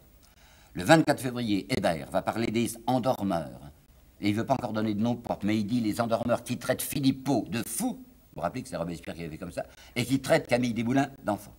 Le 4 mars, Carrier, qui est furieux parce qu'on l'a rappelé, Carrier déclare On veut faire rétrograder la révolution, tout simplement parce qu'on l'a rappelé. L'insurrection, attention, l'insurrection. Voilà ce qu'il faut opposer au scélérat. Et ce même jour, 4 mars, Hébert se dresse contre ceux qui veulent sauver les 70 royalistes. Qu'est-ce que ça? Il y avait 70 députés de la, Convention qui avaient eu le courage de protester contre l'exécution des Girondins, contre leur arrestation. Alors, naturellement, la surenchère des démagogique disait il faut les tuer, les 70 qui ont protesté. Ils n'étaient peut-être pas royalistes, mais enfin, ils avaient soutenu les Girondins. Et Robespierre disait je veux bien qu'on les exclue, le 3 mars, ils sont exclus, mais je ne veux pas qu'on les tue. Alors Hébert prenait prétexte de ça pour dire, vous voyez, Robespierre est un homme qui ne veut même pas purifier la Convention de ce qu'il y a de mauvais. Ce ne sont pas les voleurs, disait Hébert, qui sont les plus à craindre, ce sont les ambitieux. Et le 9 mars, Vincent, Vincent qui est le secrétaire général du ministère de la Guerre, appelle Robespierre un cromwelliste. Ça devient très grave. On parle d'insurrection, on parle de Cromwell, Roncin, qui est de la bande. Roncin, c'est le chef de l'armée révolutionnaire. Cette petite milice que Robespierre avait demandé lui-même de constituer pour veiller à l'application du maximum dans les campagnes, il a des hommes à lui. Il a son armée révolutionnaire, 4 à 5 000 hommes. Il a 1200 canonniers. Par conséquent, si ces gens-là se révoltent, ils ont une puissance militaire entre les mains. Il faut frapper. Robespierre avait tout fait pour ne pas devoir frapper, mais devant une pareille menace, ça y est, c'est décidé. Alors Saint-Just va faire un rapport le 14 mars sur les factions de l'étranger, parce qu'il y a effectivement un grouillement d'étrangers derrière eux. On les arrête, on arrête Vincent, Hébert, Montmoreau dans la nuit du 13 au 14 mars, Vincent et Roncin aussi, et ils vont passer le 24 mars à la guillotine. Plusieurs se tiendront très bien. Momoro, Klotz, très bien, avec dignité. Hébert sera, lamentable. Hébert, l'homme du Père Duchesne, vous savez, qui avait son vocabulaire à lui, qui parlait du, panier de son, éternuer, faire éternuer les gens dans le panier de son. Il parlait aussi du rasoir national. Lui qui s'était frotté les mains, qui avait poussé des cris atroces lorsque Manon Roland, lorsque la reine était passée en jugement et avait été exécutée, il est lamentable devant la guillotine. Il se traîne, on est obligé de le supporter, de le porter à la guillotine parce qu'il s'est mis à genoux. Ce qui a l'affreux, c'est le comportement de la, foule qui regarde ça. Jaurès a une phrase, je crois la savoir, une phrase remarquable là-dessus. Il dit les gens qui insultaient, qui insultaient euh, lorsqu'il montait à la guillotine, lui citaient ses propres expressions. Va éternuer dans le palais de Sion, tu vas faire connaissance avec le rasoir national. Et Jaurès dit la foule soufflait la laine de sa propre bouche à celui qui allait mourir. Seulement en même temps que Hébert, il y a Danton. Danton qui fait la politique que vous savez. Si les hébertistes sont, comme dirait, comment dirais-je, le, des vers, enfin des termites dans le bois de la Révolution, Danton, c'est l'homme qui tient une scie, qui est en train de couper l'arbre de la Révolution. Alors il faut y aller. Et ça ne sera pas commode pour Robespierre d'y aller. Pas commode, il faut le savoir. Il est harcelé par des gens qui lui demandent la tête de Danton. Qui? Eh bien, Billot Varenne. Billot Varenne dit Danton, c'est le plus grand ennemi de la République. Et puis, je ne sais pas pourquoi, au comité de salut public, il y a un nommé Vadier, qui est très, du comité de sûreté générale, un nommé Vadier. Vadier et Amar sont les deux têtes du comité de sûreté générale, qui est acharné contre Danton. Je vous répète, je ne sais pas, il y a des raisons privées sans doute, il le déteste. C'est lui qui a inventé, c'est Vadier qui a inventé l'image du, turbo, le, turbo farci. On le videra, ce turbo farci, disait-il. Et Robespierre est là qui dit, on va toucher à Danton tout de même. Même sentiment pour Camille. Il l'a bien connu, Danton, il allait chez lui. Je vous ai parlé de la lettre qu'en février 93, il lui avait écrit quand sa femme était morte. C'est une lettre émouvante. Et Robespierre, contrairement à sa légende, est le contraire d'un homme sanguinaire. Dans un livre dont je vous ai parlé une fois, un livre tout récent, plein d'admirables illustrations dont sont tirées très souvent mes images du générique, l'œuvre de, Furet et Richet, ben, il y a ce mot que je trouve excellent. La légende est arrivée à faire passer pour sanguinaire ce Robespierre qui était un modérateur. Mais tout de même, il n'y a pas moyen, enfin, on ne peut plus hésiter avec ce que fait Danton. Le 19 mars, Danton est monté à la tribune et a prononcé un discours dangereux. Il y a des masques à arracher, dit-il. Le moment est venu de distinguer entre les faux révolutionnaires et les vrais. Qui vise-t-il? Il Saint-Just, il vise Biziot et il vise de travers, sans oser encore le dire, Robespierre. Alors Robespierre va finir par céder. Ah, la mort dans l'âme, vous savez, ça ne lui plaît pas de toucher à Danton. Mais enfin, il faut le faire. Danton a une allure de matamor, un matamor roublard, comme disait du reste M. Mathiez. Danton, se sentant menacé, prononce un certain nombre de phrases que l'histoire a recueillies. Danton dit On ne touche pas à Danton. Ils n'oseront jamais toucher à Danton. Ou encore dit-il S'ils s'approchent de moi, je n'ai qu'à me retourner et à leur montrer ma gueule pour qu'ils tombent foudroyés. En réalité, il n'est pas si sûr de lui que ça. Et nous savons, nous avons deux détails qui, sont, qui étaient peu connus, mais il faut que je vous les apporte parce que ça corrige un peu la physionomie légendaire de Danton. Danton, voyant qu'il y a un péril contre lui, Danton va demander à deux reprises à se mettre en rapport avec Robespierre, à dîner avec lui. Chez un, chez un administrateur de la guerre, dont j'ai oublié le nom, un déjeuner est organisé. Robespierre est là, qui regarde Danton, qui écoute, qui se demande ce qu'il va faire. Et à la fin du repas, quand on est au café, quand on est en train de prendre le café, Danton se lève et embrasse Robespierre. Robespierre reste de glace.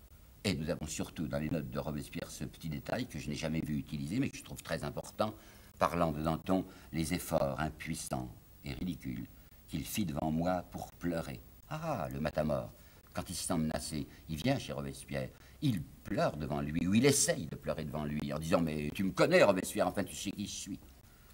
C'est Saint-Just qui va être chargé du réquisitoire. Et on va faire un sale coup à Saint-Just. Saint-Just était dit Je m'en vais attaquer cet homme dangereux de face. Et la décision a été prise d'attaquer le 30 mars. C'est le 24 que les hébertistes ont été mis à envoyés à la guillotine, et le 30, on décide d'arrêter Danton. Alors Robespierre, alors Saint-Just et Robespierre, oui, tous deux, méditent ce qu'il faut dire dans cette grande séance qui aura lieu le 30 mars à la Convention, et où Saint-Just dira en face à Danton tout ce qu'il faut lui dire. Notez qu'ils ne savent pas, ni Robespierre ni Saint-Just, ils ne savent pas tout ce que nous savons aujourd'hui sur Danton. Robespierre n'a pas sous les yeux un document que M. Massiel a retrouvé, qui est bien singulier. On a trouvé ça dans les papiers de Danton. C'est une note du banquier anglais Boyd. Pourquoi est-ce que Danton avait ça dans ses papiers? Peut-être parce que ça lui permettait de compromettre des camarades en se protégeant lui-même. Dans cette note du banquier anglais Boyd, on voit que de l'argent de Pitt, Pitt c'était le chef de la diplomatie britannique, de l'argent Pitt était en dépôt chez Boyd, banquier anglais à Paris, et que cet argent servait à payer des gens, dont CD dans le texte, CD, certainement Camille Desmoulins. Mais comme le nom de Danton n'est pas prononcé, Danton garde ça en réserve. On ne sait pas, et je ne sais pas encore aujourd'hui, ce qui s'est passé entre Danton et, Louis XVII. C'est une question encore énigmatique, vous savez, Louis XVII, le petit, le petit bonhomme du temple, le petit garçon. Qu'est-ce qu'il est devenu? À partir d'une certaine date, qui est le 19 janvier 1994, aucune affirmation, aucune explication sur la conduite de ce petit. On ne sait plus rien. Je crois personnellement à une substitution. Et je pense que Danton est dans le coup. Parce que si on s'empare de ce gage, qui est le dauphin, qui est le futur roi, c'est une monnaie d'échange. Enfin, on peut en tirer au moins de l'argent. Pourquoi est-ce qu'il, si, on s'était emparé de lui, pourquoi est-ce qu'on ne l'a pas mis à la tête de l'armée catholique et royale de Vendée? Je sais bien que ça n'allait plus très fort pour les Vendéens. Mais enfin, c'était un appui pour eux. Alors, mon idée, voyez-vous, c'est que des gens, et Danton devait être dans le coup, c'est que des gens se sont emparés de ce petit Louis XVII et qu'il a dû leur claquer entre les mains, qu'il a dû mourir. On a dû être incapable de s'en servir parce qu'il a disparu. Mais pourquoi est-ce que le cordonnier Simon va passer à la guillotine? Le cordonnier Simon, c'était lui qui s'occupait du petit. Et gentiment, vous savez, et doucement. Pas d'explication là-dessus. Simon va être envoyé à la guillotine sans qu'on puisse savoir pourquoi il est envoyé. Bon, eh bien, si Robespierre et Saint-Just ne savent pas des tas de choses que nous savons aujourd'hui sur Danton et surtout les preuves de sa vénalité, elles ont été retrouvées plus tard, à ce moment-là, on ne savait pas qu'il avait reçu de l'argent de Mirabeau. On savait simplement qu'il avait été appuyé par Talleyrand, appuyé par Mirabeau. On savait qu'il s'était très curieusement conduit le fameux jour du 17 juillet 91, lorsque le peuple a été massacré, mais que lui n'y était pas, alors qu'il avait poussé le peuple à aller au champ de Mars. Et que on l'avait averti le matin, on, ceux qui préparaient probablement la fusillade, lui avaient dit, je crois qu'il faut reculer à l'étranger, du moins il était parti d'abord à Sèvres, puis à Arcis-sur-Aube, puis il était parti en Angleterre. Alors dans le rapport, dans le réquisitoire de Saint-Just, il y a tout ce que l'on peut trouver sur Danton qui est considérable, en particulier sur l'opération du 8 et 9 mars 93, au moment où il a parti lié avec Dumouriez, où il essaye d'organiser une demi-insurrection à Paris pour donner à Dumouriez l'occasion de foncer avec ses troupes sur Paris, mais Saint-Just, qui est décidé à affronter Danton de face le lendemain, on lui fait un coup affreux. Le comité de salut public décide de prononcer l'arrestation de Danton dans la nuit du 29 au 30. Et il est arrêté si bien que Saint-Just va monter à la tribune devant quelqu'un qui n'est pas là. Il va faire son réquisitoire devant un absent, devant un Danton qui est déjà en prison. Scène pénible. Barrère. Barrère, l'homme du comité de salut public. Barrère, l'ancien constituant. L'homme que Danton avait fait entrer dans le premier comité et qui est arrivé à se maintenir dans le second. Barrère, qui avait demandé, lui le premier, l'exécution de la reine, va faire un discours ce 30 mars, tombant sur Danton avec une extraordinaire violence, parce qu'il voit où le vent souffle, et Barrère va demander l'exécution rapide de Danton. Eh bien oui, ça va se passer le 5 euh, avril 1994. On a adjoint à Danton, pour le juger, dans son procès, les gens qui étaient sa séquelle. Oh, je sais, il va protester, il va dire pourquoi est-ce qu'on mêle à des, à des Delaunay, à des Bazirs, à des Chabots Mais parce que c'était ces gens, à lui. Il va se défendre très mal. Il va se mettre en avant avec des choses abominables. Il va dire Mais j'ai fait tuer Mandat. Vous vous rappelez qui c'était Mandat Mandat, c'était l'homme de la garde nationale, enfin le général de la garde nationale, le 10 août. Il lui avait tendu ce piège et on l'avait tué alors qu'on n'avait pas besoin de le tuer, on avait qu'à le mettre en prison. Bien Danton, devant le, comité devant le tribunal révolutionnaire, se vante de ça. Lebrun, qui avait été ministre des Affaires étrangères au moment du comité exécutif après le dissout. Lebrun, dont Danton s'était servi pour ses négociations secrètes avec la Prusse. Danton, devant le tribunal, se vante de l'avoir fait tuer. Danton met en avant les têtes qu'il a fait tomber pour protéger la sienne.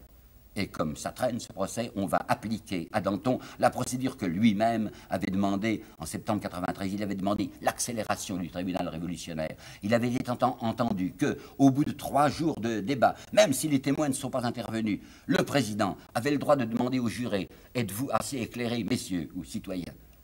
Et Danton n'avait pas protesté, au contraire, ça lui paraissait très bien. Ben, c'est cette procédure affreuse qu'on va lui appliquer. Les témoins n'auront pas eu le temps de comparaître. Fouquier-Tinville, qui a des ordres, va inventer une histoire de complot des prisons pour les envoyer rapidement à l'échafaud. C'est fait. 5 avril 1994, la tête de Danton tombe. Il a plastronné jusqu'à la fin. Il a fait, dans la charrette même, une plaisanterie à Fabre d'Églantine, qui s'occupait encore de sa production poétique. Il lui disait Mais j'avais à écrire des vers, des vers, tu vas en faire dans huit jours, lui disait Danton. Et il avait dit aussi au bourreau Vous montrerez ma gueule, c'est le mot qu'il a employé au peuple, et dans vous la peine quand il était passé devant la maison de Robespierre dans sa charrette.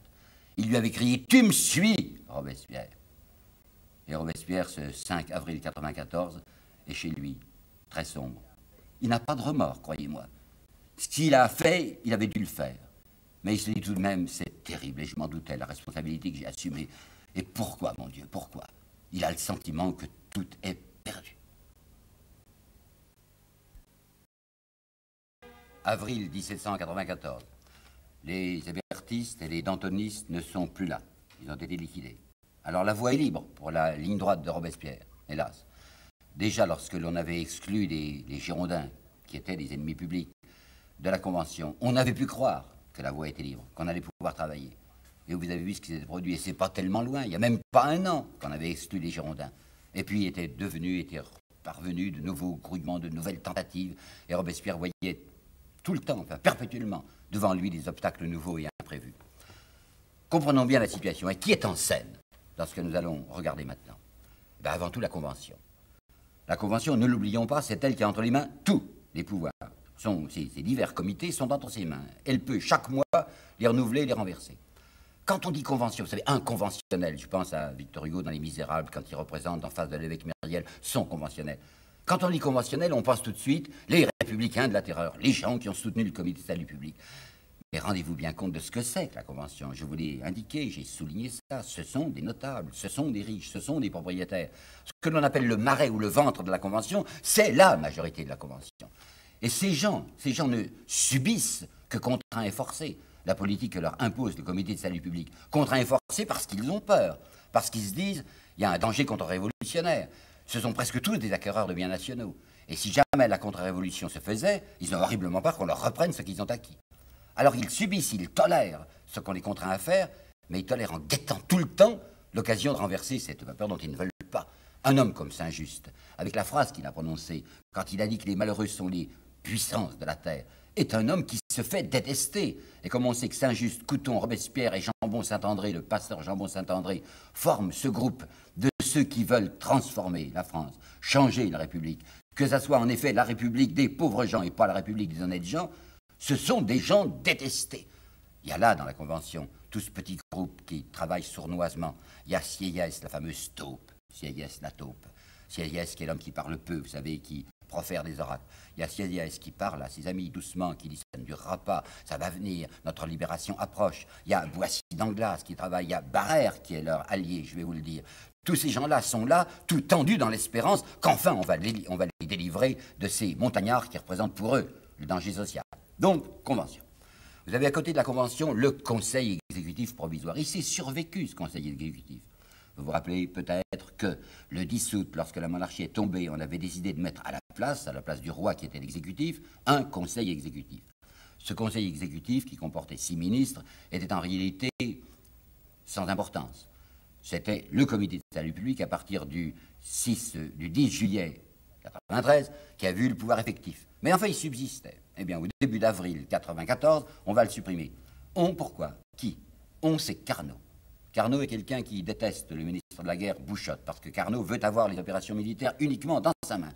Et Bouchotte, le colonel Bouchotte, qui est toujours ministre de la Guerre, et qui, qui est aussi détesté de certains clans militaires, que l'avait été ce Pache, ce brave Pache, qui avait été ministre de la Guerre à un moment et dont Danton avait eu finalement la tête. Bouchotte est un homme qui s'est appuyé sur euh, Vincent, donc un hébertiste, un homme d'extrême extrême gauche, et Carnot, qui n'est pas du tout socialement dans cette direction, Carnot voulait la disparition de ce Bouchotte. Eh bien, il l'obtient. On supprime d'une manière générale le Conseil exécutif, on dit qu'il ne sert plus à rien, mais en pratique et en principe, et en fait aussi, l'important, c'est qu'il n'y a plus de Bouchotte, c'est qu'il y a Carnot qui soit maître des opérations militaires. Alors, plus de comité exécutif.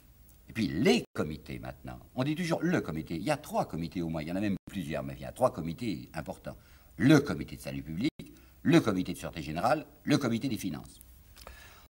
Au comité de salut public, je vous ai dit qu'en apparence c'est de loin, c'est unitaire. Pas du tout, c'est pas unitaire. Voilà comment c'est composé.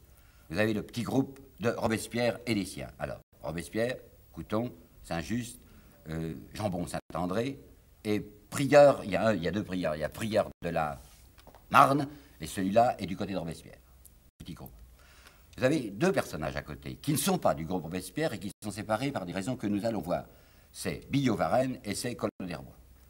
Et puis après, il y a ceux qui se faisaient appeler eux-mêmes les spécialistes, comme si c'était des, techniciens, vous savez, de, de grands commis, mais qui ne s'occupent pas de politique. Carnot qui dit Moi, je m'occupe de rien que de la guerre et puis l'Indais qui s'occupe soi-disant des subsistances. En fait, ces gens qui affirment ne pas faire de politique, dès que quelqu'un vous dit qu'il n'en fait pas, sachez qu'il est du, bon côté, c'est-à-dire de la droite. Alors Carnot et l'Indais disent nous on ne fait pas de politique, on s'occupe de la guerre, on s'occupe d'économie. En fait, ce sont des gens du centre, ce sont des gens qui sont là pour surveiller les opérations du côté du peuple.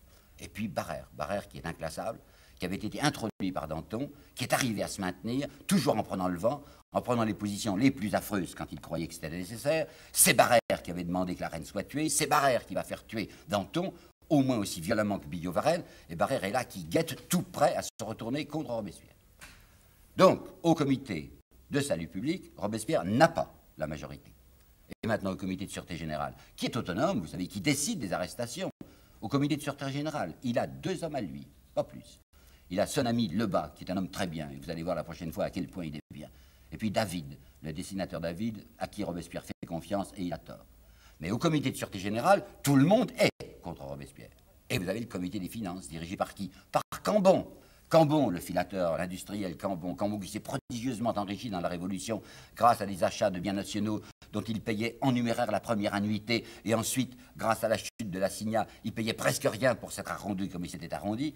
Cambon qui, le 29 octobre 92, lorsque le Girondin Louvet avait dirigé la première attaque furieuse contre Robespierre, Cambon qui avait dressé un poignard au-dessus de lui en disant voilà le poignard qui frappera tout tyran et tout dictateur, Cambon, qui avait été introduit par Danton dans le premier comité de salut public, qui avait été exclu du second comité du 10 juillet, Cambon est là, qui reste dans ce comité des finances, aigri de n'être plus du comité du salut public et avec des idées personnelles.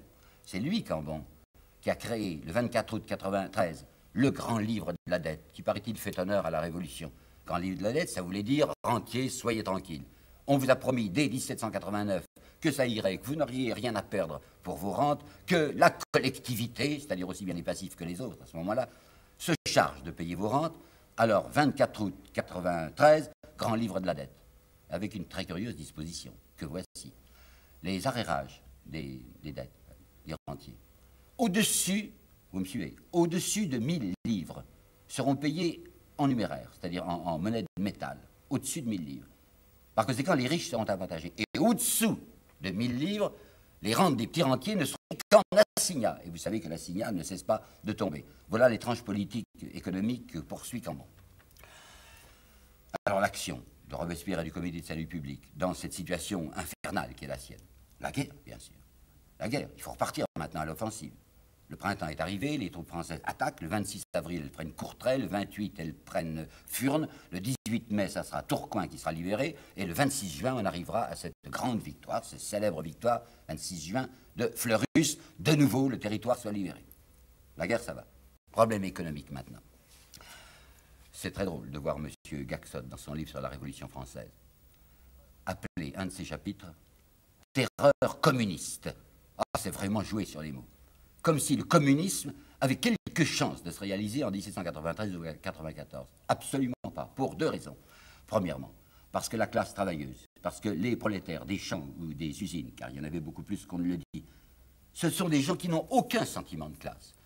C'est ce fameux, ce fameux troupeau aux yeux bandés dont je vous ai parlé.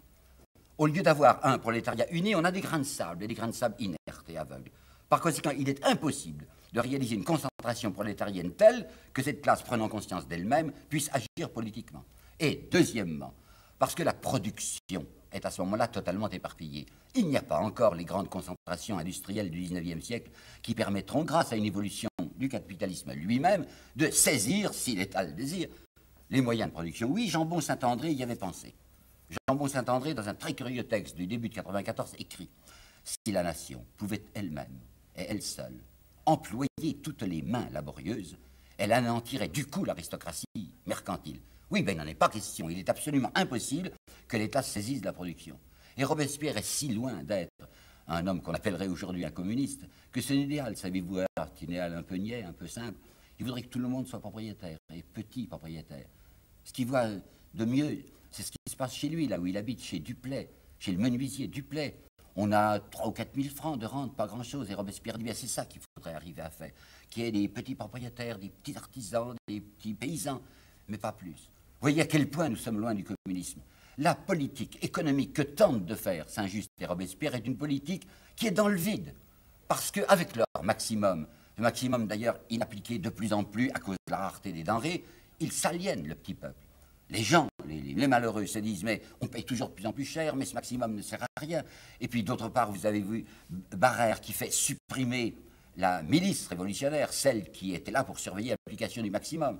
Barrère a profité de ce que Roncin avait été exécuté parce qu'il était dévertiste pour faire disparaître l'armée de contrôle. L'Indais, le 29 mars, a fait supprimer les commissaires aux accaparements. D'où vous avez une politique qui, d'une part, ne rallie pas les masses populaires parce qu'elle ne les nourrit pas suffisamment, et une politique qui est détestée, qui est exécrée de la bourgeoisie d'affaires, parce qu'il y a tout de même un certain nombre d'usines de guerre qui sont nationalisées, où les ouvriers sont bien payés, et où ceux qui travaillent dans l'industrie privée sont furieux. Si bien que le 16 avril, le comité de salut public lui-même va être obligé de prévoir des primes, des primes à l'industrie privée à cause de la protestation des patrons qui disent vous payez trop les ouvriers dans les usines nationalisées. C'est le moment de bien le regarder, ce Robespierre, que nous avons vu depuis le début. Vous vous rappelez-vous, la première fois qu'il est apparu Robespierre, quand il avait protesté au moment des insurrections de paysans contre les châteaux, et qu'il avait dit non, ça n'est pas une politique de violence qu'il faut faire contre eux, c'est leur expliquer de quoi il s'agit, et leur montrer qu'ils ne sont pas soulevés pour rien. Robespierre, c'est un malade. C'est un homme qui se crispe de plus en plus pour tenir bon. C'est un homme qui est persuadé, et il a raison de se le persuader, que de toute manière, il n'en a pas pour longtemps.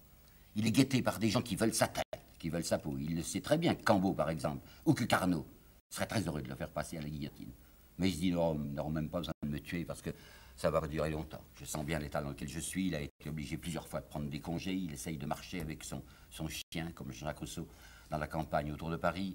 Il faisait son devoir. Il venait le plus possible au comité de salut public. Mais enfin, il n'en pouvait plus. Il assiste à ces guillotinades qu'il est très loin d'approuver et qui sont entre les mains, je vous l'ai dit, du comité de sûreté générale. Il regarde Madame Elisabeth passer à la guillotine. Madame Elisabeth, la sœur du roi?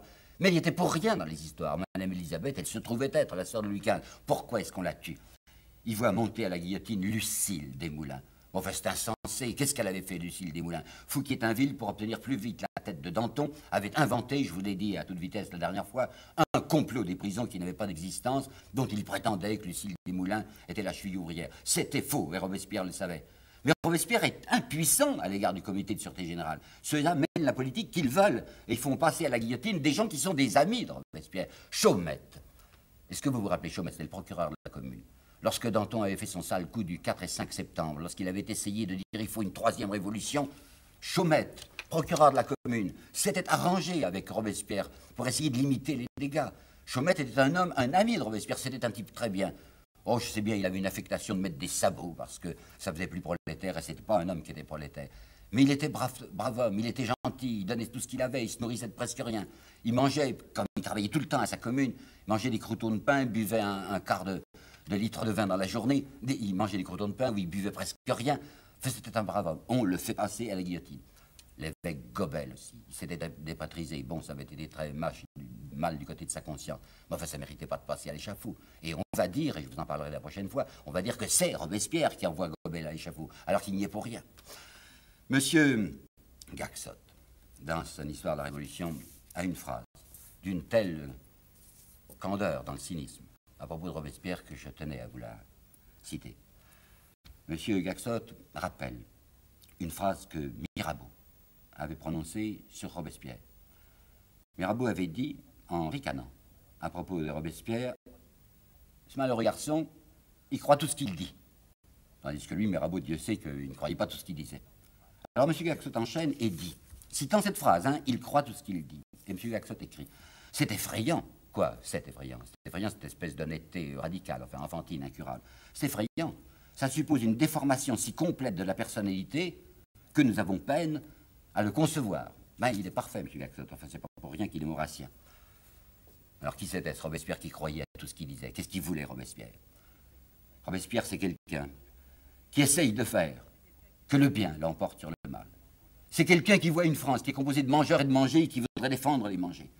C'est quelqu'un qui voudrait essayer de changer le climat de l'humanité. Écoutez-le. Nous voulons un ordre de choses où les passions mauvaises soient enchaînées, où l'autorité est sa source dans le peuple même. La loi n'étant la loi que si elle est l'expression de ce qui est vrai, de ce qui est juste. Un ordre de choses où la patrie protège et assure les moyens d'existence de chacun. Un ordre de choses où la circulation des biens soit le mouvement même de la richesse publique et non pas le moyen pour quelques-uns d'une opulence monstrueuse au détriment de la collectivité. Nous voulons, dit encore Robespierre, substituer les principes aux usages, les devoirs aux bienséances, le mépris du vice au dédain du malheur. Nous voulons substituer les braves gens à ce qui s'intitule la bonne compagnie.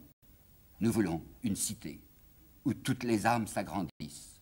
Nous voulons accomplir les destins de l'humanité. Ah, ça c'est un écho dans, dans mon esprit. Accomplir les destins de l'humanité, mais c'est du Jean-Jacques. Je vous l'ai déjà dit plusieurs fois, Robespierre, c'est l'homme de Rousseau. Rousseau, c'est l'homme qui disait lui aussi, vous le savez, ce que je voudrais faire, c'est de faire comprendre à l'humanité qui elle est et où elle va, afin qu'elle puisse accomplir sa destinée. Et si la révolution n'est pas ça, alors à quoi bon l'avoir engagé? Est-ce que, dit Robespierre, est-ce qu'on ne sent pas tout ce que nous avons de meilleur en nous s'embraser lorsqu'on voit le but vers lequel on marche? Est-ce qu'il n'y a pas là quelque chose qui nous soulève, dit-il, au-delà de la terre? Alors attention, au-delà de la terre, nous touchons là au secret de Robespierre. Le 30 novembre 92, lorsque Cambon avait annoncé que ce qu'il voulait, c'était supprimer la patente, parce que ça gênait les industriels, et que pour supprimer la patente, ce qui faisait un, peu d'argent de moins dans les caisses de l'État, on allait s'arranger pour supprimer tous les traitements ecclésiastiques, c'est-à-dire mettre à la rue les prêtres. Robespierre avait pris la parole, et Danton aussi. Danton n'était pas d'accord pour cette persécution, et Danton avait dit L'homme maltraité par la fortune quand il voit un homme riche se livrer à tous ses goûts, pense que dans une autre vie, ses jouissances se multiplient en proportion de ses privations dans celle-ci. Et il ajoutait dans tout naturellement, moi je ne donne pas dans, ces baisés, mais c'est très utile qu'il ait curé pour expliquer aux malheureux qu'il y aura de l'autre côté un paradis où ils trouveront des compensations. C'était la doctrine de Voltaire. Alors Robespierre a pris la parole et il dit non, je ne crois pas, moi, j'ai pas l'impression la religion doit être la consolation des, opprimés en leur parlant d'un paradis futur. Il avait salué ce jour-là, avec imprudence, la doctrine sublime, disait-il, que le fils de Marie enseigna jadis. Il avait dit, mon Dieu, c'est celui qui créa les hommes pour l'égalité et pour le bonheur. La religion, pour Robespierre, la religion, c'est un contact avec la justice vivante. Une des filles de Duplay, qui s'appelait Elisabeth, avait épousé Lebas conventionnel Lebas. Et son mari va être tué avec Robespierre. Elle vivra jusqu'en 1840, je crois, elle a laissé des mémoires. Elle avait une sœur qui s'appelait Éléonore et dont on dit que Robespierre était un peu amoureux. C'est possible. Robespierre, c'est l'homme d'une seule idée. Vous savez, il se dit plus tard, si j'arrive à réussir ce que je veux faire, plus tard je changerai à moi. Peut-être je me marierai. Mais pour l'instant, non. Il s'agit d'une seule chose. Il s'agit de créer la République et de bâtir la cité juste. Alors, dans les mémoires de Elisabeth Duplay-Lebas, il y a cette phrase. Elle parle de Robespierre qu'elle aimait beaucoup, qu'elle respectait profondément. Que de fois il m'a grondé, parce que je ne semblais pas croire en Dieu avec la même ferveur que lui. je lui tiens beaucoup à ce mot de ferveur. Robespierre, au moment où nous sommes, est un homme presque désespéré, malade, je viens de vous le dire, et qui n'en gênait pas pour longtemps. Alors, alors avant de mourir, Robespierre voudrait expliquer, voudrait crier aux gens tout ce qu'il a dans le fond de son cœur. Il voudrait essayer de rendre contagieuse sa vue du monde. Il voudrait essayer que se à, prendre, vous savez, à prendre ce feu qui est le feu de sa substance, ce feu qui est sa raison de vivre, ce feu qui explique tout ce qu'il a essayé de faire depuis 1789. Alors, premièrement, le 14 avril 1798, Robespierre va obtenir d'une convention grincheuse que l'on mette Jean-Jacques Rousseau au Panthéon. Bon, il aurait bien voulu qu'on en fasse sortir Voltaire. Il pensait sur Voltaire ce qu'en pensait Marat dans son admirable article du 6 avril 91 de l'Ami du Peuple. 1. Jean-Jacques au Panthéon. 2. Rapport que Robespierre décide de faire lui-même sur les principes de la République, rapport du 7 Floréal en 2, c'est-à-dire du 18 mai. C'est un rapport qu'il faut lire de près. L'histoire n'en parle pas assez, même dans le livre de Jean Bassin, qui est un excellent livre, on n'a pas souligné ce qui est essentiel dans ce rapport. Quoi donc? D'abord, Robespierre courageusement dit à ces gens de la Convention qui sont presque tous des voltairiens Mais je vais vous expliquer ce que c'est Voltaire. Je vais vous dire ce que c'est que l'esprit de l'encyclopédie qui avait essayé de maintenir parmi nous un homme comme Condorcet, le marquis de Condorcet, qui parlait des instruments méprisables de la Révolution. Il avait soupesé Candide, le livre de Voltaire. Il avait vu ce que ça signifiait pour Voltaire, cultiver son jardin. C'est-à-dire que les imbéciles se laissent écraser, mais que les adroits sachent se mettre du côté du marteau contre l'enclume. Et Robespierre, ce jour-là, va prononcer les paroles que voici.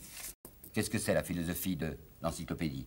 Cette espèce de philosophie pratique qui, réduisant l'égoïsme en système, considère la société comme une guerre de ruse, le succès comme la règle du juste et de l'injuste, le monde comme le patrimoine des fripons adroits, par conséquent, ces gens-là n'ont rien à faire avec le véritable esprit révolutionnaire.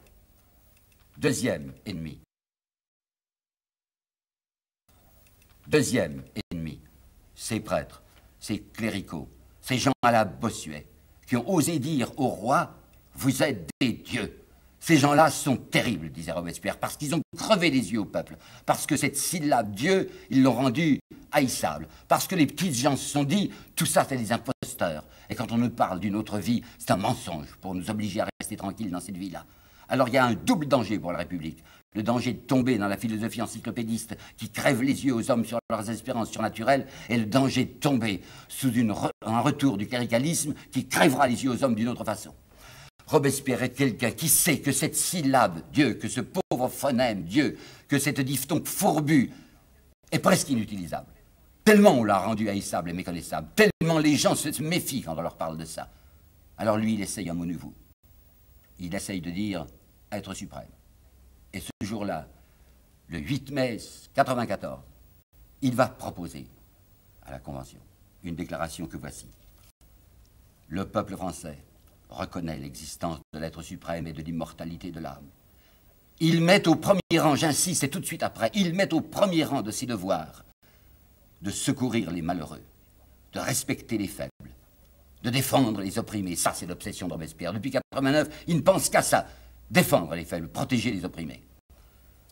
Michelet, voici le commentaire qu'il fait du discours dont je viens de vous parler.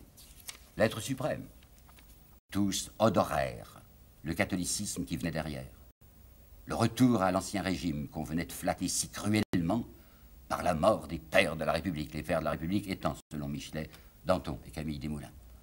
Michelet devrait se déchaîner avec la même violence contre Saint-Just parce que Saint-Just pense comme Robespierre. Saint-Just parle de ce Dieu protecteur de l'innocence et de la vérité. Saint-Just parle du bonheur et on dit même, on lui fait honneur d'avoir dit bonheur est une idée neuve en Europe. Qu'est-ce que ça veut dire, bonheur, pour Saint-Just? Oh, ça ne veut pas dire la même chose que pour Danton. Pour Danton, bonheur, ça signifiait la goinfrerie et le reste. Un jouisseur, Danton. Et Saint-Just dit, le bonheur, c'est la paix d'une conscience droite. Saint-Just est un homme qui se dresse contre ceux qui ont toujours sur les lèvres le mot avec une majuscule de la raison. Et il dit, la raison c'est bien souvent un instrument qui nous propose de bonnes raisons pour dissimuler nos convoitises. L'esprit est un sophiste, dit Saint-Just. Alors qu'il y a une chose en nous qui ne trompe pas, c'est ce que Pascal avait appelé la connaissance du cœur. Et c'est aussi ce cœur dont avait parlé Jean-Jacques, c'est-à-dire la conscience, c'est-à-dire la pression en nous de la vérité. Je ne suis pas de ceux, dit Sainte-Beuve, qui reculent devant le tombeau. Je méprise la poussière qui me compose. Et lui, il n'a pas envie de jouer avec cette poussière.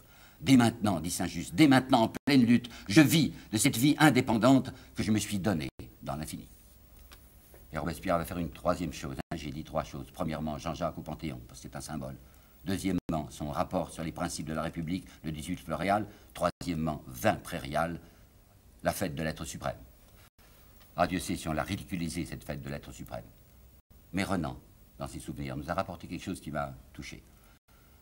Renan dit que quand il était gamin, il avait vu, dans ce pays attrayé, un vieux bonhomme qui avait assisté à la fête de l'être suprême et qui conservait chez lui un petit bouquet qu'on avait donné à la foule ce jour-là, vos trois fleurs.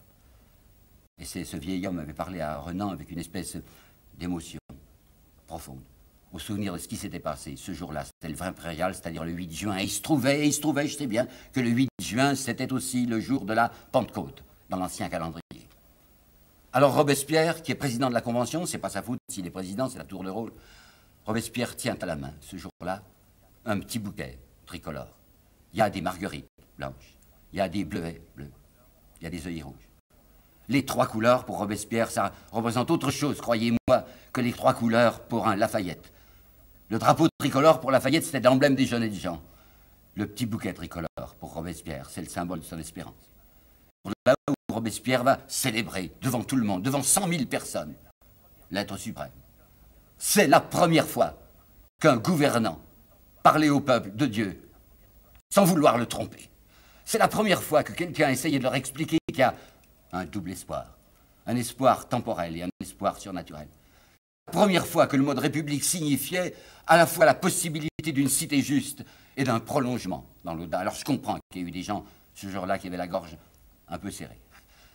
Mais ce même jour, parce que c'était le jour de la Pentecôte, dans les rangs même de la convention qui suivait Robespierre, des murmures, des grondements. Robespierre entend derrière lui des gens qui protestent. Il y a les deux Bourdon, Léonard Bourdon et Bourdon de l'Oise, qui disent Mais enfin, où va-t-il? Qu'est-ce qu'il veut? Ce jour-là, Robespierre a signé positivement son arrêt de mort.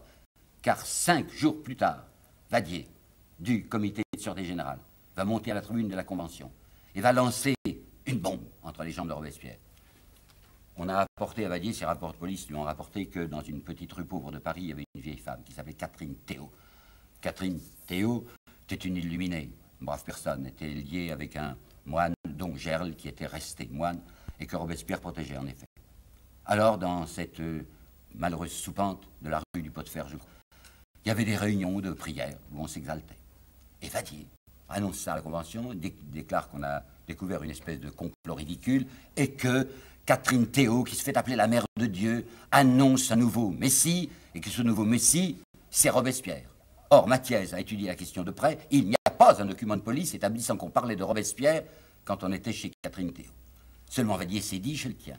Avec cette histoire, je m'en vais ridiculiser Robespierre. Et effectivement, cinq jours après la fête de l'être suprême qui a été détestée de la majorité voltairienne de la Convention, un grand rire secoue la Convention. Un gros rire. On dit, tiens, tiens, il y a une espèce de vieille folle qui dit que Robespierre, c'est le, le Messie. Écoutez bien Michelet. Le procès voltairien de la Mère de Dieu c'est Voltaire ressuscité. Béni sois-tu, bon revenant. L'affaire suscita, dit-il, un rire immense, rire sacré, qui rompit l'horrible enchantement.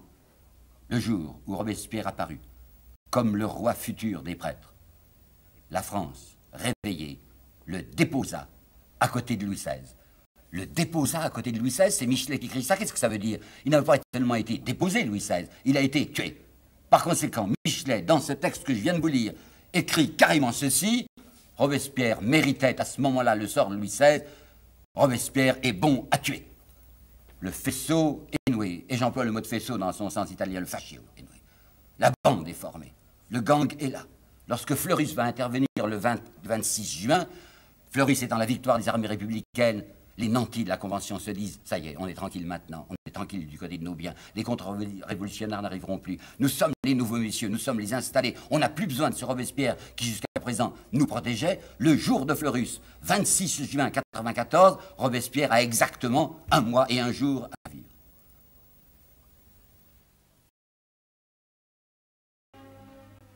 Voilà que nous avons fini cette grande excursion que nous aurons faite ensemble à la découverte de la Révolution française. Alors qu'est-ce qui en reste? Qu'est-ce que nous avons appris? Ah, J'espère tout de même un certain nombre de choses. D'abord, il y a plusieurs visages, plusieurs visages illustres, qui connaissent maintenant un nouvel éclairage, un éclairage quelquefois dur, le rude éclairage de la vérité. Quand je pense à Proudhon, par exemple, qui, en 51, lorsqu'il félicitait Michelet d'avoir présenté la Révolution telle qu'elle, Proudhon célébrait ce Mirabeau qu'il appelait le plus magnifique instrument de la Révolution et ce Danton dont il disait qu'il fut l'âme la plus généreuse. Mirabeau, ben nous avons vu qui c'était Mirabeau. Nous avons vu que c'était un, lion, comme on a dit, un lion avec des griffes en caoutchouc mousse. Nous avons entendu le tonnerre de Mirabeau qui se transformait toujours à la fin en romance ou en mélodie. Mirabeau, c'était l'homme qui prononçait des paroles tonitruantes, mais qui aboutissait toujours à une conclusion favorable à la cour. Vous vous rappelez que Mirabeau, qui se faisait applaudir à Paris au Palais Royal, et les femmes du Palais Royal l'appelaient notre petite mère Mirabeau. Mirabeau, c'était l'homme qui soutenait le veto absolu pour le roi. C'était l'homme qui avait dit il faut laisser au roi la possibilité de déclarer lui-même la guerre, de choisir la paix et la guerre. Mirabeau était l'homme aussi de la loi martiale. Un vendu, un imposteur. Danton. Danton, un autre vendu. Nous avons le document maintenant que Robespierre ne connaissait pas. Le fameux document, c'est la lettre de Mirabeau à Lamarck, la lettre du 10 mars 91, dans laquelle nous avons la certitude absolue que la veille, 30 000 livres avaient été livrés par la cour à Danton. Seulement, Danton, il était un peu particulier parce qu'il était déloyal une fois qu'il s'était fait acheter. Dans cette lettre de Mirabeau à, à Lamarck, Mirabeau proteste et dit Mais Danton fait un très mauvais usage de l'argent qu'on lui a remis. Pourquoi? Parce que Danton veut faire monter ses prix. Remarquez les dates. Hein. C'est le 10 mars 91 que nous apprenons que Mirabeau vient de lui faire ce versement. Je vous ai raconté que le 18 avril, donc un mois après, le 18 avril 91, Danton est à la tête de la foule qui empêche le roi et la reine de sortir du palais des Tuileries lorsque le roi voulait aller communier des mains d'un insermenté à Saint-Cloud. Vous vous rappelez cette histoire assez affreuse où la foule, poussée par Danton, entourait le carrosse du roi et prononçait des paroles affreuses. Ce malheureux homme s'entendait appeler gros cochon et sa femme, qui était à côté de lui, se faisait appeler putain. Il était là, Danton. Pourquoi? Pour faire monter ses prix, je viens de vous le dire pour dire on ne m'a pas encore assez payé. Si vous voulez, étant donné l'ascendant que j'ai sur la foule, si vous voulez obtenir de moi davantage, eh bien payez plus. Voilà qui était Danton. Gérard Walter, dont je n'ai pas encore parlé, qui est un bon connaisseur de la Révolution et qui a donné dans l'édition de la Pléiade l'histoire de la Révolution de Michelet avec toutes sortes de notes et commentaires extrêmement importants et qui rétablissent la vérité. Gérard Walter dit Oui, après tout, tant pis si Danton a été un vendu, tant pis, l'important c'est de savoir s'il a servi la Révolution. Et Gérard Walter croyait pouvoir conclure, oui, il a servi la Révolution. Ben, j'ai bien étudié la question aussi, et je vous l'ai présentée à mesure. Et je n'ai pas l'impression que Danton ait jamais servi la Révolution. Que tous les événements qui se sont produits, les événements importants de la Révolution, il y a contribué peut-être en marge, c'est pas du tout lui qui les a créés. Par conséquent, je crois pouvoir conclure que Danton, en fait, ça a été la mouche du coche, une grosse mouche verte et vrombissante, et pas davantage. Nous avons vu aussi, je crois, s'éclairer le visage des Girondins. Qu'est-ce que c'est finalement les Girondins? Les Girondins, ils ont été, à mon avis, extrêmement bien définis par Jaurès, quand il dit c'était une oligarchie de beaux parleurs et de bourgeoises arrogants. Et qu'est-ce que c'était Carnot? Carnot, avec sa fameuse légende de l'organisateur de la victoire. Carnot était un homme qui pensait conservation sociale, comme Cambon. Et Carnot a été l'instigateur, l'ordonnateur, si vous voulez, de cette quête, de cette guerre de pillage. Heureusement qu'à côté de ces visages-là, il y en a d'autres qui vous réconfortent, d'autres qui vous font échapper à cette asphyxie. Qui, par exemple? Ben, Il y a ces, petits curés dont je vous ai parlé.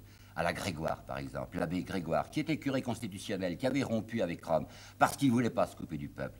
Il s'est passé à la Convention une scène pathétique le 7 novembre 93 lorsque l'évêque Gobel, l'archevêque Gobel de Paris est venu se déprétriser, imité du reste par ce, pasteur affairiste qui s'appelait Julien de Toulouse et qui lui aussi s'est dépasteurisé ce jour-là. Alors Thirion, qui était un ami de Danton, Thirion a pris à partie Grégoire, Grégoire qui siégeait en costume d'évêque, et il lui dit Et vous, Grégoire? Grégoire a dit Vous n'obtiendrez jamais de moi un renoncement. Il y a Grégoire, il y a un autre petit curé dont je vous ai parlé qui s'appelait Pierre d'Olivier, celui qui avait défendu les paysans des Tempes, qui étaient poursuivis parce qu'ils avaient tué le maire Simoneau. Et il a dit pourquoi il l'avait tué. Non, il n'excusait pas le crime, mais il expliquait les souffrances des paysans. Il y a cet autre petit curé encore qui s'appelait Jacques Roux. Domanger, monsieur Domanger a fait un petit bouquin, Un curé rouge, Jacques Roux. C'est vrai que c'est une belle figure, ce Jacques Roux. C'était un, curé des pauvres, qui travaillait en plein Paris, dans le quartier des Gravilliers, vivait là avec son chien, il n'avait pas un sou s'occupait avant tout des malheureux. Et puis vous avez un pasteur admirable qui fait contraste avec les Juliens de Toulouse, avec les Rabault Saint-Étienne, avec les Lassources. Vous vous rappelez, c'est Jean Bon Saint-André. C'est une grande figure, Jean Bon Saint-André. C'était l'homme qui, au comité de salut public, s'était occupé spécialement de la marine. La marine qui avait pris le sale coup que vous savez lorsque les amiraux, les amiraux Trogoff et Chosgros avaient livré aux Anglais notre flotte de la Méditerranée. Jean Bon Saint-André a pris ça en main. Il a constitué des manufactures nationalisées à Brest. Et c'est grâce à lui que la révolution sur mer s'est fait également respecter. Vous avez Billot Varenne. Je le salue également, Billot Varenne. C'était un athée, un athée noble, rectiligne, qui savait ce qu'il voulait. Et puis il y a Saint-Just, dont j'ai peut-être pas assez parlé. Saint-Just, dont on nous dit qu'il était tellement beau, qu'il ressemblait à un archange. J'ai trouvé chez, chez Malraux une phrase qui m'a assez amusé parce que je la crois juste. Malraux dit La légende de Saint-Just doit beaucoup à sa beauté. Non, disait Malraux, je crois plutôt que la beauté de Saint-Just vient de sa légende. C'est vrai, j'ai regardé les images de Saint-Just. il n'était pas tellement beau que ça. Il avait le front un peu court. N'empêche que c'était un cœur pur et un être noble. Et puis il y a Couton. Couton, c'était un député à la législative. Couton, c'était un homme qui, depuis 91, était paralysé des jambes. Quand il est député à la Convention, on le traîne dans une petite voiture. Cet homme avait beaucoup réfléchi. Cet homme qui était un notable, enfin qui avait de l'argent, et qui avait été délégué à la législative, a regardé les choses d'une façon limpide, lucide, loyale. Et il a compris où était la vérité du côté de Robespierre. Et cet homme savait parfaitement soutenant jusqu'à la fin Robespierre qu'il allait à la mort. Dans la nuit du 27 juillet, lorsque Léonard Bourdon, à la tête d'une bande de gendarmes, entre dans l'hôtel de ville parce que cette fois il n'y a plus de danger et qu'il n'y a plus personne pour défendre Robespierre, Couton est là, dans sa petite voiture. Alors qu'est-ce qu'on lui fait? Eh bien, on le conduit au sommet du grand escalier de l'hôtel de ville et on le précipite dans sa petite voiture au bas de l'escalier. Ce qui permettra de dire à M. Gaxot avec beaucoup d'élégance, au bas de son escalier, Couton faisait le mort. Vous savez qu'à cause de ses jambes qui étaient repliées et qu'on ne pouvait pas déplier, quand on l'a exécuté avec Robespierre le lendemain, Couton a été obligé de le mettre de profil sur la guillotine. Et puis il y a Marat aussi. Marat et son affreuse réputation imméritée. Marat était quelqu'un de noble, Marat était quelqu'un de totalement désintéressé. Il n'avait pas un sou lorsqu'on l'a tué, lorsque Charlotte Corday l'a assassiné dans sa baignoire et qu'on a fait l'inventaire de ses biens. Il y avait quelques assignats. Un homme qui donnait tout, le frère de Robespierre, Augustin, a fait là-dessus une déclaration. Marat, c'est une grande figure de la Révolution. Et puis, bien sûr, Robespierre. Robespierre, je vous en ai beaucoup parlé. Je voudrais que la, dernière image qui vous reste de Robespierre, ça soit celle de cet homme, le 8 juin 1994, le jour de la fête de l'être suprême, lorsque là, à la tête de la Convention sur le champ de Mars, il marche avec son petit bouquet tricolore à la main. Il marche le cœur tout bouleversé, dans cette espèce de, de fête Dieu ressuscité qui était la fête de l'être suprême. Une fête Dieu qui avait un sens nouveau, qui était toute jeune, toute nouvelle, toute brûlante. La deuxième chose que je voudrais vous dire aussi et que je crois que nous avons appris, c'est avoir une vue plus nette et plus exacte de ce que l'on appelle la Révolution française. Et sous ces, ces, mots, Révolution française, il y a deux réalités successives et qui sont absolument opposées, deux réalités antithétiques. Il y a d'abord, de 1789 à 1792, enfin jusqu'au 10 août, la prise du pouvoir par l'oligarchie financière. C'est ça la première révolution, entre guillemets. Et ce n'est pas une révolution, c'est une réforme. C'est-à-dire que c'est la monarchie qui subsiste, cette monarchie qui était d'abord absolue et qui est maintenant une monarchie contrôlée, contrôlée par qui? Par la fortune mobilière, par la bourgeoisie d'affaires. Et la date capitale de cette première partie de la fausse révolution, la date capitale que les manuels ne soulignent jamais assez, et même on fait quelquefois exprès d'en parler à peine, c'est le 17 juillet 91, lorsque la bourgeoisie jette le masque et après être servi des pauvres comme levier, elle leur tire dessus. Les centaines de morts du champ de Mars, grâce aux troupes de Lafayette, à la garde nationale, à la garde nationale des notables de Lafayette qui tirent sur le peuple le 17 juillet 91. Deuxième révolution. Alors pour de bon la révolution. À partir du 10 août 92. Cette fois c'est le quatrième État. Cette fois c'est les pauvres. Cette fois c'est les prolétaires, c'est les ouvriers, c'est les paysans qui sont dans le coup. Il ne s'agit plus d'une première partie de la fausse révolution où les bourgeois disaient l'État c'est nous. Il s'agit maintenant de toute la France qui est dans le coup. Ah, toute la France. Je vous l'ai assez dit, quand on regarde les chiffres, on voit comme les votants sont peu nombreux. Il faut se rendre compte de ce que c'était que cette France. Ces bêtes de somme depuis des centaines d'années qui étaient courbées sous le poids de ceux qui les dirigeaient, sous le poids de ces voltairiens qui utilisaient l'idée de Voltaire, à savoir que le petit nombre doit être nourri par le grand nombre. Qu'est-ce que c'est, ces pauvres gens? Ce sont des abrutis, ce sont des gens qui commencent à peine à ouvrir les yeux. Alors c'est pas étonnant que ça se compte par dizaines de mille et non même pas par centaines de mille, ceux qui commencent à comprendre de quoi il s'agit. Néanmoins, à ce moment-là, c'était quelque chose d'important et de capital qui était en jeu. Cette fois, c'était vraiment la révolution et pour de bon. Alors, alors les possédants, ceux qui avaient fait la première partie de la Révolution, ceux qui avaient trouvé à leur service d'abord ces Girondins qui s'étaient constitués comme l'aile marchande ou le bataillon de choc des riches, et qui ont trouvé ensuite à leur service des gens comme Danton, comme Barrère, comme Cambon et comme Carnot, ces possédants, ils n'ont pas de cesse que se termine cet intermède pour eux abominable, odieux, où il s'agit vraiment de la République, où il s'agit de la France qui est dans le coup. Et ça n'aura pas duré longtemps. L'intermède républicain, le vrai intermède révolutionnaire, ça commence le 10 août 92 et ça se termine le 27 juillet 94 par la chute de Robespierre.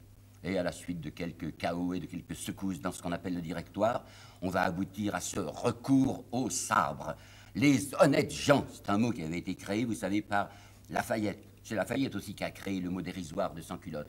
Les honnêtes gens se disent, il nous faut un sabre pour faire tenir tranquille la fameuse canaille. Et on va aboutir à quoi? On va aboutir au 18 Brumaire, c'est-à-dire 9 novembre 99, avec cette conjonction des industriels représentés par Perrier, des banquiers représentés par le banquier suisse Pergaud, et du caïd en chef, du chef des généraux Pidard, le petit Bonaparte. À ce moment-là, les honnêtes gens seront tranquilles pour plus de 50 ans, jusqu'en 1848.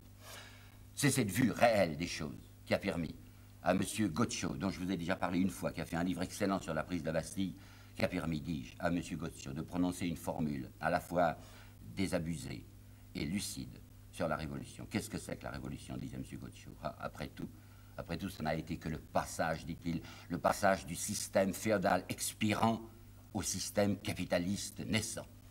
C'était pas comme ça que Robespierre l'a vu, vu la Révolution. Cette divergence d'idées lui avait coûté la vie. Je voudrais ouvrir là une petite parenthèse et vous dire que notre étude nous a peut-être appris aussi à nous méfier terriblement des présentations officielles ou des présentations traditionnelles de la Révolution française. Je pense aux générations auxquelles j'appartiens, enfin ceux qui avaient comme ça 10, 12 ans en 1914. Ben, il y avait d'une part, vous savez, la France était coupée en deux de mon temps. Il y avait les enfants de la bourgeoisie qui étaient élevés dans les écoles libres, dans les écoles confessionnelles. Et j'ai eu la curiosité de regarder ce que l'on apprenait à ces enfants dans les écoles catholiques, comment on leur montrait la Révolution. C'était tout diabolique, c'était la suite de la, réforme. C'était, les gens de bien qui avaient été attaqués par les gens à sabot. Mais dans les histoires officielles, l'histoire laïque, eh bien, c'était la préoccupation avant tout de nous cacher le fond des choses. C'était toujours l'idée secrète de Gambetta, qui en 1880 avait prononcé à Belleville un fameux discours où il avait dit Il n'y a pas de question sociale. À quoi Jules Vallès avait répondu Il n'y a pas de question sociale, il n'y en a pas d'autre. Ce que nous avons appris également, c'est à nous méfier du vocabulaire. Vous avez peut-être vu avec moi au cours de la Révolution à quel point les politiciens, et j'emploie ce mot dans son sens péjoratif, sont des gens qui savent faire bon usage du vocabulaire, c'est-à-dire faire dire aux mots le contraire de ce qu'il signifie. Alors quand vous voyez Sieyès, par exemple, qui dit la nation, on pourrait croire qu'il s'agit des 25 millions de Français. Pas du tout. Lorsque Sieyès dit la nation, il pense aux 500 000 mangeurs, il pense à la bourgeoisie d'affaires. Lorsque vous voyez un homme comme Turgot, un homme comme Condorcet ou un homme comme le Girondin Roland parler de la liberté avec les yeux hors de la tête, Qu'est-ce qu'ils veulent dire avec leur liberté? Ils veulent dire avant tout liberté économique. Et cette liberté économique, Marat l'avait admirablement définie. La liberté économique, ça signifiait avant tout la liberté donnée aux riches de continuer leur exploitation sur les pauvres. Le bon usage du vocabulaire, il a continué bien au-delà de la Révolution. Vous en avez vu un joli exemple avec l'insurrection bourgeoise de Lyon en 93, lorsque les royalistes et les girondins mélangés, quand ils ont renversé la municipalité ouvrière, ont inventé de s'appeler Comité révolutionnaire et populaire de salut public. Tout ça pour masquer ce que c'était que leur réalité de révolution conservatrice. Et à la fin du 19e siècle, qu'est-ce que nous avons vu en France, à Paris? Nous avons vu ce fameux gouvernement dit de la défense nationale, qui était en fait un gouvernement de la défense sociale. Et encore plus près de nous, avec le nationalisme intégral de M. Maurras. La France d'abord, la France avant tout. Nous avons vu ce que ça signifiait lorsque la France a connu l'occupation nazie et qu'on a vu à ce moment-là M. Maurras partager ses bureaux de l'action française à Lyon avec la Gestapo. Le bon usage du vocabulaire en politique, vous savez, c'est capital. Troisièmement, ce que nous avons peut-être euh, appris tous ensemble, c'est une mise en garde contre le système que j'appellerai des larmes à sens unique et des attendrissements dirigés. L'arme pour le roi et la reine, je veux bien. Certes, ils étaient très coupables, mais tout de même, enfin, c'était impossible de n'être pas ému quand on pense à ce qui s'était passé au temple, lorsqu'on les a vus tous les deux monter successivement à la guillotine. Et je veux bien m'attendrir sur eux, et c'est vrai qu'ils m'ont ému. Mais pourquoi est-ce qu'on ne parle jamais des autres? Pourquoi est-ce qu'on ne parle jamais dans les histoires de ceux qui ont été massacrés parce qu'ils étaient des pauvres et qui voulaient se mêler de s'ils ne gardent pas le 17 juillet 91 sur le champ de Mars? Pourquoi est-ce qu'on ne nous parle pas ces braves gens, ces petits républicains de Vendée qui, à Machecoul, le 10 mars 93, ont été brûlés vifs par les Vendéens. Pourquoi est-ce qu'on ne nous parle jamais de ces ouvriers de Toulon qui ont été, je vous le disais, suspendus par dessous de la mâchoire à des crocs de, boucherie par les soins de la nouvelle municipalité dirigée par les amiraux qui s'étaient vendus aux Anglais? Septembre, les massacres de septembre 92. Ah, c'est pas très beau en effet, et j'ai dit que c'était pas beau. Mais attention, est-ce que vous vous rappelez ce que c'était que le manifeste de Brunswick qui datait de quatre jours auparavant, manifeste de Brunswick, où les émigrés, où les Prussiens, d'accord avec le roi, disaient Si, Parisiens, si vous osez vous défendre, eh vous savez ce qui vous attend. Vous serez exterminés et Paris sera anéanti. Par conséquent, si les émigrés, si les aristocrates, si la cour avait gagné, les rues de Paris auraient connu plus de potence qu'il n'y avait eu de croix dressée sur la route entre Capoue et Rome après la défaite de Spartacus. C'est des choses à ne pas oublier. Je me méfie, vous savez, je me méfie de ces pitiés toujours inégales et de ces larmes qu'on nous oblige à verser uniquement sur les morts du bon parti. Victor Hugo a dit là-dessus des choses que je vais vous rappeler. Victor Hugo avait assisté de loin, mais il avait assisté à deux choses. Il avait assisté de près d'abord au 2 décembre, et il avait vu l'enfant, l'enfant de 7 ans qui avait été tué par le gang bonapartiste dans la rue Dicton. Et il assisté d'un peu plus loin au meurtre, plus tard sous la commune, de Monseigneur d'Arbois, l'archevêque de Paris que la commune a tué en effet. Et vous imaginez le bruit qu'on faisait autour de la mort de l'archevêque. C'est affreux, les gens de la commune ont tué l'archevêque. Et Victor Hugo disait, sans doute, c'est affreux d'avoir tué cet archevêque, mais pourquoi est-ce qu'on ne parle jamais de l'enfant tué de la rue Dicton Un enfant, après tout, un enfant, ça vaut bien un archevêque. Et enfin, et enfin la révolution. Alors qu'est-ce que c'est? Enfin, qu'est-ce qu'il faut en penser? Est-ce qu'il y a un mythe révolutionnaire? Est-ce qu'il est une blague, la révolution? Eh bien, je vais reprendre ce mot de mythe, parce qu'il a deux sens. Il a un sens de mystification. Et un mythe, c'est également autre chose. C'est également une espèce de grande lumière confuse et attractive. C'est quelque chose comme une, une vision mystique. Mystification, oui. La première fausse révolution. La révolution bourgeoise. La révolution de la déclaration menteuse des droits de l'homme. Menteuse, parce que la déclaration des droits de l'homme disait tous les hommes sont libres et égaux. Oui, ils sont libres, mais pas vous, ouvriers, parce qu'on vous interdit de vous grouper pour vous défendre contre ceux qui vous exploitent. Égaux, mais pas vous, les pauvres, parce qu'on va vous retirer le droit de vote. Mythe maintenant, à partir de 92. Ce vers quoi marchait Robespierre, ce que voulait Robespierre, cette construction d'une cité juste, la vision d'un monde où l'homme, comme on disait, pouvait accomplir sa destination. Victor Hugo, qui écrivait en 1862 Ces Misérables, c'est-à-dire sous l'Empire, disait les institutions n'y sont plus, certes. Le moulin n'y est plus. Mais le vent souffle toujours. Ben, ce vent, voyez-vous, il n'a plus jamais cessé de souffler. Il souffle maintenant sur le monde entier. Et il venait de loin. Après tout, c'était le vent de la Pentecôte.